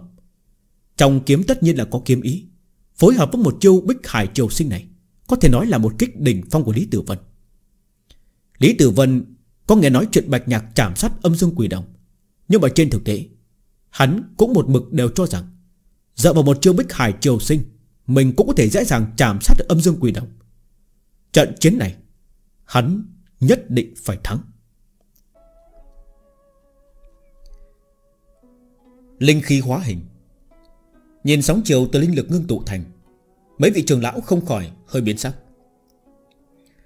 Đừng xem thường biến hóa đơn giản này. Trên thực tế đại bộ phận người ở linh phủ cảnh, Căn bản đều không làm được điểm này. Có thể ngưng tụ linh khí thành hình. Sẽ có thể tham gia gia tăng uy lực của linh lực Trong cơ thể lên gấp bội. Trong linh phủ cảnh, Đây cũng là một lần biến đổi về chất. Bình thường mà nói, chỉ có bước vào linh phủ hậu kỳ, Sự nắm giữ đối với linh lực trong cơ thể Đạt tới mức độ gần như là hoàn mỹ Mới có thể khống chế linh lực hóa hình. Hiện giờ Lý Tử Vân Chỉ có thực lực linh phủ trung kỳ, Nhưng mà lại có thể dựa vào linh khí trong tay, Cường hành khiến cho linh khí ngưng tụ thành sóng chiều. Sức nắm giữ này Tuyệt đối không hổ Với danh xưng thiên tài. Bạch nhạc thu rồi. Lắc đầu lập tức có trưởng lão đưa ra nhận định. Linh khí hóa hình Cũng có nghĩa là Linh lực như nhau, Ít nhất có thể phát huy ra uy lực gấp đôi trở lên. Loại đề thăng này thực sự là quá khủng bố. Bạch nhạc vốn chỉ là bước vào linh phủ, Cho dù là thành tựu tử phủ, Miễn cưỡng có thể chống lại Lý Tử Vân. Nhưng mà một khi đối mặt với trùng kích của linh lực hóa hình, Cho dù triệt để nghiền ép, Đây là thống trị thực lực tuyệt đối. Không liên quan gì tới kỹ xảo. Đương nhiên nếu dựa theo cách nói của Bạch Nhạc và Lý Tử Vân, Thắng lợi như vậy, Không khỏi có chút thắng, Cũng không vẻ vang gì. Nhưng mà từ góc độ đấu tông môn mà nói, Lại không hề có vấn đề. Lúc này không chỉ là những trường lão này, Tất cả các đại tử, Hơi hiểu linh khí hóa hình có nghĩa là gì, Đều cho rằng Bạch Nhạc đã thua chắc rồi. Nhưng mà bản thân Bạch Nhạc lại hiển nhiên không có loại giác ngộ này. Thời gian tu hành của Bạch Nhạc ngắn ngủi, Kiến thức nông cạn Thậm chí căn bản không biết cái gì gọi là linh khí hóa hình. Càng không thể sinh ra cảm xúc khẩn trương sợ hãi. Đối với Bạch Nhạc mà nói, Hắn chưa từng cho rằng mình có thể dễ dàng chiến thắng đệ tử chân truyền như Lý Tử Vân. Từ khi xuất thủ, Trong lòng của Bạch Nhạc đã chuẩn bị tâm lý tốt, Cho nên tất nhiên không hề có chút hoảng loạn. Hít sâu một hơi, Dưới chân đột nhiên bước ra, Từ hoa phun trào, Bạch Nhạc cũng điều động linh phủ chi lực của mình. Chỉ là lần này Bạch Nhạc không phải là muốn lấy cứng trọi cứng với Lý Tử Vân. Thân hình hơi lắc lư Bạch Nhạc thuận thế đạp sóng mà vào. Thậm chí kiếm chiêu trong tay Cũng không hề có hóa biến. Lúc này Bạch Nhạc mới chính thức phát huy ra một chữ ngu Tới cực hạn. Ngu kiếm. Kiếm như vậy, Bản thân sẽ không theo đuổi kỹ xảo gì. Bất kể là đối mặt với dạng công kích gì, Thủy Trung vẫn đều dùng kiếm chiêu đơn giản nhất, Cơ bản nhất Để có thể hóa giải. Bạch Nhạc căn bản chưa từng nghĩ tới, Có thể một lần đánh tan sóng chiều linh lực khủng bố này. Cái hắn muốn làm Chính là dựa vào kiếm nhanh hơn, Lần lượt hóa giải một bộ phận nhỏ Của sóng chiều linh lực Giống như là ngu công giải núi, Chậm rãi hóa giải sóng chiều. Phương thức như vậy nhìn rất ngu, Nhưng mà khi tốc độ xuất kiếm đủ nhanh, Phán đoán đủ chính xác, Vẫn có thể biến loại không thể thành Thành có thể. Trong không đến 10 hơi thở ngắn ngủi, Bạch Nhạc không ngờ liên tục xuất gần trăm kiếm. Mỗi một kiếm Đều vừa hay hóa giải một bộ phận sóng chiều. Không ngờ dùng cái phương thức này Chém sóng chiều đang ập đến, Ra một lỗ thủng có thể dùng thần. Điều này không có khả năng. Tần mắt thấy Bạch Nhạc dùng các loại phương thức không thể tưởng tượng này, Phá bích hải triều sinh. Sắc mặt của Lý Tử Vân lập tức trở nên trắng bạch, Thậm chí ngay cả ứng biến cũng quên mất. Ngay sau đó mũi kiếm Bạch Nhạc Chỉ đến cổ họng hắn. Mũi kiếm lạnh như băng, Trong nhà mắt khiến cho Lý Tử Vân Mặt xám như cho tàn. Vù một tiếng. Một màn này triệt đề nổ toàn trường. Mỗi một vị đại tử lúc này ở trong mắt đều không khỏi hiện lên một tia sùng bái. Ngu kiếm. Thì ra kiếm còn có thể dùng như vậy. Thì ra kỹ thuật biến kiếm cơ bản Trước giờ bị người ta xem nhẹ. Không ngờ lại có thể tỏa ra cái ánh sáng lóa mắt như vậy. Ngu kiếm này đã đả động đến mỗi người. Phải biết rằng bản thân Đinh Tê Kiếm Tông Không phải là lớn gì. Trong những đệ tử này, Thiên tài chân chính càng ít. Bọn họ có lẽ phần lớn là thiên tư bình thường. Không có được nhiều tài nguyên, Không có được công pháp tốt. Dưới tình huống bình thường có lẽ bọn họ chưa có tiền tiêu tán trong đám người, Vĩnh viễn đều phải lan lộn ở tầng dưới cùng của giới tu hành, Không có bất kỳ ai chú ý. Nhưng mà lúc này ngô kiếm bạch nhạc thi triển Lại mang tới hy vọng cho mỗi người của bọn họ. Người có thể có tư chất bình thường, Tu hành có chậm chạp, Nhưng mà không thể không tin bản thân mình. Người có thể không học được linh tê kiếm quyết, Nhưng mà không thể ngay cả những kiếm thuật cơ bản này cũng không biết. Người có thể không làm được linh khí hóa hình rực rỡ như là Lý Tử Vân nhưng mà nếu không học được ngu kiếm, Vậy có thể chứng minh Tự người không chịu nỗ lực. Hy vọng, Đối với những đại tử bình thường của Linh Tê Kiếm Tông mà nói, Đây mới là thứ quan trọng nhất. Mà trận chiến này Bạch Nhạc chính là dùng ngu kiếm, Mang tới hy vọng cho họ. Đương nhiên trên thực tế, Chuyện cũng không đơn giản như bọn họ tưởng tượng. Cho dù là ngu kiếm, Cũng không thể mỗi người đều có thể tu hành. Giống như Bạch Nhạc kiến thức, Rất nhiều người biết, Nhưng mà thực sự có thể tu hành Lại có mấy ai? Bởi vì ngu cho nên nhanh. Nhưng một chữ nhanh này Cũng không biết đã làm khó bao nhiêu người. Nhưng mà cái này không quan trọng. Cũng không có ai nghĩ sẽ nhiều như vậy. Các bọn họ nhìn thấy chỉ là trước mắt. Bạch nhạc. Trong một thoáng, Các đệ tử đông đúc đột nhiên Không chế được, không cống chế được cảm xúc. Cũng không biết là ai dẫn đầu, Điên cuồng hò hét tên của Bạch Nhạc. Trong tiếng hồ giống như là núi gào biển động. Toàn bộ đầu óc của Lý Tử Vân trống rỗng, Giống như là cả người Không còn một chút khí lực. Từ sau khi hắn bái vào Linh Tê Kiếm Tông, Cơ hồ là thuận buồm xuôi gió, Không gặp phải bao nhiêu trắc trở, Trực tiếp tấn thăng chân truyền. Thậm chí cho dù là khi đối mặt với khổng tử, Hắn cũng dám tranh một phen, Hơn nữa nhiều năm qua Vẫn chưa thực sự bị thua. Lần đại hội này, Lý Tử Vân không chỉ muốn đánh bại Bạch Nhạc, Hơn nữa muốn mượn cơ hội lại khiêu chiến vị trí của khổng tử. Nhưng mà tất cả Đều theo trận chiến này mà triệt để kết thúc. Từng tiếng hô tên của Bạch Nhạc đó Giống như là từng cái tát Triệt để đánh choán đờ đẫn. Phập một tiếng. Cấp hỏa công tâm. Lý Tử Vân phun ra một búng máu, Ngã thẳng xuống đài khiêu chiến, Trực tiếp hôn mê bất tỉnh. Chậm rãi thu kiếm, Nhìn Lý Tử Vân, Trong lòng Bạch Nhạc cũng không khỏi thở dài. Trận chiến này không nghi ngờ gì nữa. Hắn chỉ vì chính danh cho tiêu hành nhất, Chính danh cho ngù kiếm, Thậm chí mang tới hy vọng cho nhiều đệ tử hơn bình thường. Nhưng tương tự, Cũng có khả năng rất lớn sẽ là hủy đi lòng tin của Lý Tử Vân. Thậm chí khiến thiên tài vốn ngày sau Có hy vọng bước vào tinh cung cảnh này, Cứ như vậy tan đi trong đám người. Người càng tâm cao khí ngạo, Sau khi gặp phải đả kích, Lại càng khó có thể khôi phục. Nhưng mà bản thân điều này chính là cái giá cần phải trả. Tranh Không chỉ là lựa chọn của Bạch Nhạc, Cũng là lựa chọn của Lý Tử Vân. Bất kể là ai, Đều phải vì lựa chọn của mình Mà trả một cái giá cực đắt. Đây là thực tại. Quan trọng hơn là, Bạch Nhạc biết rất rõ, Đối với mình mà nói, Tất cả vẫn chưa kết thúc. Ngẩng đầu, ánh mắt Bạch Nhạc thuận thế rơi xuống trên người khổng tử, Cao giọng mở miệng nói, Khổng sư huynh, Xin chỉ giáo. Một tay vươn ra, Là một thủ thế mời. Thanh âm bạch nhạc truyền vào trong tai mỗi người Như là một cách rất rõ ràng. Khiêu chiến khổng tử. Trong nhất thời tiếng động lớn im bặt, Tất cả mọi người đều nhìn khổng tử. Khác với Lý Tử Vân, Nhiều năm như vậy trôi qua, Ở Linh Tây Kiếm Tông đã không có bất kỳ ai từng khiêu chiến quyền uy của khổng tử. Ở trong mắt đệ tử, Khổng tử là đại sư huynh hoàn toàn xứng đáng, Bất kể là thực lực hay là tính tình, Đều khiến cho người ta tin phục. Vừa rồi lúc Lý Tử Vân giao thủ với Bạch Nhạc, Có rất nhiều người đều nguyện ý đứng bên cạnh Bạch Nhạc. Nhưng mà khi Bạch Nhạc khiêu chiến khổng tử, Cho dù đại tử ngu kiếm Mà sung bái Bạch Nhạc, Lúc này cũng không khỏi trở nên do dự. Trong lòng hơi trầm xuống, Chậm rãi đứng dậy. Không tử nhìn về phía Bạch Nhạc, Trong ánh mắt cũng không khỏi có thêm mấy phần thâm thúy. Kỳ thực từ lúc trước khi Bạch Nhạc lên từ Vân Phong, Hắn đã đoán được kết quả này. Chỉ là lúc ấy hắn hy vọng Lý Tử Vân thay hắn ngăn cản Bạch Nhạc, Nhưng không ngờ Lý Tử Vân lại thảm bại như vậy, Đẩy hắn đến lên trước sân khấu. Thật lòng mà nói, Từ sau lần đó gặp Bạch Nhạc, Khổng tử luôn cho rằng Bạch Nhạc còn nguy hiểm hơn cả Lý Tử Vân.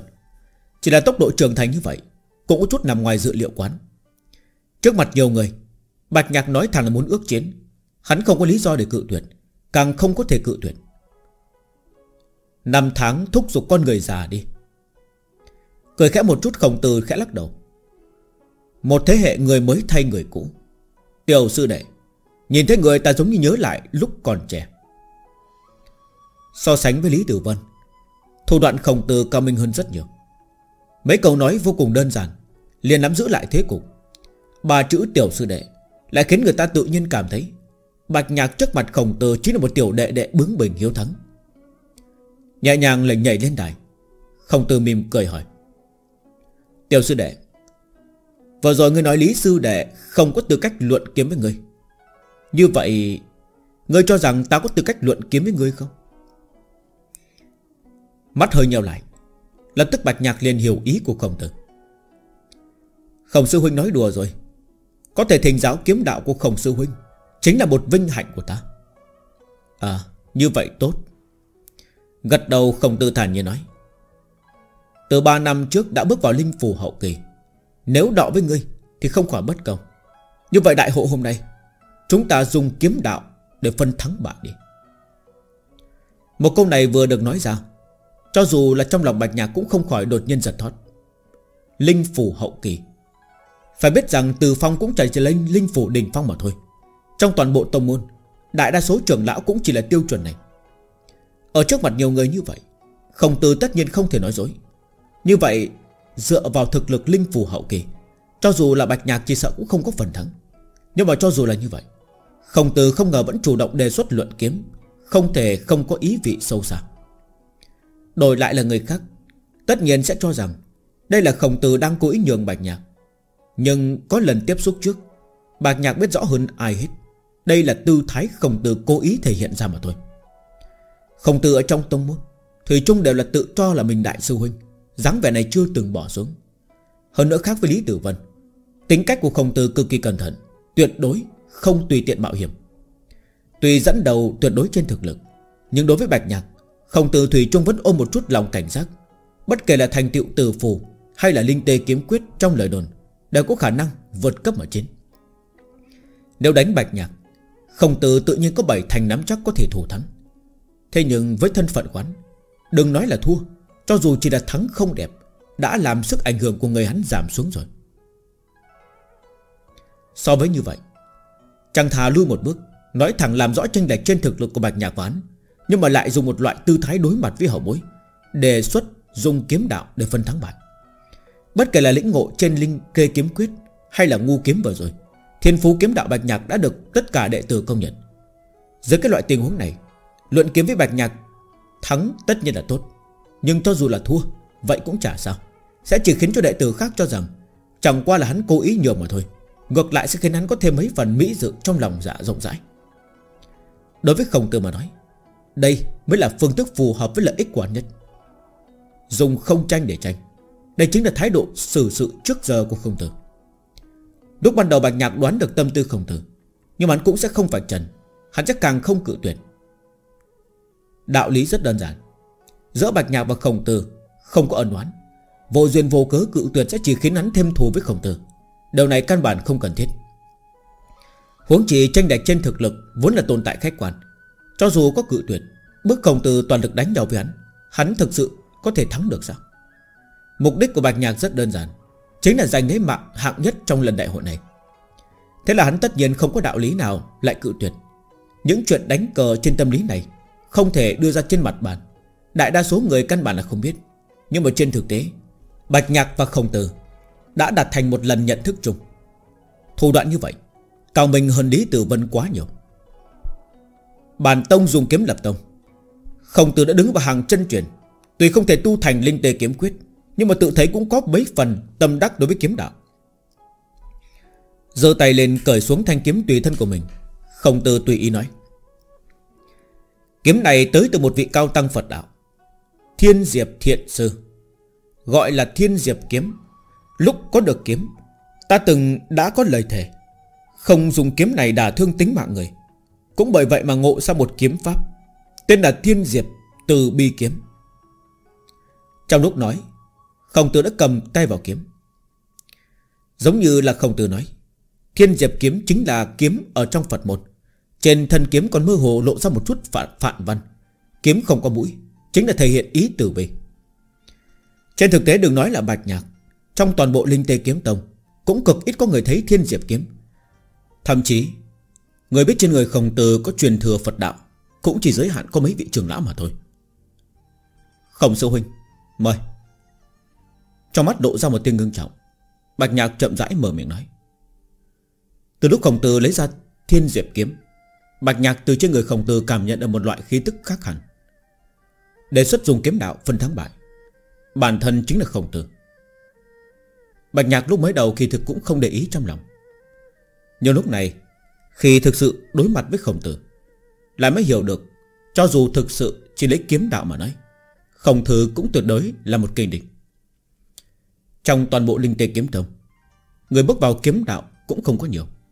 Nhưng không nghi ngờ gì nữa, Khổng tử tất nhiên là một trong số đó. Tiểu sư đệ, Mời. Mỉm cười khổng tử nhẹ giọng đáp. Bạch nhạc biết rất rõ, Đối mặt với mình, Khổng tử thề tất sẽ không xuất kiếm trước. Hơn nữa bộ kiếm thiên diệt từ bi kiếm này, Sở trường nhất cũng sợ chỉ là phòng thủ. Lúc trước Bạch Nhạc đều dùng linh tên nghênh khách Để ngăn cản công kích của người khác. Và lần này, Tới lượt hắn dùng hết thủ đoạn Để phá giải kiếm chiêu của người khác. Kiếm như nhạn bị kinh sợ. Trong một cái giờ tay Kiếm của Bạch Nhạc đã đâm đến trước mặt khổng tử. Bạt kiếm thức. Đối mặt với khổng tử, Bạch Nhạc cũng vẫn lựa chọn dùng bạt kiếm thức để khởi thủ. Tuy uy lực chưa chắc đã so với linh tê kiếm quyết, Nhưng mà lại được cái nhanh. Nhanh. Có khả năng sẽ quấy rầy sự chuẩn bị của khổng tử, Khiến hắn không kịp thi triển ra thiên diệp từ bi kiếm. So sánh với lúc đánh Với Lý Tử Vân, Một kiếm này nhanh hơn mấy phần. Cái này cũng không phải là Bạch Nhạc xem thường Lý Tử Vân, Mà là bởi vì Một chiêu bạch kiếm thức này, Hắn kỳ thực cũng vừa học được từ chân người của Tiêu Hành Nhất. Đánh với Lý Tử Vân, Trên thực tế cũng là lần đầu tiên Bạch Nhạc Đệ nhất kiếm. Trên thực tế, Cũng là lần đầu tiên Bạch Nhạc sử dụng ngũ kiếm. Nhưng có kinh nghiệm của trận chiến đó Hiện giờ lại được thi triển ở trong tay của Bạch Nhạc. Tất nhiên là vô cùng thuận buồm xuôi gió. Vù một tiếng. Thân kiếm run run. Một tia kiếm quang từ trên thiên diệp kiếm hiện lên. Giống như là trong nháy mắt, Thiên diệp kiếm của khổng tử đột nhiên tỏa ra, Hóa thành một mảng lá bồ đề màu vàng, Bảo hộ khổng tử. Cho dù với tốc độ của một kiếm này của Bạch Nhạc, Căn bản cũng không thể phá được vách tường đó. Đúng vậy. Lúc này thiên diệt kiếm không còn là một thanh kiếm mà là một vách tường kim quang sáng chói. Chỉ bằng một kiếm này, Có thể biết rằng Thực lực của khổng tử mạnh hơn Lý Tử Vân quá nhiều. Đương nhiên, Bạch Nhạc cũng không hy vọng Chỉ bằng một kiếm này có thể đánh bại khổng tử. Thần sắc không hề có biến hóa. Bạch Nhạc cũng xuất kiếm nhanh chóng, Lại thi triển ngu kiếm, Không ngừng công kích. Kiếm sau nhanh hơn kiếm trước, Công như để xét đánh, Thổ như bàn thạch. Chỉ là trong mấy hơi thở, Trận chiến này đã khiến tất cả mọi người rung động. Quá nhanh. Giới đài trên mặt tiêu hành nhất không khỏi lộ ra một nụ cười khổ. Nghiêm khắc mà nói, Bạch nhạc có thể tu thành ngu kiếm, Còn được hắn gợi ý. Nhưng mà hiện giờ, Nhìn bạch nhạc xuất thủ, Hắn đã có thể cảm nhận được rõ ràng cái loại tranh lệch một trời một vực này. Lúc trước tiêu hành nhất cho rằng kiếm của mình đã rất nhanh, Chỉ là vì tu vi không đủ Mới có tỉ vết. Nhưng mà hiện giờ nhìn bạch nhạc thi triển ngu kiếm, Lại khiến hắn chua chát phát hiện. Cho dù là luận bản thân xuất kiếm, Hắn có rất nhiều chỗ về chi tiết tồn tại tỉ vết. Cũng chính vì vậy Mới dẫn tới kiếm quán thậm chậm hơn Bạch Nhạc nhiều. Đương nhiên bỏ qua phần chua chát này Lại cũng khiến cho tiêu hành nhất rất phấn chấn. So sánh với người khác, Trận chiến này thu hoạch đối với hắn Mới là lớn nhất. Không đúng. Đánh tiếp như vậy, Đại sư Huynh chẳng phải sẽ bại sao? Mắt thấy cục diện như lâm vào trong rằng co, Lập tức có đại tử nói ra nghi hoặc ở trong lòng. Trận chiến của tiêu hành nhất và bạch nhạc Tất cả mọi người đều nhớ rất rõ. Ngu kiếm càng đánh càng nhanh. Phía trước chỉ là một quá trình xúc thế. Một khi hoàn thành xúc thế, Uy lực của một kiếm cuối cùng bộc phát ra, Tuyệt đối hơn xa trước đó. Cho dù hiện giờ khổng tử dường như đã chặn được công kích của Bạch Nhạc Nhưng mà phòng thủ đơn thuần như vậy, Khi đào đối mặt với một kiếm cuối cùng Lại cực kỳ nguy hiểm. Lúc trước Bạch Nhạc dùng một chiêu linh tê ngân khách Ngăn cản công kích của tiêu hành nhất, Chẳng phải là cũng có hiệu quả tương tự với thiên diệp từ bi kiếm của khổng tử sao? Nhưng Bạch Nhạc cuối cùng có thể thủ thắng. Là vì cảnh giới và thực lực quán đều hơn xa tiêu hành nhất. Nhưng mà khổng tử lại chưa chắc có thể vững vàng áp chế được Bạch Nhạc. Phải biết rằng trận chiến này đã ước định là luận kiếm, Chỉ dùng kiếm đạo để phân thắng bại. Thua. Vậy thì chưa chắc. Lắc đầu, từ phong giải thích. Tùy ngu kiếm của Bạch Nhạc xảo diệu, Nhưng mà các người cũng đừng có coi thường khổng tử. Bạch Nhạc đang xúc thế thì không sai nhưng mà khổng tử chẳng phải cũng vậy sao? So sánh với trưởng lão khác, Nhãn giới từ phong hiển nhiên là cao hơn một bậc. Thiên diệp từ bi kiếm, Nhìn thì là một kiếm chiều phòng ngự, Nhưng trên thực tế trong đó lại ngầm có ý phản kích. Khổng tử từng được cao tăng Phật môn Điểm hóa, Tuy không phải người trong Phật môn, Nhưng mà trong kiếm đạo lại ẩn chứa rất nhiều chân ý Phật môn. Thiên diệp từ bi kiếm, Cứ ngăn cản một kiếm Sẽ hòa vào một phần lực đạo, Cũng là đang tích tụ lực lượng. Đợi cho khi bạch nhạc bùng nổ, Khổng tử cũng sẽ thuận thế phản kích. Đến lúc đó, trừ lực lượng bản thân thiên diệp từ bi kiếm ra, Còn có thể cộng thêm lực lượng của bản thân bạch nhạc Để phản kích. Thực sự đến lúc đó, Thắng bại khó biết. Từ phòng có thể nhìn ra được, Bạch nhạc tất nhiên cũng có thể nhìn ra. Khi thực sự động thủ với khổng tử, Bạch nhạc phát hiện Khổng tử đang sợ, Đáng sợ hơn xa tưởng tượng của mình. Cho dù chỉ dùng kiếm đạo mà nói, Khổng tử cũng đã cảm xúc ra được kiếm đạo. Bộ thiên diệp từ bi kiếm này Lại là khổng tử dùng phương pháp Phật môn làm căn cơ để sáng tạo ra, Phù hợp hoàn mỹ với lực lượng của bản thân hắn. Ngược lại, Tuy ngu kiếm cũng rất thích hợp với bạch nhạc, Nhưng mà trung quy lại thiếu mấy phần linh động. Xét đến cùng, Đó là kiếm đạo thuộc về tiêu hành nhất, Chứ không phải là thuộc về bạch nhạc. Tuy bạch nhạc có thể lấy ra dùng, Thậm chí có thể đánh bại đối thủ như là Lý Tử Vân, Nhưng mà khi thực sự đối mặt với cường địch Lại không đáng là gì. Tuy kiếm vẫn thế chưa đi hết. Nhưng Bạch Nhạc lại biết rất rõ, Cho dù là thực sự chống đỡ được tới cuối cùng, Sợ rằng người thua hơn phân nửa Vẫn sẽ là hắn. Vừa nghĩ tới đây, Bạch Nhạc sao có thể chấp nhận với ngu kiếm? Tâm niệm xoay chuyển, Kiếm trong tay đột nhiên phát sinh biến hóa. Kiếm mang nuốt nhà, Trực tiếp hóa thành linh tê kiếm quyết. Cô vân xuất tụ Biến chiều trong tay Bạch Nhạc Lộ ra cực kỳ tự nhiên.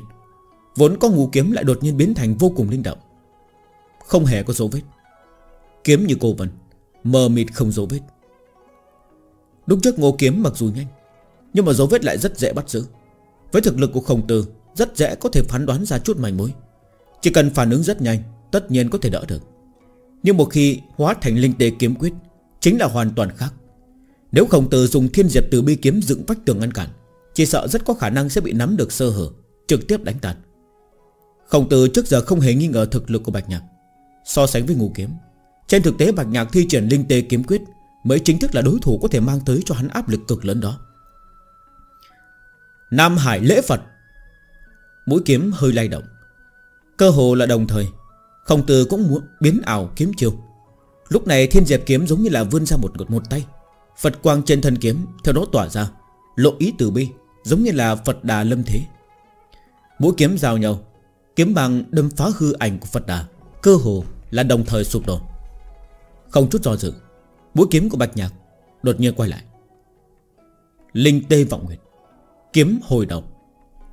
Biến chiều liên tiếp này cũng khiến tất cả mọi người Thấy mà trố mắt cứng họng.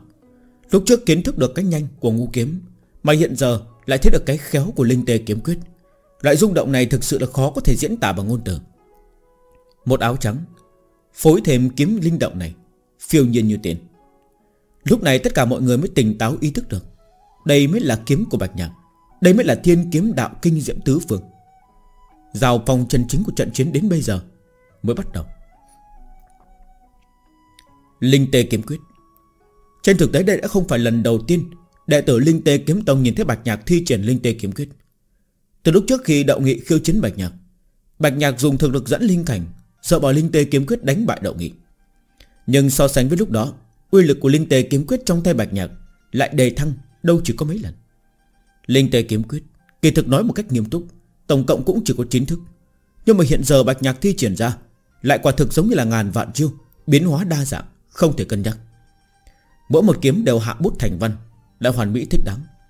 Giống như là kiếm trong tay hắn chính là một nghệ thuật, Khiến người ta không kìm được mà bị hấp dẫn, Tim đập mắt hòa Đương nhiên có thể khiến Bạch Nhạc hiện giờ tận tình thi triển linh tê kiếm quyết Thực lực của khổng tử cũng khiến người ta thán phục. Mặc cho thế công của Bạch Nhạc sắc bén tuyệt luân cỡ nào, Một chiêu của thiên diệp từ bi kiếm đó Vẫn trung thủy, ngăn cản được. Nói một cách không hề khoa trương, Thì đối với những đại tử linh tê kiếm tông bình thường, Đây là quyết đấu kiếm đạo tiêu chuẩn cao nhất Mà bọn họ từng được xem. Đến loại trình, tình trạng này, Dường như là thắng bại không quan trọng. Bất kể ai thắng thua, Sau trận chiến này, Hai người Bạch Nhạc và Khổng Tử Đều sẽ trở thành đối tượng sùng bái trong lòng đệ tử. Nếu so sánh, Lý Tử Vân đã vô hình rơi xuống một cấp bậc. Không phải Lý Tử Vân không đủ mạnh, Mà là hai vị chân truyền hắn Phải đối mặt đều quá yêu nghiệt. Bản tông hưng thịnh rồi. Nhìn Bạch Nhạc và Khổng Tử tỉ thí, Hà Diêu cuối cùng không nhịn được, Nhẹ giọng mở miệng nói, Thân là tông chủ Linh Tê Kiếm Tông, Đối với loại đại hội này Hà Diêu xưa này đều không ra làm ra bình phán. Nhưng mà hiện giờ cho dù hắn cũng không khỏi có chút kích động. Không nhịn được mà lên tiếng khen ngợi. Bất kể là Khổng Tử hay là Bạch Nhạc Thiên phú hai người này căn bản không phải đệ tử Tông môn huyền cấp tầm thường có khả năng có được. Nhưng mà hiện giờ trong linh tê kiếm tông Lại đồng thời xuất hiện hai vị, Sáu thì không khiến hắn kích động chứ. Chỉ là phía sau phần kích động này Lại không khỏi có chút chua chát. So sánh với loại tỷ thí tiêu chuẩn cao này Phần thưởng cuối cùng của đại hội thực sự lộ ra có chút quá keo kiệt. Linh tê kiếm tông quá nhỏ. Nếu chỉ có một viên thiên tài như hắn Hắn còn miễn cưỡng có thể chống đỡ được. Nhưng mà tài nguyên tiêu hao mà hai vị thiên tài này cần, Đối với linh tê kiếm tông mà nói, Lại quả thực chính là một con số thiên vật, Nhất là bạch nhạc. Thậm chí còn thành tựu tử phù. Tài nguyên hắn cần có cơ hồ gấp mấy lần. Cái này đúng là đau cũng khoái hoạt. Tông chủ Lặng lẽ đi đến bên cạnh Hà Dương. Từ phong cười khổ, Sau đó mới chậm rãi mở miệng nói. Có chuyện ta muốn thương lượng với người một chút. Hả Hơi có chút bất ngờ. Thu hồi ánh mắt từ trên đài, Khiêu chiến. Hà Diêu nhìn từ phong hỏi. Về bạch nhạc. Không sư huynh, Đánh tiếp như vậy cũng không có ý nghĩa gì. Chúng ta thắng bại một triệu đi. Giữa một kịch chiến luân phiền Bất kể bạch nhạc hay là khổng tử, Kỳ thực đều biết rất rõ. Loại công kích trình độ này căn bản vẫn không đủ Khiến hai người phân thắng bại. Đang có ý này. Cười thản nhiên Không tư tiếp lời. Linh tề kiếm quyết kỳ thực Chỉ có một kiếm. Mặc dù ta thân là chân truyền của bản tông, Nhưng mà lại một mực không có duyên nhìn thấy. Hôm nay mượn cơ hội này đánh giá một chút. Tiểu sư đệ, Xin mời. Linh tề kiếm quyết nói là có chính thức, Nhưng mà người thực sự hiểu biết linh tế kiếm quyết lại biết. Tám thức trước kỳ thực đều là chỉ dùng cảm ngộ, Kiếm ý. Tinh túy của linh tế kiếm quyết Là ở một thức cuối cùng. Một kiếm này Mới là linh hồn của linh tế kiếm quyết, Cũng là mấu chốt ngày xưa để linh tế kiếm quyết Có thể được liệt vào truyền thừa chấn tông. Không từ ở tông môn nhiều năm, Nhưng mà cũng chỉ nghe được nói, Vẫn chưa thực sự được nhìn thấy. Cho dù là bỏ qua cái khác không nói Không từ đích xác cũng muốn kiến thức một chút Kiếm này. Khổng sư huynh, Cẩn thận. Chỉ là thi đấu trong tông mà thôi, Không liên quan tới sinh tử. Bạch nhạc tất nhiên cũng không ngoại nhắc nhở không tử. Trên thực tế đánh cho đến bây giờ, Khổng tử cũng đã có được sự tôn trọng của bạch nhạc. Tuy khổng tử một mực Thích ra về đại sư huynh, Nhưng không nghi ngờ gì nữa. Khổng tử có tư cách này, Hiện tại nhớ lại Lý Tử Vân phân cao thấp với khổng tử. Nói nghiêm túc, Thì kỳ thực khổng tử chính là một mực Đang nhường Lý Tử Vân mà thôi. Dùng không tranh để tranh.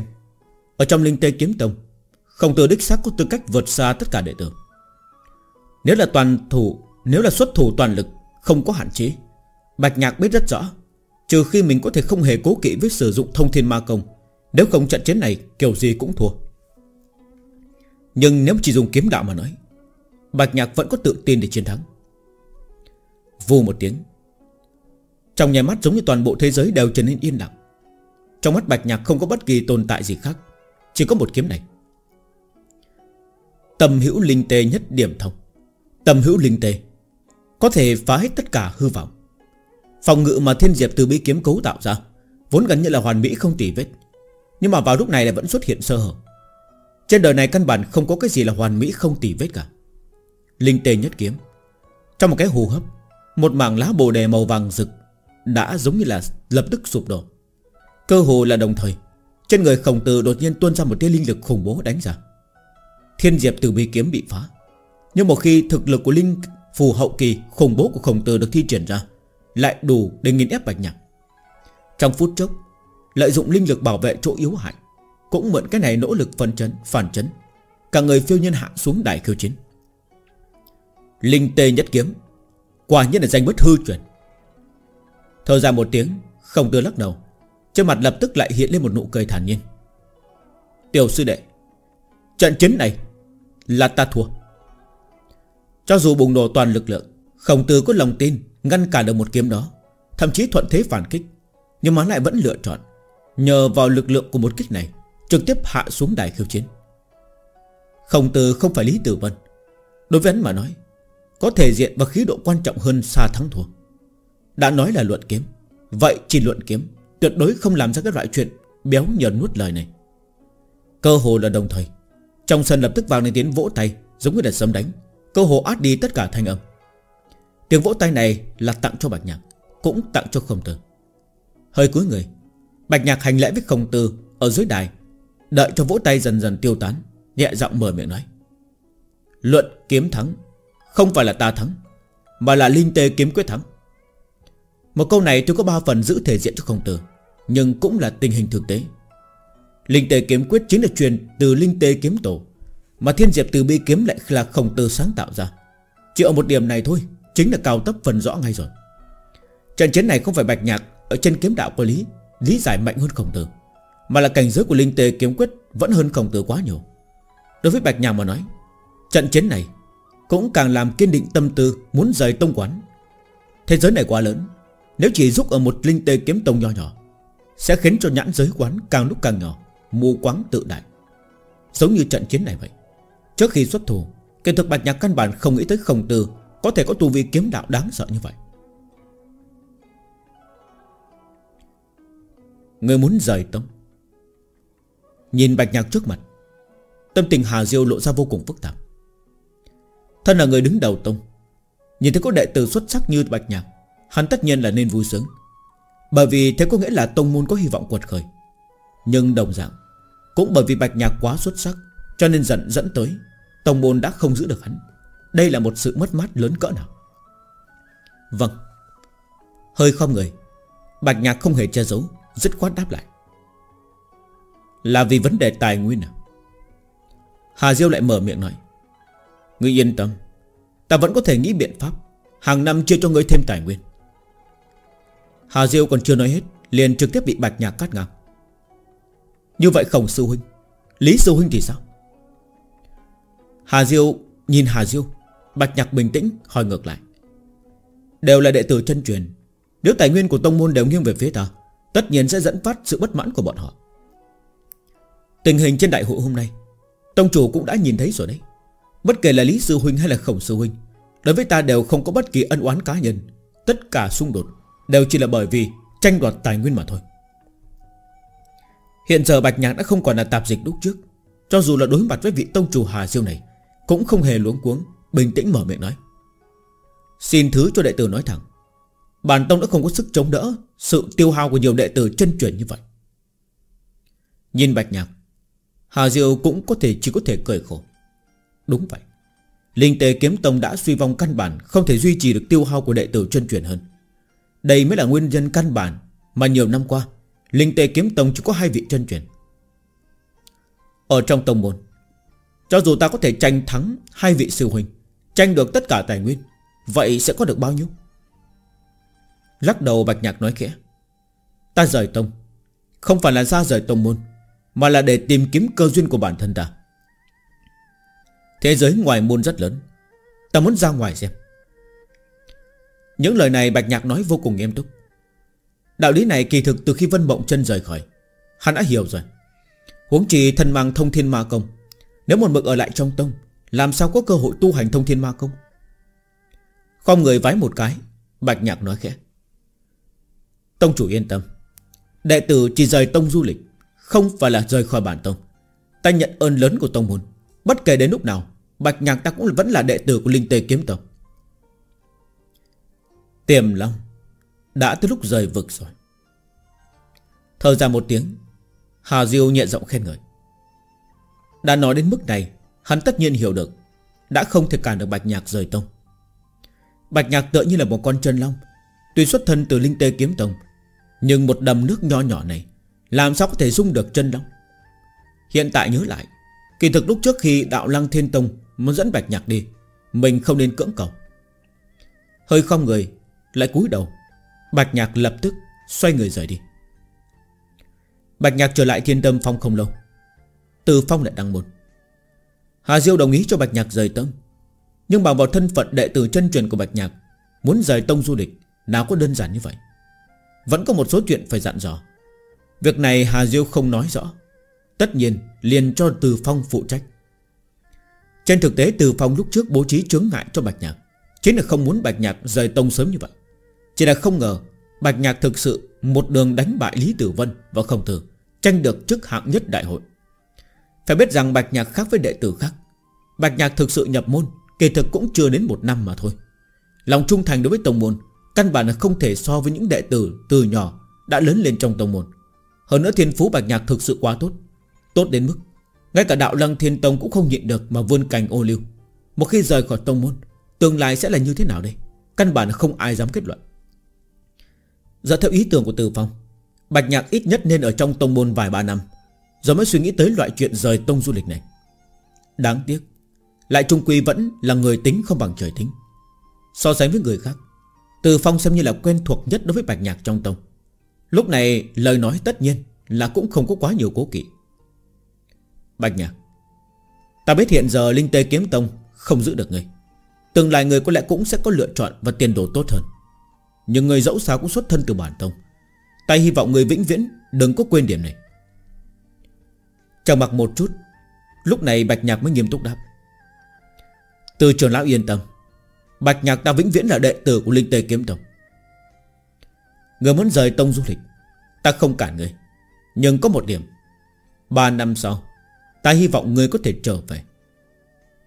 Nhìn Bạch Nhạc, Từ Phong chậm rãi mở miệng nói. Ba năm? Hơi có chút kinh ngạc. Bạch Nhạc bất ngờ hỏi. Không sai. Gật đầu Từ Phong trầm giọng nói. Tất cả tông môn huyền cấp, Cứ cách 10 năm sẽ có một hồi khảo hạch. Do các đệ tử chân truyền của tông môn làm tham gia, Tông môn có thể giành được chiến thắng trong khảo hạch, Có thể được đại lượng lợi ích. Đây cũng là biện pháp duy nhất để tông môn khuếch trương dưới tình huống bình thường. Về phần tông môn xếp cuối, Sẽ bị loại với tư cách tông môn huyền cấp. Mày nhướng lên Đối với điểm này Bạch Nhạc cũng là lần đầu tiên nghe tới. Đương nhiên trừ địa vị tông môn ra, Khảo hạch đối với tất cả đệ tử tham dự mà nói, Cũng là một cơ hội vô cùng tốt. Người giành chiến thắng, Chẳng những có thể có được đại lượng tài nguyên, Hơn nữa thậm chí có thể đạt được cơ duyên bước vào tinh cung. Nghe thấy điều này, Cho dù là Bạch Nhạc cũng không khỏi lâm vào động dung. Lần trước lúc khảo hạch, Nếu không phải có khổng tử, Chỉ sợ bản tông ngay cả địa vị tông môn huyền cấp cũng không giữ được. Lắc đầu Từ Phong tiếp tục nói Lần này bản tông không chỉ muốn giữ một địa vị tông môn, huyền cấp, Hơn nữa còn muốn tiến thêm một bước. Điểm này chỉ sợ vào một khổng tử Thì chỉ sợ vẫn không đủ. Cho nên ta hy vọng ngươi, Ba năm sau có thể trở về. Đây không chỉ là cơ hội của bản tông, Cũng là cơ duyên của ngươi. Hơi trầm mặc một chút, Bạch nhạc lập tức trầm giọng đáp. Từ trường lão yên tâm, Ba năm sau ta sẽ quay về. Tốt.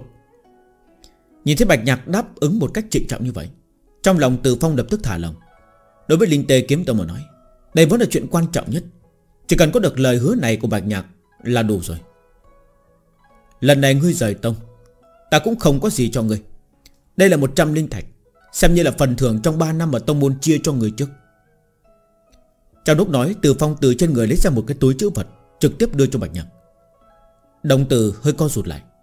Bạch Nhạc hướng ánh mắt tới túi chữ vật trong nhất thời không ngờ vươn tay ra nhận. 100 linh thạch không tính là gì.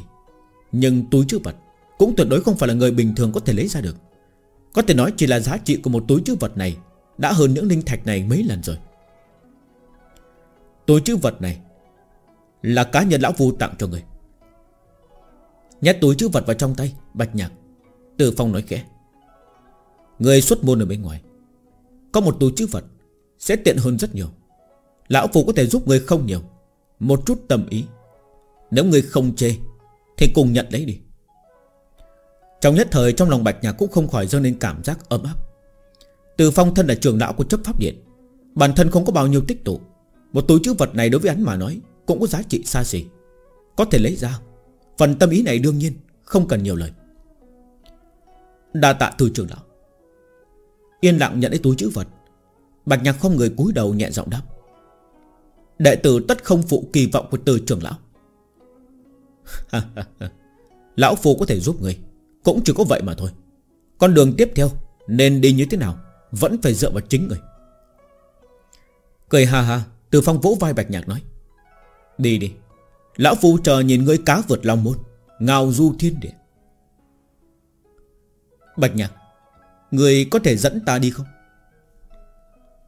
Yên lặng giúp bạch nhạc thu dọn đồ. Liễu Như Tần cuối cùng vẫn không nhịn được, Quay đầu nhìn bạch nhạc. Chuyện bạch nhạc muốn rời tông, Không nói với bất kỳ ai. Nhưng mà lại cũng không thể giấu được Liễu Như Tần Lúc này nhìn ánh mắt của Liễu Như Tân, Trong lòng của Bạch Nhạc cũng không khỏi mềm ra. Thật lòng mà nói, Mấy ngày nay ở chung, Sao hắn không biết tâm ý của Liễu Như Tân? Bất kể là dung mạo hay là thiên phú, Tâm tính, Ở trong linh tê kiếm tông, Liễu Như Tân đều là lựa chọn tốt nhất. Sau thi đấu tổng môn, Tiến vào đệ tử nội môn Lập tức được tôn sùng làm tiên tử. Không biết có bao nhiêu đệ tử tông môn, Tình nguyện quỳ gối dưới váy liệu Nhưng dù vậy, Liễu Như Tân lại vẫn không thay đổi, vẫn yên lặng trở lại thiên thâm phòng, Trải dâng chiếu dâng trà cho bạch nhạc, Giống như thị nữ, Không hề oán hận. Tuy là ý chí sắt đá, Cũng không tránh khỏi động dung. Đáng tiếc trong lòng của Bạch Nhạc Đã có Vân Mộng Trần. Liễu Sư Tỷ, Chậm rãi đi đến trước mặt Liễu Như Tân. Trên mặt của Bạch Nhạc lộ ra một tia nhu hòa, Nói khẽ. Lần này rời tông, Con đường phía trước chưa rõ. Bản thân ta cũng không biết có thể đi được bao xa, Có thể sống sót trở về hay không. Sao có thể nhẫn tâm để ngươi đi theo ta chịu khổ chứ? Ta sẽ không trở thành gánh nặng của ngươi. Lo lắng nhìn Bạch Nhạc, Nếu như Tần không nhịn được biện giải, Ta tùy thời đều có thể bước vào tinh linh phủ cảnh. Bạch Nhạc, Người chờ ta một ngày được không? Sáng mai có thể bước vào linh phủ. Ta có thể giúp ngươi, Sẽ không trở thành liên lụy của ngươi. Trước khi thi đấu tổng môn, Trên thực tế Liễu Như Tân đã có thể bước vào linh phủ, Chỉ là vì tin Bạch Nhạc Mới dám để ép xuống. Hiện giờ sau khi trở về, Nghe nói Bạch Nhạc muốn rời tông, Liễu Như Tân lại không nhịn được nữa. Liễu sư tỷ, Ta cũng không phải là không trở lại mà. Cười khổ Bạch Nhạc lắc đầu. Vừa rồi cũng đã nghe thấy, Ta đã đáp ứng từ trưởng lão Ba năm sau. Tất sẽ quay về. Nhìn Bạch Nhạc, Liễu Như tần cuối cùng vẫn trầm mặc. Trên thực tế, trong lòng bản thân nàng ta, Sao mà không rõ? Mình căn bản không thể theo Bạch Nhạc rời rời khỏi. Chỉ là rất luyến tiếc. Tiếp xúc với Bạch Nhạc càng nhiều, Liễu Như tần lại càng có thể hiểu được Sự tranh lệch giữa mình và Bạch Nhạc là bao nhiêu. Nàng ta chỉ theo bản năng, Muốn nắm lấy tất cả cơ hội, Khiến mình không phải xa rời Bạch Nhạc mà thôi. Được, Vậy ta chờ ngươi Yên lặng nhìn Bạch Nhạc. Nhưng một câu này Liễu Như Tân lại không nói ra miệng Mà là tự nói với bản thân trong lòng. Nói đến đột phá linh phủ Lát nữa ta tới chấp pháp điện Xin bọn họ bố trí tụ linh trận. Ngày mai sau khi ta xem người đột phá Rồi mới rời khỏi. Liễu như, nhìn Liễu Như Tân Ở trên mặt của Bạch Nhạc hiện lên vẻ tươi cười Nói khẽ. Cũng không cần thông qua tử phòng.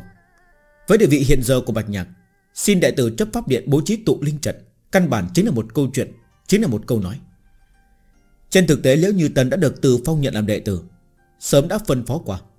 Hiện giờ cũng chỉ làm trước mấy ngày mà thôi, Tất nhiên không có vấn đề.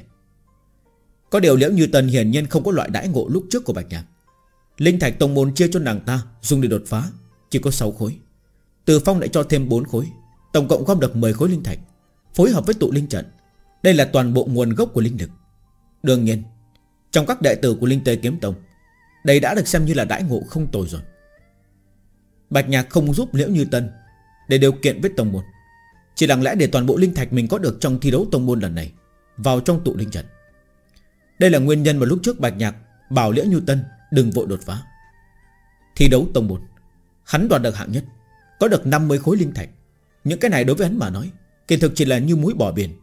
Nhưng mà đối với Liễu Như Tân mà nói, lại rất có thể khiến nàng ta mở ra đinh phủ Phẩm chất tốt hơn. Bạch Nhạc trước giờ luôn là người rộng rãi. Đối với vị liễu sư tỷ này, Tất nhiên không có gì liên tiếc. Trên thực tế, Nếu không phải lo lắng đến, Liễu Như Tần căn bản không có hy vọng thăng cấp tử phổ. Ngay cả 100 linh thạch mà Từ Phong Dự chi cho hắn Hắn cũng đưa cho Liễu Như Tần.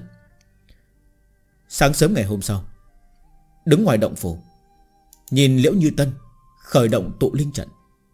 Lúc này Bạch Nhạc mới phiêu phiêu mà đi. Liễu Như Tân có con đường của Liễu Như Tân. Còn hắn, Tất nhiên, Cũng có con đường Thuộc về bản thân hắn.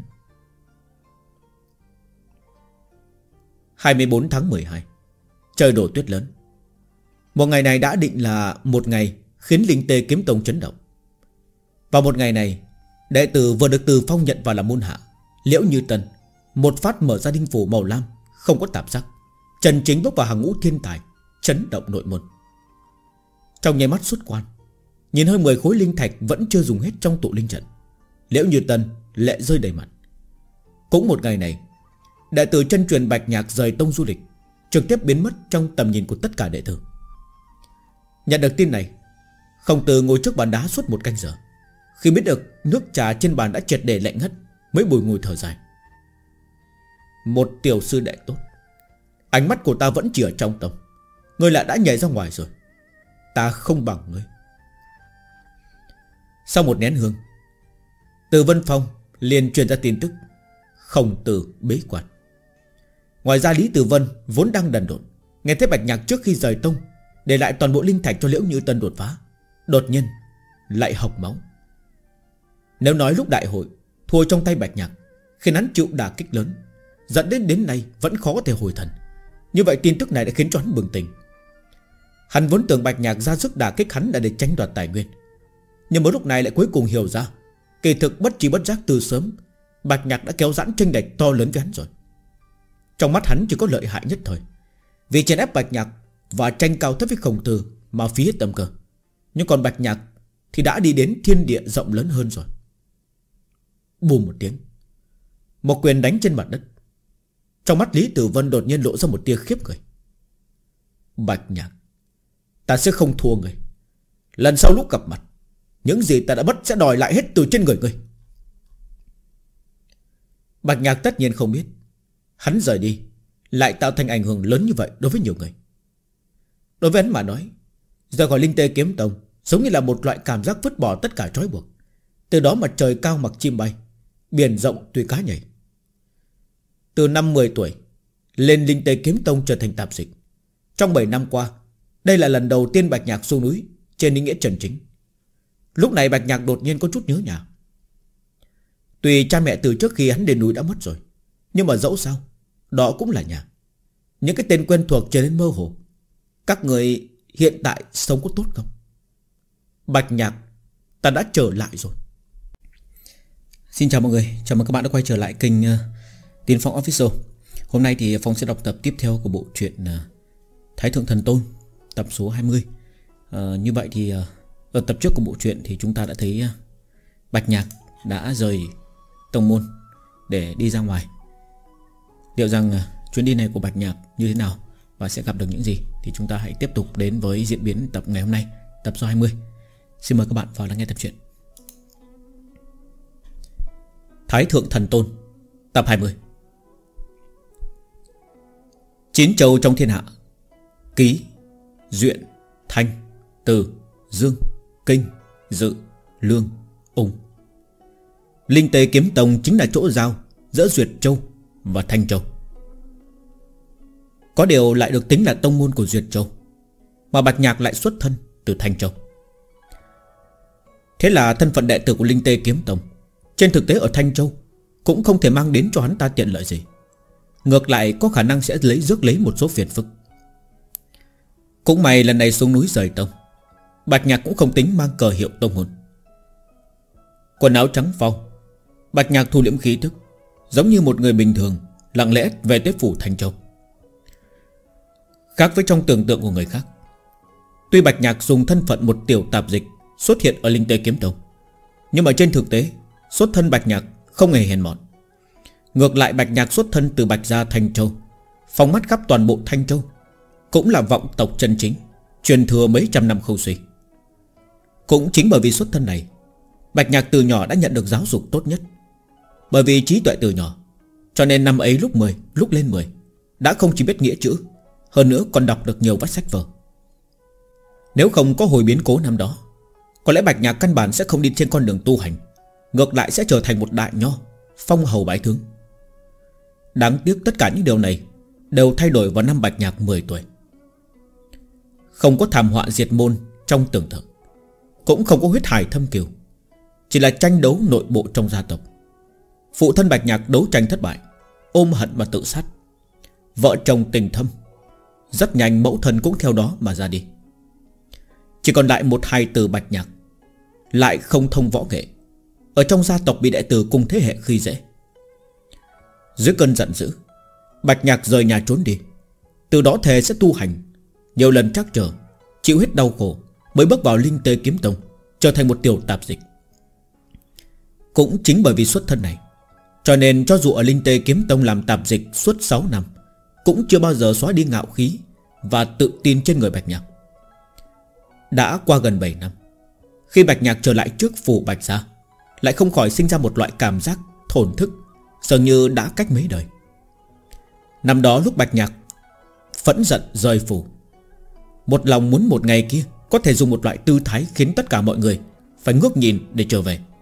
Khiến cho những người xem thường hắn nhìn thấy, Cho dù là tu hành, Bạch Nhạc hắn cũng vẫn là thiên tài tuyệt thế. Nhưng mà hiện giờ, Khi hắn thực sự trở về, Đồ loại ngày xưa Lại giống như là đều chỉ nhất thời, Hóa thành nụ cười. Vị công tử này, Ngài đến Bạch Phủ có việc à? Đang đứng trước cửa Bạch Phủ rất nhanh dẫn tới sự chú ý của gia đình. Tiến lên hỏi. Đương nhiên nếu là người bình thường, Chỉ sợ sẽ không hỏi cách khí như vậy, Mà lại trực tiếp quát hỏi. Chỉ là với cảnh giới hiện giờ của Bạch Nhạc, Cho dù đã thu liệm khí tức, Nhưng mà cỗ khí chất trên người lại vẫn khác hẳn với người bình thường. Có thể gia đình canh gác ở ngoài phù Bạch, Ít nhiều cũng có chút nhãn lực, Tất nhiên không dám tùy tiện đắc tội. Trầm mặc một lát, Bạch Nhạc nhẹ giọng mở miệng nói. Phúc bá có nhà không? Ngài quen Phúc quản gia. Nghe thấy Bạch Nhạc nhắc tên Lâm bá, Mấy gia đình lập tức sừng sốt. Ngài chờ một chút, Giờ tiểu nhân đi tìm Phúc quản gia. Hơi gật đầu, Bạch Nhạc không ngăn cản.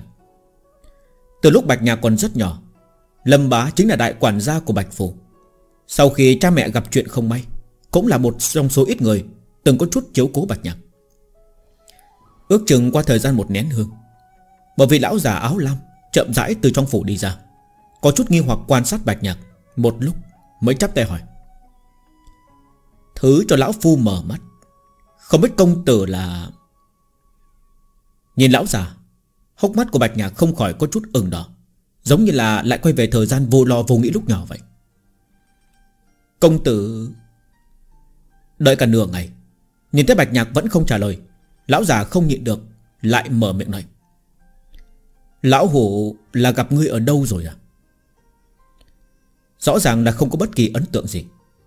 Nhưng mà nhìn thiếu niên trước mặt, Hắn từ đáy lòng lại cảm thấy có chút thân thiết, Cũng có chút kinh nghi bất định. Nghe thấy lời nói của lão già, Lúc này Bạch Nhạc cuối cùng mới phục hồi tinh thần, Trên mặt lộ ra một tia nhu hòa, Nhẹ giọng mở miệng nói, Phúc bá, Sắp 7 năm rồi Ta còn tưởng rằng sẽ không còn được gặp lại người nữa. Hai chữ phúc bá vừa ra khỏi miệng. Lão già lập tức giống như là bị xét đánh. Toàn bộ thân thể run rẩy. Tiểu, tiểu thiếu gia Ngươi là tiểu thiếu gia? Lập tức phúc bá lệ già chứa tràn. Cũng không bận tâm tới còn bao nhiêu người đang nhìn Trực tiếp quỳ xuống. Phúc bá vừa quỳ Gia đình trước cửa bạch phủ Lập tức xôn xao. Phúc bá chính là lão nhân ở trong phủ. Mấy chục năm qua Một mực đều làm quản gia. Cho dù thiếu gia tiểu thư nhìn thấy Cũng phải nề mặt mấy phần. Nhưng hiện giờ Phúc bá lại đột nhiên quỳ xuống với thiếu niên này. Nói gì là tiểu thiếu gia Sao có thể không khiến cho bọn họ sợ hãi được chứ? Phúc bá mau, mau đứng dậy đi. Nhìn thấy Phúc bá quỳ xuống Bạch Nhạt lập tức bước lên phía trước đỡ dậy. Nhạc thiếu gia Ngươi là nhạc thiếu gia? Chỉ trong thời gian chớp mắt, Cuối cùng một số gia đình nhiều tuổi Liền có phản ứng, hô lên theo. Nhạc thiếu gia, Xưng hô này đối với Bạch Phù hiện giờ Là rất xa lạ. Nhưng mà nếu là vào 7 năm trước, Lại là ai cũng nhớ rõ. Bạch Nhạc, Con trai độc nhất của gia chủ đời trước, Cũng là thiếu gia tôn quý nhất Của toàn bộ Thanh Châu Bạch Gia. Chẳng trách Phúc Bá để gọi là tiểu thiếu gia. Bạch Phủ lúc đó cũng chỉ là một mình Bạch Nhạc có thể được gọi là tiểu thiếu gia. Chỉ khác với Phúc Bá. Lúc này suy nghĩ trong đầu gia đình còn lại Xoay chuyển nhiều hơn. 7 năm trước, Thân phận Bạch Nhạc tất nhiên là tôn quý. Nhưng mà tất cả những điều đó đã theo một hồi đại biến 7 năm trước Mà thay đổi rồi. Hiện giờ Thanh Châu Bạch Phủ Không phải là một nhánh của Bạch Nhạc. Thời gian 7 năm, Đại quyền trong phủ sớm đã hạ xuống. Cho dù lúc này Bạch Nhạc trở về, Cũng chỉ là đệ tử chi thứ không thể chấp trường Bạch Phủ Vào lúc thế này, Trừ loại lão nhân nhìn Bạch Nhạc lớn lên như Phúc Bá ra, Ai cũng biết Nên lựa chọn như thế nào. Cơ hồ là cùng lúc Phúc Bá gọi ra thân phận của Bạch Nhạc, Đã có người lặng lẽ lèn vào trong phủ báo tin. Đương nhiên, Một màn này cũng không qua được tay mắt của Bạch Nhạc. Chỉ là hiện giờ hắn sao còn bận tâm tới những cái này chứ? Đỡ Phúc Bá dậy, Lúc này Bạch Nhạc mới nói khẽ. Phúc bá Ta muốn về xem Thính hương thủy tạ có còn không? Còn, còn. Nghe thấy lời nói của Bạch Nhạc Phúc bá vội vàng đáp ứng. Chỉ là vừa nói ra Đồng thời hắn cũng nhớ tới Hiện giờ Bạch Phủ Không phải là Bạch Phủ năm đó Có chút do dự nói. Tiểu thiếu gia Thính hương thủy tạ hiện giờ Được ban cho Vinh thiếu gia. Vinh thiếu gia? Nghe thấy xưng hô này, Trong đầu Bạch Nhạc lập tức hiện lên Thân ảnh của một người.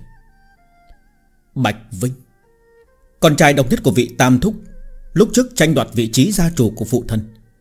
Khi ấy mình chính là bởi vì Bạch Vinh Liên tục làm khó, Mới tức giận mà rời phủ. Nhiều năm như vậy trôi qua, Vị đường huynh ngày xưa này Này đã trở thành người thừa kế của Bạch Gia. Chỉ không biết hiện giờ gặp lại, Sẽ là tình cảnh gì? Nghĩ tới đây Bạch Nhạc không khỏi cười khẽ. Không sao. Ta chỉ là về xem thôi. Không phải là có ý lấy lại thính hương thủy ta. Lắc đầu, Bạch Nhạc như có thầm ý nói. Ta đã sớm không thuộc về nơi này. Thính hương thủy tạ Tọa lạc tại trong một màng hồ nước. Hồ nước không lớn, Ước chừng chỉ có phạm vi hai ba dặm. Nhưng mà không ngờ lại tọa lạc ở trong bạch phù. Xung quanh kỳ thạch lờm chầm Trăm hoa đua nở, Đẹp không sao tả xiết. Bước lên thuyền, Chậm rãi du lãm trên hồ.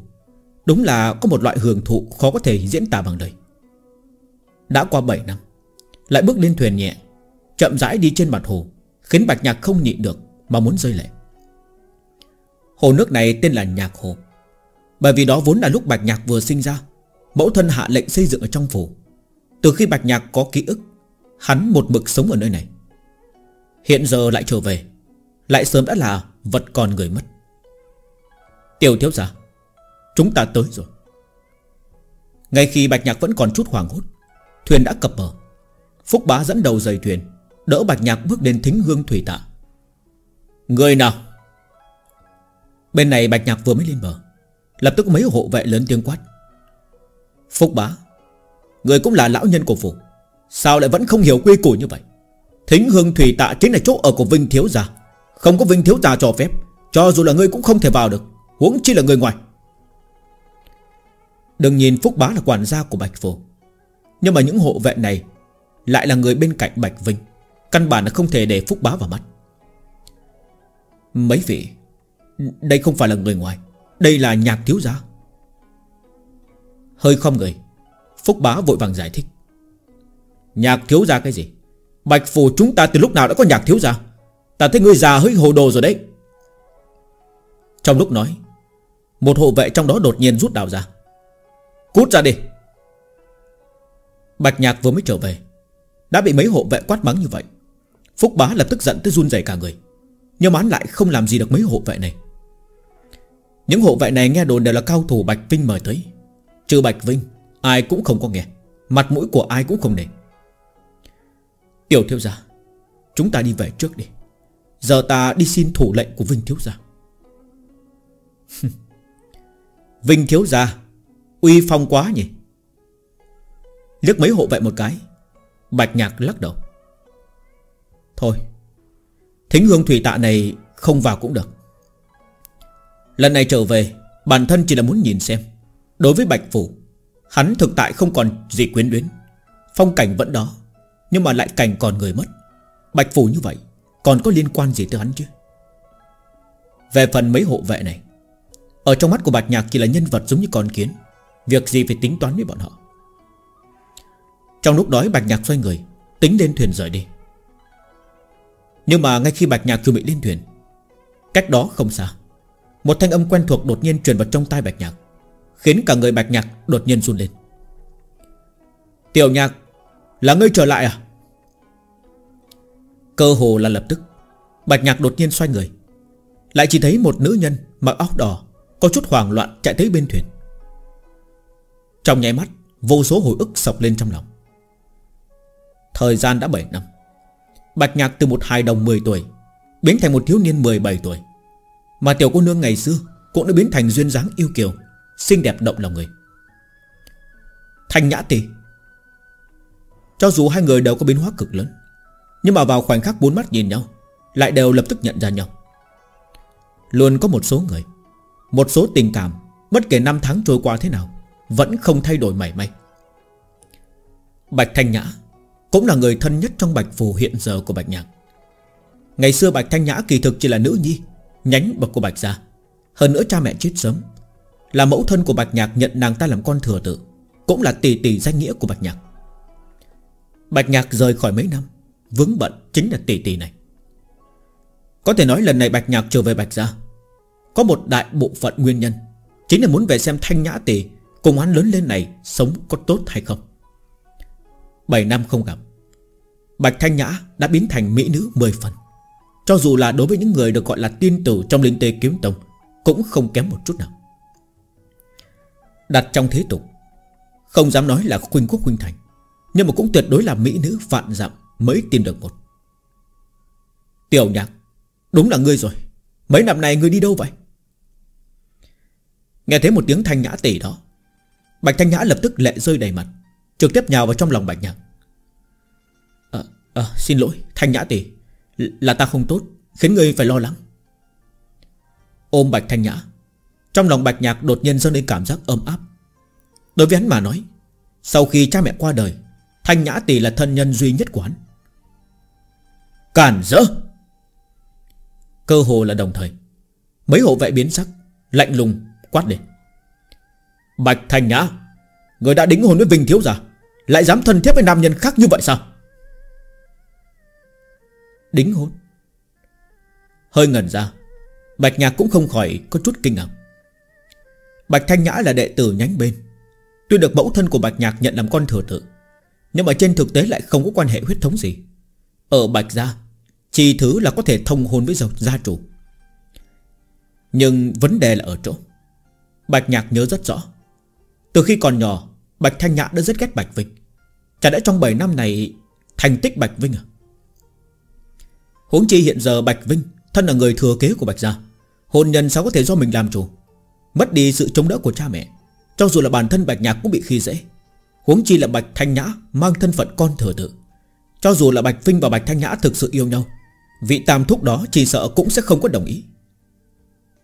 Quan trọng nhất là, Mấy hộ vệ khi đối mặt với Bạch Thanh Nhã Lại không có một chút tôn kính nào. Mặt đỏ lên, Bạch Thanh Nhã có chút khó xử. Đính hồn cái gì? Ta trước giờ chưa hề đáp ứng làm thiếp cho Bạch Vinh. Thiếp. Một chữ này vừa được nói ra trong mắt Bạch Nhạc đột nhiên lộ ra một tia sát cơ khủng bố. Thê và thiếp, Đây là hai khái niệm hoàn toàn khác nhau. Trong loại đại gia tộc như Bạch Gia, Thê tử chính là nữ chủ nhân, Nhưng mà thiếp lại chẳng qua chỉ là một món đồ chơi, Hơi không hợp ý, Có thể tùy ý đánh trời. Thậm chí cũng có người, Cho dù là bị giết chết, Hoặc là ban cho người dưới tay, Cũng không có gì hiếm lạ. Tuy Bạch Thanh Nhã xuất thân nhánh bên, Nhưng mà trung quy tới đây Còn làm con thừa tự, Trên danh nghĩa là tỷ tỷ của Bạch Nhạc. Cho dù là vị tam thúc kia đã đoạt đi vị trí gia chủ, Một mạch này của Bạch Nhạc Vẫn còn huyết mạch đích hệ của Bạch Gia. Theo lý, Cho dù là Bạch Vinh, Nhìn thấy Bạch Thanh Nhã, Cũng nên gọi một tiếng Thanh Nhã tỷ. Nhưng mà hiện giờ, Bạch Vinh dám để Bạch Thanh Nhã làm thiếp cho hắn. Hơn nữa nhìn thái độ của Bạch Thanh Nhã, Sợ rằng còn là ép Bạch Thanh Nhã phải làm thiếp. Điều này sao có thể không khiến cho Bạch Nhạc bốc hết sát cơ chứ? Đáp ứng? Ngươi là cái thá gì? Vinh thiếu gia nhìn chúng ngươi Là phúc khí của ngươi. Nếu không phải là còn có vài phần tư sắc, Cho dù là quỳ gối, Vinh thiếu gia cũng sẽ không nhìn ngươi một cái. Thực sự coi mình vẫn là đại tiểu thư của Bạch Gia đó sao? Cười lạnh một tiếng. Hộ vệ đó thản nhiên chửi rủa. Còn chưa cút à? Chờ ta giết tên tiểu Bạch Kiềm này sao? Các người không thể làm như vậy. Đây là đệ đệ của ta, Là huyết mạch đích hệ của Bạch Gia, Là thiếu gia của Bạch Gia. Bạch Thanh Nhã không biết tâm tư Bạch Nhạc. Lúc này nhìn thấy đối phương rút đào ra, Trong lòng lập tức tràn ngập sợ hãi. Nàng ta không sợ chết, Cũng không không bận tâm Mình bị những người này nhục mà. Nhưng mà nàng ta tuyệt đối không thể nhìn những người này giết chết Bạch Nhạc được. Huyết mạch đích hệ cái dám chó gì? Huyết mạch đích hệ của Bạch Gia chỉ có một văn mạch là Vinh Thiếu Gia. Người khác có tư cách gì mà xưng là Thiếu Gia Bạch Gia? Nhìn thấy phản ứng của Bạch Thanh Nhã, Bọn họ đã đoán được thân phận của Bạch Nhạc. Chỉ là vẫn không có bận tâm. Đây không phải là Bạch Gia của 7 năm trước. Cho dù Bạch Nhạc trở lại thì sao? Căn bản cũng chả thay đổi được bất kỳ chuyện gì. Tiểu Bạch Kiếm, Còn không buông tay. Ta thấy ngươi là chán sống đấy. Cười lạnh một tiếng. Nhìn thấy Bạch Nhạc vẫn không có ý buông thanh nhã ra. Tên hộ vệ cầm đầu đó lập tức chém một đao Về phía cánh tay của Bạch Nhạc. Một đao này Không hề lưu thủ. Căn bản là muốn trực tiếp chặt bỏ cánh tay Bạch Nhạc. Đừng Trong mắt lộ ra một tia sợ hãi. Bạch Thanh Nhã lập tức xoay người lại, Muốn dùng thân thể của mình đỡ đao cho Bạch Nhạc. Bạch Nhạc từ nhỏ đã không thích tập võ, Cũng là luôn gầy yếu. Ở trong lòng Bạch Thanh Nhã, Bạch Nhạc vĩnh viễn vẫn là đệ đệ, Cần nàng ta dùng sinh mệnh để bảo hộ. Cho dù trong lòng nàng ta Cũng là vô cùng sợ hãi, Nhưng mà vẫn không chút do dự Giúp Bạch Nhạc đỡ đau. Lúc này Bạch Thanh Nhã thậm chí sợ tất cả người run rẩy. Nhắm chặt hai mắt lại. Nhưng mà đợi cả nửa ngày, Căn bản không thấy có cảm giác đau đớn. Trong nháy mắt, Bạch Thanh Nhã mở mắt ra, Lại đột nhiên nhìn thấy một màn khiến cho nàng ta không thể tin nổi. Mũi đào lạnh lẽo đó, Không ngờ bị kẹp giữa hai ngón tay. Bất kể hộ vệ đó dùng sức như thế nào, Cũng không thể nhúc nhích mảy may. Tay trái vẫn ôm Bạch Thanh Nhã, Thân hình của Bạch Nhạc không hề di động. Chỉ vươn hai ngón tay ra, Đã dễ dàng cầm lấy mũi đao của đối phương. Ở trong thế tục Hộ vệ đó có lẽ là cao thủ rất giỏi, Nhưng ở trong mắt của Bạch Nhạc, Lại quả thực không khác gì là con kiến cả. Nếu công kích loại trình độ này cũng có thể uy hiếp đến hắn Hắn sớm đã chết 100 lần rồi. Keng một tiếng. Ngón tay hơi dùng sức, Mũi đào từ tinh thiết đúc thành một đột nhiên, Bị bẻ gãy. Đầu ngón tay nhẹ nhàng búng một cái, Nửa mũi đào đó lập tức bắn ra, Hóa thành một đạo hàn mang, Trực tiếp đâm vào trong cánh tay của hộ vệ đó. Một tiếng hét thảm vang lên. Hộ về đó lập tức ngã xuống, Không ngừng hét thảm. Mũi đào đó cắm sâu vào xương, Hơn nữa kẹt trong xương cốt. Tuy không có chặt đứt, Nhưng một cánh tay này coi như đã phế rồi. Miệng đầy ô ngôn uế ngữ. Ngươi là cái thá gì dám vũ nhục thanh nhã tì của ta? Tự vả vào mồm, Đánh cho tới khi ta hài lòng mới thôi. Nếu không, người vĩnh viễn không cần nói nữa. Sát ý sôi trào. Bạch nhạc lạnh lùng nhìn đối phương, Mở miệng nói. Hiện giờ Bạch Nhạc đã không phải là Bạch Nhạc lúc trước. Ở trong Linh Tê Kiếm Tông, Bạch Nhạc đã trải qua quá nhiều lần sinh tử, Sớm đã không còn là thiếu niên, Chưa từng thấy máu lúc trước. Không giết người ngay tại chỗ, Xem như đã là khắc chế cảm xúc của bản thân rồi. Người dám đả thương ta, Vinh thiếu giả sẽ không bỏ qua cho ngươi. Bị Bạch Nhạc làm cho bị thương, Hộ về đó lộ ra vẻ mặt dữ tợn, Lại không để lời nói của Bạch Nhạc vào trong lòng, Ngược lại còn há miệng chửi to. Gian ngoan mất linh Ánh mắt hơi nhấn lên. Bạch nhạc lập tức triệt để, Mất đi kiên nhẫn. Điểm ra một chỉ. Một dòng linh lực đột nhiên hóa thành kiếm mạng Trong phút chốc trực tiếp đâm vào mi tâm hộ vệ đó. Một kích lấy mạng. Tiếng hét thảm và chửi rủa im bặt. Lúc này trong lòng hộ vệ khác, Cuối cùng đã dâng lên một tia sợ hãi. Vội vàng quỳ xuống. Nếu nói lúc trước, Bạch nhạc bẻ gãy mũi đao đả thương người, Bọn họ còn không quá để ý. Như vậy Trực tiếp dùng ngón tay làm kiếm, Bắn ra kiếm khí giết người. Chính là triệt để phá đi một tia cầu may cuối cùng của bọn họ. Người tu hành. Không nghi ngờ gì nữa. Chỉ có người tu hành chân chính Mới có thể có thủ đoạn bậc này. Bọn họ thường ngày ngang ngược tới mấy, Cũng nào dám đối địch với người tu hành chứ? Lời ta vừa mới nói, Các người có nghe thấy không? Trong mắt lộ ra một tia ánh sáng lạnh. Bạch nhạc lại mở miệng nói. Lần này không ai dám do dự. Lập tức giơ tay lên Hùng hăng tự tát vào mặt mình. Trong nhất thời, tám hộ vệ đồng thời quỳ gối, Tranh nhau ra sức tự vả vào miệng mình. Không chỉ là những hộ vệ này, Bạch Thanh Nhã và Phúc Bá cũng nhìn mà choáng váng. Đây có còn là tiểu thiếu gia thân đơn lực bạc, Tay trói gà không chặt chỗ ấn tượng của mình sao? Tiểu nhạc, Ngươi Nhìn Bạch Nhạc, Bạch Thanh Nhã cuối cùng vẫn không nhịn được hỏi. Thanh Nhã tỷ Vợ rồi ngươi không phải hỏi ta, Mấy năm nay ta đi đâu sao? Ta bái vào một tông môn, Trở thành người tu hành. Khi quay sang Bạch Thanh Nhã, Trên mặt Bạch Nhạc đã khôi phục sự ôn hòa đó, Vẫn giống hệt như trong ký ức. Đi thôi, Thanh Nhã tỷ, Ta muốn về xem. Buông tay cũng không nhìn những hộ vệ đó, Bạch Nhạc đi đến thính hương thủy thả. Nhưng Cho dù Bạch Nhạc dường như rất lợi hại nhưng mà trong những năm gần đây, Sự sợ hãi của Bạch Thanh Nhã đối với Bạch Vinh, Đối với Bạch Gia Lại không phải là một trong một chốc một lát Là có thể tiêu trừ. Không có nhân nhị gì hết. Lắc đầu Bạch Nhạc nói, Yên tâm đi, Thanh Nhã tỷ, Ta đã trở về. Bạch Gia này vẫn là Bạch Gia của chúng ta. Bất kể là Bạch Vinh hay là vị tam thúc kia của ta, Đều không ngăn được ta. Nếu nói lúc trước Bạch Nhạc chỉ là muốn trở về xem một chút, Vậy bởi vì Bạch Thanh Nhã Hắn đã quyết tâm lấy lại quyền lực thuộc về một mạch của mình. Không vì mình, Mà là vì thanh nhã tỷ Mình sẽ không ở lại nơi này, Nhưng Thanh Nhã Tỷ thì vẫn phải sống ở đây.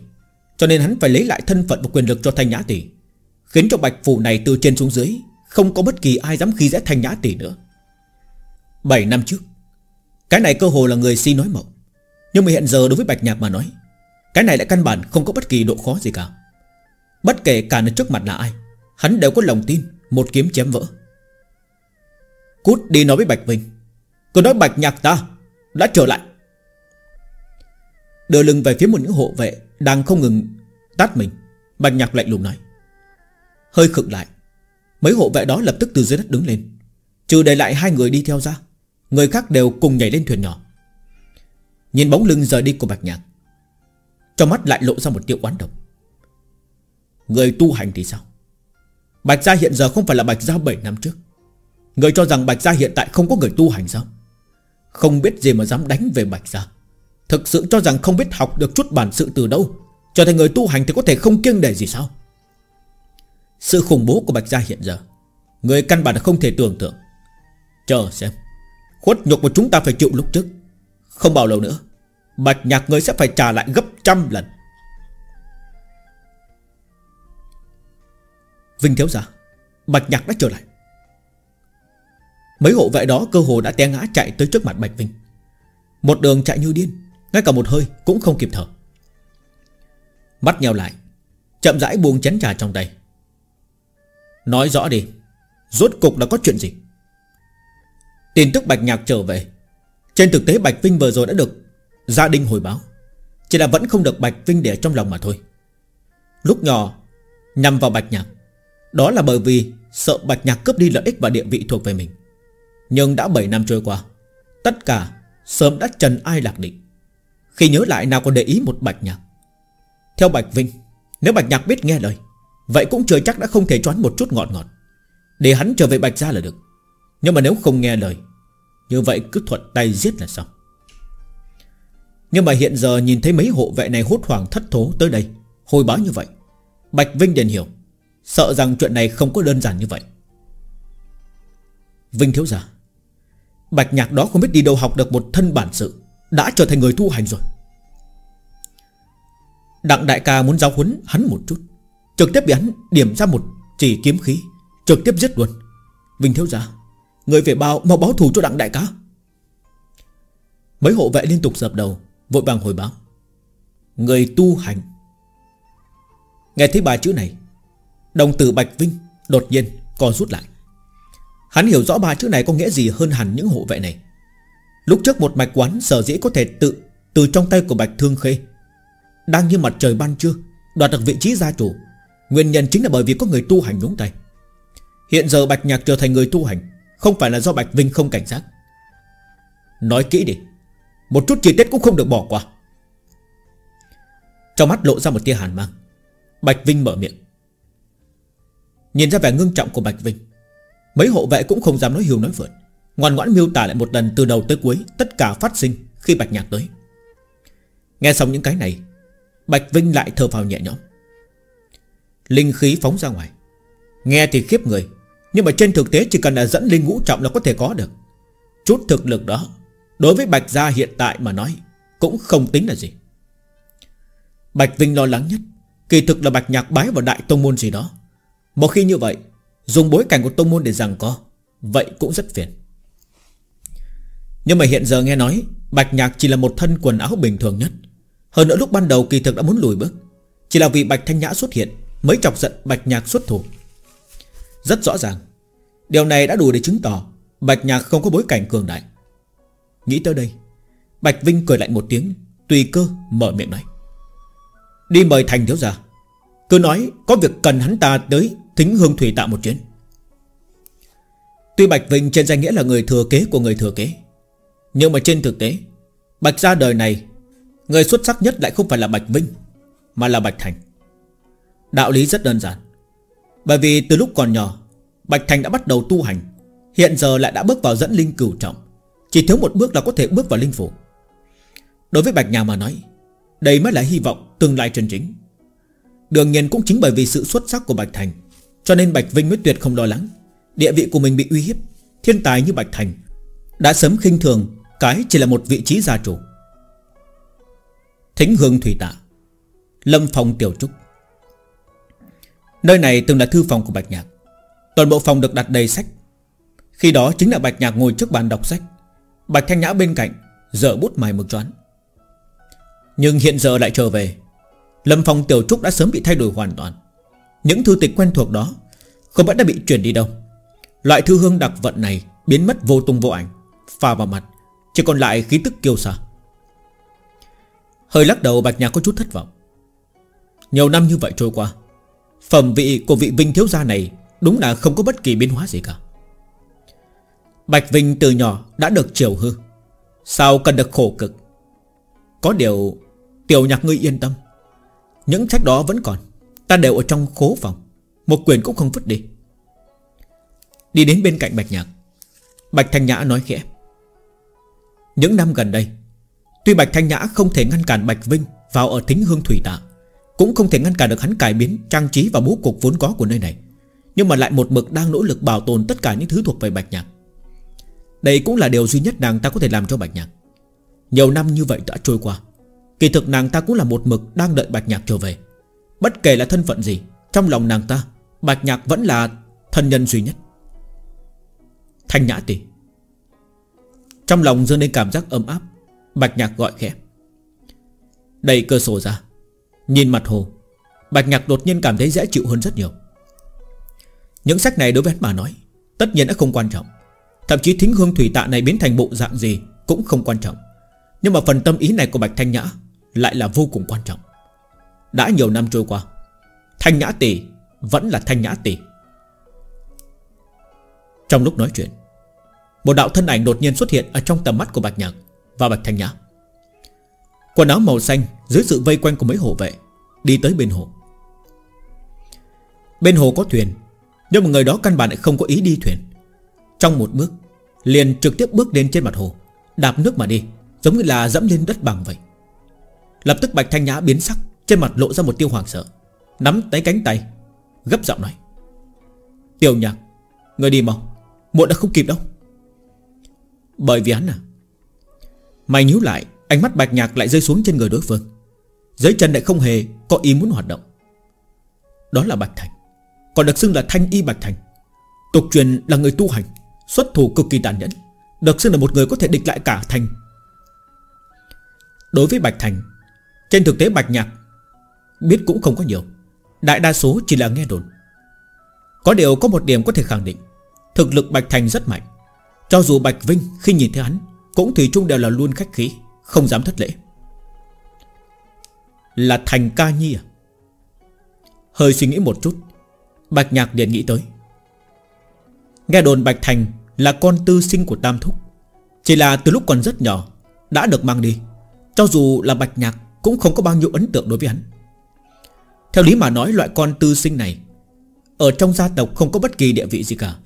Nhưng mà hiện giờ xem ra, Bạch Thành này lại sống rất khá. Chỉ bằng một chiêu đạp nước này mà đi, Chỉ sợ đã bước vào dẫn linh cửu trọng.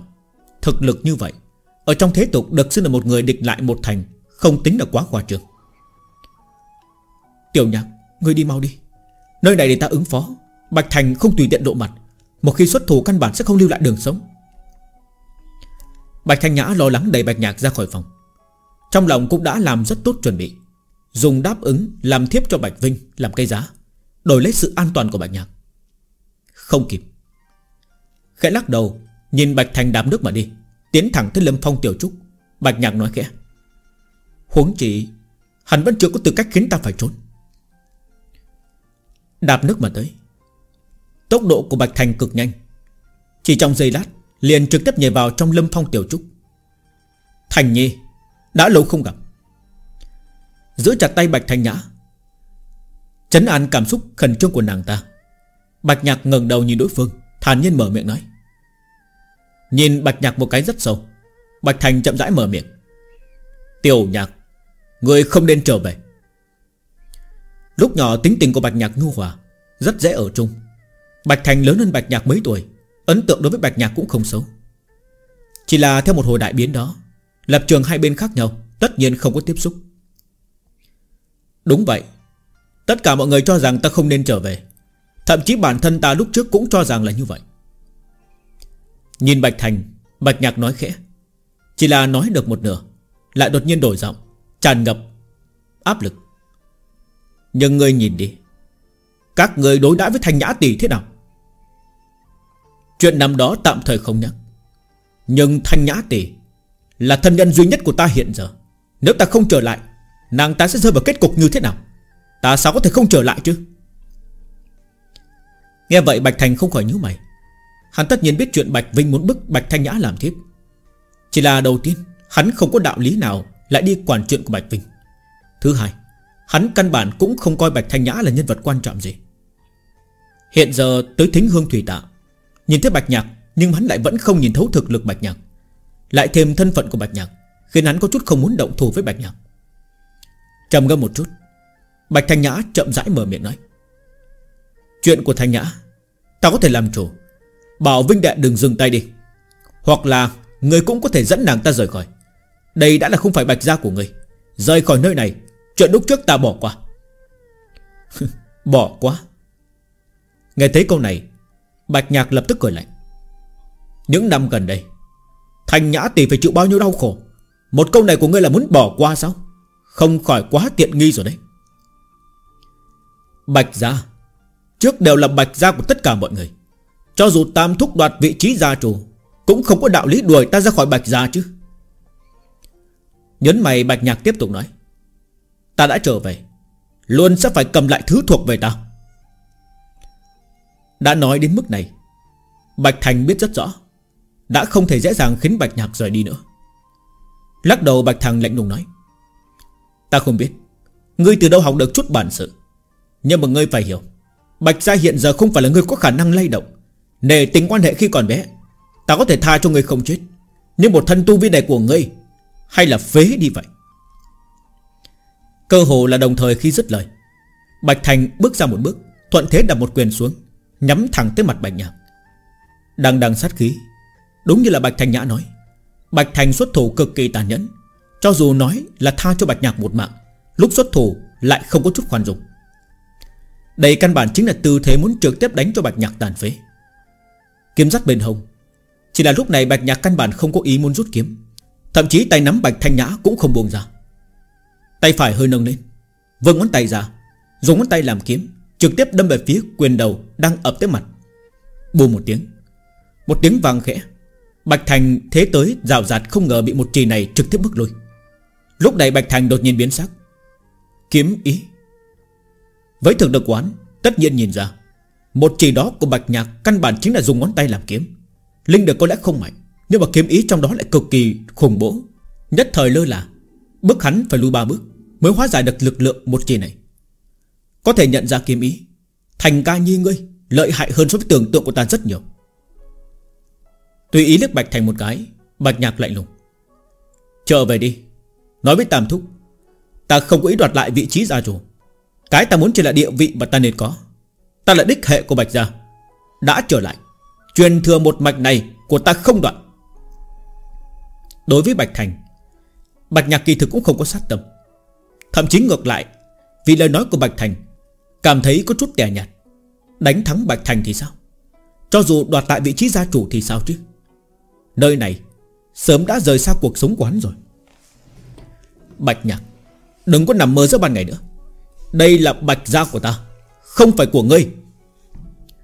Ngay khi hai người đang nói chuyện, Bạch Vinh và hộ vệ khác cũng theo đó Cưỡi thuyền mà tới.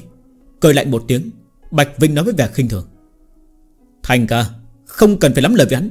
Giết hắn đi. Mới có thể vĩnh tuyệt hậu hoạn. Đừng, Vinh thiếu gia. Ta đã đáp ứng điều kiện của ngươi. Xin ngươi tha cho tiểu nhạc. Nhìn thấy Bạch Vinh, Bạch Thanh Nhã cuối cùng không nhịn được mà bỏ tay Bạch Nhạc ra, Lo lắng mở miệng. Tiện nữ nhân này, Lúc trước ta nói với người thế nào?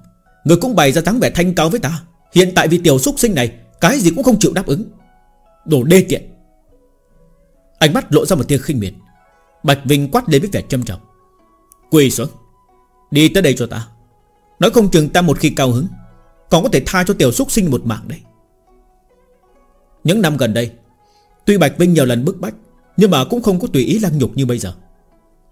Trong lòng của Bạch Thanh Nhã biết rất rõ, Bạch Vinh chính là muốn ở ngay trước mặt Bạch Nhạc, Làm nhục nàng ta. Nhưng mà còn có thể làm gì bây giờ? Nàng ta chỉ là một thiếu nữ, Đối mặt với Bạch Thành, Đối mặt với sự cường thế của toàn bộ Bạch Gia, Lợi thế duy nhất chính là bản thân nàng ta. Nước mắt không nhịn được rơi xuống. Dưới chân Bạch Thanh Nhã mềm nhũn, Đã muốn quỳ xuống. Nhưng mà cơ hồ là đồng thời, Một đôi cánh tay hữu lực đột nhiên ôm lấy nàng ta. Thanh Nhã tỷ Trên đời này không ai có thể khiến ngươi phải quỳ, Càng không ai có thể dẫm lên sự tự tôn của ngươi. Nhìn Bạch Thanh Nhã, Bạch Nhạc nghiêm túc mở miệng. Tin ta, Thanh Nhã tỷ Ta hiện tại có năng lực bảo hộ ngươi, Không phải chịu sự vũ nhục của bất cứ ai nữa. Ai dám làm nhục ngươi? Ta giết kẻ đó. Đỡ Bạch Thanh Nhã dậy, Lúc này trong lòng Bạch Nhạc đã nổi lên sát cơ ngập trời. Trong nháy mắt, Bốn chữ cuối cùng vừa được nói ra khỏi miệng. Dưới chân Bạch Nhạc bước ra một bước, Một tia hàn quang hiện lên. Trường kiếm đột nhiên vào tay, Hóa thành một tia cầu vòng Bắn thẳng tới cổ họng Bạch Vinh. Nếu nói lúc trước Bạch Nhạc kỳ thực không có sát tâm, Chỉ muốn cho Bạch Vinh một chút giáo huấn. Giúp Bạch Thanh Nhã đứng vững ở Bạch Gia, Đạt được quyền lợi nên có. Như vậy theo những lời này của Bạch Vinh, Lại triệt để khơi dậy sát tâm của Bạch Nhạc. Chỉ bằng vào những lời này của Bạch Vinh, Đã đáng chết rồi. Cho dù Bạch Nhạc cũng là người của Bạch Gia. Kiếm ra khỏi vỏ, Nếu không muốn nhuốm máu, Thề không trở về. Cơ hồ là trong nháy mắt Bạch Nhạc xuất kiếm, Trong lòng Bạch Thành đột nhiên dâng lên một tia cảm giác nguy hiểm khủng bố. Căn bản không kịp nghĩ nhiều, Thân hình nhấp nhoáng, Lại đập một quyền tới mũi kiếm của Bạch Nhạc. Chỉ là lúc này trên người Bạch Thành đột nhiên lộ ra một tia màu đen khủng khiếp. Âm một tiếng. Trong một kích, Kiếm của Bạch Nhạc một quyền này Đập cho bay trở về. Nhìn một tia màu đen Như mực ở trên người của Bạch Thành, Đồng tử Bạch Nhạc đột nhiên co rút lại. Ngươi là ma tú. Bạch Thành là người tu hành. Bạch Nhạc cũng có chút bất ngờ, Nhưng cũng không có sợ hãi. Mình cũng có thể tìm thấy Linh Tê Kiếm Tông. Bạch Gia có thể có chút quan hệ với một số tông môn. Thanh Châu Cũng chẳng có gì là lạ. Dẫu sao đệ tử ngoại môn tầm thường, Kỳ thực cũng không tính là gì. Chỉ có bước vào linh phù cảnh Mới xem như thực sự bước vào con đường tu hành. Bạch Thành lúc trước biểu hiện ra Cũng chỉ là thực lực dẫn linh cửu trọng. Nếu suy xét Bạch Thành từ nhỏ đã rời khỏi Bạch Gia, Bắt đầu tu hành, Thành tựu như vậy cũng chẳng có gì lạ. Nhưng một quyền này, Bạch Thành bộc phát ra, Tuyệt đối là lực lượng của linh phủ cảnh. Nếu không, tuyệt đối không thể đỡ được một kiếm này của Bạch Nhạc. Quan trọng hơn là, Khi tức lộ ra trên người Bạch Nhạc, Không ngờ chính là ma khí. Bạch Nhạc cũng có không ít kinh nghiệm chiến đấu với ma tu. Tất nhiên lập tức có thể nhận ra ngay. Ma tu, Cho dù là sau trận đánh Ở đạo Lăng Sơn, Người trong ma đạo đã có dấu hiệu xuất thế. Nhưng mà dẫu sao, Thời gian ngắn ngủi, Một khi có ma tu dám thò đầu ra, Cũng sẽ trở thành công địch của tất cả tông môn. Hơn nữa từ thành tựu hiện giờ của Bạch Thành cho thấy, Chỉ sợ hắn từ lúc rời khỏi Đã bước lên con đường của ma tu Bị một kiếm này của Bạch Nhạc bước cho phải xé đi lớp ngụy trang, Sát khí trên người Bạch Thành trở nên mãnh liệt, Nhìn chằm chằm Bạch Nhạc, lạnh lùng mở miệng nói Tiêu Nhạc, Ta đã nói, Người không nên trở về, Lại càng không nên bức ta thi triển ma công. Trong nháy mắt một thanh trường kiếm đột nhiên vào tay. Thân hình Bạch Thành hơi lắc lư, Giống như là quỷ mị, Cơ hồ là chỉ trong trước mắt Hộ vệ theo Bạch Vinh Đều đã bị giết. Ngay cả người một nhà cũng giết. Vậy cũng có nghĩa là Bạch Thành đã làm chuẩn bị giết người diệt khẩu. Bất kể là Bạch Nhạc hay là Bạch Thành Nhã, Hắn cũng không có định buông thả Nhưng mà đến lúc này, Bạch Nhạc ngược lại trở nên bình tĩnh. Hắn không ngờ Bạch Thành lại là ma tu. Nhưng mà thế không có nghĩa là Hắn sợ ma tu như Bạch Thành. Thành ca nhi, Người không nên tu mà. Bất kể là Bạch Gia Hay là Phủ Thanh Châu, Đều không dung được ma tu. Nhìn Bạch Thành, Bạch Nhạc nhẹ giọng nói. Không đợi Bạch Thành trả lời, Bạch Vinh liền cười lạnh nói. Bạch Nhạc, Người đúng là hoa trong nhà kính. Thế giới này chỉ công nhận lực lượng, Chỉ cần có đủ lực lượng thì có thể đoạt được tất cả những gì mình muốn. Cái gì mà không dung được ma tu, Chỉ cần giết ngươi Còn ai có thể biết thành ca là ma tu? Nhìn Bạch Nhạc với vẻ khinh thường, Bạch Vinh ném ra một câu, Lại khiến cho Bạch Nhạc đột nhiên biến sắc. Người đúng là ngu như người cha ngươi vậy. Năm đó nếu không phải cố chấp Cự tuyệt ma tu, Cha ta việc gì phải đoạt vị trí gia chủ này? Lúc này trong lòng Bạch Nhạc mới chính thức hiện ra một cơn sóng động trời.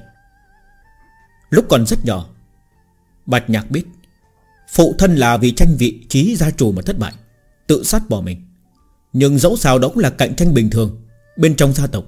Hơn nữa cũng không phải là chết trên tay người khác, Mà là tự sát chết. Cho nên trước giờ Tuy Bạch Nhạc khó chịu, Nhưng không có hận. Cho dù lúc trước hắn bỏ nhà ra đi, Cũng không có bao nhiêu hận ý với Bạch Gia. Lần này trở về, Nếu không phải nhìn thấy thành Nhã Tỷ phải chịu ủy khuất, Sợ rằng Bạch Nhạc căn bản sẽ không ra tay. Thậm chí ngay cả thính hương thủy tạ Cũng chưa chắc đã nhất định phải vào.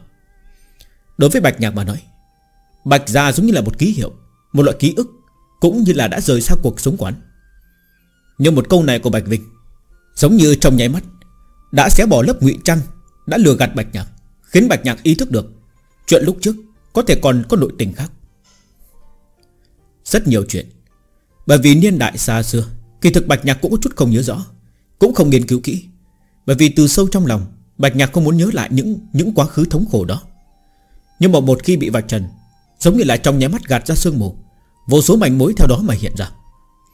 Vị trí gia chủ bị đoạt mà thôi.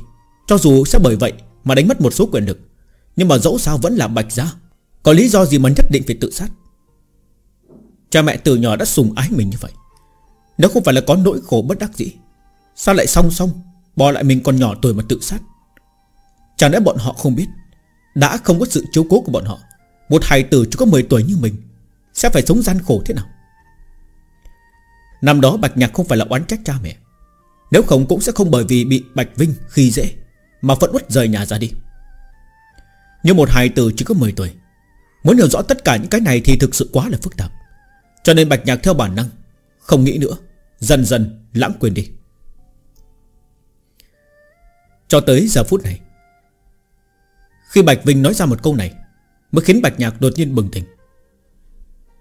Cha mẹ không phải là không thương mình không phải không nghĩ sau khi bọn họ chết, Mình sẽ sống gian nan thế nào, Mà là bất đắc dĩ phải làm vậy. Bọn họ chỉ có dùng cái chết để giấu giếm trần tướng, Mới có thể tranh cho mình một đường sinh cơ. Nghĩ thông điểm này, Bạch nhạc lập tức lệ rơi đầy mặt. Thì ra là thế. Thì ra bắt đầu lúc đó, Các người đã phản vào ba đạo. Không sai. Cười lạnh một tiếng, Bạch Vinh nhìn Bạch Nhạc với vẻ khinh thường, khinh miệt nói Bạch nhạc. Người vẫn yếu đuối vô năng giống như năm đó. Cho dù biết thì có sao? Người trừ khóc ra, Còn có thể làm gì chứ? Năm đó người bỏ chạy. Vậy nên chạy đi thật xa. Vĩnh viễn đừng có trở về. Nhưng vì sao ngươi phải về? Nhìn chăm chăm bạch nhạc, Bạch Vinh lạnh lùng nói. Người cho rằng học được một chút công phu mèo cào, Trở thành người tu hành thì có thể trở về giữa võ rừng oai sao? Đây là tự người chuốc lấy không chỉ là ngươi, Còn có ả kỹ nữ này nữa. Chỉ vào Bạch Thành Nhã, Bạch Vinh nói với vẻ khinh thường. Vốn ta chỉ muốn đùa bỡn nàng đã Nhưng mà ít nhất còn có thể giữ lại cho nàng ta cái mạng. Nhưng mà hiện tại, Các người đều phải chết. Lúc này Bạch Nhạc đột nhiên phá lên cười. Trong cười, Có nước mắt. Ma tu, Thì hay lắm sao? Cổ tay đột nhiên nâng lên. Mũi kiếm khẽ nhích Lúc này sát khí vốn được giấu đi của Bạch Nhạc Đột nhiên bạo phát Sát cơ ngập trời. Huyết hải thông kiêu, Linh phục. Lúc này trong mắt Bạch Vinh cuối cùng cũng lộ ra một tia sợ hãi. Tuy thực lực bản thân rất kém cỏi Nhưng mà cái này không ảnh hưởng Hắn biết được. Cao thủ linh phù cảnh đã khủng bố tới cỡ nào. Giết hắn Thành ca mau giết hắn. Cảm ơn người đã nói cho ta biết trần tướng. Gần đầu. Bạch nhạc gần từng câu từng chữ. Cho nên, đi chết đi. Trong nháy mắt, dứt lời, Kiếm mạng khủng bố đột nhiên nổ tung. Bạt kiếm thức. Đây là thực lực khủng bố lần đầu tiên Bạch Nhạc thực sự thể hiện ra Sau khi trở về. Đừng nói là Bạch Vinh, Cho dù là đệ tử nội môn của Linh Tê Kiếm Tông, Có mấy người có thể ngăn cản được một kiếm này? Nhanh đến cực hạn.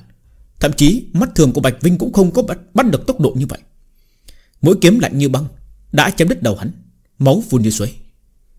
Người yên tâm Những món nợ này Ta sẽ đòi lại đủ một chấm một vầy Ta mặc kệ sau lưng các ngươi là ai Không bao lâu nữa Bọn họ rất nhanh đều sẽ đi xuống địa ngục cùng với ngươi. Xoay người lại Máu tươi phun ra Đã nhuộm đỏ áo trắng. Lúc này bạch nhạc giống như là tu la Từ trong địa ngục đi ra vậy à, Mình xin phép ngừng tập ở đây nhé mọi người. Và xin hẹn gặp lại các bạn ở những tập tiếp theo. Xin chào.